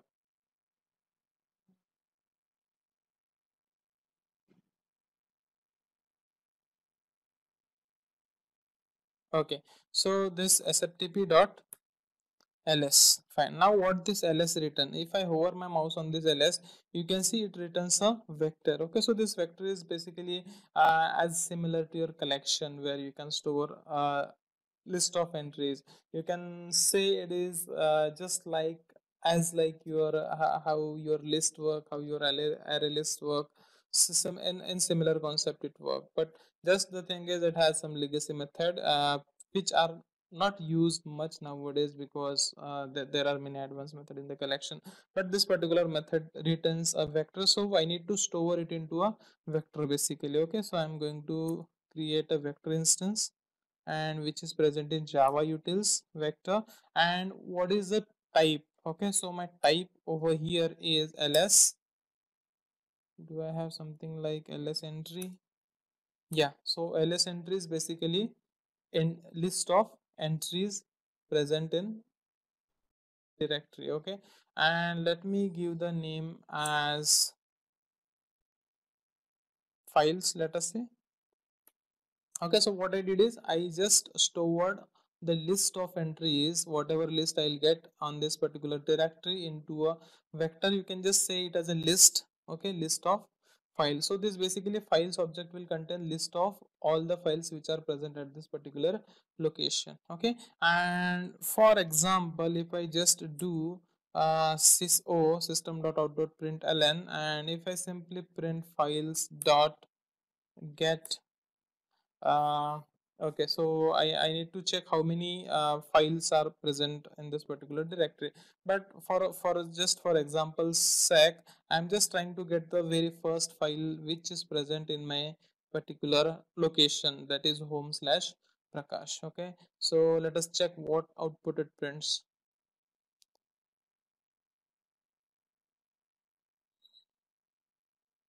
Okay so this is the very first entry which it has printed right file to send to host and i believe uh, okay give me a second. Ls hyphen ltr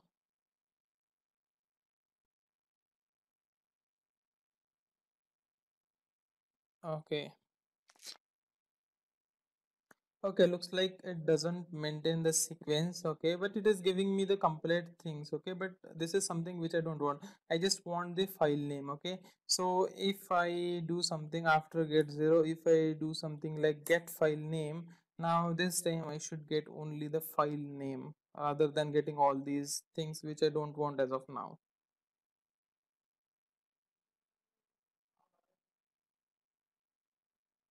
Great. Can you see just got one file name which is file to send to host. Okay so the, this rest other things are the messages just i printed for my uh, understanding purpose but this is something which is printed by this particular files dot get zero. Now what my aim is to my aim is to verify if particular file is present. So in order to do that what i need to do is I need to iterate over the complete uh, list of files which is present in this particular files object okay? So basically the very first thing is I need to get the file count okay? So how can I get the file count?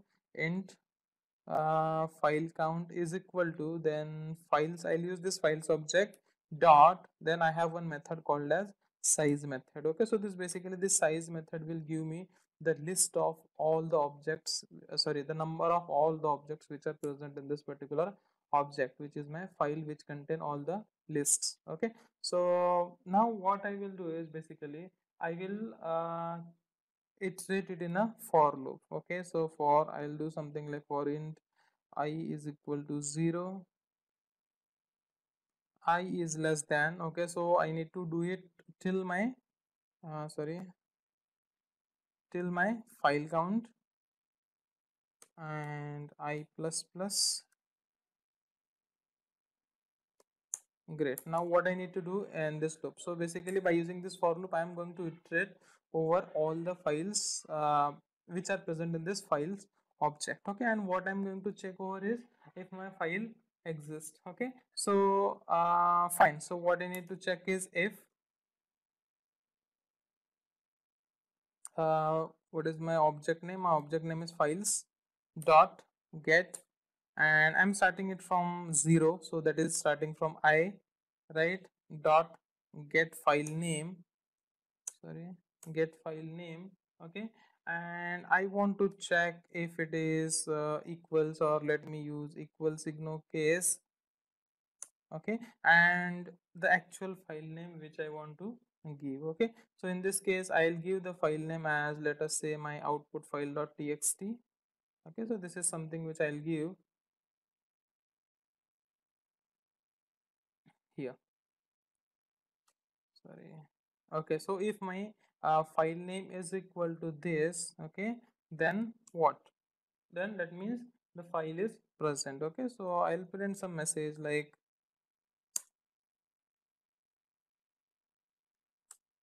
file is present okay? And if my file is present then that's it. That's what i was looking for okay? Then what i can do is i can do channel disconnect okay?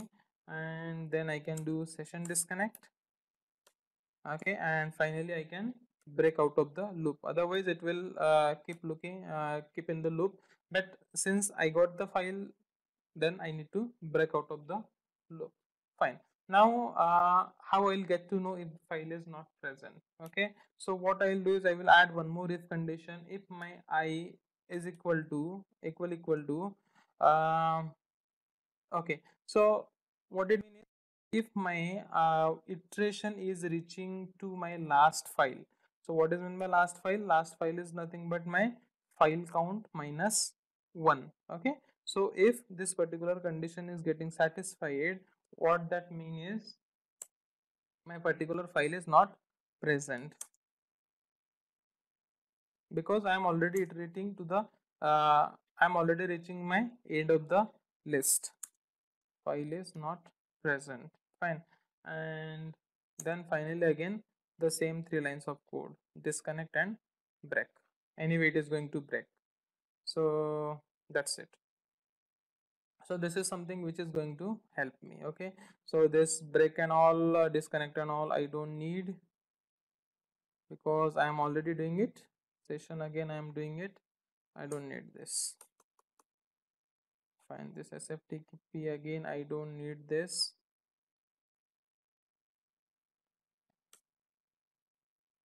Okay. Now uh, let us try and execute this particular piece of code. So since my output file.txt is already present so i should get a message like file is present which i am printing it from here. So you can see file is present okay? So let me remove this uh, okay. Now let us say i'm just changing the file name. I'm just looking out for file output file 1.txt which is not present. So if i try and execute this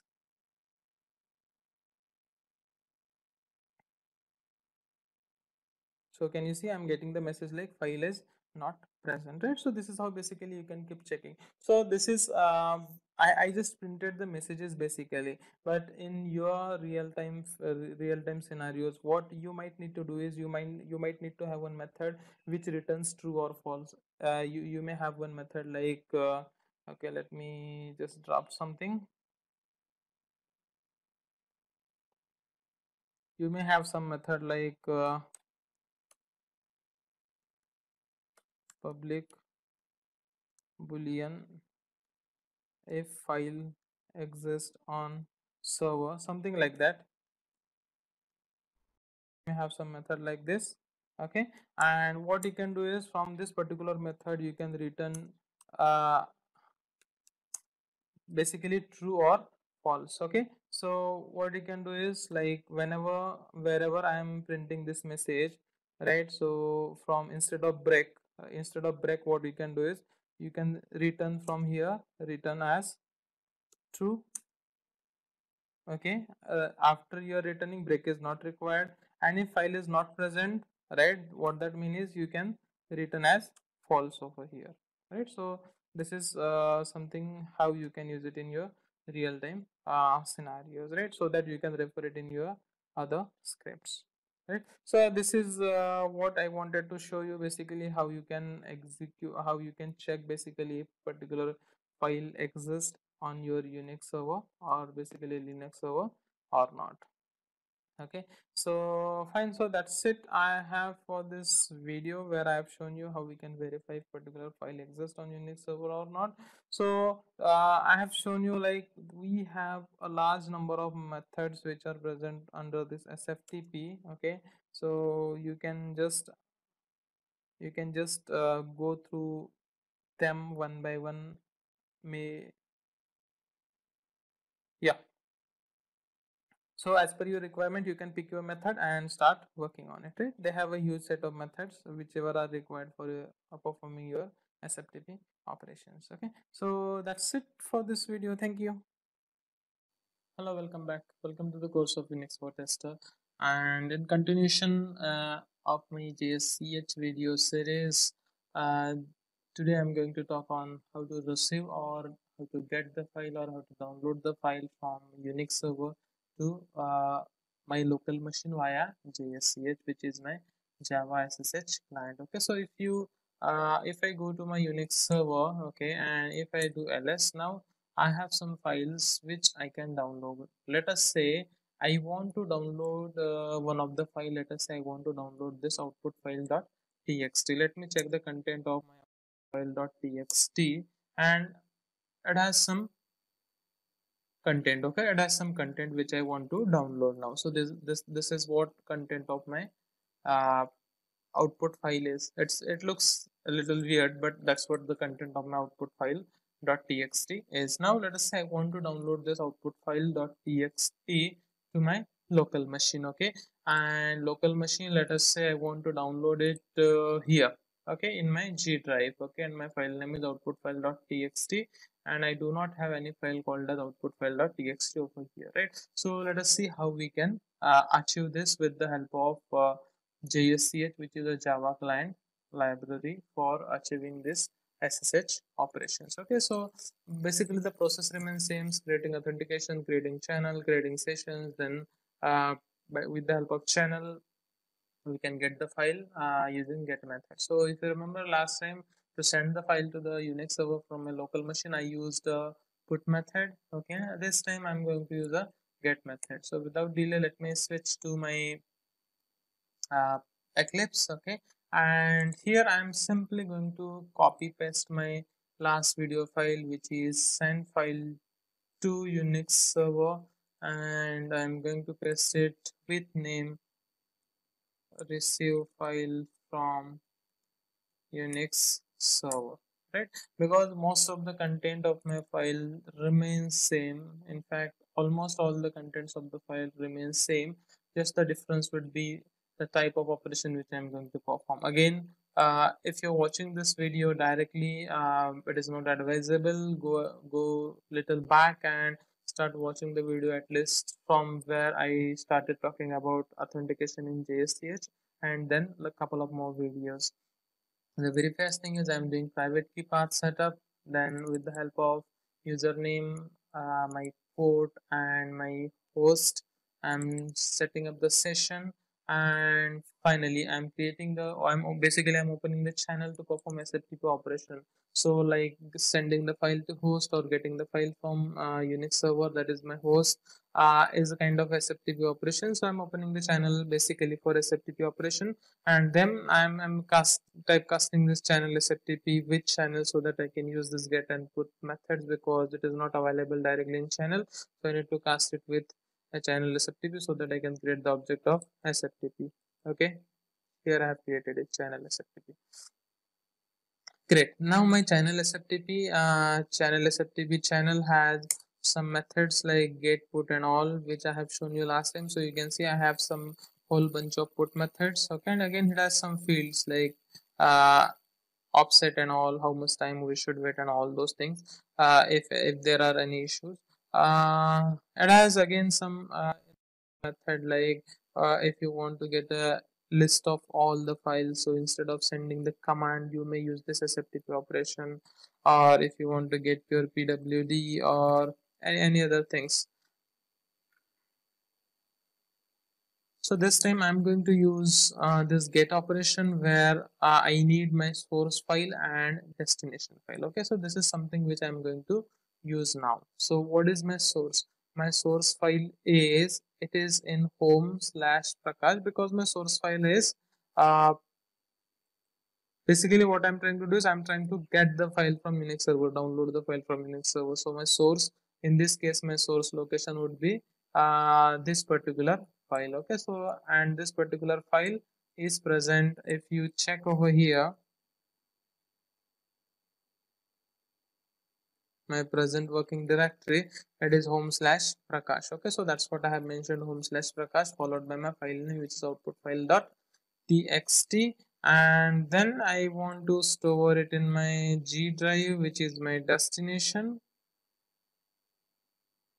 Okay and my file name i want is output file dot txt. And i just want two slashes great. So that is what the change in this particular script should be. Okay so instead of put i'm using get method. So that i'm trying to get the content get the file from my unix server to my local machine and rest other things remain same. I'm doing the validation if my SFTP channel is null or not and if it is then i'm trying to exit it. Then i'm trying to disconnect the channel and i'm disconnecting the session. Okay so these are the cleanup activities which i'm doing. So the main part is this sftp dot get. Okay so that's it. Uh, i think i have in the code. Let me try and execute this. If i can get the file which i mentioned over here to my local machine. Okay so you can see sftp is executed. Execution is completed. Great. Now let me go to my g drive and see if any file called as what is the file name? Output file. Uh, do I have any? Yes I do have output file. And you can see it is just downloaded before a second. And if I open this it should have the same content what I had in uh, what I have shown you here right? Uh, basically they are not in a line. Uh, that is that is some other issue. That's fine. Uh, that has nothing to do with this particular operation. Okay. So this is how basically you can receive the file uh, from my uh, Unix server to my local machine. So uh, when you will get such a kind of scenario, so as I said again, assume a situation where you want to do the file processing. Your Linux, uh, your Linux shell, uh, Linux or Unix shell script will let us say generate some kind of files. Could be any kind of files. Could be your text files or XML files or Excel file or could be any kind of file database dumps or could be anything. So if you want to download those files to your local machine so that you can do further validation on that file uh, by using your let us say Java code in this case then for such operations we need to receive the file from uh, we need to get the file basically from the Unix server on my local machine so that I can do the further operations and do my validations on it right so great. So that's it i have for this video. In my next video i'm going to talk about uh, so let us say you have a situation like you have you have sent the file to the unix or unix or linux server then it has triggered a shell script. Uh, then uh, it has generated your output file okay? Or let us say your shell script generates couple of more files. So you want to check if your shell script has generated or in, simple terminology if you want to check if any file exists into the unix or linux server or not. Okay so i'm, I'm going to talk more about uh, this concept in my next video. So stay tuned. Thank you. Hello there. Welcome back. Welcome to the course of unix for testers. And this video is in continuation where i'm talking about how we can use uh, jsch which is a java ssh uh, library which i can use basically to interact with my unix or linux server to perform various operations like executing any kind of command on your server or executing shell script or doing any SFTP kind of operation. So out of that, this is the uh, kind of last video where I'm going to show you how basically we can receive or download multiple files from your Unix or Linux server using our JSCH. So till now I talked on how we can send a single file multiple files so we can receive a single file how you can execute a shell script or basically any command okay? So here i'm going to show you how we can receive basically uh, multiple files from unix or linux server to your uh, local machine and basically it could be for any operations okay? So again i'm not going to write a code for this. I'm going to show you basically a logic how you can write it okay? So uh, let me clear and let me do ls over here. Okay. So if i do ls on my uh, let us say this particular home directory you can see there are multiple files. So now let us say what my aim is. My aim is to download all these files from this specific folder. Or even if i if, if you remember in my last video i did send uh, files to this particular directory that is file 1 to file 5 uh, or better let me get the files from my home directory itself because it has some shell script and some dot files as well. We'll see how we can get them right? So what i will do is i will try and get all the files from my home directory. And in my home directory if i do ls hyphen la then um okay then basically i have these many files. And i want to get these many files into on on onto basically my uh, local machine okay? So how i can get we know that how we can get a single file by using a get command that is sftp channel uh, object dot get. We have some method called as get. If we know how we can do it for one definitely we can do it for multiple as well by using simple our for loop. But the basic challenge over here is how you can get the list of all these files see when we did a reverse thing that is sending all the files from local machine to host so for that purpose what we did is we we have taken a list of all the files into a object of file utils right? If you remember we used file utils over there. Uh, so in this case so let us say if i execute a command like ls so it will give me list of all the files basically right? So uh, okay and if you remember when i used uh, okay give me a second. Let me show you where i talked about verify if file is present. Okay so uh, the, in, in this video what i have shown you shown you is if particular file is present at some location. So there if you remember i use something called as sftp.ls okay so we created a sftp channel and on that sftp channel we use .ls so that it will give me the list of all the files in this particular directory and it will store it into a vector collection of this. Then what we did is we simply iterated it over the uh, list of all the files. So in this case in my this uh, getting all the files from unix or linux server case what i'll do is instead of this part i'm simply going to use uh, sftp dot get all the files from this particular collection. That's pretty simple. Let's see how we can do that. So here it is.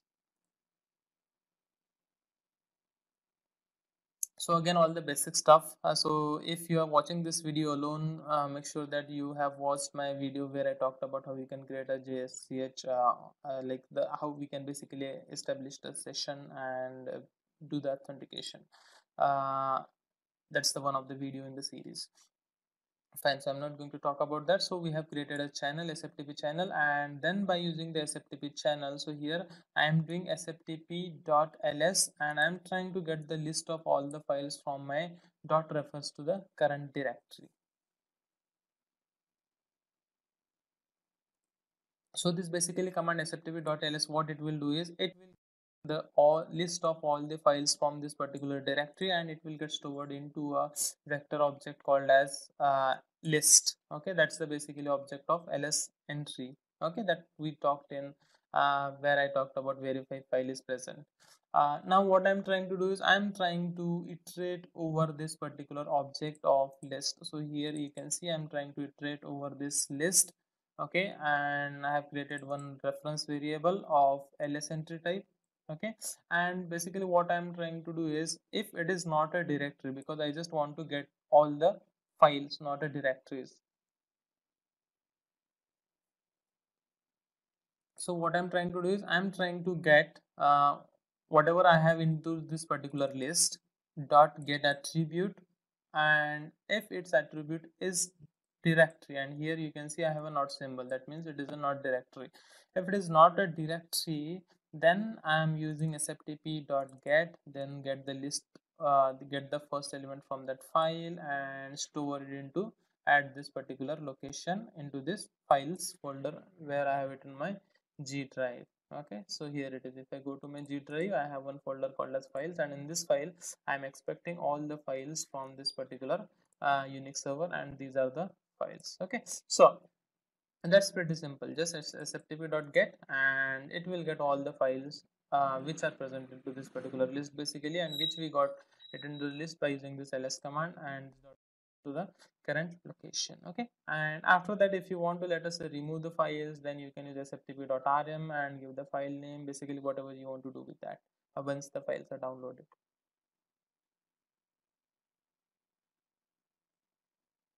okay so that's it i wanted to show you now let me execute. Okay so what i'm expecting i'm expecting all the files from this current directory should get downloaded into my download uh, into my files folder. And now you can see the file you can see the downloaded file name is this downloaded file name is this. Again it is it is downloading all the dot files as well. And it is downloading basically all the files from my uh, home folder okay and you can see it is completed. Now if i go to my files folder can you see it has downloaded all the files basically from this particular uh, location which was my current location basically? Right so this is how you can get uh, all the files from your uh, unix uh, server to your local machine. Okay so fine so that's it. I wanted to talk in this video I hope you have enjoyed this uh, series of video where I talked about how you can use JSCH to uh, perform various operations um, or to interact with your Unix or Linux server to perform various operations. Okay, again, you can explore it as much as you want. I have shown you like we have many methods which you can explore as per your requirement. Okay, so fine, that's it. Thank you.